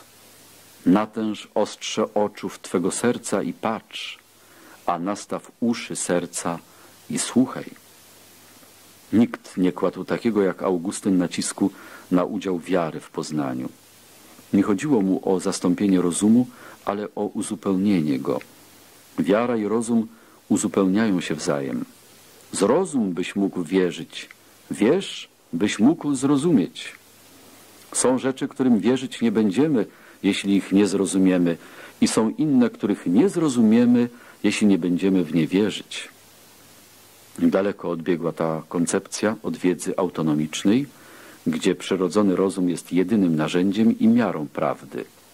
Była to koncepcja dostosowana do ducha chrześcijaństwa. Na niej też budowała scholastyka. Jeśli prawdę zdobywa się nie samym rozumem, to tym bardziej dobro. Jeśli poznanie jest rzeczą woli i uczucia, to tym bardziej działanie. Jeśli więc teoria poznania Augustyna miała charakter woluntarystyczny i w ogóle irracjonalistyczny, to tym bardziej jego etyka. Augustyn ostatecznie zerwał ze starożytnym intelektualizmem etycznym panującym od Sokratesa. Nie dość jest znać dobro, aby je czynić, jak twierdzili starożytni. Trzeba dobro kochać. Tylko z miłości płyną dobre czyny, zwłaszcza z miłości do dobra najwyższego, do Boga. I szczęście można osiągnąć jedynie przez miłość, bo przez miłość, a nie przez wysiłek myśli, można się zbliżyć do Boga. Nadprzyrodzone czynniki w świecie przyrodzonym. Cała filozofia Augustyna była ześrodkowana w Bogu, jedynym bycie absolutnym i doskonałym. Wobec Niego świat doczesny utracił znaczenie, a jeśli ma znaczenie, to tylko jako dzieło i odblask Boga. Bez Boga niepodobna ani działać, ani poznawać, ani istnieć. Potrzebne jest oświecenie, aby poznać prawdę. Potrzebna łaska, aby czynić dobrze i być zbawionym. I w całej przyrodzie nic dziać się nie może bez udziału sił nadprzyrodzonych. Taki był supranaturalistyczny pogląd Augustyna na świat. Najostrzejsze przeciwieństwo wszelkiego naturalizmu. Wszystkie gałęzie wiedzy łączyły się u Augustyna, bo ostatecznie miały przedmiot ten sam – Boga. Bóg jako jedyny byt i prawda to rzecz metafizyki. Bóg jako źródło poznania – to przedmiot teorii poznania. Bóg jako jedyne dobro i piękno to przedmiot etyki. Bóg jako osoba wszechmocna i pełna miłości to rzecz religii. Stary podział wiedzy świeckiej na logikę, fizykę i etykę pozostał w mocy, ale podstawa jego uległa zmianie. To wszystko nauki o Bogu, ale jedna jako o przyczynie poznania, druga bytu, trzecia dobra. Olbrzymia przewaga Boga nad światem miała dla Augustyna źródło swe w tym, że wszelkie stworzenie jest skończone, Bóg zaś nieskończony. Nieskończoność była dla Augustyna najistotniejszym przymiotem Boga. Świat jest nicością wobec Niego, bo co skończone jest nicością wobec nieskończonego. I dlatego, kto to zrozumiał, byłoby obłędem dbać o świat skończony. Z infinityzmem łączyła się druga właściwość poglądów Augustyna – personalizm. Bóg nie tylko jest bytem nieskończonym, ale jest osobą godną miłości. Ten osobisty stosunek do nieskończonego bytu wyodrębnia filozoficzną postawę chrześcijańską, której Augustyn dał wyraz. Istotę Boga w jego przekonaniu stanowiła wola. Zerwał z naturalistyczną koncepcją Boga. Bóg był mu już nie tylko bytem wiecznym i przyczyną świata, ale także kierownikiem świata i sędzią. To stanowiło o zmienionym poglądzie na świat. Nie tylko wszak Augustyn, nie tylko chrześcijaństwo wydało teocentryczny pogląd na świat. Teocentryczny był przede wszystkim neoplatonizm, ale tam Bóg nie był pojęty osobiście. I z tym wiązała się jeszcze inna różnica obu poglądów.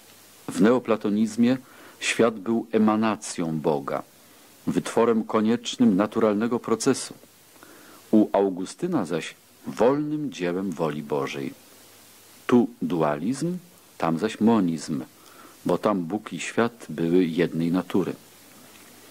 Dla Augustyna świat, jako będący wolnym dziełem Boga, był dziełem rozumnym, był więc wykonany wedle planu. Zatem Bóg w umyśle swym posiada idee, wedle których świat stworzył. Idee są to główne formy lub zasady rzeczy, trwałe i niezmienne, które znajdują się w umyśle Bożym. To był chrześcijański platonizm, augustyński wariant nauki o ideach, pojętej w duchu teologicznym i personalistycznym. W Bogu istnieje idealny wzór realnego świata. Tę teologiczno-metafizyczną naukę nazwano później egzemplaryzmem. Istnieją tedy, jak u Platona, dwa równoległe światy. Idealny w Bogu i realny, wykonany w czasie i w przestrzeni. Realny powstał przez umieszczenie idei w materii. Heteronomiczna etyka. Teodyceja. Świat jest znikomy wobec Boga. Niemniej jest Jego dziełem i przeto jest dobry. Cokolwiek istnieje, o ile istnieje, jest dobrem. Wszystko, nawet materia, którą platończycy i gnostycy mieli za zło, ma swoje miejsce w porządku świata. Świat jest objawem najgłębszej istoty boskiej. Wszystko w nim jest pełne cudu, od najbardziej codziennych zjawisk, od powstawania żywych istot z nasienia, aż po przebieg dziejów. Jedynie przyzwyczajenie stępiło w nas poczucie cudu. W ocenie świata w sprawie dobra i zła leżała główna trudność filozofii Augustyna. Z jednej strony świat jako dzieło i objaw Boga nie może nie być dobry. Jednak z drugiej strony istnienie zła jest niewątpliwe. Augustyn miał potężne poczucie zła, manichejskiego dualizmu, powtórzmy to raz jeszcze, nie wyzbył się nigdy całkowicie. Rozwiązanie konfliktu zaproponowanego przez Augustyna stworzyło podwaliny chrześcijańskiej teodycei, czyli obrony doskonałości stworzenia. Pierwszą tezą jego było zło nie należy do przyrody, lecz jest dziełem wolnych stworzeń. Bóg dobrą ustanowił przyrodę, lecz zatruła ją zła wola. Do tego przyłączyła się druga teza. Zło nie jest realne, jest tylko brakiem dobra. Nie ma absolutnego zła, jak jest absolutne dobro. Istoty wolne czynią źle wtedy, gdy nie czynią dobrze, gdy odwracają się od dobra lub zwracają ku dobru mniejszemu zamiast ku większemu. Nie niższe cele są złe, lecz złe jest odwrócenie się od celów wyższych. Zła jest bądź pycha, bądź porządliwość. Pycha to chęć wystarczenia sobie bez Boga. Porządliwość to zabieganie o rzeczy przemijające i pozbawione rzeczywistej wartości.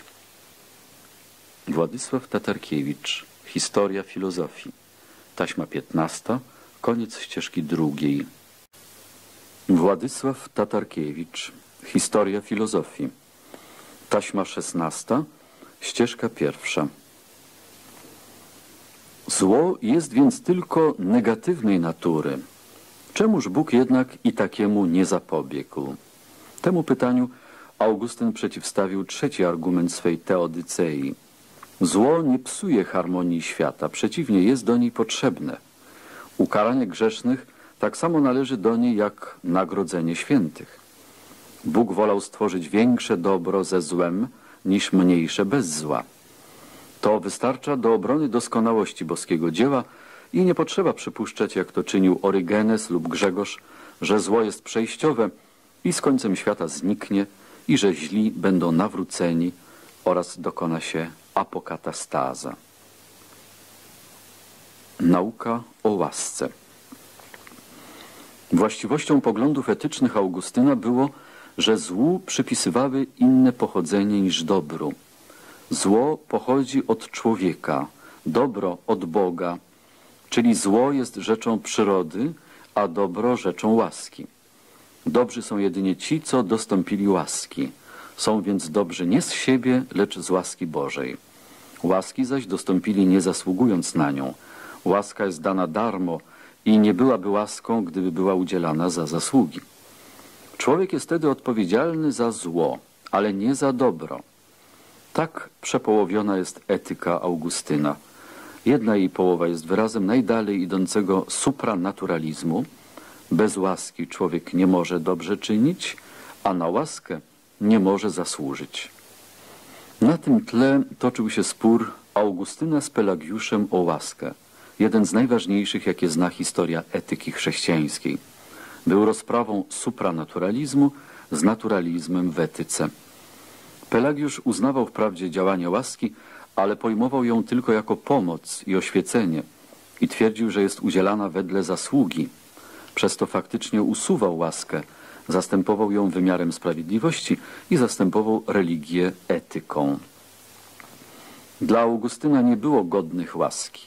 Przyznanie wolności ludzkiej współdziałania w zbawieniu byłoby pomniejszeniem Boga. Łaski nie podobno uzasadnić, jest ona faktem ostatecznym. Ludzie dzielą się na tych, co jej dostąpili i tych, co nie dostąpili, choć jedni i drudzy nie zasłużyli na nią, ale przez nią jedni są dobrzy, a drudzy źli. Dwojakie jest przez to przeznaczenie ludzi. Złym należy się kara i będą ukarani i potępieni, dobrzy zaś będą zbawieni. Łaska jest wtedy przyczyną, że ludzkość dzieli się na dwie kategorie zbawionych i potępionych. Jedna część stworzeń idzie z Bogiem, inna przeciw Niemu. Jedna stanowi państwo Boże, druga państwo ziemskie. Civitas Dei, civitas terrena. Upadek człowieka postawił go po stronie przeciwboskiej. Bóg jednakże łaską swą nawrócił i uratował część ludzkości. Ta część należy odtąd do państwa Bożego. Zmagania obu państw stanowią dzieje świata. Augustyn dzielił te dzieje na sześć okresów. Okres szósty zaczyna się z przyjściem na świat Chrystusa i kończy już dzieje ziemskie. Po nim czas zostaje pochłonięty przez wieczność. Ci, co należą do państwa boskiego, wejdą w wieczną szczęśliwość, a inni wieczne zatracenie. Dzieje kończą się rozdziałem ostatecznym i nieodwołalnym. Taki koniec potrzebny był w przekonaniu Augustyna, by okazać zarówno sprawiedliwość Bożą, która karze, jak i miłosierdzie Boże, które zbawia. Augustyn zwalczał manichejski dualizm w pojmowaniu początku świata, natomiast przyjmował go jako koniec świata, jako nieodwołalny wynik jego rozwoju. Za tę koncepcję dziejów Augustyn został nazwany pierwszym historiozofem. Rzeczywiście jak nikt przed nim kładł nacisk w dziejach świata na treść powszechną i rozumną. Przez włączenie historii do rozważań filozoficznych dodał jeszcze jeden motyw do tych, które filozofie chrześcijan wyróżniały od filozofii Greków. Ci bowiem, obojętni dla przemijających zdarzeń, w spekulacjach swych zajmowali się wyłącznie bezczasowym absolutem. Mówili wprawdzie o rozwojach i emanacjach, ale i te pojmowali bezczasowo. Dochodzenia antropologiczne i historiozoficzne wyróżniały Augustyna także od innych pisarzów chrześcijańskich, mianowicie od ojców greckich. Ci w spekulacjach swych zmierzali do poznania natury Boga. On zaś także ku poznaniu natury człowieka, jego cnoty, wolności, zbawienia. Wedle znanej formuły sprowadził dogmatykę chrześcijańską na ziemię, Połączył dwa krańce religijnie pojętej filozofii, naukę o Bogu i naukę o człowieku, o wszechmocnym Bogu i o wolnym człowieku. Istota augustynizmu Augustyn położył podwaliny pod nową chrześcijańską filozofię. Zerwał z klasyczną postawą Greków, z jej obiektywizmem i intelektualizmem. Jego postawa była introspekcyjna, a wola miała dlań pierwszeństwo przed rozumem. Ze zmienionej postawy wypłynął zmieniony pogląd na świat. Grecy skłaniali się do finityzmu i naturalizmu. Augustyn przeciwnie pojął Boga jako nieskończonego, a świat jako twór nadprzyrodzony i dzieło łaski. Postawa introspekcyjna, pojmująca nawet Boga na podobieństwo własnych przeżyć, prowadziła do personalizmu, kazała widzieć w Bogu przede wszystkim osobę, której istotą jest wola. Przez to nastąpił odwrót od starożytnego uniwersalizmu. Pojmowanie zaś Boga jako nieskończonego sprawiło, że świat musiał się wobec niego wydać znikomy i że powstał w przeciwieństwie do helenistycznego monizmu skrajny dualizm Boga i świata. Cała zaś koncepcja filozoficzna Augustyna oparta była na wiecznym zaufaniu do woli, wiary, miłości i łaski, niż do rozumu i doświadczenia. Na tym podłożu sformułował oryginalne poglądy filozoficzne, starożytnym nieznane i jako twórca poglądu na świat stanął obok Platona, Arystotelesa i Demokryta. Z tych ogólnych własności augustynizmu wypływały szczegółowe jego teorie. W metafizyce egzemplaryzm, będący chrześcijańską postacią platońskiego dualizmu między światem idealnym a realnym. W teorii poznania aprioryzm, głoszący, że znane są nam prawdy wieczne niezależnie od doświadczenia. I iluminizm, przyjmujący interwencję Boga w poznaniu.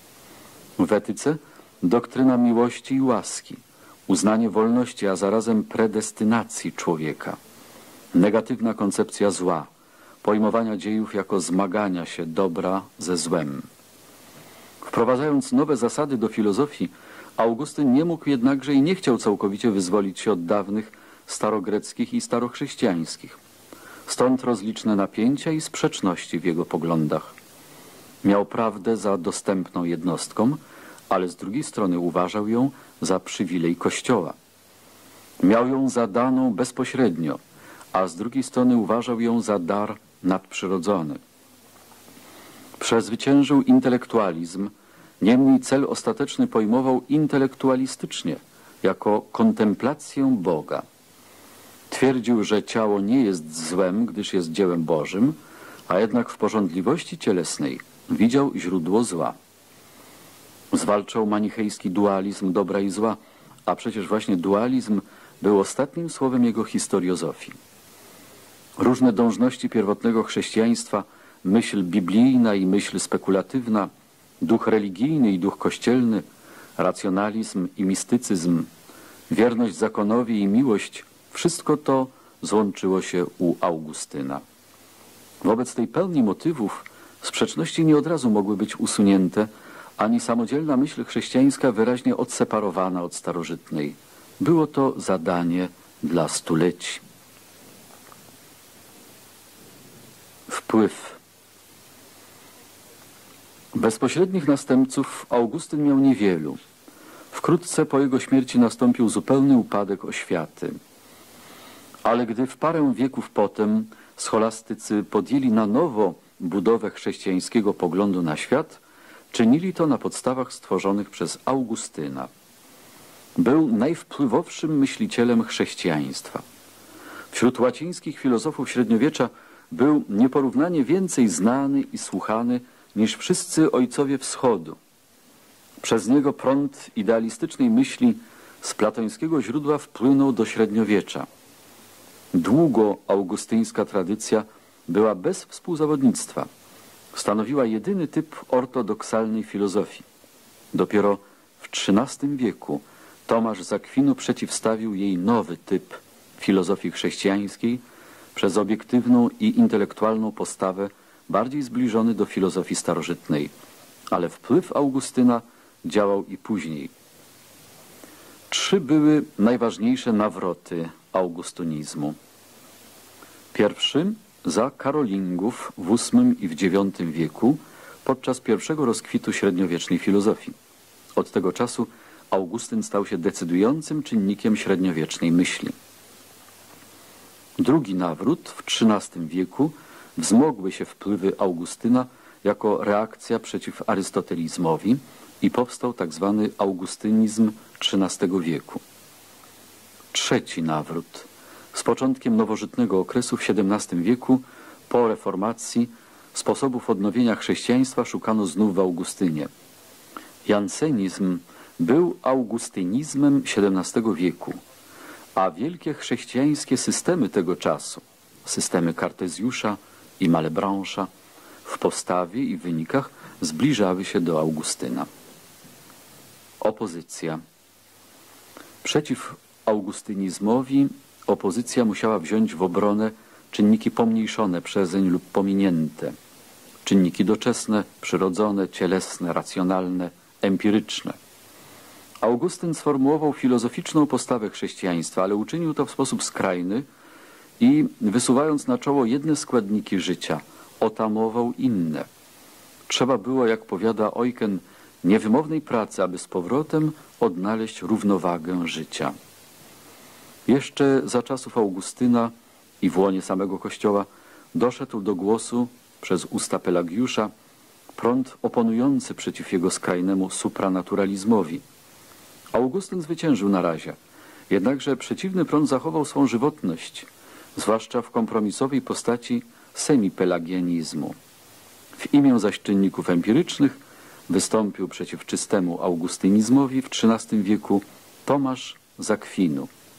Kościół stanął po stronie tomizmu. Koniec patrystyki. Wschód. Wśród pisarzów chrześcijańskich wschodu utrzymał się trwale kierunek helleński, zapoczątkowany przez Orygenesa i Grzegorza Nyseńczyka, a dążący do uzgodnienia wiary chrześcijańskiej z nauką grecką. W V wieku nastąpiło nawet dalsze wzmożenie czynników neoplatońskich. Biskup Synezjos podawał za alegorię to wszystko, co w piśmie nie zgadzało się z poglądami neoplatońskimi. Inny z biskupów, Nemezjos z Emezy, bronił preegzystencji duszy i prawieczności świata. Głównym zaś przedstawicielem neoplatońsko-mistycznego prądu był anonimowy autor pism o imionach boskich, o teologii mistycznej, o hierarchii niebieskiej i o hierarchii kościelnej. Autor ten znany jest pod nazwą pseudo-Dionizego lub pseudo-Areopagity. Podawał bowiem swe pisma za dzieło Dionizego Areopagity, bezpośredniego ucznia apostołów i pierwszego biskupa Aten. Fikcja ta przetrwała całe średniowiecze, aż ujawnił ją renesansowy humanista Walla. Pisma jego, zależne od późnych neoplatończyków Jamblicha i Proklosa, wskazują, iż żył nie wcześniej niż w końcu V stulecia.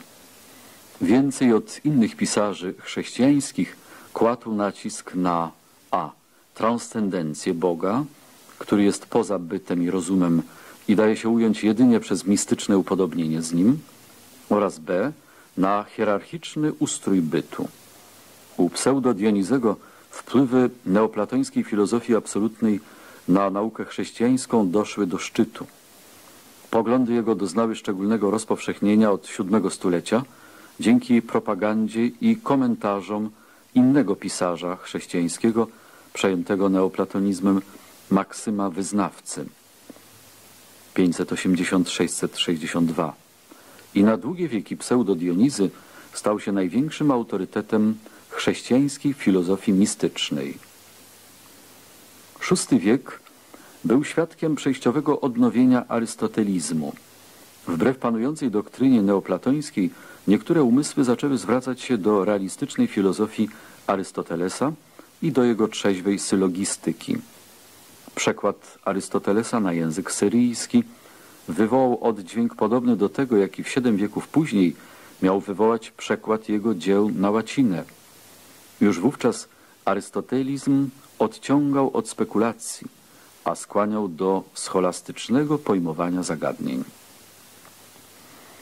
Od V wieku samodzielna myśl teologiczna urwała się. Przyczyniła się do tego polityka Justyniana, który zamykał szkoły, nie tylko ateńską, ale i stare szkoły kościelne w Aleksandrii i Antiochii. Wpłynęły jednak na to także rozłamy w łonie Kościoła, zwłaszcza z roku 431 i 451, odpadnięcie nestorianizmu i monofizytyzmu i oddzielenie się od Kościoła prowincji Syrii i Egiptu, z których po wyczerpaniu się Grecji rekrutowali się właśnie najwybitniejsi myśliciele. Miejsce spekulacji filozoficznej zajęła z jednej strony czysta mistyka w duchu pseudo-areopagity, z drugiej zaś to, co później nazywano scholastyką, czyli stanowisko uważające prawdę za ustaloną i dążące jedynie do pojęciowego jej sformułowania. Odtąd myśl wschodu chrześcijańskiego, pierwotnie rozwijająca się tak żywo, weszła w długotrwałe stadium konserwatyzmu i stagnacji. Jednakże wschodnia patrystyka znalazła jeszcze w VIII wieku świetne zakończenie w dziele Jana z Damaszku, największego po Origenesie i Grzegorzu systematyka wschodu. Jego źródło wiedzy zespoliło dotychczasową pracę myślicieli chrześcijańskich na polu filozofii, dogmatyki i mistyki w system pełny, a prawowierny. Później nauka ojców greckich znalazła schron w Bizancjum, ale tam nie rozwijała się już dalej. W tym samym czasie, gdy na zachodzie filozofia weszła w okres bujnego rozwoju, na wschodzie ustabilizowała się w tej postaci, jaką otrzymała od ojców. Bizancjum zaś tę samą patrystyczną filozofię przekazało Rosji, która ją przechowała do czasów nowożytnych. Zachód. Z końcem IV wieku, w roku 395, dokonany został podział państwa rzymskiego na wschodnie i zachodnie. I odtąd losy wschodu i zachodu rozeszły się jeszcze dalej. Koniec patrystyki miał też na zachodzie inny zupełnie charakter niż na wschodzie. Był zależny przede wszystkim od Augustyna. Historyczny punkt widzenia tego ojca Kościoła uczynił, że uczeni jego następcy, jak Tino Prosper, a później Cassiodor, Izydor, Beda, byli w większości nie systematykami, lecz historykami. Drugą właściwością Zachodu było, że główne zainteresowania były tu nie teoretyczne jak na wschodzie, lecz praktyczne, moralne. Jeszcze przed Augustynem Ambroży formułował zasady moralności chrześcijańskiej, posiłkując się pojęciami stoickimi. Fundamenty etyki kładł też Grzegorz Wielki, jedyny, który mógł pod względem wpływu mierzyć się z Augustynem. Wszakże wkrótce po Augustynie nastąpił upadek kultury umysłowej na zachodzie, nieporównanie gwałtowniejszy niż na wschodzie. Rzym jeszcze w IV wieku przestał być ośrodkiem umysłowym imperium. W V wieku dwukrotnie był zdobywany przez najeźdźców i niszczony przez Wandalów. Wiek V był już panowaniem barbarzyńców na zachodzie. W tych warunkach nie można było myśleć o rozwijaniu, lecz co najwyżej o podtrzymywaniu życia umysłowego. Potrzebne były najprostsze szkolne książki, a nie subtelne traktaty filozoficzne. Zadanie, jakie stawiali sobie ówcześni uczeni, polegało na tym, by z pism wielkiego Augustyna wykroić katechizm lub przystępną encyklopedię. W początku V wieku Marcjan Capella ułożył szkolny podręcznik nauk wyzwolonych. Cassiodor, senator rzymski, skompilował encyklopedię rzeczy boskich i ludzkich Institutiones Divinarum ac Secularium Lectionum a po nim analogiczne zbiory informacji i ekscerptów zestawili Izydor, arcybiskup Sewilli w VII wieku i Anglosas Beda w VIII wieku. Dzięki tym ich zbiorom pewne reszty umiejętności zdobytych przez starożytnych zostały przechowane przez najgorsze stulecia upadku, aż do chwili, kiedy w średniowieczu zaczęło na nowo budzić się życie umysłowe. Jednakże i Zachód wydał w tych złych stuleciach jednego niepospolitego myśliciela, wykształconego i subtelnego. Boecjusza 480-525 Więcej niż samodzielnymi pomysłami, które były zbyt trudne dla jego epoki, oddziałał przekładami i komentarzami. Nosił się z wielkim zamiarem przełożenia na łacinę wszystkich pism Platona, Arystotelesa i neoplatończyków. Z programu tego wykonał jedynie część, przetłumaczywszy niektóre pisma Arystotelesa i neoplatończyka Porfiriusza. Ale i to było doniosłe. Jego przekłady stały się na długie wieki jedynym źródłem znajomości filozofii arystotelesowskiej. Komentarzami, w jakie zaopatrzył swe przekłady i traktatami teologicznymi, traktaty te rozstrzygają dawniejszy spór o to, czy Boec już był chrześcijaninem, dał wzór pracy scholastycznej. Pismem zaś De Consolatione Philosophie pisał je jako więzień Teodoryka, który pierwotnie obdarzał Boecjusza dostojeństwami, potem zaś kazał stracić, powziąwszy podejrzenie o wrogą działalność polityczną, uczył filozoficznej postawy wobec życia, wytwarzającej hart i spokój ducha i dającej pociechę w nieszczęściu. Była to puścizna starożytności, którą Boecjusz przekazał średniowieczu. Zestawienia Zagadnienia filozofii wieków od pierwszego do piątego. W filozofii tego okresu spotkały się różne tradycje i kultury, wschód i zachód, pogaństwo i chrześcijaństwo. Niemniej zagadnienia filozoficzne były wszędzie w ogólnym zarysie te same, bo były wyznaczone przez wspólną umysłom postawę religijną. Jaki jest stosunek Boga do człowieka i człowieka do Boga, jak świat powstał z Boga i jak może doń powrócić. Aby te zagadnienia sformułować i rozwiązać, połączyły się tradycje grecka i wschodnia. A obok ich rozwiązania, gradualistycznego i emanacyjnego, chrześcijaństwo wytworzyło własne, którego podstawą były dualizm na miejsce gradacji i stworzenie na miejsce emanacji. Bóg i człowiek to były dwa główne przedmioty ówczesnej filozofii. Zagadnienia dotyczące Boga, istota Boga. Wszyscy myśliciele ówcześni skłaniali się do twierdzenia, że Bóg naturalnym sposobem nie jest poznawalny. W systemach hellenistycznych wypowiadane było przekonanie o nadrozumności, a przeto niepoznawalności Boga. Wśród chrześcijan zaś ustaliło się przekonanie, że Bóg daje się poznać, ale tylko na drodze objawienia. Powszechne było przekonanie o transcendencji Boga, nie tylko epistemologicznej, ale i kosmicznej. Jest nie tylko pozarozumowy, ale i pozaświatowy. Przez hellenistycznych filozofów był pojęty jako byt absolutny. U chrześcijan zaś z pojmowaniem Boga jako bytu łączyło się pojmowanie jako sędziego. Stosunek Boga do świata. Wśród Greków zmagało się dualistyczne i monistyczne pojmowanie.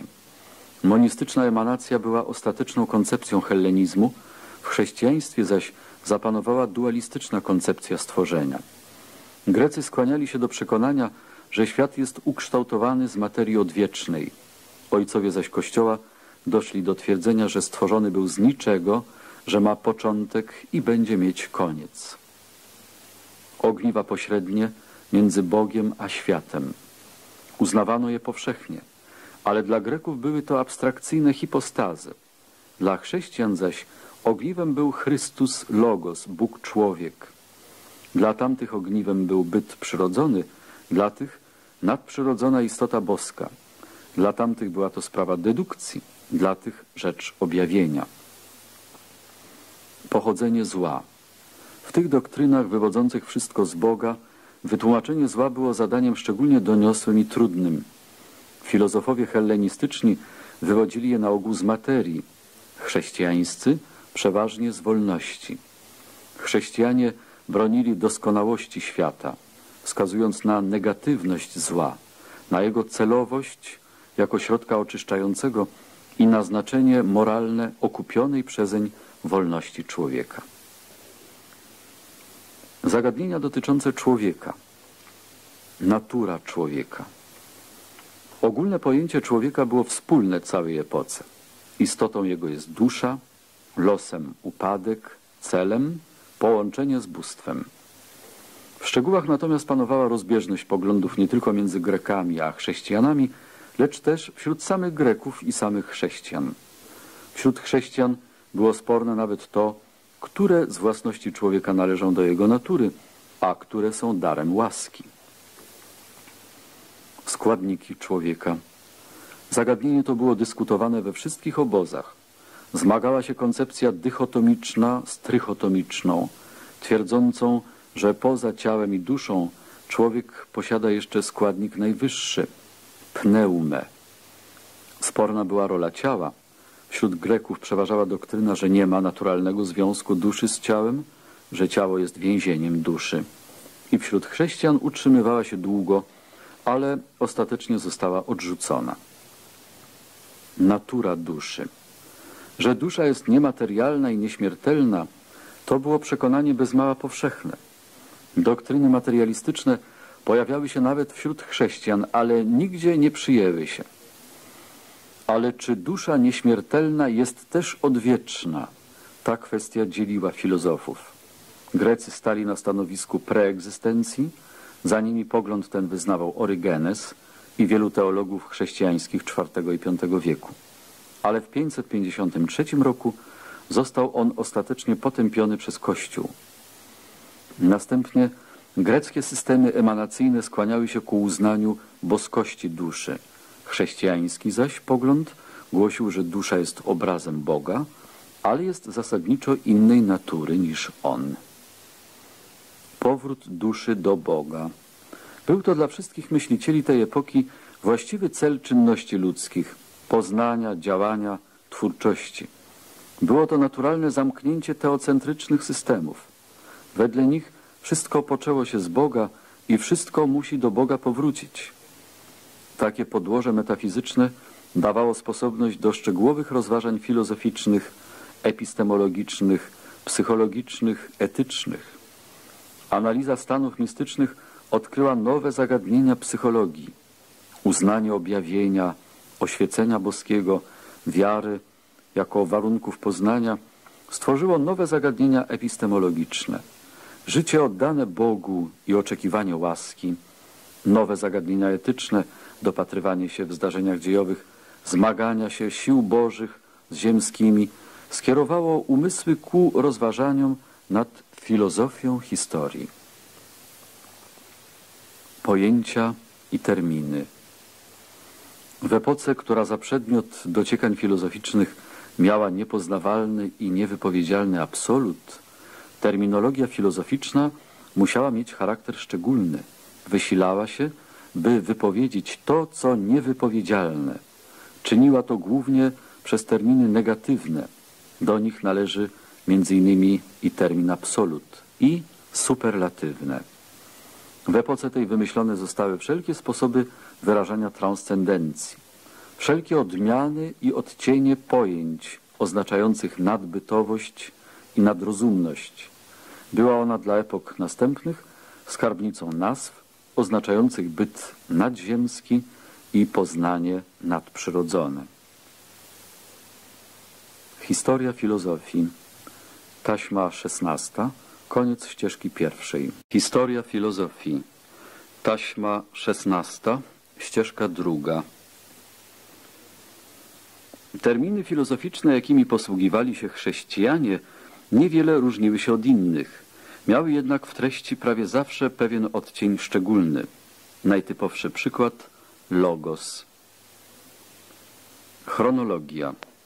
Filozofowie najróżniejszych kierunków greccy, wschodni, chrześcijańscy spotykali się na terenie Imperium Rzymskiego. W pierwszej połowie I wieku po Chrystusie głosili jednocześnie swe teorie stoicy, m.in. Seneca, neopitagorejczycy jak Apoloniusz, Stiany, sceptycy, a ponadto jeszcze myśliciele grecko-żydowscy jak Filon. W II wieku ilość obozów filozoficznych zwiększyła się jeszcze. Koło połowy stulecia Współcześnie ze stoikiem Markiem Aureliuszem i Numeniosem, neopitagorejczykiem, występowali głównie gnostycy, Bazylides i Walentyn, zbliżony do nich Marcjon, a ponadto już i wcześniej apologeci chrześcijańscy z Justynem na czele. W końcu stulecia działali późniejsi gnostycy, Bardezanes i bardzo już liczni apologeci wschodu, Ireneusz, Atenagoras, Teofil, Tacjan. W Aleksandrii przygotowywały się naówczas wielkie systemy zarówno greckie jak chrześcijańskie. Uczył tam bowiem Klemens Aleksandryjski, a jednocześnie z nim Amoniusz Sakkas. Z żywego ruchu filozoficznego drugiego stulecia wiek trzeci od razu w pierwszej połowie zebrał dojrzałe owoce. Wtedy to z pierwszym systemem chrześcijańskim wystąpił Origenes, z wielkim zaś systemem neoplatońskim Plotyn. Wówczas już i Zachód chrześcijański znalazł swoisty wyraz w doktrynie Tertuliana. A i stare szkoły greckie miały jeszcze swych przedstawicieli, między innymi żył naówczas Sextus Empiryk. I myśl wschodnia miała rzeczników, jak Persa Manesa, twórcę manicheizmu. W dalszym swym przebiegu trzeci wiek rozwijał już tylko myśli wypowiedziane w swym początku. Wśród Greków odtąd neoplatonizm nadawał ton filozofii.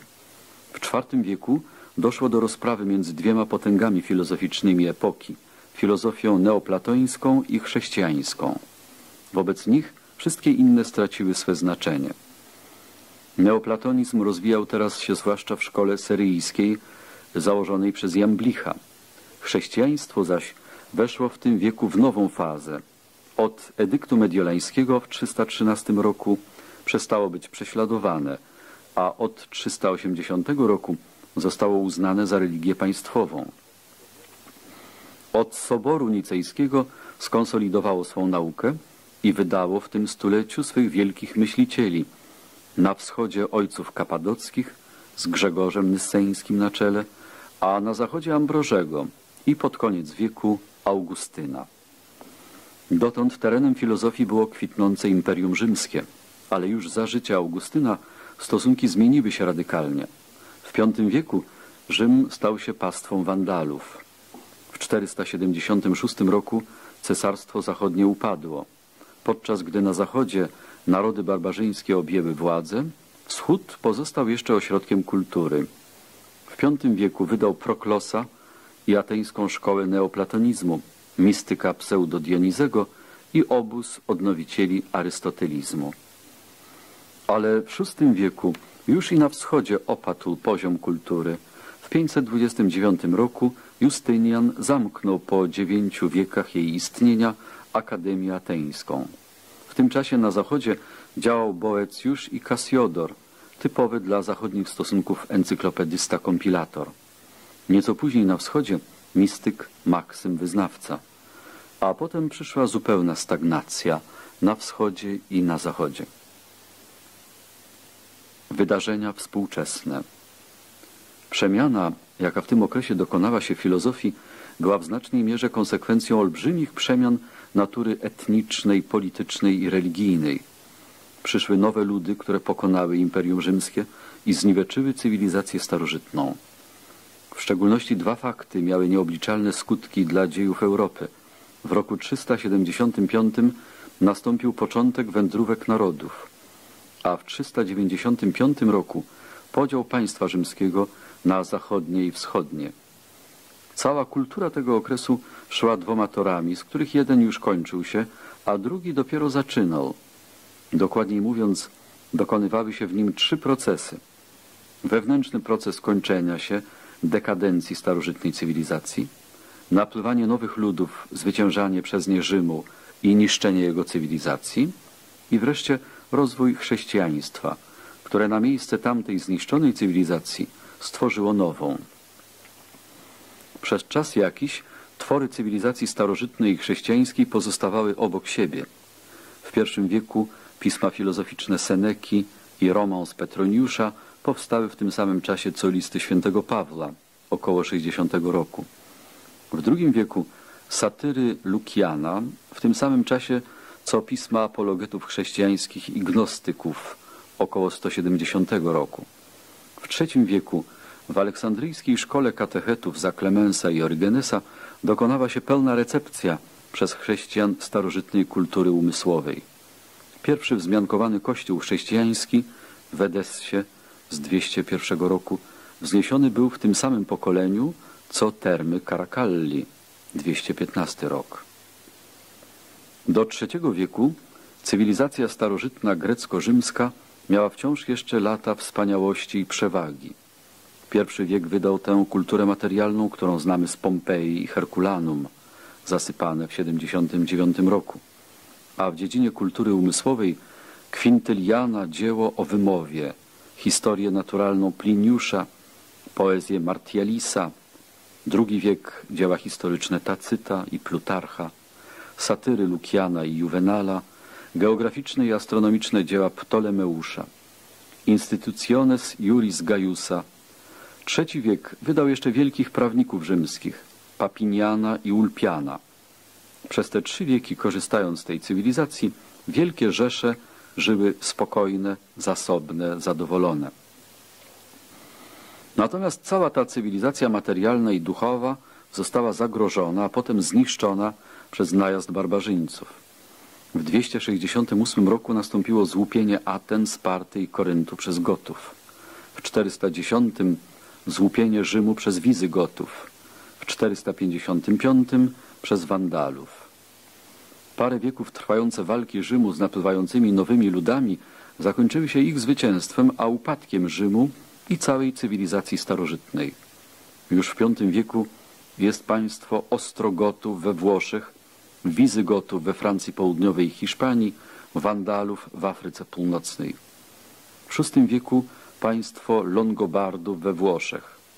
Symptomatyczna data. Ostatnie Igrzyska Olimpijskie odbyły się w 395 roku. Ze starożytnej kultury zostało tyle, ile w Kościele i w Bizancjum. Tymczasem religia chrześcijańska szerzyła się w całej Europie. Od 260 roku zaczęła się przyjmować w krajach alpejskich i naddunajskich. Po roku trzechsetnym nastąpiła szybka chrystianizacja Brytanii. W 380 uznanie chrześcijaństwa za religię państwową Rzymu. W 496 chrzest Franków. W 589 chrzest Wizygotów i Longobardów. Chrześcijaństwo nie tylko szerzyło się, ale jednocześnie rozwijało się wewnętrznie, formowało nowy pogląd na świat. I gdy w początku okresu przedstawicielami najwyższej kultury umysłowej byli Plutarch czy Pliniusz, to w końcu już Ambroży czy Augustyn. Zamknięcie Akademii Platońskiej nastąpiło w tym samym roku, 529, co założenie poświęconego pracy umysłowej zakonu benedyktyńskiego.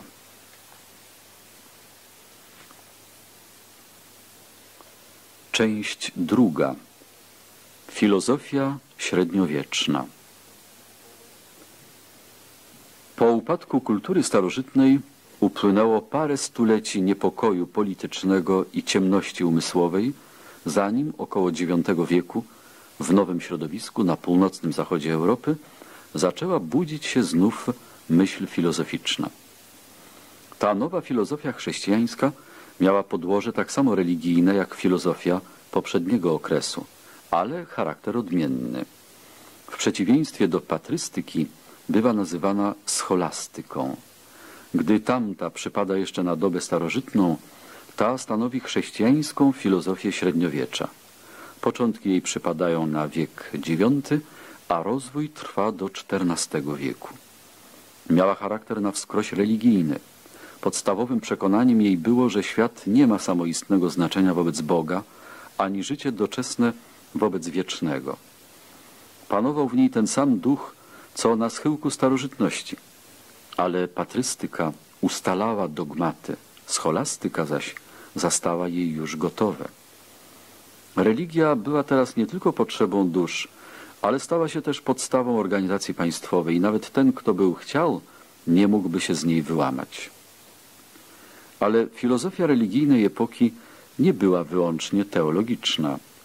Właśnie dlatego, że uczucia religijne były tak rozwinięte, objawiały się nie tylko w teologii, nie tylko w dociekaniach nad Bogiem, ale i nad dziełem Bożym, nad światem przyrodzonym.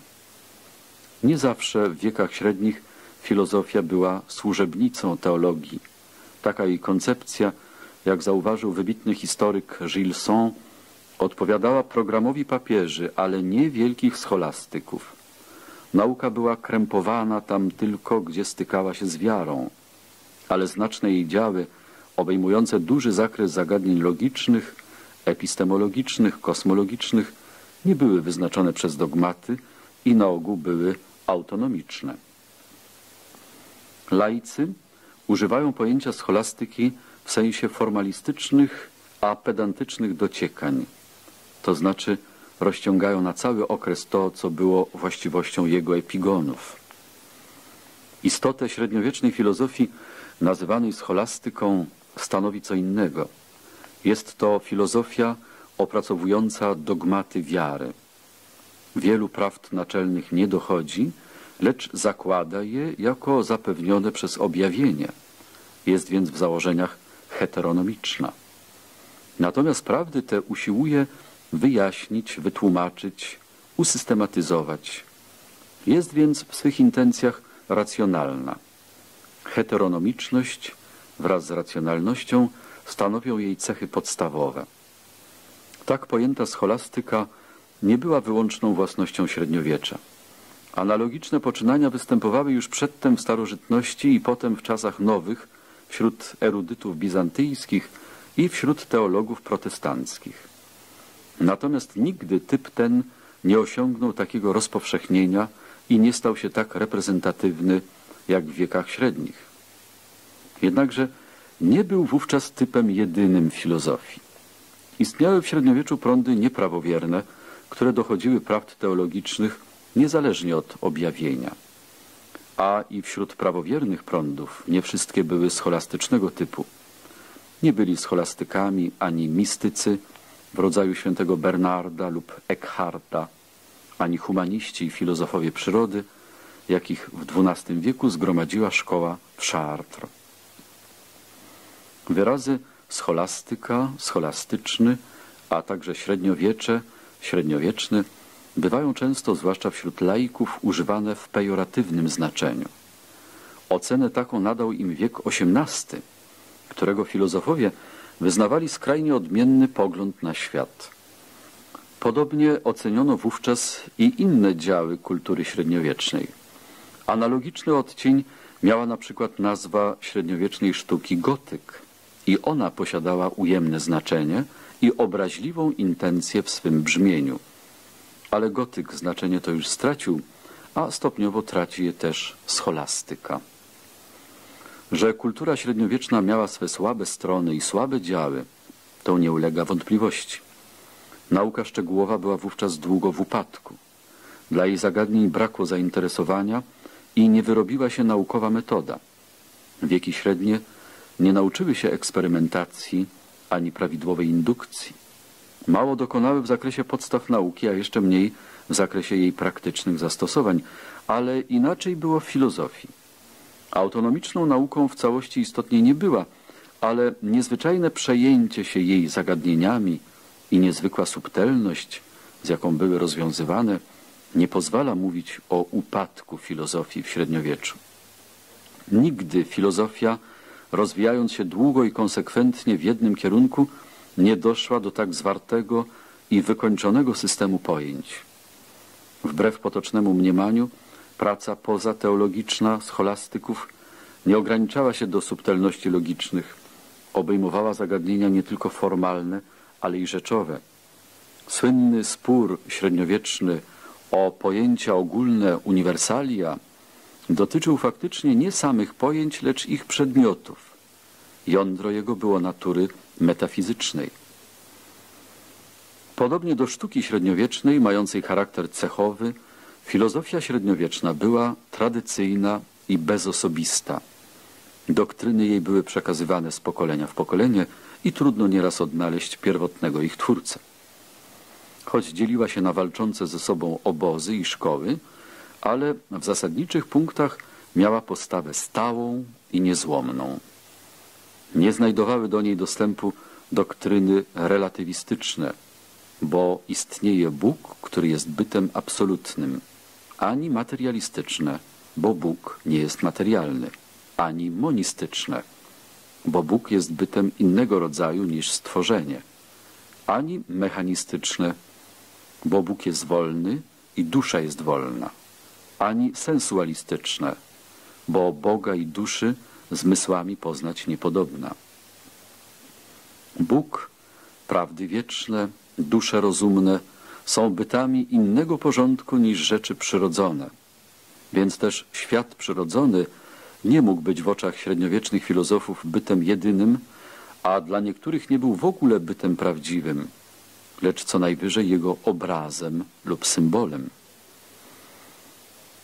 Ojcowie Kościoła nie od razu znaleźli, jakie prawdy są zgodne z Ewangelią i ich próby utworzenia chrześcijańskiej filozofii szły w rozbieżnych kierunkach.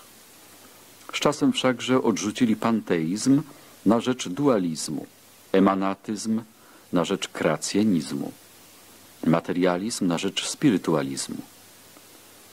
I już tych poglądów nie było w średniowieczu. Ale szereg kwestii pozostał niezdecydowany i w wiekach średnich toczył się spór idealizmu z realizmem, fideizmu z racjonalizmem, aprioryzmu z empiryzmem, dialektyki z mistyką, intelektualizmu z woluntaryzmem. Wielowiekowe dzieje średniowiecznej filozofii rozpadają się na trzy okresy. Okres rozwijania się i kształtowania tej filozofii, trwający do XII wieku włącznie. Okres pełnych systemów średniowiecznych, klasyczny okres scholastyki w XIII wieku. Okres krytyki średniowiecznej od XIV wieku. Podobnie jak filozofia starożytna, tak też i średniowieczna skończyła się rozbiciem na szkoły, ale w przeciwieństwie do starożytnej jej okres szkolny nie wzbogacił filozofii nowymi myślami. Pierwszy okres filozofii średniowiecznej, wczesne średniowiecze do XII wieku. Źródła i powagi starożytne. Wieki średnie swej kultury filozoficznej i naukowej nie budowały od początku, jak to czyniła Grecja, ale też nie przejęły jej w całości od poprzedzającej epoki. Rozpoczęły od fragmentów filozofii i nauki starożytnej, przypadkowo ocalonych po upadku starożytnej kultury, po wiekach wrzenia i wędrówek narodów. I dopiero w XII i w XIII wieku scholastycy odzyskali najważniejsze pisma starożytnych filozofów. Kult filozofii starożytnej cechujący średniowiecze szedł tedy w parze ze znikomą jej znajomością. Tekstów greckich znano bardzo mało. Zresztą pomogłyby niewiele, gdyż znajomość języka greckiego była rzadkością.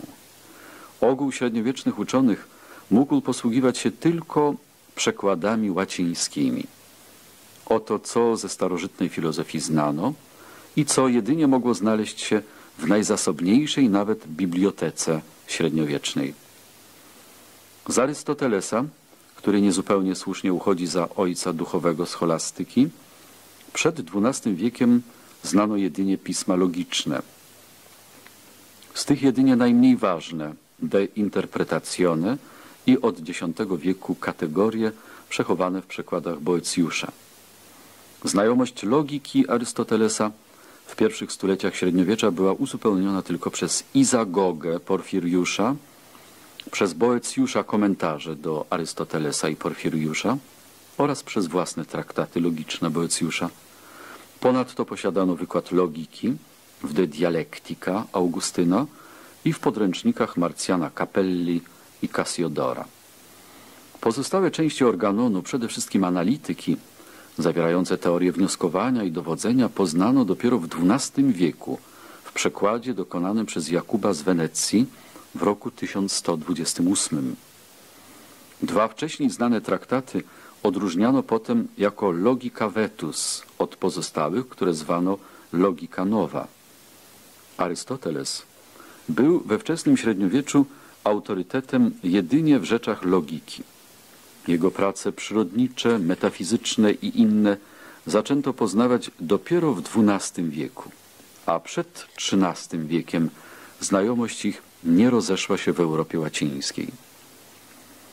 W innych działach filozofii, zwłaszcza w teologii i kosmologii, autorytetem był Platon. Wszelako bezpośrednia znajomość jego poglądów była niesłychanie uboga. Z pism jego znano długo tylko fragment Timajosa w przekładzie Cycerona i Halcidiusa, chrześcijańskiego pisarza z IV wieku. Więcej wiedziano o Platonie z pism Augustyna, ale to nie była czysta nauka Platona. Dopiero w XII wieku pojawiły się przykłady Fedona i Menona. Neoplatonizm znano głównie z pseudodionizego i Maksyma Wyznawcy, których pisma Jan Szkot Erjugena przełożył w IX wieku. I tu znajomość źródeł powiększyła się dopiero w XII wieku. Zainteresowanie grecką filozofią we wczesnej scholastyce ograniczało się do tych trzech doktryn perypatetyckiej, platońskiej i neoplatońskiej. Innych doktryn filozoficznych epikurejczyków, stoików, sceptyków bezpośrednio nie znano, a na podstawie wiadomości pośrednich nie umiano się nimi przejąć. I tu przemiany dokonał wiek XII, który udostępnił pisma Lukrecjusza, Sextusa Empiryka i innych. Znano Cycerona i Senekę, ale traktowano ich raczej jako informatorów o starożytnych poglądach niż jako autorytety. Informatorami, pośrednikami między starożytnością a średniowieczem byli też eklektyczni pisarze łacińscy ze schyłku starożytności, jak Marcjan Capella, Cassiodor lub Halcidius. Ale ważniejszym od nich wszystkich źródłem był Boecjusz. Był sam dla średniowiecza powagą, zwłaszcza w rzeczach formalnych. Brano odeń zagadnienia, definicje, zasady rozumowania. Źródła i powagi chrześcijańskie. Obok starożytnych filozofów drugim źródłem byli pisarze chrześcijańscy patrystycznej doby, ojcowie. Znajomość ojców również była ograniczona, zwłaszcza ojców greckich. Z filozoficznie ważnych pism posiadano w przekładzie główne dzieło Orygenesa. W swej późnej, definitywnej formie grecka patrystyka stała się dostępna Zachodowi dopiero w XII wieku, gdy została przełożona część dzieła Jana z Damaszku. Łacińska patrystyka lepiej była znana. Przede wszystkim dobrze znane były dzieła Augustyna, który dla całego wczesnego średniowiecza był najobfitszym źródłem i nieporównanie największą powagą. Z niego czerpano zarówno to, co było jego oryginalną myślą, jak to, co było platonizmem. Brano zeń całą filozofię, teorię Boga i świata, psychologię, teorię poznania, etykę i filozofię historii. Pierwotna postać filozofii średniowiecznej. Zadanie średniowiecza wobec nauki ograniczało się w pierwszych jego stuleciach do ratowania i zbierania fragmentów dawnej nauki. Zamierzenia naukowe były encyklopedyczne. Encyklopedię zostawili trzej najsławniejsi pisarze Zachodu, żyjący w odstępach stuletnich i piszący w początkach VII, VIII i IX wieku. Izydor z Sewilli, Hiszpan, Beda Venerabilis, Anglik, autor De Rerum Natura i hraban Maur, biskup moguncki. De Rerum Naturis hrabana, choć pisane w pomyślniejszych już nieco dla nauki czasach, nie wyszło w treści i charakterze poza encyklopedyczne prace Izydora i Bedy. Jest to teologia, która traktuje o Trójcy Świętej, o Piśmie Świętym, synodach, świętach i sakramentach. Jest to antropologia, która zajmuje się naturą ciała i wszystkim, co dotyczy życia i śmierci. Zoologia, która omawia węże i robaki, ryby, ptaki i pszczoły. Jest to fizyka w starożytnym znaczeniu słowa, traktująca o atomach i żywiołach, niebie i świetle, słońcu, księżycu i gwiazdach, powietrzu, chmurach, piorunie i błyskawicy, wiatrach, burzy, śniegu, lodzie i rosie. Po niej następuje geografia, która opisuje Ziemię znaną naówczas, kraje i miasta wraz z tym, co się w nich znajduje. Historia filozofii, która wspomina o Platończykach, o Nowej Akademii, perypatetykach, stoikach i cynikach, epikurejczykach i cyrenajkach, określa prawdziwą filozofię w myśl ojców katolickich. W końcu przychodzą traktaty o geologii i mineralogii, o wagach, miarach i liczbach, o muzyce i medycynie, o gospodarstwie rolnym, o sztuce wojskowej i wodnej, o rzemiosłach i pokarmach. Jest to dzieło kompilatora starożytności, który cytuje Owidiusza, Wergilego i innych poetów łacińskich, Lukrecjusza, Cycerona, Senekę i starszego Pliniusza, a zarazem dzieło chrześcijanina, który poszukuje sensu mistycznego w twierdzeniach autorów duchownych i świeckich i miesza idee starożytne z ideami chrześcijańskimi. To uchodziło wówczas za filozofię. Brano dosłownie starożytne stoickiego pochodzenia określenie filozofii, że jest poznaniem rzeczy ludzkich i boskich. Filozofia, teologia, nauka nie były wówczas rozgraniczone. Rozkwity filozofii we wczesnym średniowieczu. Pierwsze stulecia średniowiecza nie należą do rozwoju nauki. Umiano wówczas tylko biernie konserwować odziedziczone fragmenty dawnej nauki. Stulecia te stanowią lukę między okresem rozwoju nauki starożytnej a okresem rozwoju średniowiecznej.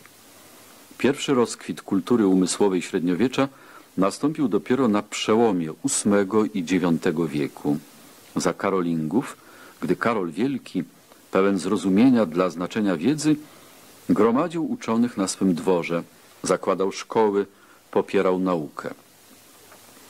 Duszą ówczesnego ruchu umysłowego był Alcuin, spełniający funkcję jakby ministra oświaty za Karola Wielkiego. Pozostał po nim traktat teologiczny De Fide, etyczny De Virtutibus et Vitis, logiczny De Dialectica, psychologiczny De Anima Ratione. Od niego wywodzili się inni uczeni owego czasu, jak ów hraban Maur, jak Servatus Lupus, dzielny humanista Fredegisus, który upamiętnił się skrajnie realistycznym poglądem w logice, Paschasius Radbert, autor traktatu o stosunku poznania i wiary, Gottschalk, który wzniecił spór teologiczny o predestynację. Okres ten wydał jednego filozofa dużej miary, Jana Szkota Eriugene. Wówczas na schyłku VIII wieku rozpoczął się rozwój filozofii średniowiecznej, który w XIII wieku doprowadził ją do szczytu. Rozwój ten nie był jednak ciągły. Niespokojne czasy w drugiej połowie IX i w X wieku spowodowały upadek, a przynajmniej zastój w dziele Karola Wielkiego. Władysław Tatarkiewicz Historia filozofii Taśma szesnasta Koniec ścieżki drugiej